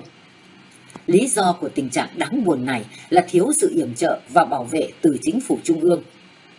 Tay lưỡi không xương, nhiều đường lắt léo. Chỉ một tháng trước đó, vài ngày sau đảo chính, ông Lốt đã báo cáo về Washington. Chúng ta không nên bỏ qua mà không để ý tới ý nghĩa của cuộc đảo chính. Đó là nó sẽ có thể giúp rút ngắn chiến tranh lại để cho người Mỹ được sớm trở về nước mình đại sứ Galbraith, người đã không ngừng thuyết phục Tổng thống Kennedy dẹp Tổng thống Diệm, còn viết thư cho ông Harriman, đứng đầu phe chống ông Diệm tại Bộ Ngoại giao, sau ngày ông Diệm bị ám sát. Harriman thân mến, cuộc đảo chính tại miền Nam Việt Nam là một cái lông nữa, kết thêm vào cái mũ của anh đấy. Hãy cho tôi một danh sách những người đã từng nói với chúng ta rằng chẳng có ai thay được ông Diệm. Nhưng bây giờ thì lốt phản nàn Tôi thật bối rối vì thấy thiếu quyết tâm chiến đấu. Các thành viên của tập đoàn tướng lãnh cho tôi những câu trả lời thật tuyệt vời và rõ ràng và nói cái gì cũng hay hết. Nhưng những việc gì đang xảy ra thì chẳng có là bao nhiêu. Trước đảo chính ngày 30 tháng 10, ông Lốt đánh điện về Washington bình luận rằng các tướng lãnh không muốn gì cho họ cả. Sau đảo chính, theo tác giả Trần Đức Minh, thì ngay từ những ngày đầu tiên của chế độ mới, Hội đồng Quân nhân Cách mạng đã sử dụng quyền hành bừa bãi. Hầu như mọi người có vai vế trong cuộc đảo tránh đều lên chức và thăng cấp. Một quan chức Mỹ phải phàn nàn. Các tướng lãnh đã đánh nhau nhiều hơn là đánh Việt Cộng. Và chỉ trong mấy tuần sau đảo chính, 9 trong 22 tư lệnh cao cấp đã bị thay thế. Trước tình hình suy thoái về cả hai lĩnh vực chính trị và quân sự, tài liệu Bộ Quốc phòng Mỹ nhận định những sự xáo trộn chính trị gần như liên tục ở Sài Gòn đã khiến cho nỗ lực quân sự ngày càng tan rã ở nông thôn. Lãnh đạo quốc gia thay đổi liên tục kéo theo tình trạng bất ổn trong chính quyền dân sự và làm cho những hoạt động quân sự của chính phủ Việt Nam Cộng Hòa gần như bị tê liệt. Theo tài liệu của Bộ Quốc phòng thì sau đảo chính, Washington đã nhận thức ngày càng rõ hơn rằng người đồng minh mà mình đã chọn để đẩy mạnh sự cam kết của Hoa Kỳ tại Đông Nam Á, giờ đây đang ở trong tình trạng gần như tan rã. Bởi vậy, Washington đã bắt đầu một cuộc tái thẩm định trường kỳ về vai trò tương lai của Hoa Kỳ trong cuộc chiến, quyết tâm đi tìm những áp lực mới đối với Cộng sản cả trong và bên ngoài Nam Việt Nam.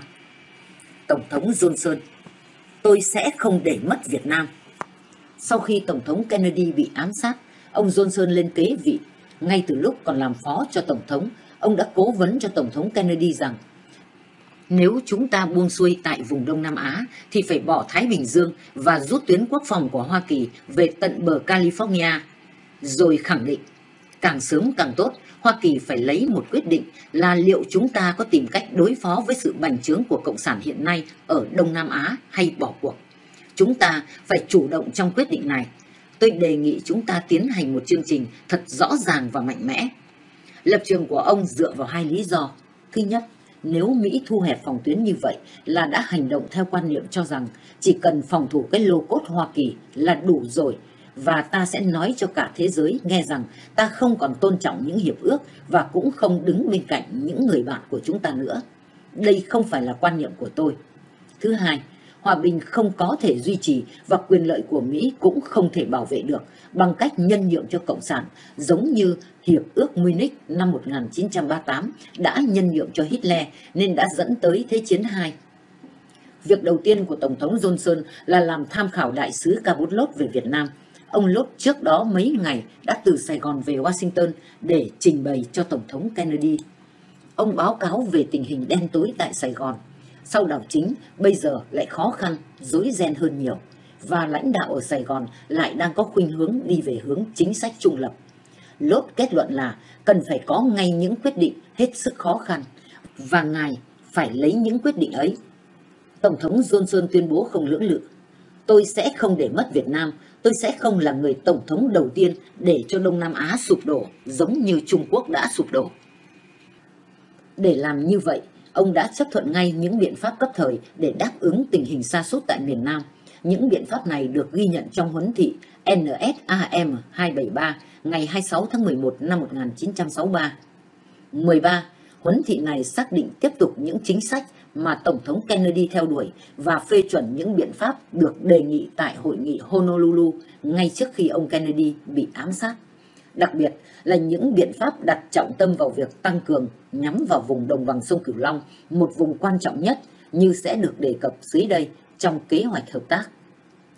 Kế hoạch hợp tác Kế hoạch này là một chương trình hành động gồm cả lĩnh vực quân sự, chính trị, kinh tế, xã hội, giáo dục và thông tin.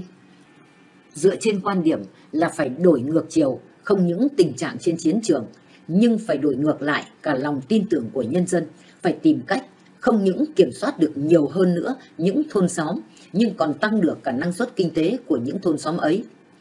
Đây chính là chính sách lấy cảm tình và sự ủng hộ của nhân dân một chính sách mà trước đây Hoa Kỳ đã cố thuyết phục Tổng thống Diệm khi thấy ông để ý nhiều hơn về khía cạnh quân sự. Nó dựa trên một quan niệm gọi là vết dầu loang, gồm 3 giai đoạn hành động để đáp ứng 3 mục tiêu, quét, giữ và phát triển. Giai đoạn 1 là tạo thanh các vùng phụ cận Sài Gòn với mục tiêu loại trừ các đơn vị chủ lực cộng sản.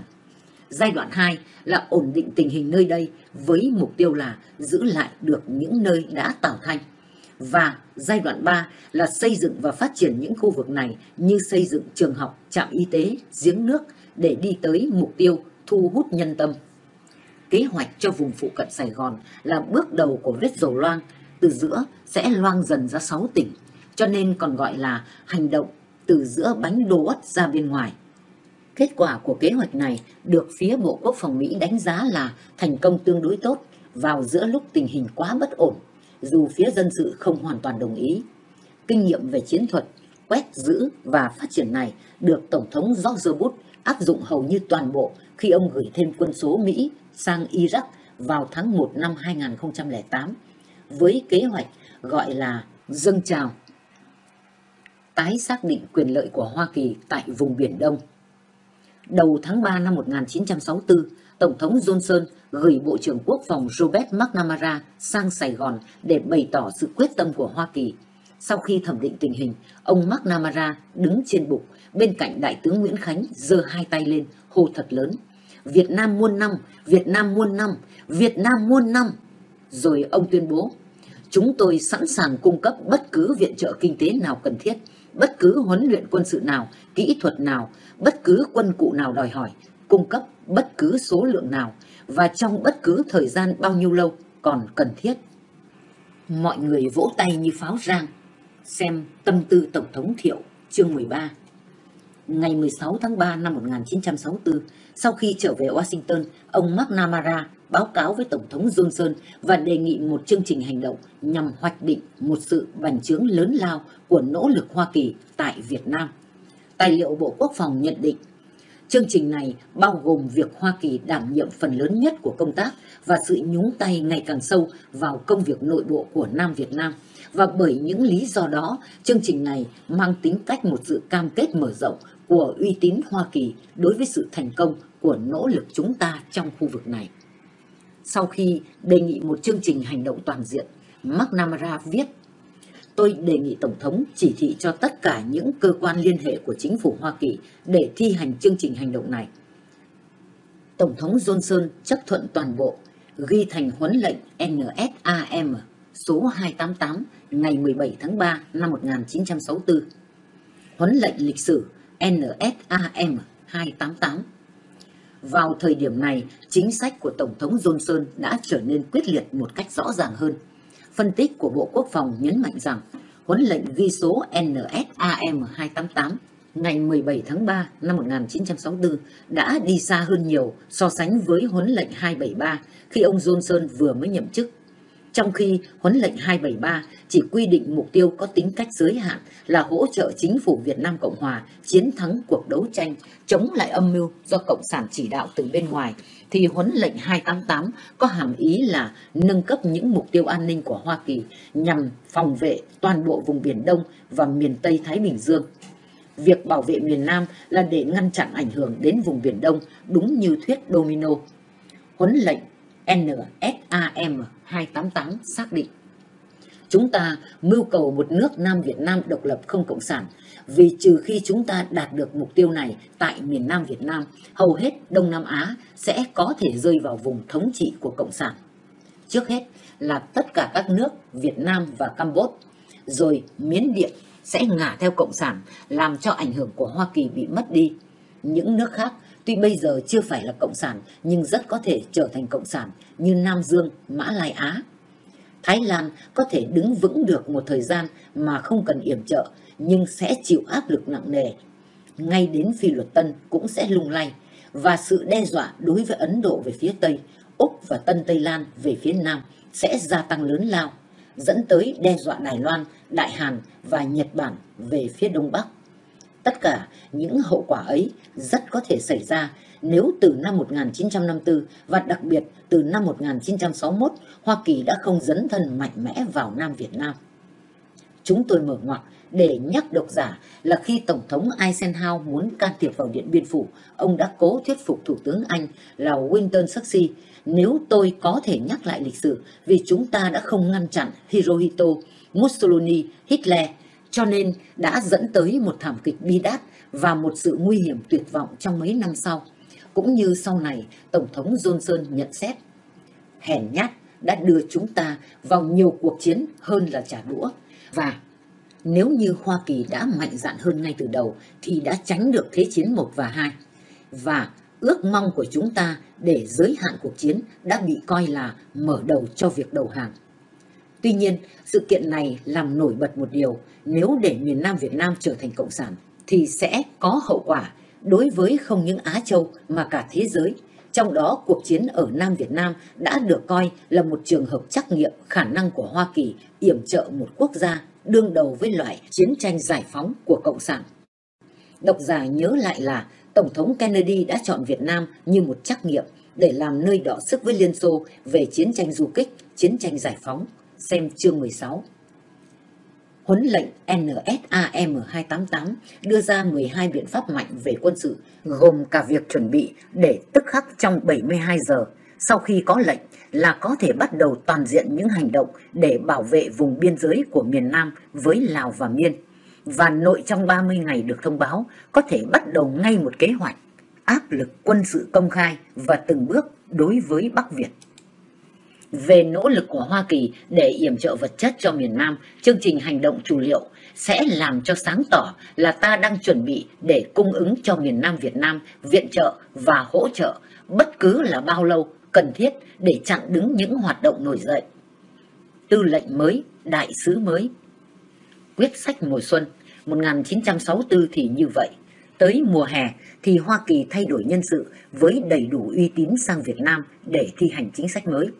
Tháng 6, tướng William Westmoreland sang thay tướng Paul Hawkins. Tướng Westmoreland có nhiều kinh nghiệm trong Thế chiến II. Lúc mới 42 tuổi, vào năm 1956, ông lên trung tướng, trẻ nhất của bộ binh Hoa Kỳ và đã từng giữ chức giám thị của trường huấn luyện West Point. Tháng 7 năm 1964, chính Tổng tham mưu trưởng tướng Maxine Taylor sang thay đại sứ Lốt. Ông này về Mỹ vận động tranh cử cùng với ông Nixon tài liệu Bộ Quốc phòng bình luận việc bổ nhiệm một tổng tham mưu trưởng sang làm đại sứ ở miền Nam cùng với một đại sứ là Alexis Johnson, một cựu thứ trưởng ngoại giao lại đã từng làm đại sứ ở Thái Lan, phản ánh việc Hoa Kỳ coi cam kết của mình ở vùng Biển Đông ngày càng quan trọng. Ngoài ra, Tổng thống Johnson lại còn trao cho ông tân đại sứ quyền hạn hết sức đặc biệt.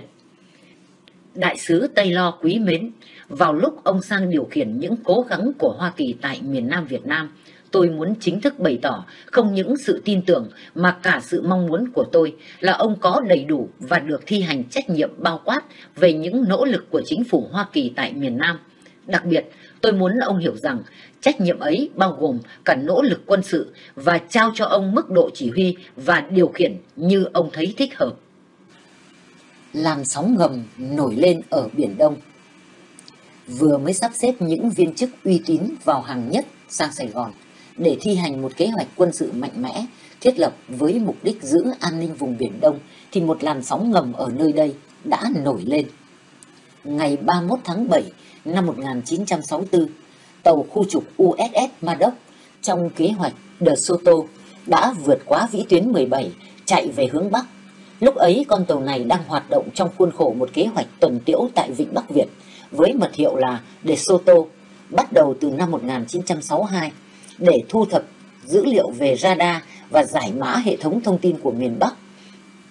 Tàu này tiến gần sát 6 tàu siêu tốc của Hải quân Việt Nam Cộng Hòa đang phóng về phía Nam sau khi bắn phá những căn cứ trên một nhóm hòn đảo trong khuôn khổ của đặc vụ Oplan 34A.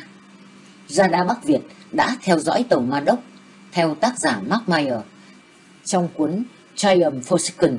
Thoạt đầu Bắc Việt chưa muốn tấn công nhưng sau cùng thì cho ba chiếc tàu phóng ngư lôi P4 ra khơi. Qua thông tin thu thập từ hệ thống truyền tin Bắc Việt, khu trục hạm Ma Đốc cũng đã biết trước sắp có tấn công nên đã tăng tốc độ lên 25 hải lý, nhưng tàu phóng lôi chạy tới 52 hải lý. Khi chỉ còn cách tàu Ma Đốc 10 hải lý, ba tàu này phóng ngư lôi và bắn súng máy. Ma Đốc bắn trả và gọi máy bay F-8E Crusader từ chiến hạm Tycon Deroga tới oanh tạc. Kết quả là một tàu P-4 bị chìm và hai bị hư hại. Tại Washington, Tổng thống Johnson chưa muốn trả đũa vì nghĩ rằng có thể chỉ là hành động của Hải quân Bắc Việt ở địa phương thấy tàu vào là bắn chứ không phải lệnh từ Hà Nội. Bởi vậy, ông chỉ cho phép tàu Ma Đốc tiếp tục tuần tiễu nhưng tăng cường bằng tàu Tonozoy được yểm trợ bằng không lực. Đồng thời ông gửi công hàm cảnh cáo Bắc Việt và gọi điện nóng cho Thủ tướng Liên Xô Nikita Khrushchev. Ngày 3 tháng 8, hai tàu Madoc và Tonozoy đã ở trong vùng vịnh Bắc Việt giữa Thanh Hóa và Vinh. Lúc đó, radar của Bắc Việt lại đang canh chừng những hoạt động của Hải quân Việt Nam Cộng Hòa trong khuôn khổ cuộc hành quân Opland 34A đánh phá các trạm radar ở Vinh Sơn và Mũi Dọn khoảng 100 dặm về phía nam khu vực tuần tiễu của hai chiến hạm Mỹ. Ngày 4 tháng 8, khoảng 7 giờ tối, tàu Madoc báo cáo dường như sắp có một cuộc tấn công. Chuyên viên Sona báo cáo có ngư lôi, đồng thời một vài thủy thủ trên tàu Tonerzoy báo cáo về nhìn thấy dấu vết ngư lôi bên trái tàu. Hạm trưởng cả hai tàu báo cáo bị tấn công, sau đó bắt đầu bắn hàng trăm viên đạn vào những mục tiêu vô hình trong đêm tối. Điểm lại hoạt động cho thấy những tiếp xúc và bắn phá có vẻ như đáng nghi ngờ. Hạm trưởng John Henrik báo cáo ngay sau biến cố này. Ông cũng đề nghị xem xét lại trước khi có hành động mới. Sau này, có nhiều nghi vấn là tàu Bắc Việt tấn công lần thứ hai đã có thực sự xảy ra hay không. Cũng theo Moyer, những thông tin mới nhất cho thấy những tín hiệu tình báo lúc ấy đã không chính xác và cuộc tấn công lần thứ hai đã thực sự không có. Dù sao ngay sau đó, khi có tin bị tấn công hai lần trong ba ngày, Tổng thống Johnson đã phản ứng mạnh. Kế hoạch trả đũa, ăn miếng trả miếng, gọi là mũi tên xuyên, được bắt đầu từ 1 giờ trưa ngày 4 tháng 8 do các phi vụ từ hai hàng không mẫu hạm Ticonderoga và Continuation oanh tạc các căn cứ tàu tuần duyên của Bắc Việt tại Hòn Gai, Lộc Trao, Phúc Lợi, Quảng Khê và kho nhiên liệu ở Vinh. Đến lượt Quốc hội Mỹ xác định, an ninh vùng Biển Đông là tối quan trọng đối với quyền lợi quốc gia. Tổng thống Johnson viết lại trong hồi ký, ngay từ khi lên chức Tổng thống, tôi đã quyết tâm để làm sao tôi có được sự ủng hộ đầy đủ nhất của Quốc hội nhằm hỗ trợ bất cứ hành động mạnh mẽ nào của tôi sau khi xem xét khả năng phải nới rộng nỗ lực của chúng ta ở Việt Nam, những đề nghị của tôi có được một nghị quyết của Quốc hội đã trở nên một phần của công việc thường xuyên. Nhưng tôi đã không yêu cầu quyết định này vì vẫn còn hy vọng là có thể giới hạn vai trò của chúng ta ở Việt Nam. Nhưng bây giờ thì đã là lúc mà Tổng thống Johnson hành động. Vào lúc 6 giờ 7 phút chiều mùng 4 tháng 8, ông ra lệnh bắt đầu cuộc oanh tạc tại Bắc Việt. Ngay sau đó, lúc 6 giờ 45 phút, ông đã họp ngay với 18 vị lãnh đạo quốc hội của cả hai viện để nói về ý định trả đũa của ông và yêu cầu ủng hộ ngay. Ba ngày sau, Quốc hội đã đồng nhất chấp thuận một nghị quyết quan trọng nới rất rộng quyền hành của Tổng thống. Toàn thể Hạ viện bỏ phiếu thuận, số phiếu tại Thượng viện là 88 thuận trên hai chống. Hai nghị sĩ chống đều là dân chủ, mất Oregon và ông Ernest Gruening Arkansas. Nghị quyết này đánh dấu một bước ngoặt lịch sử quan trọng trong cuộc chiến. Tài liệu bộ bình luận Quốc hội đã đột nhiên viết cho Tổng thống một tấm ngân phiếu đã ký sẵn và nhân dân Hoa Kỳ cũng đều đồng ý không có bàn luận chống đối gì. Hãng thăm dò ý kiến Louis Harris tính ra là 85% nhân dân ủng hộ việc oanh tạc trả đũa. Sau đây là tóm tắt nghị quyết Vịnh Bắc Việt. Thượng viện và Hạ viện của Hợp chủng quốc Hoa Kỳ quy tụ tại Quốc hội cùng nhau biểu quyết rằng Quốc hội chấp thuận và ủng hộ sự quyết tâm của Tổng thống với tư cách Tổng tư lệnh, áp dụng mọi biện pháp cần thiết để đẩy lùi mọi cuộc tấn công bằng vũ khí chống những lực lượng của Hoa Kỳ và để phòng ngừa sự gây hấn tiếp diễn. Hoa Kỳ coi sự duy trì nền hòa bình thế giới và an ninh ở Đông Nam Á là tối quan trọng đối với quyền lợi quốc gia của mình.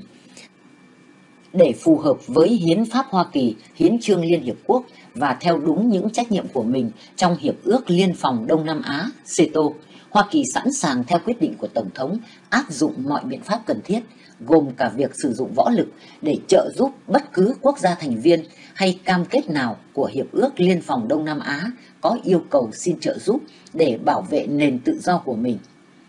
Biến cố vùng vịnh đã cho chính phủ có một quyết nghị ủng hộ rộng rãi của Quốc hội dẫn đến một cuộc phối trí lực lượng quân sự Hoa Kỳ mau chóng và đáng kể tại tiền phương ở Đông Nam Á.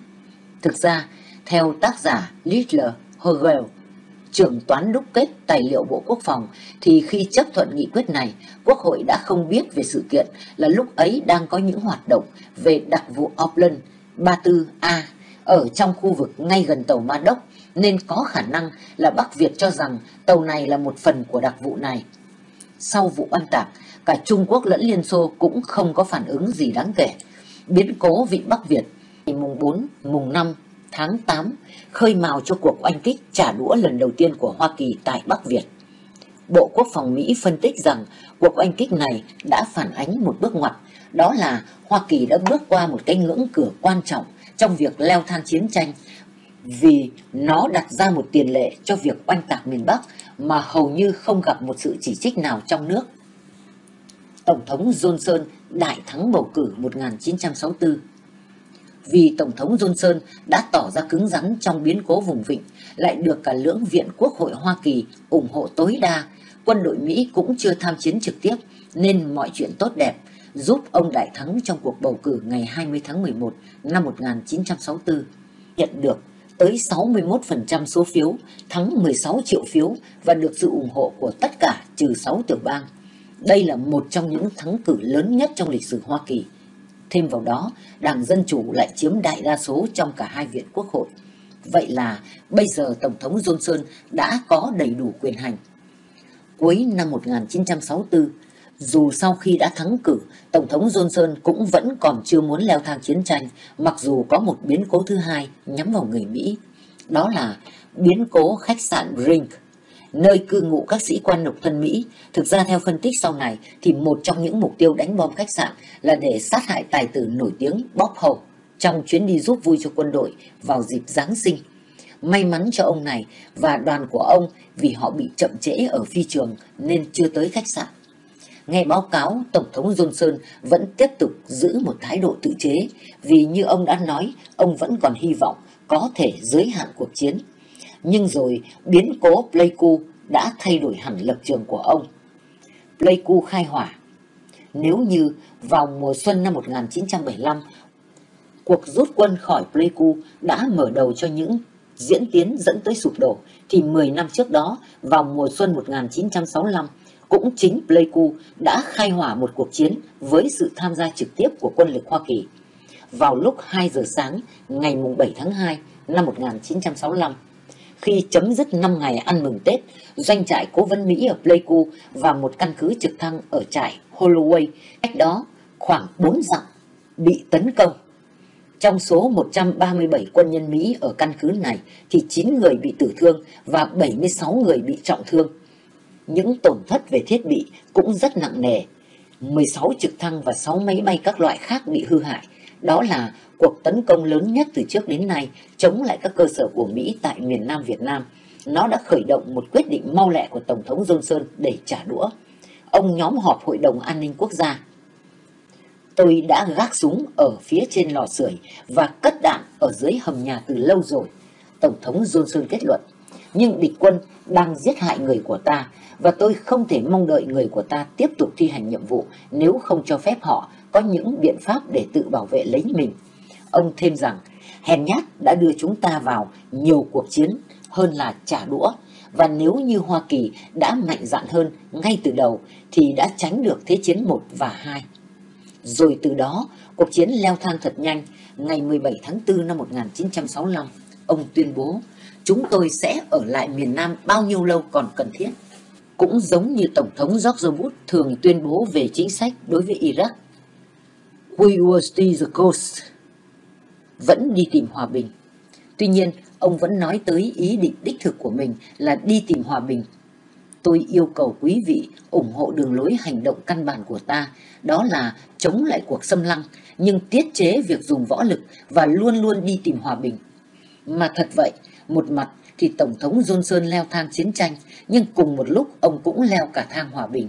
Lý do là vì ông thực sự muốn tập trung vào một cuộc chiến khác ngay tại nước Mỹ, đó là cuộc chiến với sự nghèo đói, như ông đã hứa với nhân dân Mỹ lúc ra tranh cử.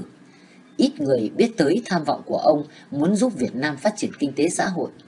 Tại Đại học John Hopkins, ngày 7 tháng 4 năm 1965, ông tuyên bố đã sẵn sàng để viện trợ 1 tỷ đô la, số tiền rất lớn vào thời điểm ấy, để phát triển vùng Đông Nam Á, gồm cả Nam và Bắc Việt. Ông thêm, tôi còn có ý định khai triển và thực hiện mau lẹ một chương trình cung cấp những nông phẩm thặng dư của chúng tôi để trợ giúp những người nghèo khó ở Á Châu được cơm no áo ấm. Chúng tôi không thể để ai đói rách, trong khi những kho chứa của chúng tôi tràn đầy lúa mì, bắp gạo và bông gòn. Sử gia Wallace Levick cũng ghi lại tâm sự Tổng thống Johnson. Tôi muốn để lại dấu vết của Hoa Kỳ tại Việt Nam. Tôi muốn người Việt Nam nói, đây là những công trình người Mỹ đã để lại cho chúng tôi, trường học, bệnh viện, đập nước. Chúng ta có thể biến đổi đồng bằng sông Cửu Long thành một thung lũng Tennessee. Chúng tôi cũng xin mở ngoặc ở đây để chia sẻ với độc giả là khi theo dõi bài diễn văn của Tổng thống Johnson trên TV vào ngày 7 tháng 4 năm 1965, thấy ông nói đến hòa bình và phát triển kinh tế, chúng tôi tràn đầy hy vọng, mơ ước đến ngày phát triển trong hòa bình. Lúc ấy là giữa một thập niên được Liên Hiệp Quốc tuyên dương là thập niên của phát triển. Các quốc gia ở Á Châu, trừ Trung Quốc, đang có những bước tiến thật nhanh. Thực tâm của Tổng thống Johnson đi tìm hòa bình được phản ánh bằng những cố gắng vừa công khai, vừa kín đáo để thương thuyết với chính phủ Việt Nam Cộng Hòa như chúng tôi đề cập trong cuốn Tâm tư Tổng thống Thiệu, được tóm tắt trong bảng ở cuối chương. Như vậy là không phải chỉ đến thời Tổng thống Nixon mới có đàm phán về hòa bình. Tuy nhiên, có sự khác biệt lớn lao. Dưới thời Tổng thống Johnson, mục tiêu đi tìm hòa bình được nối kết giữa những cố gắng của cả chính phủ Hoa Kỳ, cả đồng minh của Hoa Kỳ và Liên Hiệp Quốc. Dưới thời ông Nixon thì mục tiêu này chỉ do mình ông Henry Kissinger đeo đuổi trong vòng bí mật để rồi cuối cùng thì che giấu đi sự thất bại toàn diện bằng một hiệp định. Cái tài giỏi của ông là đã bịp được cả thế giới để đổi bại thành thắng. Trong thập niên 1960, vì không thành công trên đường đi tìm hòa bình, Tổng thống Johnson đã tiếp tục cuộc chiến tranh ngày một rộng lớn. Vì như ông đã nói, tôi sẽ không là Tổng thống đầu tiên để cho Đông Nam Á sụp đổ giống như Trung Hoa, quốc gia đã sụp đổ ngày 28 tháng 7 năm 1965, ông lên TV nói với quốc dân, con đường khó khăn và thật dài vẫn còn đó và có thể cần cả đến những tháng, những năm hay cả những thập niên để chiến thắng Cộng sản và giữ được một miền Nam độc lập. Tôi đã hỏi tư lệnh chiến trường, tướng Westmoreland, xem ông cần thêm gì nữa để chặn đứng cuộc xâm lăng đang tăng mạnh. Ông ta đã trả lời và ta sẽ đáp ứng nhu cầu của ông ta chúng ta không thể bị bại trận bởi võ lực, chúng ta sẽ chiến đấu ở Việt Nam. Khi tuyên bố như vậy, dù không tiết lộ ra, nhưng Tổng thống Johnson cũng đã biết trước là có thể cần tới 600.000 quân và từng tỷ đô la để chiến thắng. Quyết định của ông là số quân đội cần thiết sẽ được điều động vào miền Nam bất cứ khi nào tướng Westmoreland yêu cầu. Sau này, trong cuốn hồi ký của mình, Tổng thống Johnson viết về quyết định quan trọng của ông vào tháng 7 năm 1965. Khi ấy, chúng ta đã thực sự nhảy vào cuộc chiến ở Việt Nam rồi. Tuy nhiên, như đã đề cập trên đây, ông vẫn tiếp tục đeo đuổi mục tiêu đi tìm hòa bình qua nhiều trung gian. Trong thời gian gần 2 năm, từ tháng 4 năm 1965 tới tháng 2 năm 1967, tất cả có tới 20 đề nghị đàm phán. Vì không thành công trong hòa bình nên ông lại leo thang chiến tranh cho đến khi giã từ vũ khí. Sau biến cố mậu thân, ông quyết định không ra tranh cử nhiệm kỳ 2 rồi tập trung giúp Phó Tổng thống Humphrey tranh cử với ông Nixon. Tổng thống Thiệu đánh ván bài liều giúp ông Nixon thắng cử. Cuốn sách Khi đồng minh tháo chạy bắt đầu từ thời điểm này. Chương 24 Trung Quốc thoát vòng vây Liên Xô nhờ Nixon Kissinger Vào lúc 7 giờ 30 tối ngày 15 tháng 7 năm 1971, trên đài truyền hình NBC ở Burbank, Tổng thống Nixon loan báo một tin quan trọng. Ông tuyên bố sẽ đi thăm viếng Trung Quốc vào đầu năm tới, đồng thời tiết lộ về chuyến đi Bắc Kinh bí mật của cố vấn Henry Kissinger để sắp xếp cuộc viếng thăm này. Lên TV xong, Tổng thống và đoàn tùy tùng kéo nhau tới nhà hàng lịch sự Perriner để ăn mừng. Mọi người hân hoan, nâng ly chúc tụng. Tổng thống Nixon viết lại trong hồi ký. 77 năm, chỉ nói có 2 phút rưỡi, nhưng những lời tôi nói đã mang đến sự ngạc nhiên lớn lao nhất về ngoại giao trong thế kỷ này. Thật vậy, ngạc nhiên nhất là đối với các đồng minh của Hoa Kỳ đã không được tham khảo trước. Tại Sài Gòn, Tổng thống Thiệu hết sức bàng hoàng. Đúng hai tháng sau, ông mời chúng tôi từ Washington DC về gặp ông tại Dinh Độc Lập. Ngồi đối diện nhau lần đầu tiên, ông liền hỏi ngay. Ông là giáo sư ở Mỹ, theo ông thì người Mỹ đang làm trò gì đây? Vì chưa quen biết Tổng thống Thiệu nên chúng tôi gọi bằng ông, sau này thì gọi bằng anh. Thưa Tổng thống, tôi nghĩ họ đang bỏ rơi mình rồi, chúng tôi trả lời. Tổng thống Thiệu trừng trừng nhìn chúng tôi có vẻ như giật mình về câu đáp thẳng thừng này. Câu chuyện tiếp theo xoay quanh đề nghị của chúng tôi về việc điều đình hiệp thương với miền Bắc như một bước để tiến tới thống nhất trong hòa bình. Về diễn tiến mở cửa Bắc Kinh, đóng cửa Sài Gòn thì chúng tôi đã đề cập tới trong cuốn sách Tâm tư Tổng thống Thiệu. Chúng tôi có viết ngay từ năm 1969, năm đầu tiên của nhiệm kỳ, Tổng thống Nixon đã nhắn nhủ Bắc Kinh qua mối lái. Chính Tổng thống Nixon cũng viết trong báo cáo 1972 gửi Quốc hội Hoa Kỳ. Vào tháng riêng năm 1969, khi vừa nhậm chức Tổng thống, tôi đã tin chắc rằng chính sách đối với Trung Quốc sẽ phải là một phần cốt yếu của chính sách ngoại giao mới của Hoa Kỳ. Như vậy, có nghĩa là chính Tổng thống Nixon đã có sáng kiến muốn hòa hoãn với Trung Quốc. Tại sao lại như vậy? Là vì Trung Quốc và Hoa Kỳ chia sẻ nhiều quyền lợi song hành và có thể cùng nhau hành động để làm cho đời sống của nhân dân hai nước thêm phong phú. Nhưng về phía Trung Quốc, sự hận thù của Bắc Kinh đối với Washington thì đã sâu đậm từ sau hai thập kỷ. Trung Quốc gọi Hoa Kỳ là con cọp giấy, là trùm đế quốc. Ông Mao Trạch Đông còn tuyên bố, chủ nghĩa đế quốc Mỹ là kẻ thù hung ác nhất của nhân loại. Câu hỏi đặt ra là tại sao Chủ tịch Mao lại đáp ứng sáng kiến của Tổng thống Nixon, con người diều hâu chống cộng có tiếng? Và một câu hỏi nữa, tại sao hai bên lại tính chuyện giao hảo vào năm 1969? Ngày nay, nhờ có thêm những tài liệu giải mật của an ninh quốc gia nên chúng tôi mới hiểu rõ được đầu đuôi câu chuyện.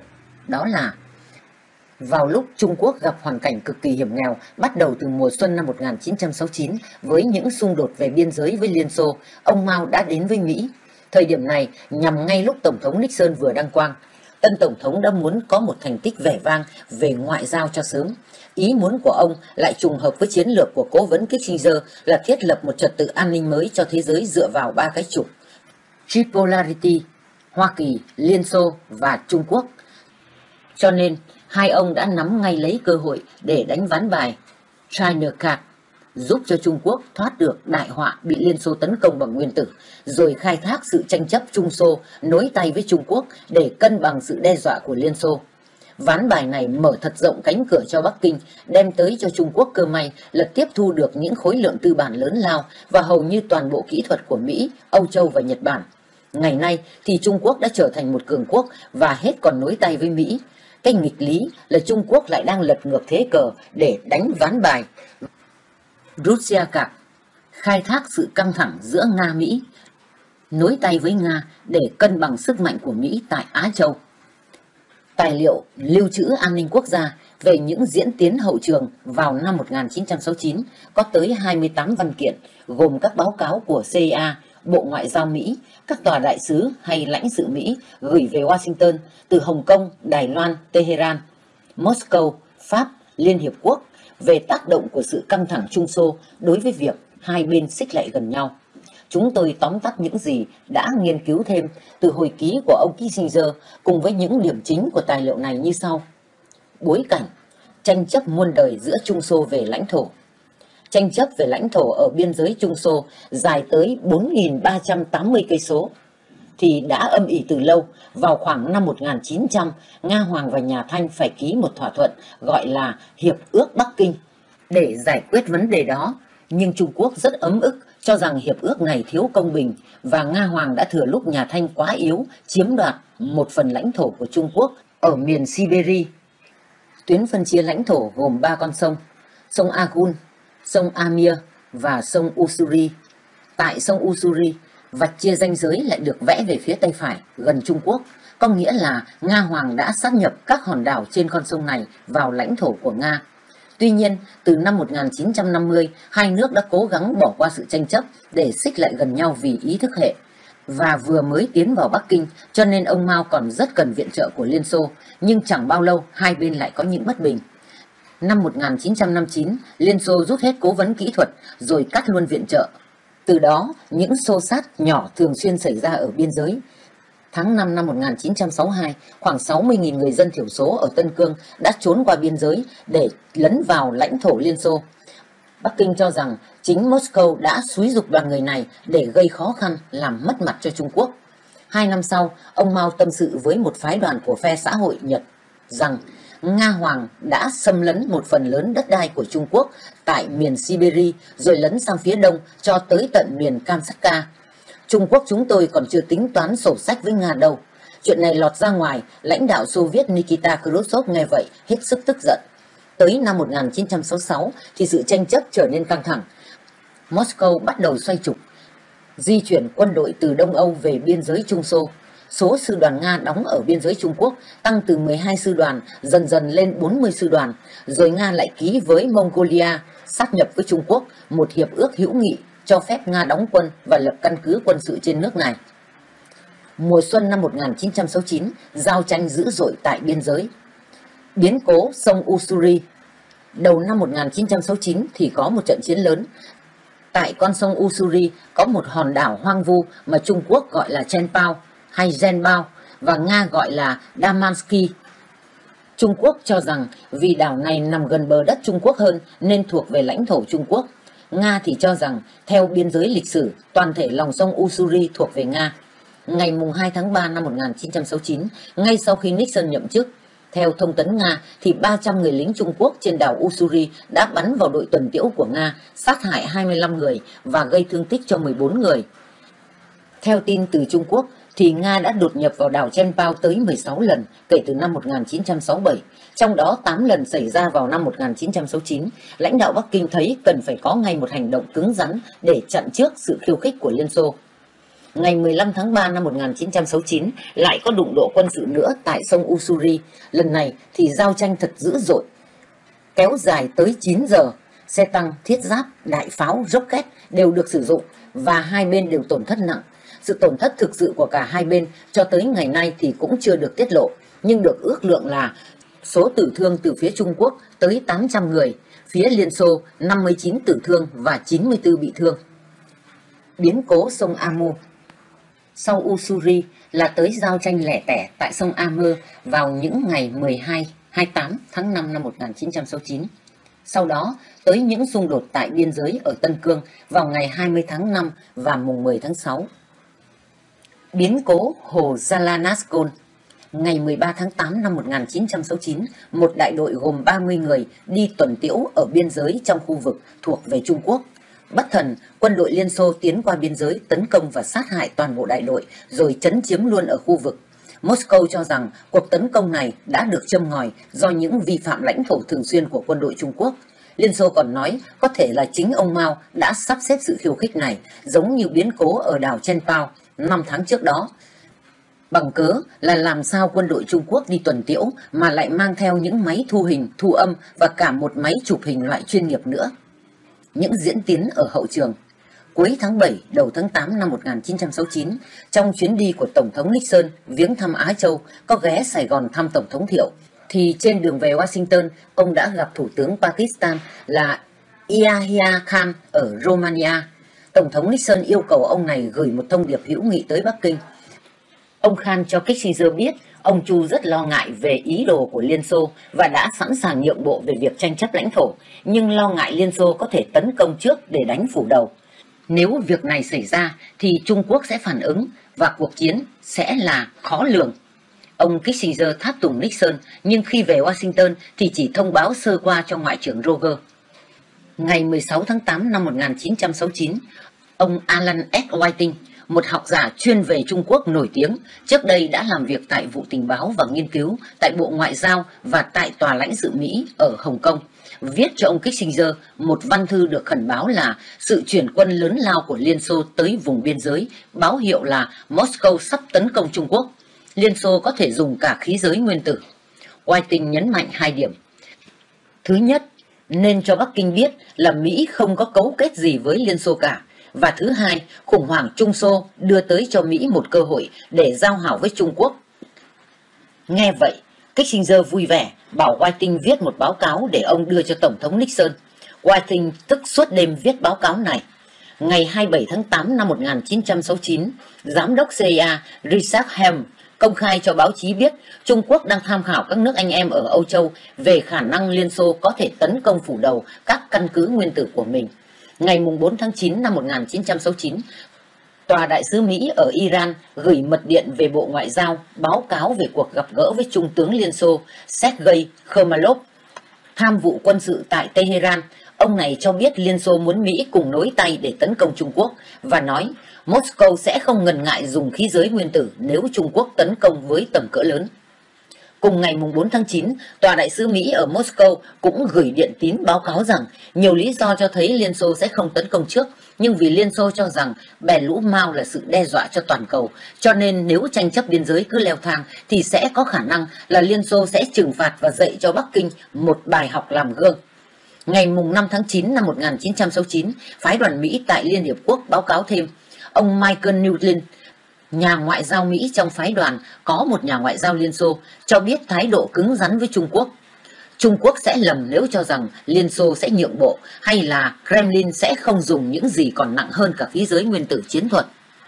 Ngày 16 tháng 9 năm 1969, theo Kissinger thì một nhà báo Nga tên là Victor Louis đã có bình luận trên tờ London Evening News về khả năng không quân Nga có thể oanh tạc căn cứ thử nghiệm nguyên tử của Trung Quốc ở Tân Cương. Kissinger kết luận, Liên Xô đã trở nên mối đe dọa lớn lao nhất đối với Trung Quốc và Trung Quốc đang muốn có một đảm bảo chiến lược, một sự nối lòng vòng vây của Liên Xô. Theo tài liệu mới giải mật thì không phải chỉ có nhà báo viết trên báo mà chính KGB đã cho Mỹ biết. Ngày 18 tháng 9 năm 1969, một nhân viên tình báo Liên Xô KGB đội lốt nhà ngoại giao tên là Boris Dadairov đã tiếp xúc với ông William Stemmen nhân viên trong vụ tình báo và nghiên cứu của Bộ Ngoại giao, để hỏi thẳng thừng xem phản ứng của Mỹ sẽ như thế nào nếu như Moscow giúp cho cả Nga và Mỹ giải quyết được một vấn đề trong mục tiêu chống lại việc lan tràn khí giới nguyên tử bằng cách tấn công các căn cứ khí giới nguyên tử của chính Trung Quốc. Cho tới nay, hồ sơ Stallman Memcon vẫn chưa được tiết lộ.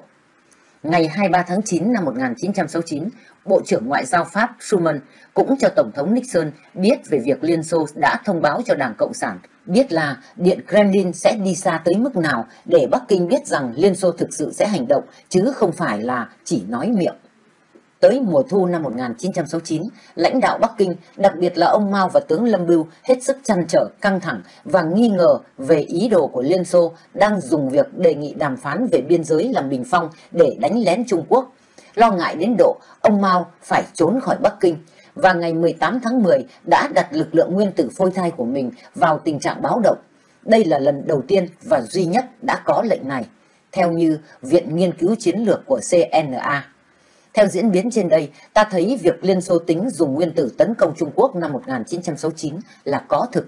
Liên Xô đã thăm dò Mỹ xem có đồng ý và nối tay với họ hay không. Mỹ đã chối ra và còn cho thấy là đứng về phe Trung Quốc. Như vậy là Tổng thống Nixon đã thay đổi 180 độ về quan niệm và chính sách. Khi còn làm Phó Tổng thống thời Eisenhower, ông đã khẳng định rất rõ rằng cuộc chiến ở Việt Nam là một sự đương đầu chẳng phải giữa Việt Nam Cộng Hòa và Việt Cộng hay giữa Hoa Kỳ và Việt Cộng, mà chính là giữa Hoa Kỳ và Trung Cộng. Ông Nixon là người hăng say nhất trong khi thi hành thuyết domino ngăn chặn làn sóng đỏ khỏi tràn xuống Đông Nam Á. Bây giờ thì khác, lên chức Tổng thống, ông muốn có ngay được một thành tích vẻ vang về ngoại giao. Ít có Tổng thống Mỹ nào nổi tiếng về thành tích đối nội, tăng thuế cũng kẹt, mà giảm thuế cũng bị chỉ trích. Cho nên, các Tổng thống thường quan tâm hơn về chính sách đối ngoại.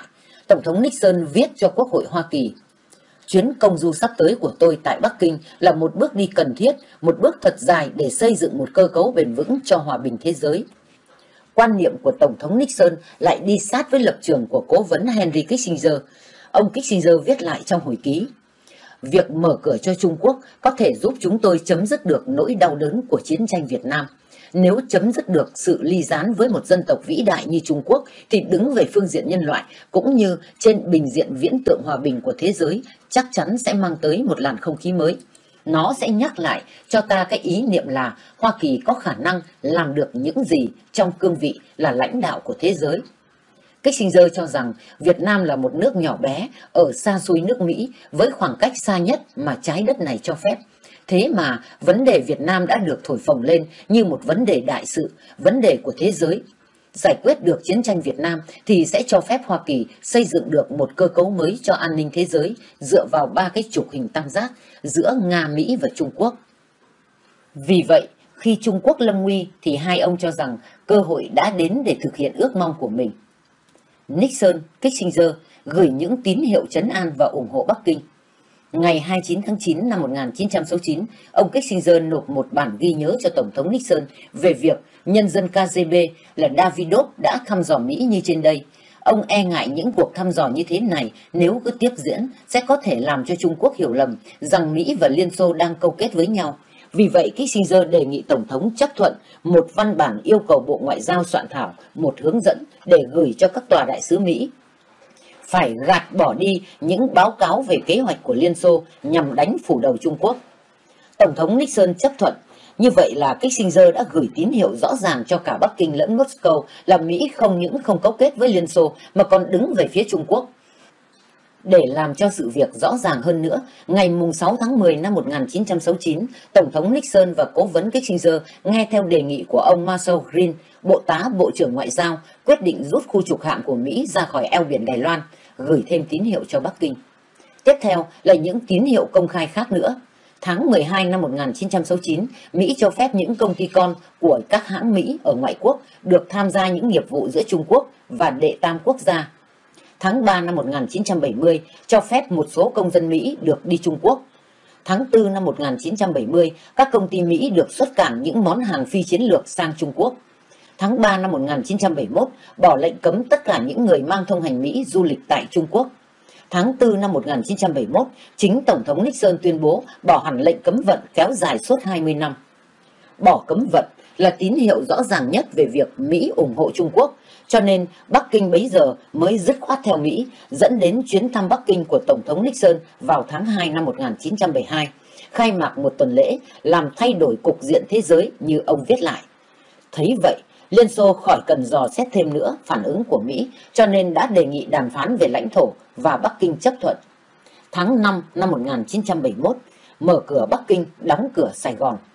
Như chúng tôi đã viết trong cuốn Tâm tư Tổng thống Thiệu, Kissinger kể lại, ngày 31 tháng 5 năm 1971, chúng tôi nhận được một thông điệp kỳ thú nhưng bí ẩn của ông Hillary, đại sứ Pakistan, nói tới một bức điện văn dài đang được mang tay đến qua kênh Pakistan.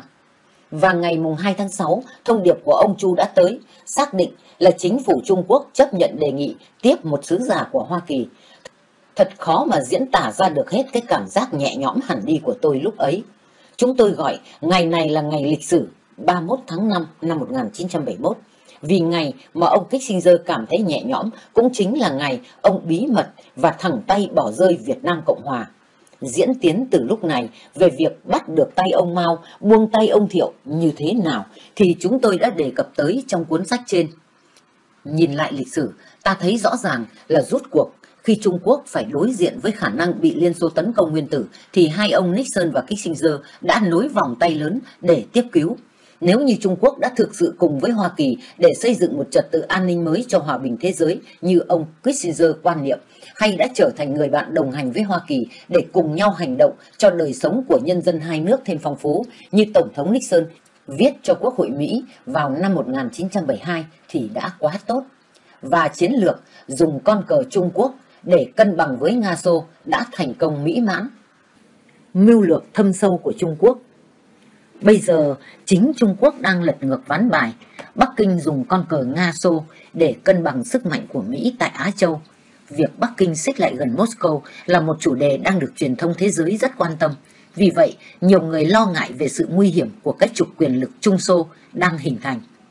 Cho nên 40 năm sau, ta mới thấy cái giá mở cửa Bắc Kinh một cách vội vàng nó đắt đỏ như thế nào hai ông Nixon, Kissinger đã đơn thương độc mã làm mọi việc trong vòng bí mật, không tham khảo với chính phủ, quốc hội để tính toán cho kỹ lưỡng và cẩn thận từng bước, làm sao cho có đi có lại trong tiến trình đảo chiều chính sách và làm sao để tránh được cái cảnh gậy ông đập lưng ông. Trong những cuộc họp kín tại Bắc Kinh thì kể cả chính ông William Roger, Bộ trưởng Ngoại giao Hoa Kỳ cũng không được tham dự. Với sức mạnh quân sự và kinh tế lớn lao, Ngày nay, Trung Quốc đang nổi lên như một con rồng ở Á Châu Thái Bình Dương. Cái nguy chính là Hoa Kỳ cũng đang bị đe dọa. Một bước lùi, hai bước tiến, Chủ tịch Mao Trạch Đông đã nhún nhường lùi lại một bước, để ngày nay Chủ tịch Tập Cận Bình tiến lên hai bước. Mưu lược của Trung Quốc thật là thâm sâu. Chương 25 Mở tung hai lối vào Biển Đông, mật điện về trận Hoàng Sa Tại sao ngày nay Trung Quốc có ưu thế ở Biển Đông dễ dàng như vậy? Một trong những lý do là vì cửa vào vùng này đã được rộng mở từ 40 năm trước rồi.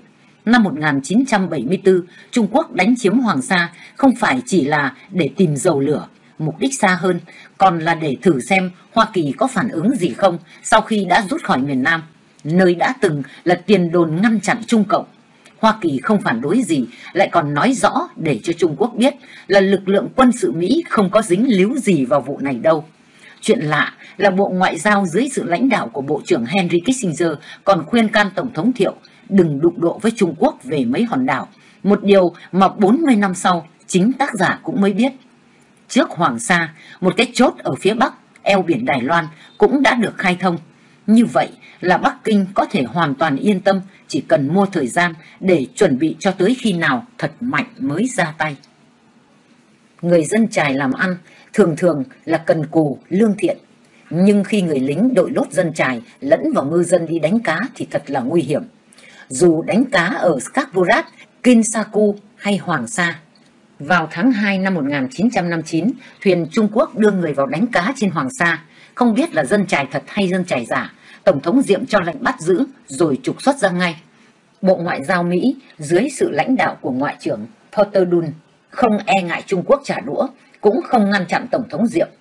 Tới năm 1974, ngư thuyền Trung Quốc lại quay về Hoàng Sa, nhưng lần này thì có chiến hạm đi theo.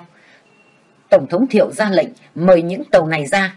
Khi chiến hạm cứ tiến vào, Hải quân Việt Nam Cộng Hòa khai hỏa, trận chiến kéo dài một ngày, thấy Biển Đông khói lửa, Bộ Ngoại giao dưới sự lãnh đạo của Ngoại trưởng Henry Kissinger liền can ngăn Tổng thống Thiệu hãy ngừng lại, đừng đụng độ với Trung Quốc thêm nữa.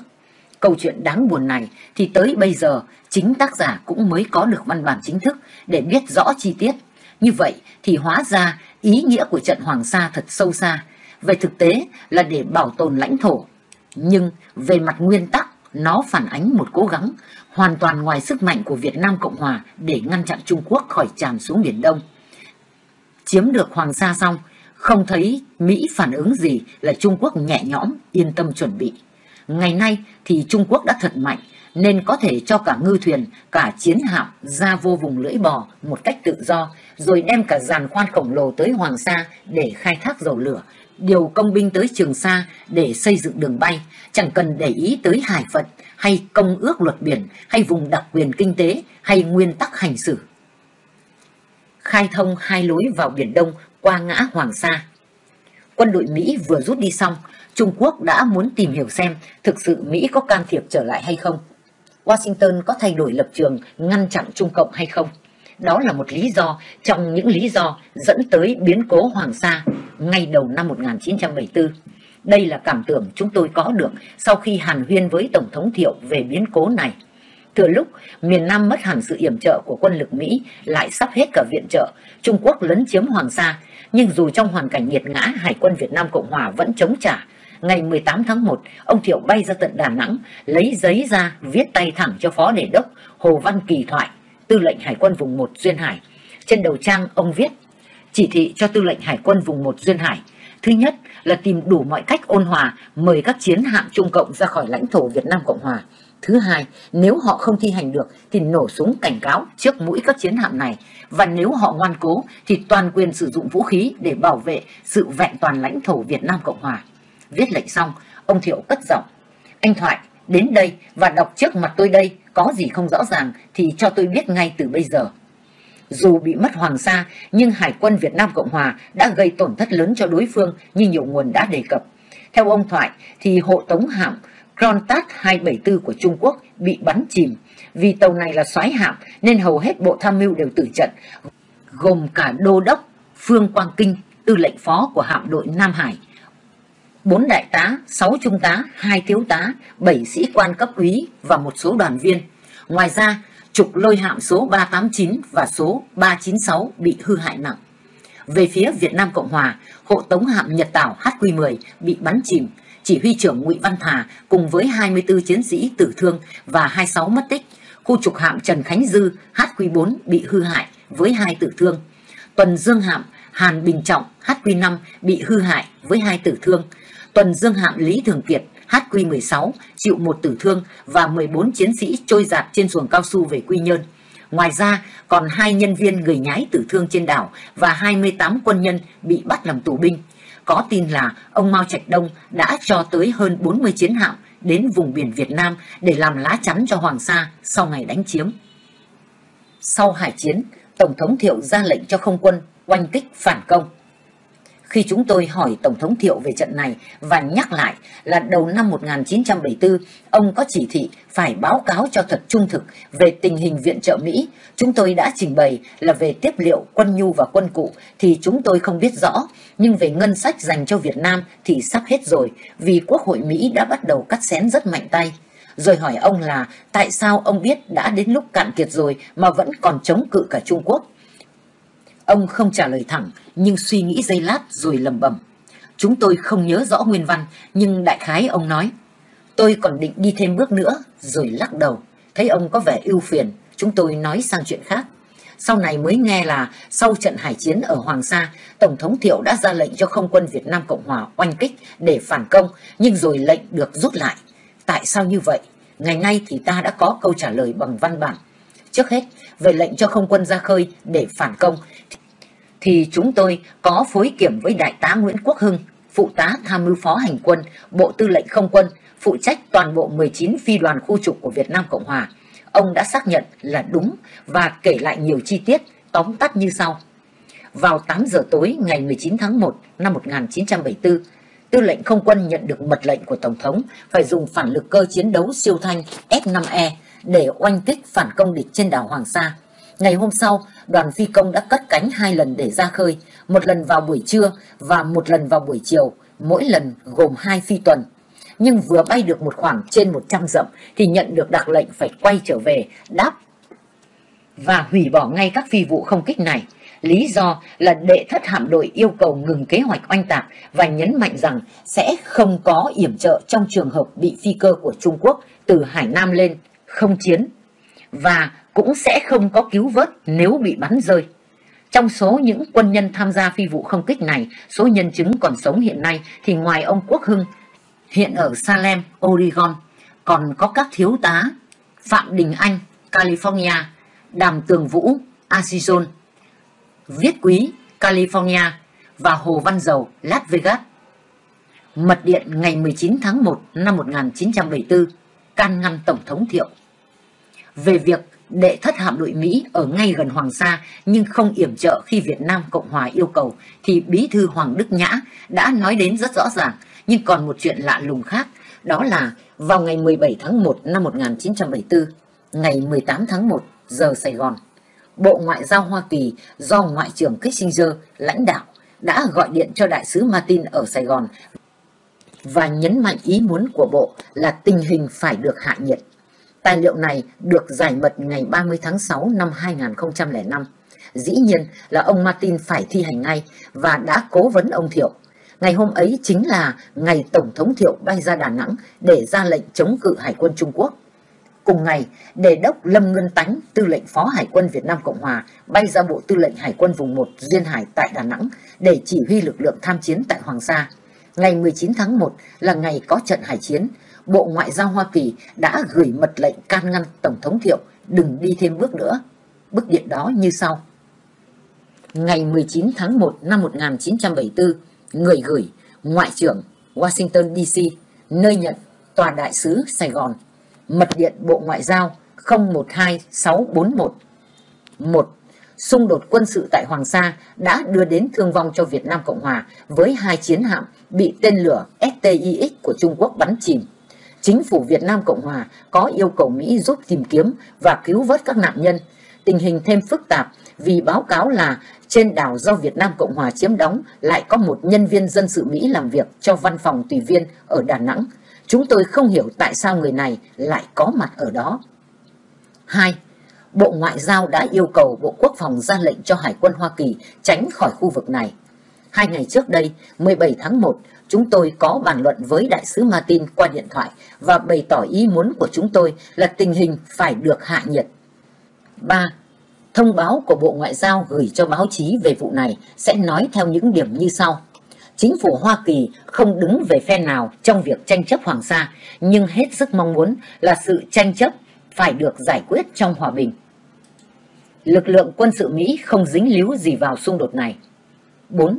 Chúng tôi đang yêu cầu Tòa Đại sứ ở Sài Gòn cố vấn chính phủ Việt Nam Cộng Hòa chỉ nên có những hành động tối thiểu để tự vệ và để cứu vớt nạn nhân và người nhân viên Mỹ ở trên đảo, nhưng làm tất cả những gì có thể để tránh đụng độ trực tiếp thêm nữa với lực lượng Trung Quốc.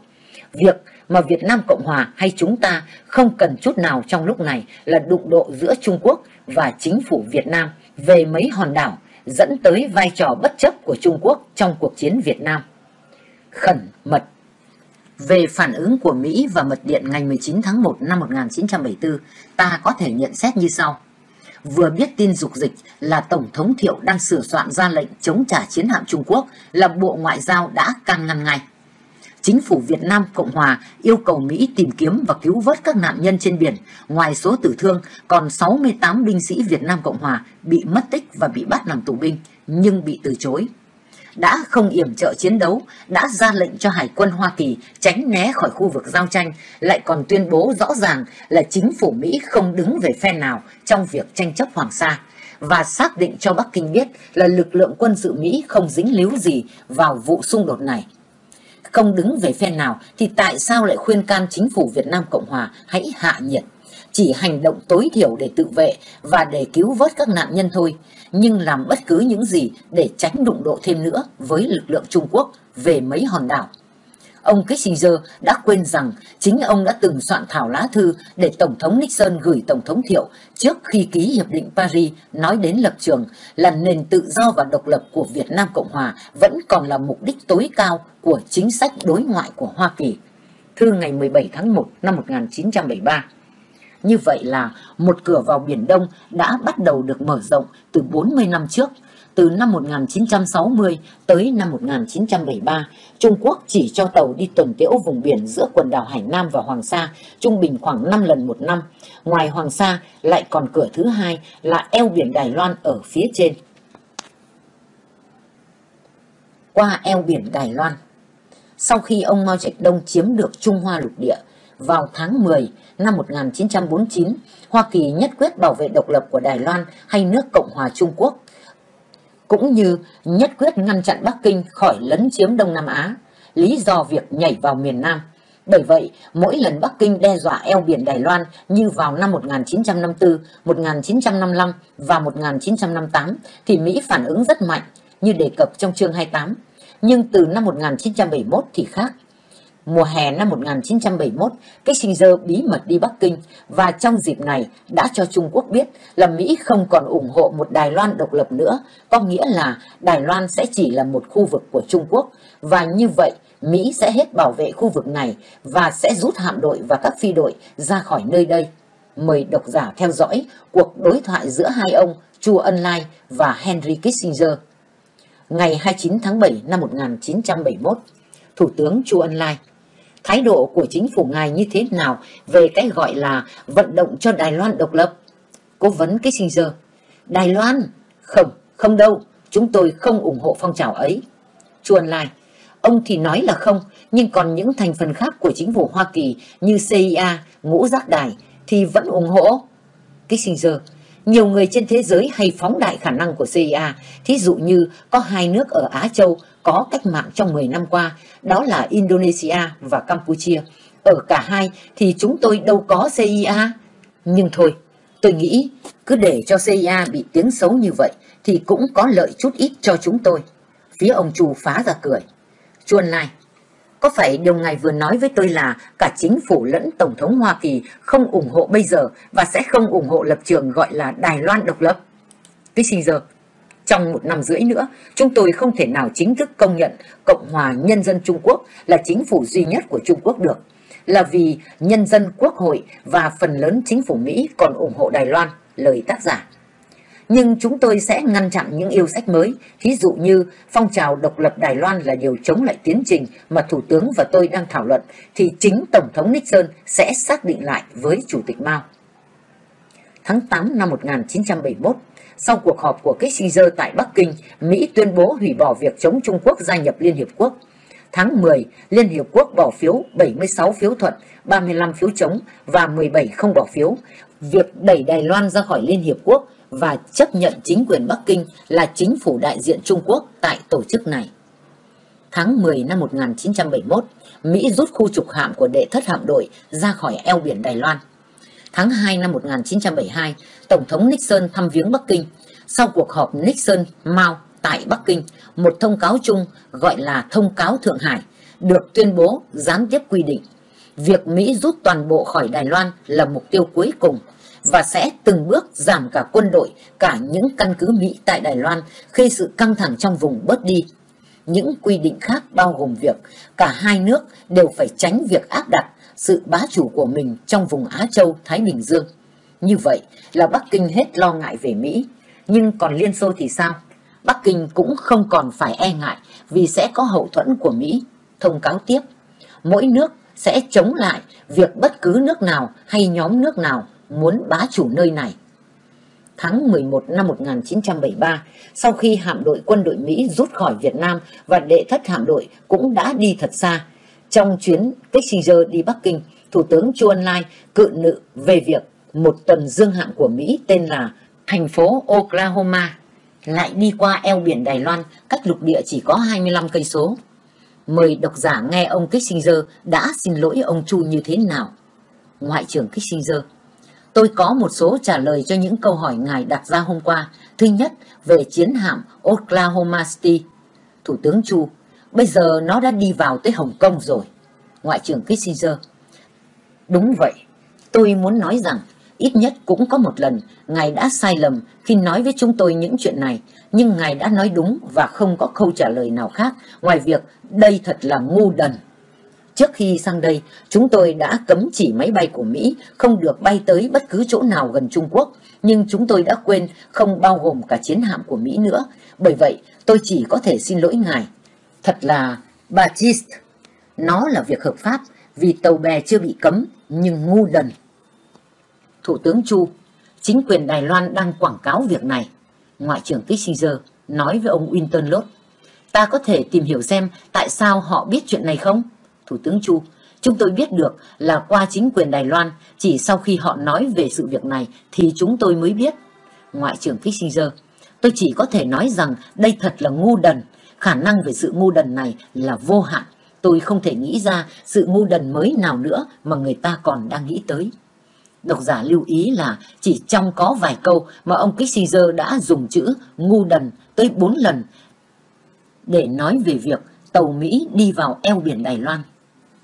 Trấn an Trung Quốc sau khi miền Nam sụp đổ. Ngày 1 tháng 12 năm 1975, chỉ 7 tháng sau khi miền Nam sụp đổ, ông Kissinger đã sắp xếp để người kế vị Tổng thống Nixon là Tổng thống Ford đi Bắc Kinh 5 ngày và gặp Chủ tịch Mao. Trước chuyến đi, ông Kissinger đã cố vấn Tổng thống Ford. Tôi tin rằng sau đây là những điểm căn bản mà Ngài muốn nói với ông Mao. Ngài sẽ cố gắng hết sức để tăng cường dây liên lạc với Trung Quốc. Ngài tin rằng phát triển mối băng giao này là quyền lợi căn bản của chúng ta và Ngài sẽ theo đuổi việc này một cách mạnh mẽ trong những năm tới. Ngày mùng 7 tháng 12 năm 1975, vừa từ Bắc Kinh về, Tổng thống Ford tuyên bố học thuyết Thái Bình Dương, kêu gọi bình thường hóa toàn diện quan hệ với Trung Quốc và cộng tác kinh tế trong toàn Á Châu. Dĩ nhiên, Mỹ đã thỏa mãn điều kiện để bình thường hóa quan hệ toàn diện với Trung Quốc, đó là rút ra khỏi eo biển Đài Loan. Cuối tháng 5 năm 1975, chỉ một tháng sau khi miền Nam sụp đổ, Hoa Kỳ đã rút đội phi cơ chiến đấu cuối cùng ra khỏi Đài Loan. Có nghĩa là từ đó những hạm đội Đông Hải của Trung Quốc có thể đi theo con đường nhanh nhất tràn xuống phương Nam. Như vậy là hai cửa vào Biển Đông đều đã mở rộng. Tương lai của vùng này trở nên đen tối. Trung Quốc chỉ cần mua thêm thời gian để chuẩn bị chờ cho tới đúng lúc mới ra tay. Bắt đầu từ 2014-2015. Chương 26 Bước ngoặt của chính sách Trung Quốc Thập niên qua, các nhà làm chính sách Mỹ phải giật mình nhìn lại lịch sử băng giao với Trung Quốc. Hóa ra, Bắc Kinh có chiến lược bí mật thay thế Hoa Kỳ trong vai trò cường quốc số 1 trên thế giới vào năm 2049, kỷ niệm 100 năm thành lập nước Cộng hòa Nhân dân Trung Hoa. Đó là luận chứng của Michael Pillsbury, một chuyên gia nổi tiếng về Trung Quốc trong cuốn sách Cuộc chạy đua 100 năm. Mới xuất bản năm 2015, tác giả đã chứng minh rất thuyết phục là để đi tới mục tiêu này thì từ khi hai ông Nixon, Kissinger mở cửa Bắc Kinh, Trung Quốc đã du ngủ Hoa Kỳ từ các tổng thống, các bộ trưởng, các nhà phân tích, các nhà làm chính sách để họ tin rằng Trung Quốc là một quyền lực ôn hòa, không có hại, xứng đáng được Mỹ ủng hộ. Ngày 12 tháng 6 năm 2011, trên đài CNN, nhà bình luận Paris Zakaria hỏi ông Kissinger xem 40 năm trước đây liệu ông có một ý niệm nào là Trung Quốc có thể sẽ trở thành một cường quốc đủ sức cạnh tranh với Hoa Kỳ về cả kinh tế lẫn kỹ thuật hay không?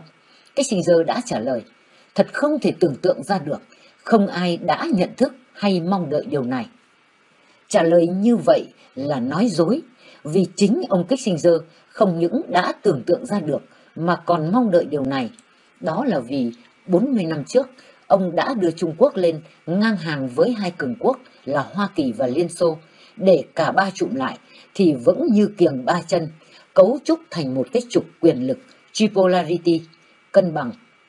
Cũng trong buổi phỏng vấn với ông Zakaria, ông Kissinger đã nói lên một câu làm cho nhiều người bàng hoàng.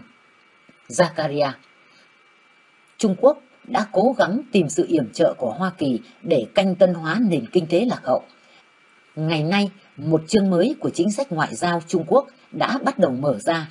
Sau khủng hoảng kinh tế năm 2008, nhiều người ở Trung Quốc cho rằng đã có sự thay đổi căn bản về quyền lực, cho nên hoạt động ngoại giao của Trung Quốc cũng như kết quả thu lượm được đã phản ánh sự thay đổi ấy. Kissinger Hoa Kỳ chỉ có ưu thế trong 50 năm vừa qua, còn Trung Quốc đã nắm ưu thế 1.800 năm trong 2.000 năm.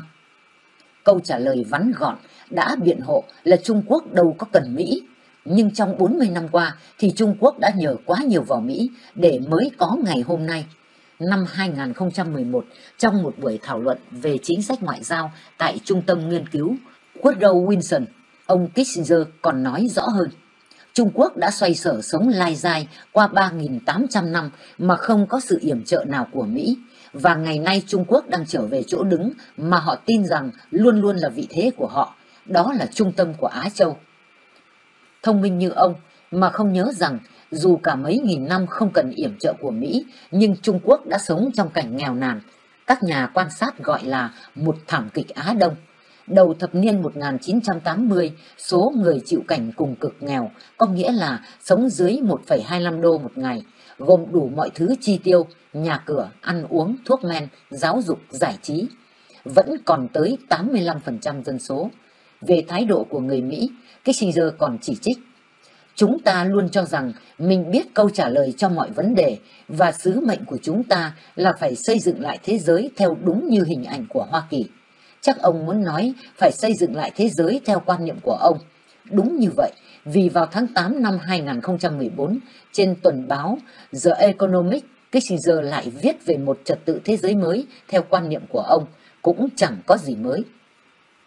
Bước ngoặt của chính sách Trung Quốc Nhờ ông Kissinger tiếp sức, Trung Quốc đã có được 4 thập niên phát triển thật nhanh trong hòa bình và ổn định.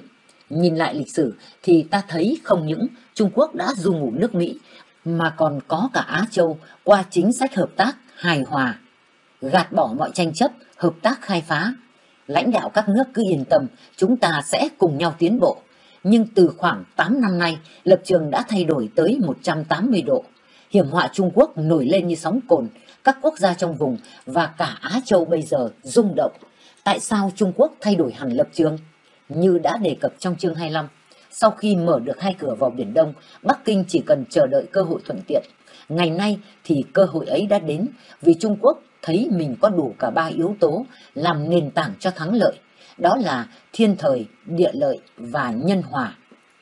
Thiên thời Năm 2008 là năm có bước ngoặt của Trung Quốc vì nhiều biến cố đã xảy ra. Đây là một mốc thời gian quan trọng vì từ năm này cho tới ngày nay, thiên thời đã đến với bốn sự kiện tóm tắt như sau. Thứ nhất là cuộc khủng hoảng kinh tế tại Mỹ và hầu như trên toàn cầu.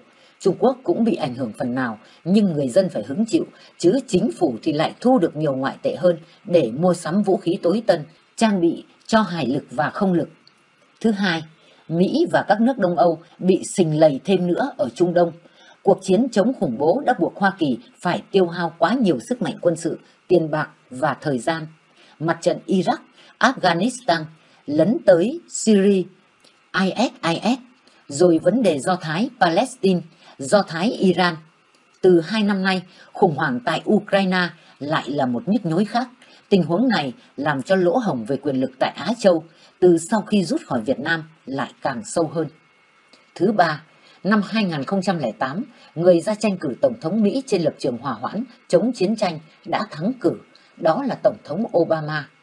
Thứ tư, vì khó khăn kinh tế và tài chính, Tổng thống Obama lại quyết định cắt xén cả ngân sách quốc phòng. Điện lợi Ở khu vực chính vạch Biển Đông thì Trung Quốc lại có lợi thế. Từ bao nhiêu thế kỷ, Trung Quốc vẫn cho rằng ngoài khía cạnh chính trị và văn hóa, vị trí của mình rất thuận lợi cả về địa lý nữa là vì ở vào chính giữa, nơi trung tâm của Á Châu có thể dương đông kích tây, việc chọn một số hòn đảo, bãi đá ở Biển Đông làm nơi tranh chấp, phô trương lực lượng thì rất có lợi, là vì thứ nhất, tại nơi đây, cán cân lực lượng không còn bị quá chênh lệch như khi Hoa Kỳ còn tham chiến ở Việt Nam. Sự hiện diện của hải lực và không lực Trung Quốc bây giờ đã mạnh mẽ, tàu ngầm, hàng không mẫu hạm, máy bay tàng hình ở ngay Thái Bình Dương, đang khi hải lực Mỹ còn trải dài ở khắp các đại dương. Nhân hòa Lập trường diều hâu được giới trung lưu Trung Quốc và thế hệ trẻ ủng hộ. Thế hệ trẻ không chứng kiến sự nghèo đói và cảnh hỗn loạn của Trung Quốc trong thời kỳ cách mạng văn hóa. Trái lại, từ 40 năm qua, họ chỉ thấy Trung Quốc ngày một phát triển, ngày một giàu có, hùng mạnh. Tầng lớp trung lưu thì ngày càng đông, họ muốn hãnh diện với thế giới vì đã bị làm nhục trong quá khứ nên đang ủng hộ một chính sách ngoại giao và quân sự cứng rắn. Mới một thập niên trước đây, họ chỉ muốn tập trung vào phát triển kinh tế, buôn bán để sớm trở nên giàu có. Phe diều hâu tin rằng Trung Quốc phải lấy lại uy quyền, địa vị của một đại quốc đã có từ ngàn xưa. Như ông Kissinger đã khẳng định, Trung Quốc đang trở về chỗ đứng mà họ tin rằng luôn luôn là vị thế của họ, đó là trung tâm của Á Châu. Ông Kissinger ca ngợi lãnh đạo Trung Quốc đương nhiệm. Tôi mới chỉ gặp Chủ tịch Tập Cận Bình một vài lần, nhưng tôi đã rất ấn tượng bởi quyết tâm và sự can đảm của ông ấy. Ban lãnh đạo mới đã bắt đầu tiến hành một loạt cải cách. Những cuộc cải cách này có thể không diễn ra một cách êm ả, nhưng tôi tin rằng ông ấy có ý chí và khả năng để vượt qua những vấn đề đó. Mùng 9 tháng 10 năm 2012 Trung Quốc lật ngược thế cờ để biện hộ cho việc giao hảo với Bắc Kinh, Tổng thống Nixon viết cho Quốc hội Hoa Kỳ.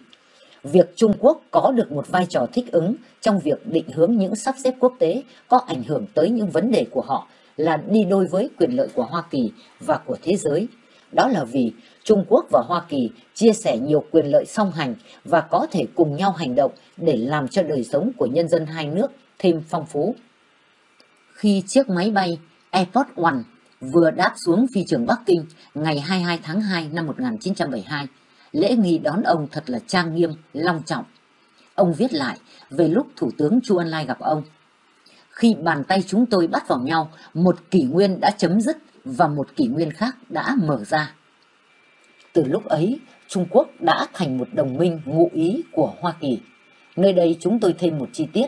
Tổng thống Nixon nhớ một sự việc không mấy tốt đẹp thời Tổng thống Eisenhower khi Ngoại trưởng Porter Dulles đi họp hội nghị Geneva, ông Chu Ân Lai đưa tay ra để bắt, nhưng ông Ngoại trưởng lờ đi, quay mặt đi chỗ khác. Bởi vậy, lần này gặp ông Chu, chính ông Nixon đi tới phía ông Chu và giơ tay ra để bắt trước.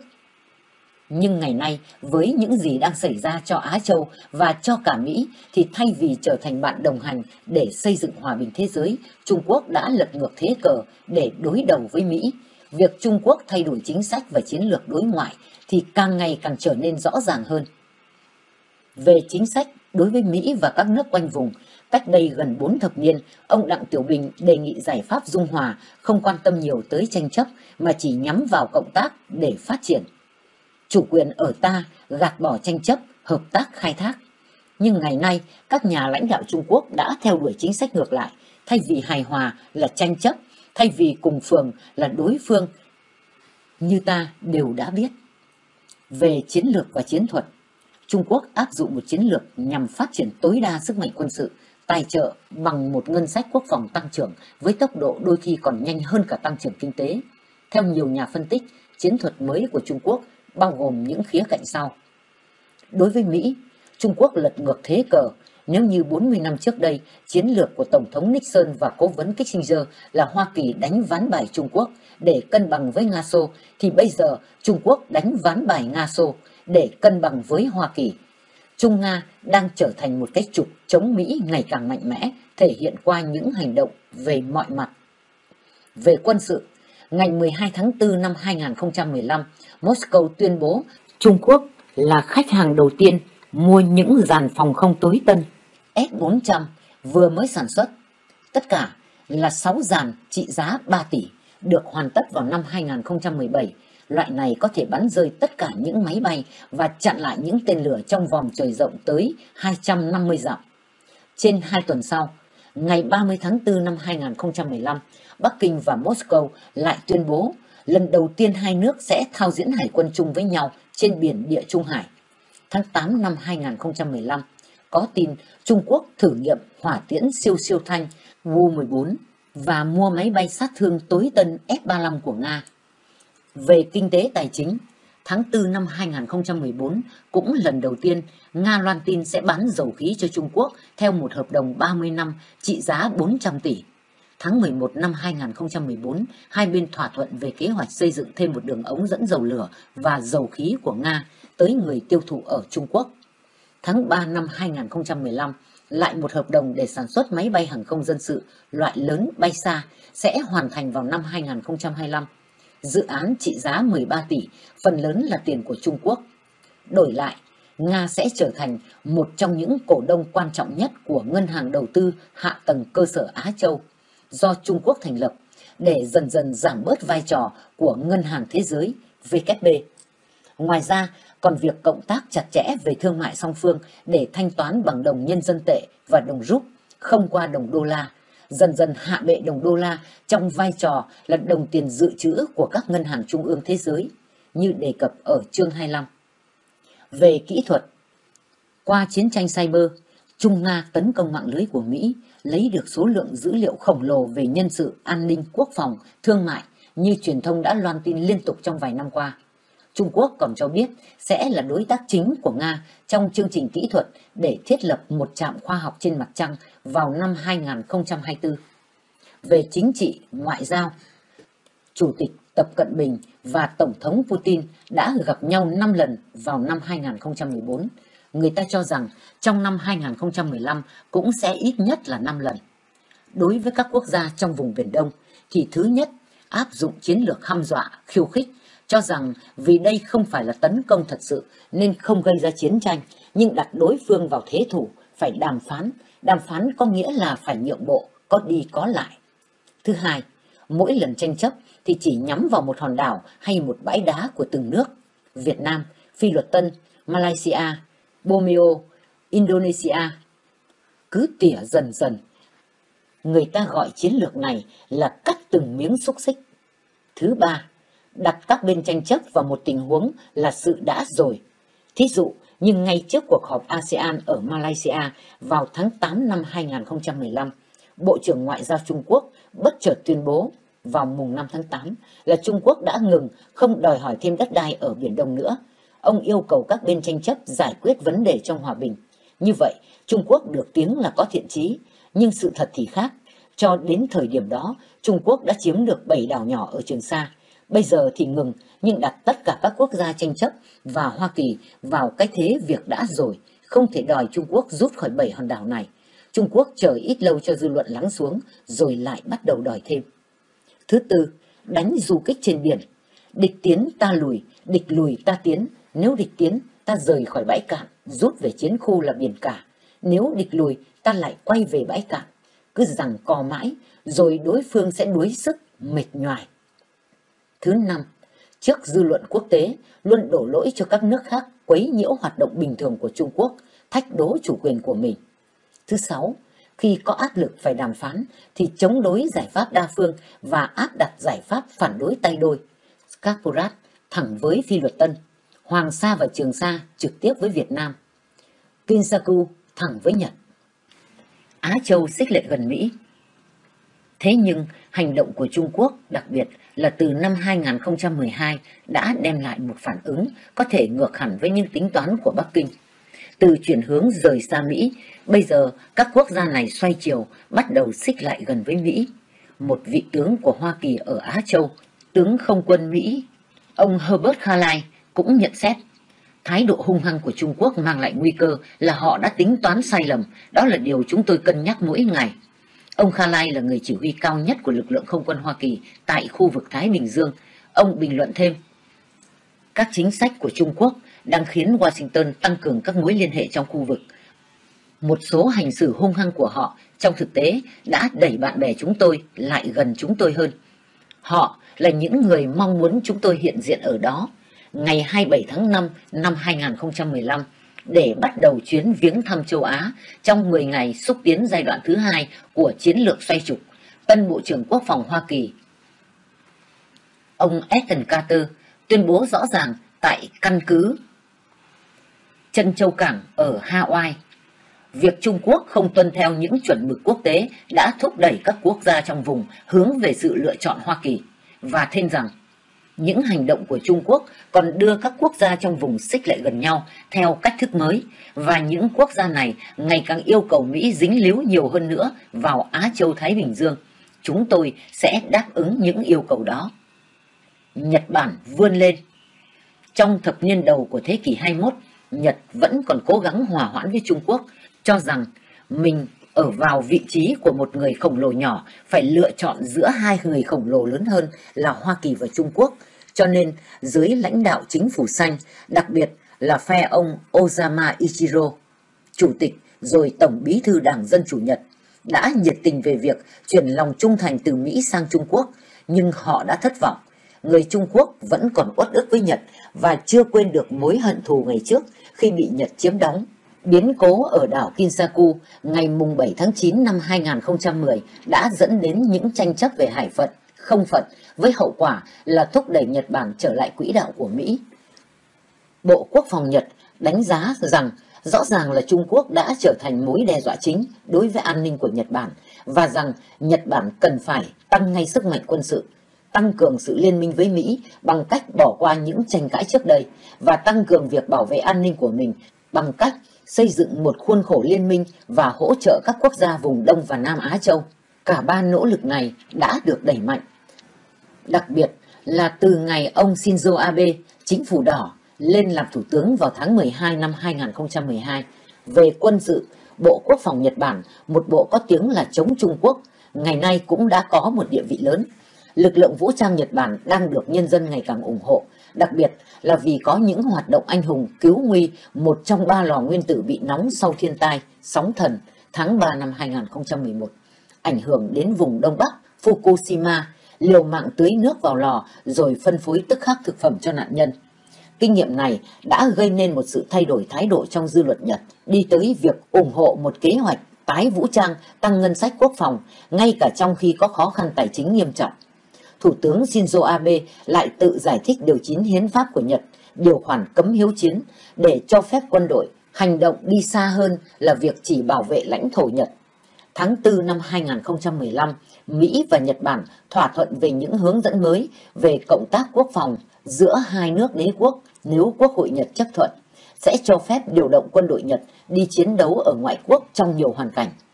Hè năm 2015, Quốc hội Nhật đã bắt đầu tranh luận về những đạo luật để sửa đổi luật an ninh quốc gia cho phép quân lực Nhật hành động theo mục tiêu tự vệ chung trong trường hợp Hoa Kỳ là đồng minh gần gũi nhất với nước Nhật bị tấn công. Tuy nhiên, ta cũng phải để ý rằng về vai trò của Trung Quốc và của Nhật Bản thì lịch sử chỉ mới cho ta thấy hai trường hợp. Hoặc là Nhật Bản mạnh, Trung Quốc yếu khi Trung Quốc bị Nhật chiếm đóng. Hoặc là Nhật Bản yếu, Trung Quốc mạnh thế kỷ 16-18. Nhưng chưa bao giờ cả hai bên đều mạnh. Đây lại là một tình huống mà chưa chắc các quốc gia Á Châu mong muốn.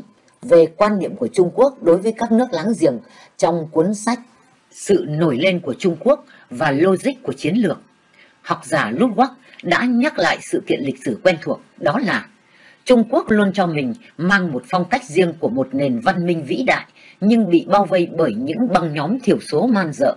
Ngày nay, Trung Quốc muốn khôi phục lại địa vị của họ khi ở đỉnh cao của quyền lực. Dù không hoàn toàn thống trị tất cả các quốc gia khác, Trung Quốc vẫn muốn những quốc gia này phải phục tùng hoặc phụ thuộc vào Trung Quốc Tất cả mọi người phải tôn vinh, thể hiện sự trung thành và đặc biệt là khuất phục quyền tối cao của Trung Quốc. Danh từ mà Trung Quốc đặt cho khái niệm này bắt đầu từ dưới triều Tây Hán là Tianxia hay Thiên Tử. Quyền lực tỏa ra từ ngôi vị hoàng đế, cho nên các nước luôn phải chiều cống. Sự kiện này đã ảnh hưởng sâu xa đến một tâm lý về cách hành xử đối với những nhóm man dợ nó đã ảnh hưởng đến suy nghĩ của giới lãnh đạo Trung Quốc trong nhiều thế kỷ sau đó. Tuy nhiên, các triều Hán cũng ít khi vượt trội về quân sự so với các bộ lạc du mục man dợ, cưỡi ngựa, bao vây quanh vùng đất của người Trung Quốc, và nhiều lần đã xâm lược và thống trị Trung Quốc qua nhiều thế kỷ. Chính vì điểm yếu tương đối này là lý do Trung Quốc phải xây dựng vạn lý trường thành để ngăn chặn. Đối với các nước vùng lưỡi bò thì ngày nay Trung Quốc đã dư sức để đàn áp, nhưng có một điều chắc chắn, đó là nếu như Trung Quốc tiếp tục uy hiếp thì tối thiểu các nước mà Trung Quốc coi là những băng nhóm mọi dợ cũng không để yên cho Trung Quốc tiếp tục phát triển và thành công trong ổn định, hòa bình như trong 40 năm nay. Riêng đối với Việt Nam, có thể là các thế hệ lãnh đạo của Trung Quốc đã quên hoặc không biết đến sự kính phục mà chính thế hệ lãnh đạo cách mạng đàn Anh đã dành cho con người Việt Nam. Mời độc giả đọc một ghi chú, một ghi chú cho lịch sử tiếp theo ghi chú cho lịch sử. Người vẽ đường lưỡi bò tâm sự điều gì với ông Kissinger về Việt Nam? Hai người nữ anh hùng ấy đã đánh bại tổ tiên của chúng tôi là những người bóc lột. Thủ tướng Trung Quốc Chu Ân Lai nói với cố vấn Tổng thống Mỹ Henry Kissinger, đây là tài liệu của Tòa Bạch Ốc đã được giải mật ghi biên bản cuộc họp kín tại Bắc Kinh ngày 9 tháng 7 năm 1971. Lúc ấy, ông Kissinger đi gặp ông Chu để sắp xếp chuyến viếng thăm cho Tổng thống Nixon vào tháng 2 năm 1972. Cái nghịch lý là dù công nhận tổ tiên ông là như vậy, nhưng chính ông Chu lại là người cho vẽ lên một hải tuyến của Trung Quốc gồm 9 cái vạch, giống như một hình lưỡi bò, với tham vọng bóc lột cả tương lai miếng cơm của nhân dân Việt Nam. Và diễn tiến của hải tuyến chín vạch thì nhìn lại lịch sử cận đại ta thấy vào năm 1947, sau khi Nhật đầu hàng và nhường lại nhóm quần đảo Hoàng Sa, Trường Sa và Pratak, chính phủ Trung Hoa Dân Quốc Tưởng Giới Thạch xác định chủ quyền tại những đảo này dựa trên tuyên bố của đồng minh tại Cairo và Potsdam. Nhưng cũng nên nhớ rằng trước đó, sau khi Nhật lật đổ Pháp vào tháng 3 năm 1945, chính đại sứ Nhật đã nhân danh Nhật Hoàng trao trả độc lập, có nghĩa là trao trả chủ quyền toàn thể lãnh thổ gồm cả hải đảo cho cựu Hoàng Bảo Đại. Tâu Hoàng thượng, đêm qua chúng tôi đã chấm dứt chủ quyền của Pháp ở đất nước này. Tôi được trao nhiệm vụ dâng nền độc lập của Việt Nam cho Hoàng thượng. Ngày hôm sau, vua Bảo Đại mời ông Yokohama tới để trao cho ông một bản sao của tuyên ngôn độc lập. Tháng 2 năm 1948, một bản đồ hành chính của Trung Hoa Dân Quốc, chính phủ tưởng giới thạch, có kèm theo một phụ lục về bản đồ vị trí các đảo Nam Hải, gồm 11 vạch được công bố. Năm 1949, sau khi Mao Trạch Đông chiếm Trung Hoa lục địa, Thủ tướng Chu Ân Lai bỏ đi hai vạch ở vịnh Bắc Kỳ và vẽ lại bản đồ chính thức gồm 9 vạch, bao bọc gần hết vùng Biển Đông. Tháng 9 năm 1951, một hiệp ước hòa bình với Nhật gọi là Hiệp ước San Francisco được 48 quốc gia tham dự và ký kết ngày 8 tháng 9. Trong số những quốc gia này không có cả hai chính phủ Trung Quốc là Bắc Kinh và Đài Loan nhưng có chính phủ quốc gia Việt Nam vì hiệp ước này không đả động gì tới hai nhóm đảo Hoàng Sa Trường Sa lại trao trả Pratat cho Liên Hiệp Quốc nên ngay trước và sau khi ký kết ngày 15 tháng 8 và 18 tháng 9 Thủ tướng Chu Ân Lai tuyên bố Hiệp ước San Francisco là bất hợp pháp và khẳng định chủ quyền ở các đảo này. Tháng 5 năm 1956, khi Phi Luật Tân xác định chủ quyền trên một hòn đảo trong nhóm Trường Sa đặt tên là Calayan, Lập tức chính phủ Việt Nam Cộng Hòa Ngô Đình Diệm công bố một thông cáo ngày 1 tháng 6 năm 56 khẳng định chủ quyền Việt Nam trên tất cả các đảo ở Trường Sa. Tháng 8 năm 1958, Thủ tướng Chu Ân Lai tuyên bố với quốc tế quyết định về hải phận 12 hải lý kể từ đất liền của Trung Quốc và các đảo Trường Sa và Hoàng Sa. Ít người để ý tới sự kiện là ngay sau đó chính phủ Việt Nam Cộng Hòa Ngô Đình Diệm đã phản đối tuyên bố của ông Chu bằng hành động Năm 1959, ông cho trục xuất hết ngư dân Trung Quốc ra khỏi nhóm đảo Crescent. Từ năm 1960 tới 1973, Trung Quốc chỉ cho tàu đi tuần tiễu vùng biển giữa đảo Hải Nam và Hoàng Sa, trung bình khoảng 5 lần một năm.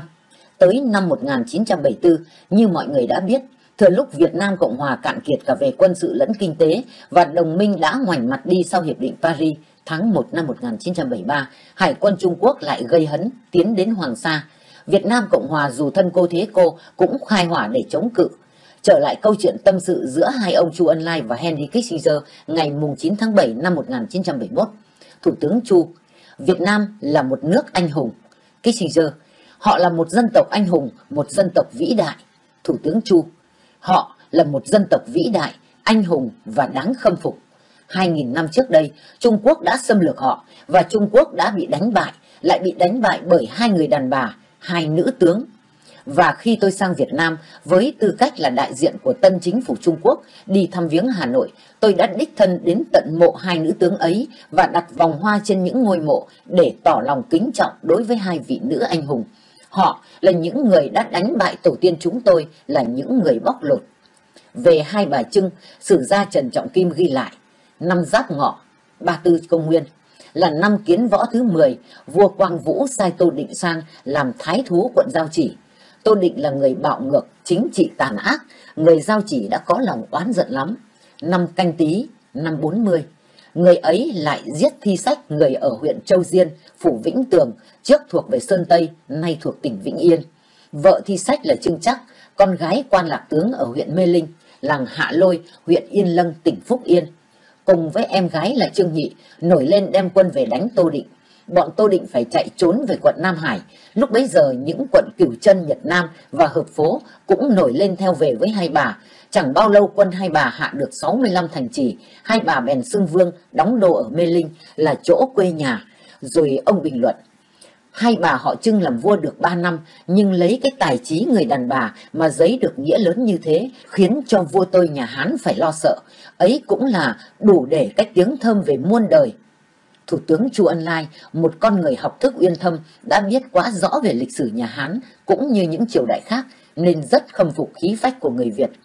Ngày nay, khi giới lãnh đạo Bắc Kinh luôn dùng lịch sử để chứng minh chủ quyền của mình về Hoàng Sa, thí dụ như tại Diễn đàn An ninh Đối thoại,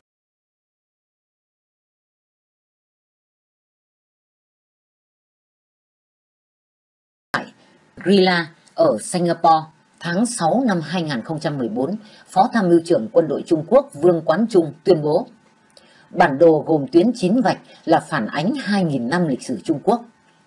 Tháng 6 năm 2015, Bộ trưởng Ngoại giao Trung Quốc Wang Yi lại khẳng định một ngàn năm trước đây Trung Quốc là một quốc gia lưu thông rất lớn trên mặt biển.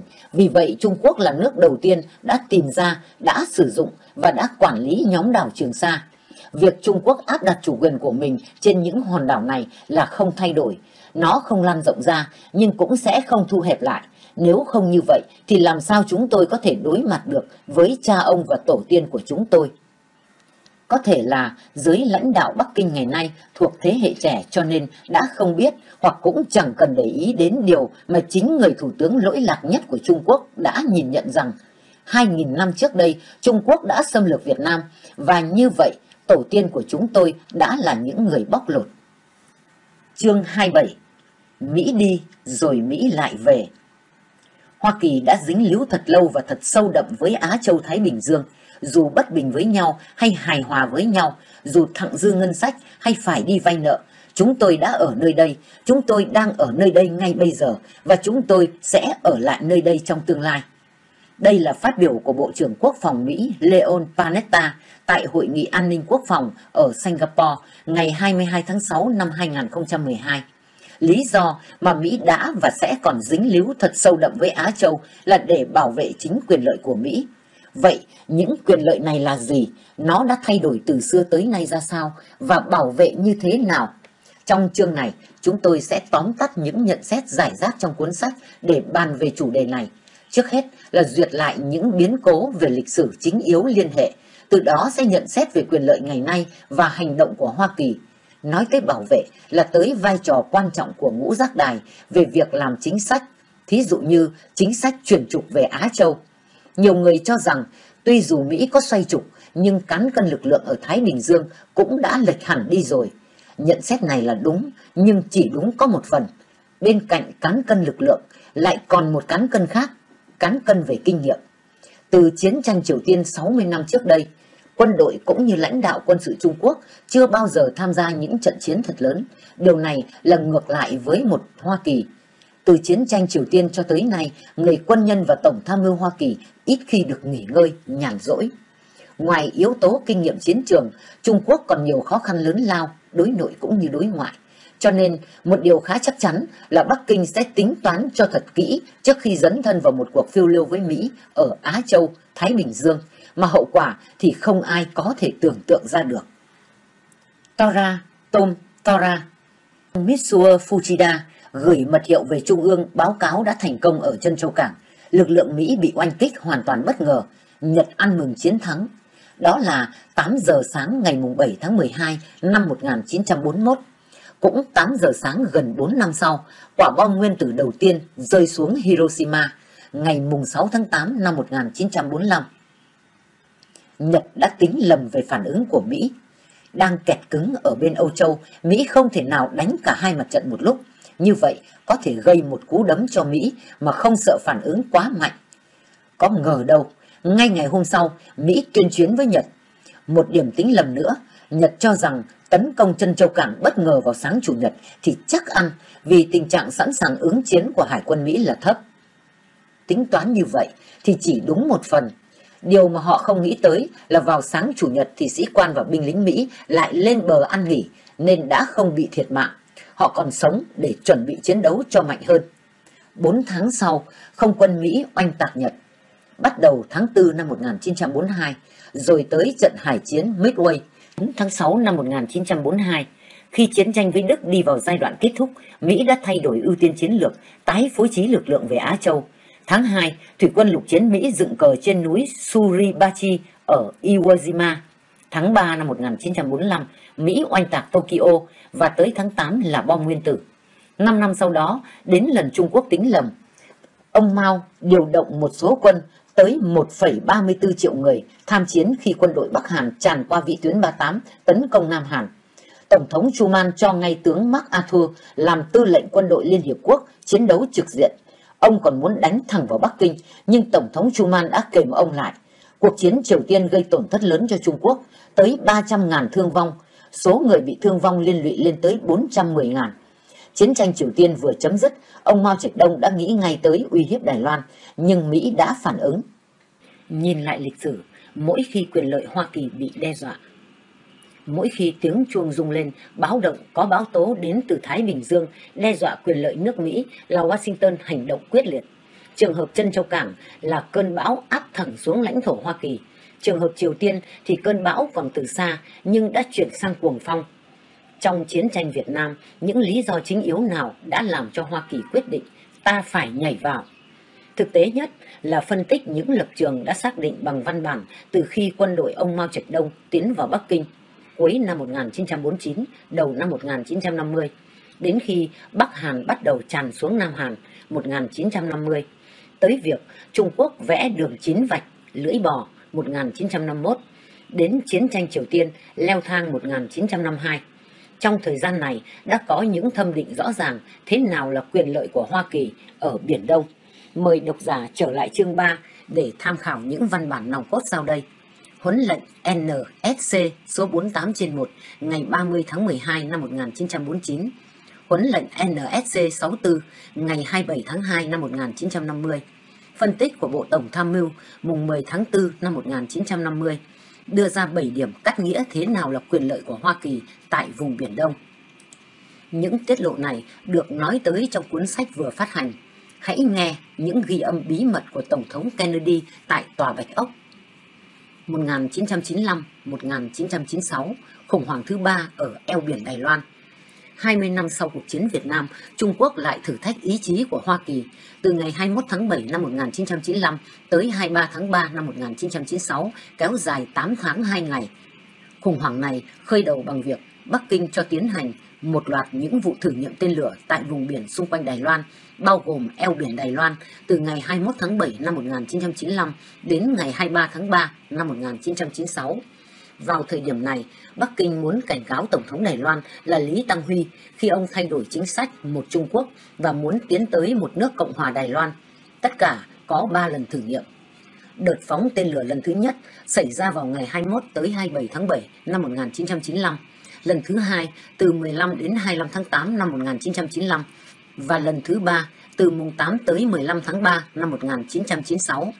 Tới lần thứ ba thì Hoa Kỳ phản ứng bằng những hành động mạnh mẽ nhất để biểu diễn sức mạnh quân sự của Mỹ tại Á Châu kể từ khi chiến tranh Việt Nam chấm dứt. Tổng thống Clinton cho tăng cường sự có mặt của Hải quân Mỹ tại Thái Bình Dương. Cùng ngày 8 tháng 3, Washington tuyên bố đã có lệnh cho nhóm hàng không mẫu hạm thứ 5 dẫn đầu bằng tàu USS Independence tiến vào vùng biển quốc tế gần Đài Loan. Ngay ngày hôm sau, mùng 9 tháng 3, Trung Quốc lại công bố tập trận bắn đạn thật gần Penhu từ ngày 12 tới 20 tháng 3. Tổng thống Clinton lập tức cho nhóm hàng không mẫu hạm 7 dẫn đầu bằng tàu USS Nimitz tiến thật nhanh từ vịnh Ba Tư tới Đài Loan. Tình hình lại càng căng thẳng khi Bắc Kinh công bố sẽ có cuộc thao diễn đổ bộ dự định vào ngày 18 đến 25 tháng 3. Nhưng trước sự sửa soạn để sẵn sàng chiến đấu của Hải quân Hoa Kỳ, Trung Quốc quyết định ngưng các cuộc tập trận. Khủng hoảng chấm dứt vào ngày 23 tháng 3 năm 1996. Quyền lợi của Hoa Kỳ ở Biển Đông ngày nay như đã phân tích trên đây và trong chương 28, cách nhìn về quyền lợi thì có tính cách chủ quan vì còn tùy theo nhận thức của các nhà lãnh đạo Hoa Kỳ vào từng thời điểm.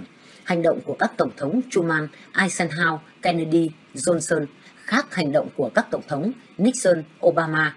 Lập trường của Ngoại trưởng Dulles khác với Ngoại trưởng Kissinger. Cũng như vậy, tại Bắc Kinh, lập trường của Chủ tịch Đặng Tiểu Bình khác với Chủ tịch Tập Cận Bình. Tuy nhiên, nói chung và nhìn lại lịch sử cuộc chiến Việt Nam thì ta có thể thấy bốn khía cạnh của quyền lợi Hoa Kỳ. An ninh quốc phòng, bảo vệ tuyến giao thông quan trọng nhất, tài nguyên vùng Biển Đông và vai trò lãnh đạo cùng với ảnh hưởng của Hoa Kỳ. Thứ nhất, an ninh quốc phòng. Biên giới lãnh thổ của Hoa Kỳ ở miền Tây là Thái Bình Dương.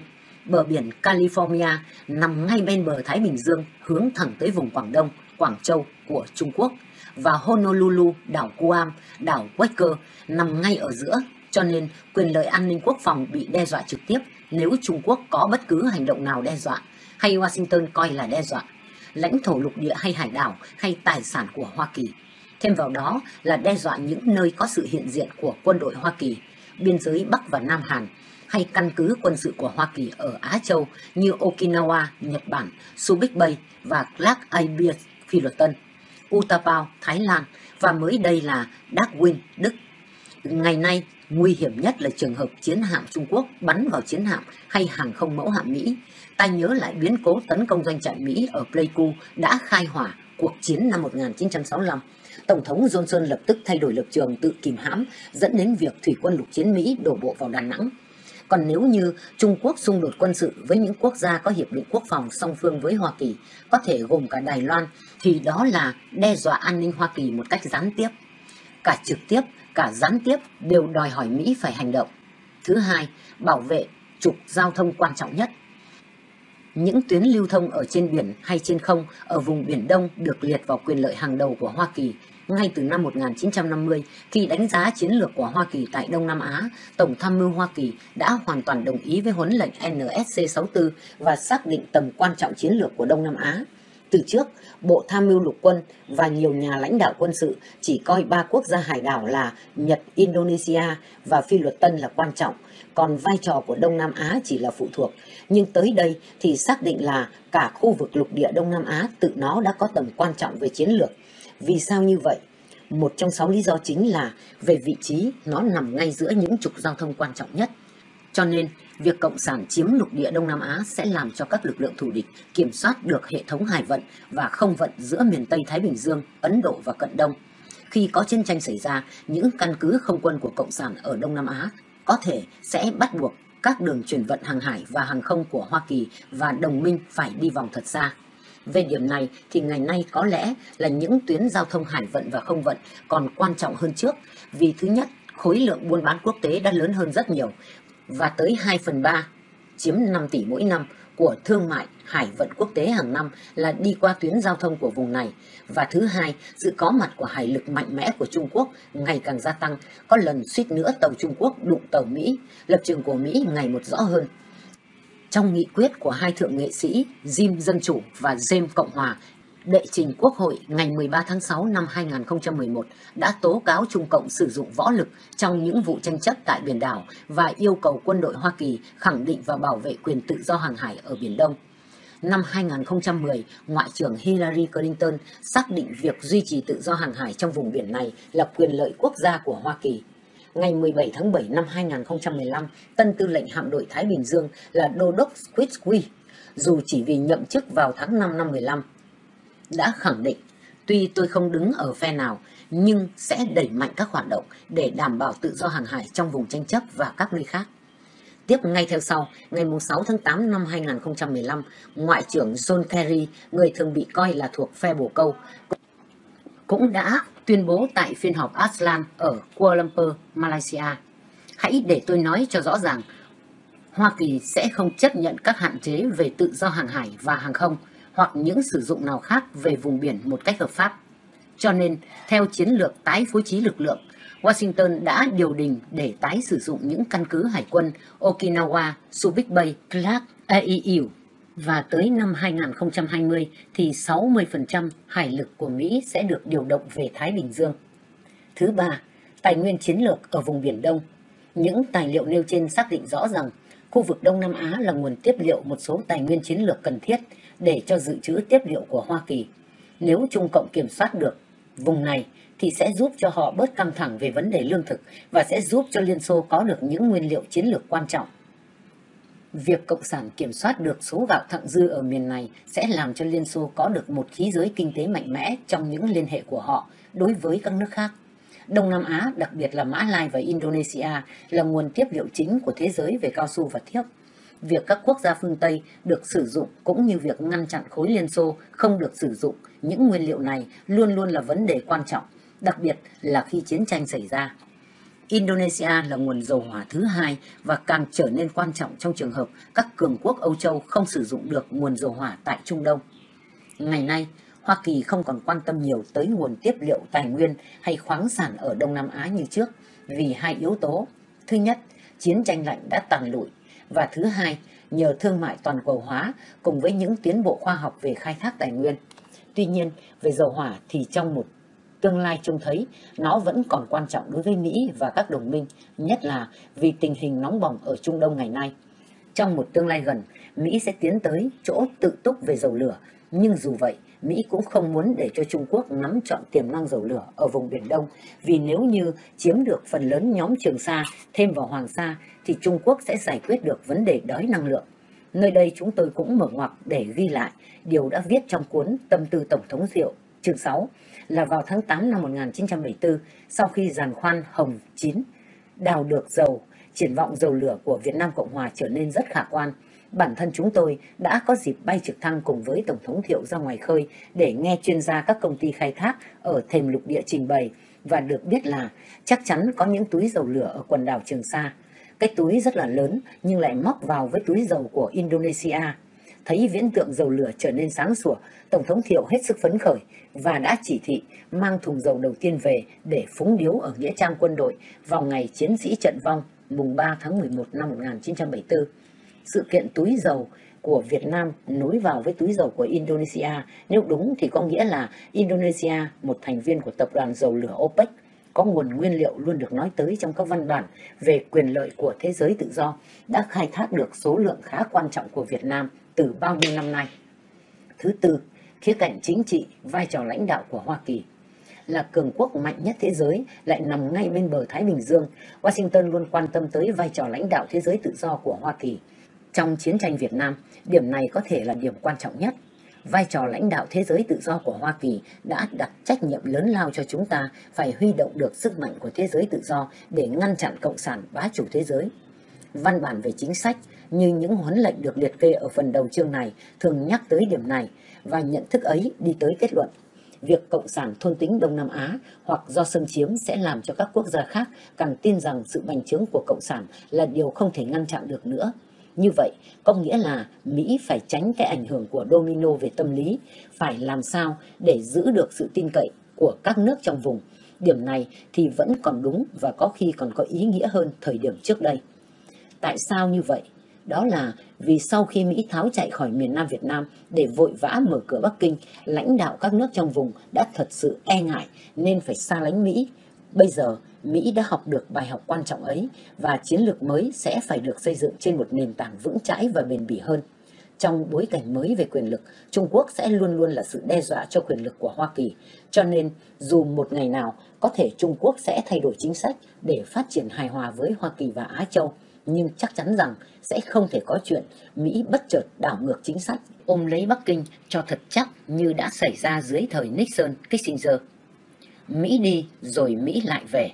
Không phải là Mỹ sẽ trở về Việt Nam theo như mô hình những thập niên trước, nhưng trở lại với Biển Đông, với Á Châu Thái Bình Dương. Tuy nhiên, tại khu vực Đông Nam Á thì các nhà chiến lược Hoa Kỳ luôn luôn đánh giá Việt Nam là địa điểm chiến lược quan trọng nhất, như đã được xác định trong những văn bản nòng cốt. Vì vậy, dĩ nhiên là Hoa Kỳ muốn giao hảo với Việt Nam để đối đầu với Trung Quốc. Mặt khác, Việt Nam cũng rất cần có Mỹ làm đồng minh để cân bằng sự đe dọa của Trung Quốc ngày một gần kề. Câu hỏi đặt ra là quan hệ giữa hai nước sẽ phát triển nhanh chậm ra sao? Câu trả lời còn tùy thuộc vào nhiều yếu tố ngoại giao, chính trị của cả hai nước.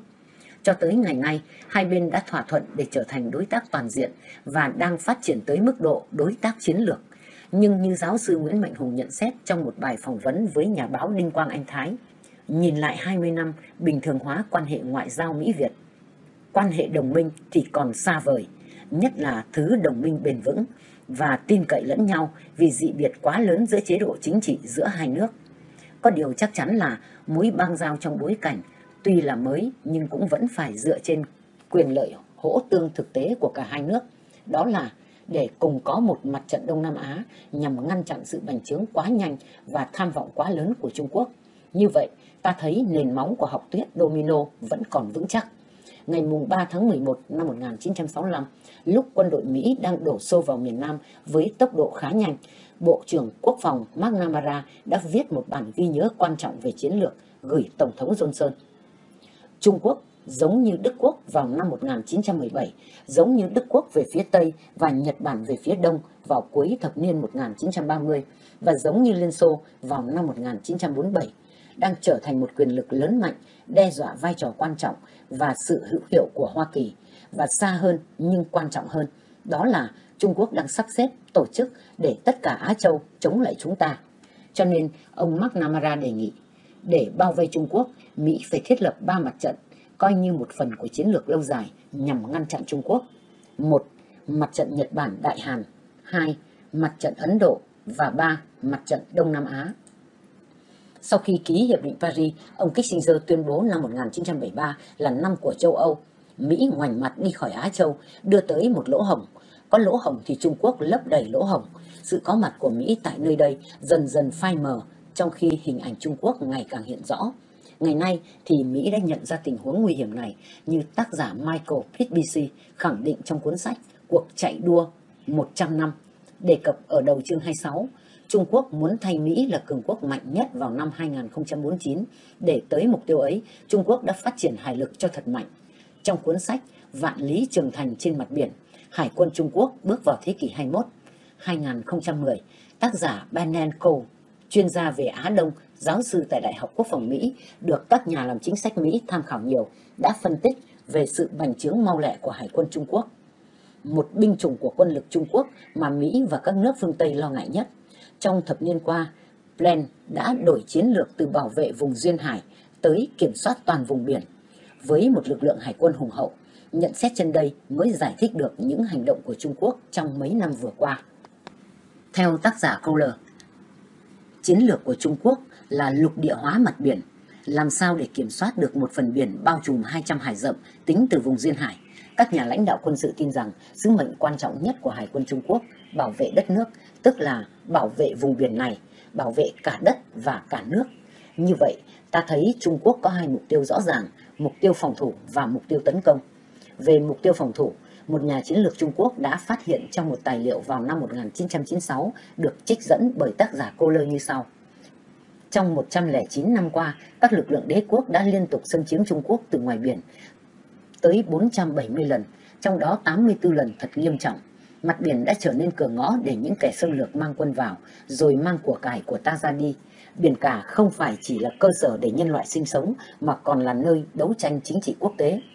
Càng kiểm soát được mặt biển kỹ càng bao nhiêu thì càng có nhiều quyền hành về lãnh hải bấy nhiêu. Cho nên, nhà chiến lược đề nghị với lãnh đạo là nên rút ra ba bài học từ những kinh nghiệm này. Thứ nhất, một lực lượng ở biển cho mạnh là để bảo vệ chính phần đất đai ở bên trong. Thứ hai, một quốc gia không hiểu về tầm quan trọng của biển cả là quốc gia không có tương lai. Và thứ ba, nếu như một cường quốc trên biển mà không bảo vệ được quyền về lãnh hải của mình thì sẽ chẳng là cường quốc trên biển được bao nhiêu lâu. Về mục tiêu tấn công, cũng theo tác giả Cô Ly, thì Trung Quốc muốn có khả năng phóng được sức mạnh của mình ra tới một khoảng cách 1.500 hải rộng tính từ vùng duyên hải, bao gồm cả biển vàng tên vùng biển giữa Trung Quốc và Đại Hàn, Đông Hải, Hoa Đông và Nam Hải, Biển Đông. Kế hoạch phát triển hải quân của Trung Quốc trong thập niên vừa qua là để chuẩn bị cho mục tiêu hoàn thành sứ mệnh này, bổ sung bằng khả năng có thể phóng lực đi xa hơn Thái Bình Dương tuy với mức độ giới hạn. Phản ánh qua việc Trung Quốc đưa chiến hạm sang vùng biển Arabian vào lúc có bước ngoặt về chính sách vào năm 2008. Tháng 4 năm 2015, Hải quân Trung Quốc thao diễn quân sự chung với Hải quân Nga Xô ở địa Trung Hải. Tiếp theo là thao diễn lần thứ hai ở ngay biển Nhật và sát ngay với bờ biển Vladivostok. Thao diễn chung lần này có quy mô lớn nhất trong tất cả tới 5 lần. Xoay trục. Vì vậy, ngay từ năm 2011, Mỹ đã bắt đầu thay đổi chiến lược để xoay trục về Á Châu và củng cố lại cả ba mặt trận trên đây, đặc biệt là mặt trận Đông Nam Á. Dù dưới thời Tổng thống Obama, người bị chỉ trích là đã để cho uy tín của Hoa Kỳ xuống dốc, cũng đã bắt đầu có những hành động cương quyết hơn. Năm 2011, Mỹ đã ký một thỏa ước với Úc để đưa thủy quân lục chiến tới đóng ở căn cứ Darwin. Ngày 17 tháng 11 năm 2011, trong bài diễn văn đọc trước Quốc hội Úc, một bài được Tòa Bạch Ốc nhấn mạnh là tối quan trọng. Tổng thống Obama tuyên bố, Hoa Kỳ là một cường quốc ở Thái Bình Dương, chúng tôi có mặt ở đây và sẽ ở lại nơi này. Quyền lợi lâu dài của chúng tôi ở vùng này đòi hỏi sự chú ý lâu dài của chúng tôi đến vùng này. Ông thêm rằng, tôi đã chỉ thị cho cơ quan đặc trách an ninh quốc gia đặt sự có mặt và sứ mệnh của Hoa Kỳ ở vùng này là ưu tiên cao nhất. Để tránh bị chỉ trích về việc cắt giảm ngân sách quốc phòng, ông còn nhấn mạnh, việc cắt giảm chi tiêu quốc phòng sẽ không, tôi nhắc lại là sẽ không ảnh hưởng gì tới những chi tiêu cho mục tiêu Á Châu, Thái Bình Dương. Như đề cập ở đầu chương, Bộ trưởng Quốc phòng Mỹ Leon Pantentan đã tái khẳng định chiến lược xoay trục. Bình luận về điểm này, thông tin quân lực Mỹ đã cho biết chiến lược này đã được chấp thuận từ năm 2011, chứ không phải là 2012 khi ông Tập Cận Bình lên vai lãnh đạo. Sự chuyển dịch trọng tâm đã được tiên đoán từ lâu. Sau khi Liên Xô sụp đổ, nhiều người trong chính phủ đã thúc đẩy tái tập trung chiến lược Hoa Kỳ vào miền Thái Bình Dương. Chiến lược này bị tạm ngưng vì biến cố mùng 9 tháng 11 khi Hoa Kỳ phải tập trung vào chiến tranh chống du kích. Nhưng ngày nay, chiến tranh Iraq đã gần kết thúc và quân đội Mỹ đang rút khỏi Afghanistan, cho nên năm 2011, Tổng thống Obama đã chấp thuận chiến lược chuyển về Á Châu. Trong những năm qua, Hoa Kỳ bắt đầu quan tâm đặc biệt tới những căn cứ quân sự đã được quân đội Mỹ sử dụng trong chiến tranh Việt Nam. Căn cứ không quân Utapao tại Thái Lan. Lý do chính thức Bộ Quốc phòng đưa ra là tiến hành thiết lập một trung tâm cứu trợ thiên tai như Sumani, nhưng thêm rằng chiến hạm Mỹ cũng sẽ ghé các hải cảng Thái Lan để thực hiện những phi vụ cùng với không quân Thái nhằm theo dõi những hải tuyến thương mại và theo dõi các hoạt động quân sự trên đại dương.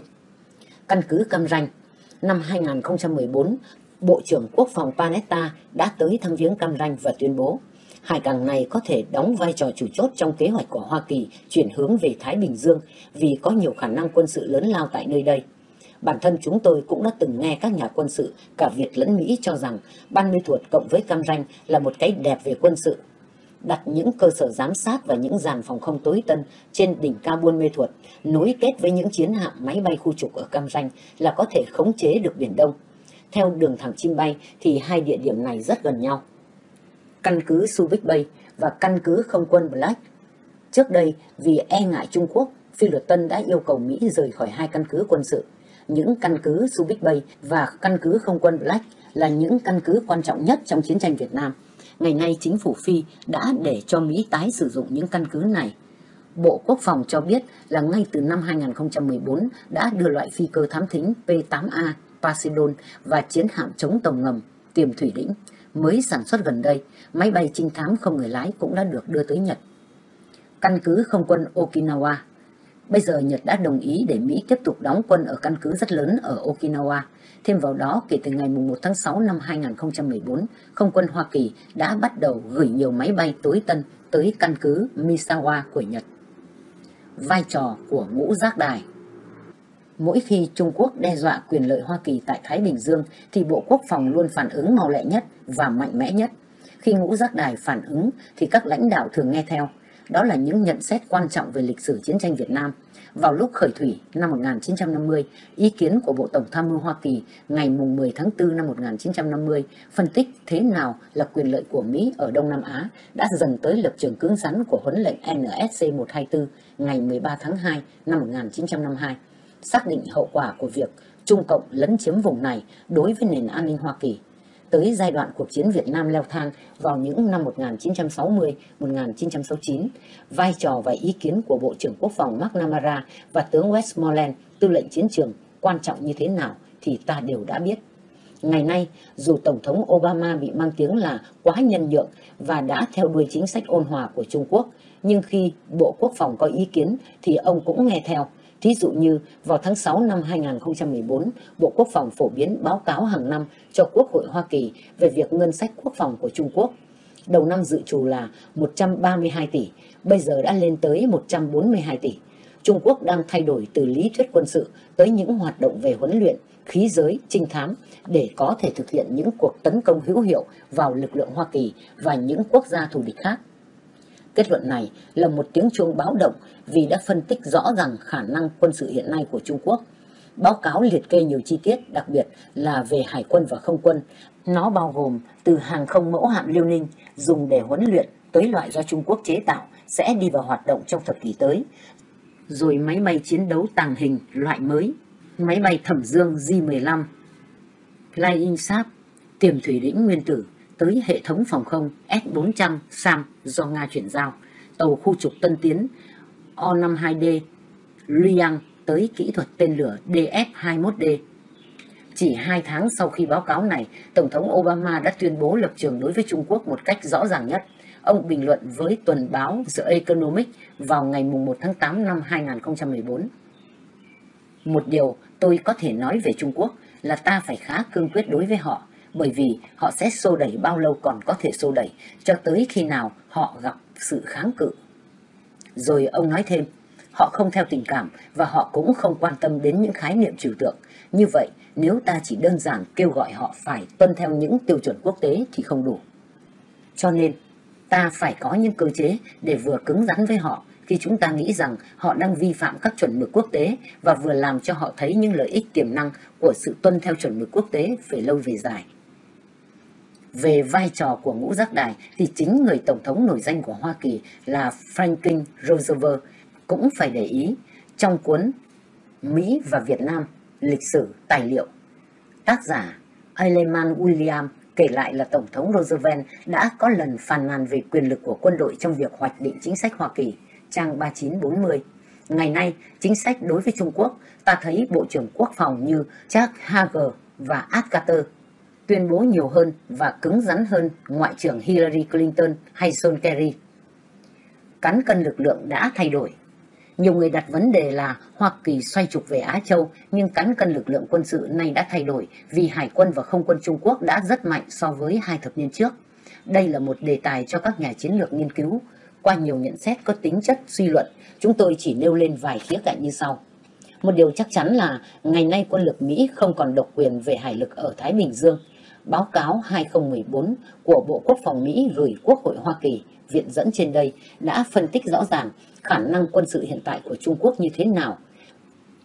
Với sức mạnh ấy, Bộ trưởng Quốc phòng Trung Quốc, tướng Chan Cua đã coi thường cả Nhật và nói thẳng thừng với Bộ trưởng Quốc phòng Mỹ Chuck Hagel khi ông này thăm Bắc Kinh. Trung Quốc sẽ không thỏa hiệp, không nhân nhượng, không thương thuyết. Về tranh chấp với Nhật Bản, quân Trung Quốc có thể tập hợp ngay tức khắc khi nào có lệnh, có thể về đâu trong bất cứ mặt trận nào và sẽ thắng.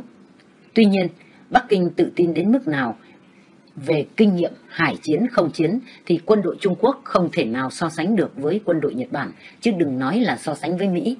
Mà mọi người đều đã biết về sức mạnh của Nhật qua Nhật-Nga chi kỷ. Ngay từ đầu thế kỷ 20 rồi, Nhật hải chiến với Mỹ trong Thế chiến thứ hai. Về cán cân lực lượng ở Thái Bình Dương thì khoảng cách giữa Mỹ-Trung đã gần lại, tuy nhiên cũng không quá gần như nhiều người tưởng vì Bộ Quốc phòng Hoa Kỳ chỉ mới tiết lộ một phần nào về vũ khí tối tân. Thí dụ như phải đến tháng 8 năm 2015, khi có tin tức rõ ràng hơn về loại khu trục F-35 Liên Ninh và loại hàng không mẫu hạm mới, còn gọi là CVN-21, đang được sản xuất để thay thế hiện nay thuộc Sinimit. Theo Bộ Quốc phòng Mỹ, thì tới năm 2020, Hải quân Mỹ sẽ hoàn tất việc tái phối trí lực lượng giữa Thái Bình Dương và Đại Tây Dương. Lực lượng này hiện được dàn ra khoảng 50-50 giữa hai đại dương, nhưng sẽ chuyển sang 60-40, bao gồm 6 hàng không mẫu hạm, phần lớn những tuần dương hạm, khu trục hạm, tàu tác chiến vùng duyên hải và tàu ngầm. Cán cân kinh nghiệm chiến đấu giữa Hoa Kỳ và Trung Quốc, ngoài cán cân về sức mạnh vũ trang, lại còn cán cân về kinh nghiệm dù khoảng cách về thiết bị của hai bên đã gần lại, nhưng khoảng cách về kinh nghiệm chiến đấu thì còn quá xa. Có vũ khí là một chuyện, sử dụng nó như thế nào lại là chuyện khác. Sử dụng thì đòi hỏi phải có nhiều kinh nghiệm thực tế chứ không phải chỉ huấn luyện, đào tạo, chuẩn bị kế hoạch, đánh trận giả trong phòng nghiên cứu hay thao diễn quân sự trên mặt biển. Đối với Mỹ thì có thể nói là ngoài kinh nghiệm chiến đấu trên không, trên bộ và dưới biển trong thế giới thứ nhất, thứ hai và đã toàn thắng kể từ sau năm 1945, tức là trong 70 năm qua, người binh sĩ và tướng lãnh Mỹ vẫn tiếp tục chuẩn bị cũng như thực sự chiến đấu từ chiến tranh Triều Tiên, chiến tranh Việt Nam đến chiến tranh Iraq, Afghanistan. Đây là không kể những phi vụ oanh tạc như ở Kosovo, Pakistan, Syria hay chống ISIL. Như vậy, họ đã thực tập và thu thập được một số lượng rất lớn về kinh nghiệm cả về chiến tranh quy ước lẫn du kích, thêm vào đó là kinh nghiệm về vũ khí. Thí dụ như sau khi B-52 bị bắn rơi ở chiến trường Việt Nam, Bộ Quốc phòng đã cho nghiên cứu và cải tiến, ngày nay không dễ gì mà hạ được loại này. Lại còn loại tàng hình F-35 Lightning II như đề cập ở trên. Ngược lại với Mỹ, trên 60 năm qua, kinh nghiệm chiến đấu của quân đội Trung Quốc là rất giới hạn. Lục quân sau chiến tranh Triều Tiên 1950-1953, quân đội Trung Quốc chưa hề có kinh nghiệm với những trận chiến lớn. Kinh nghiệm chỉ gồm việc pháo kích vào eo biển Đài Loan 1954, 1955 và 1958, xung đột tranh chấp lai dai ở biên giới với Ấn Độ năm 1962 với Liên Xô 1969 và xung đột biên giới với Việt Nam vào đầu năm 1979, 3 tuần 6 ngày. Không quân Kinh nghiệm chỉ gồm mấy trận không chiến với không quân Đài Loan cách đây 57 năm, ngày 22 tháng 9, 1958, 100 phi cơ MiG của Trung Quốc đụng độ với 32 phi cơ F-86S của Đài Loan.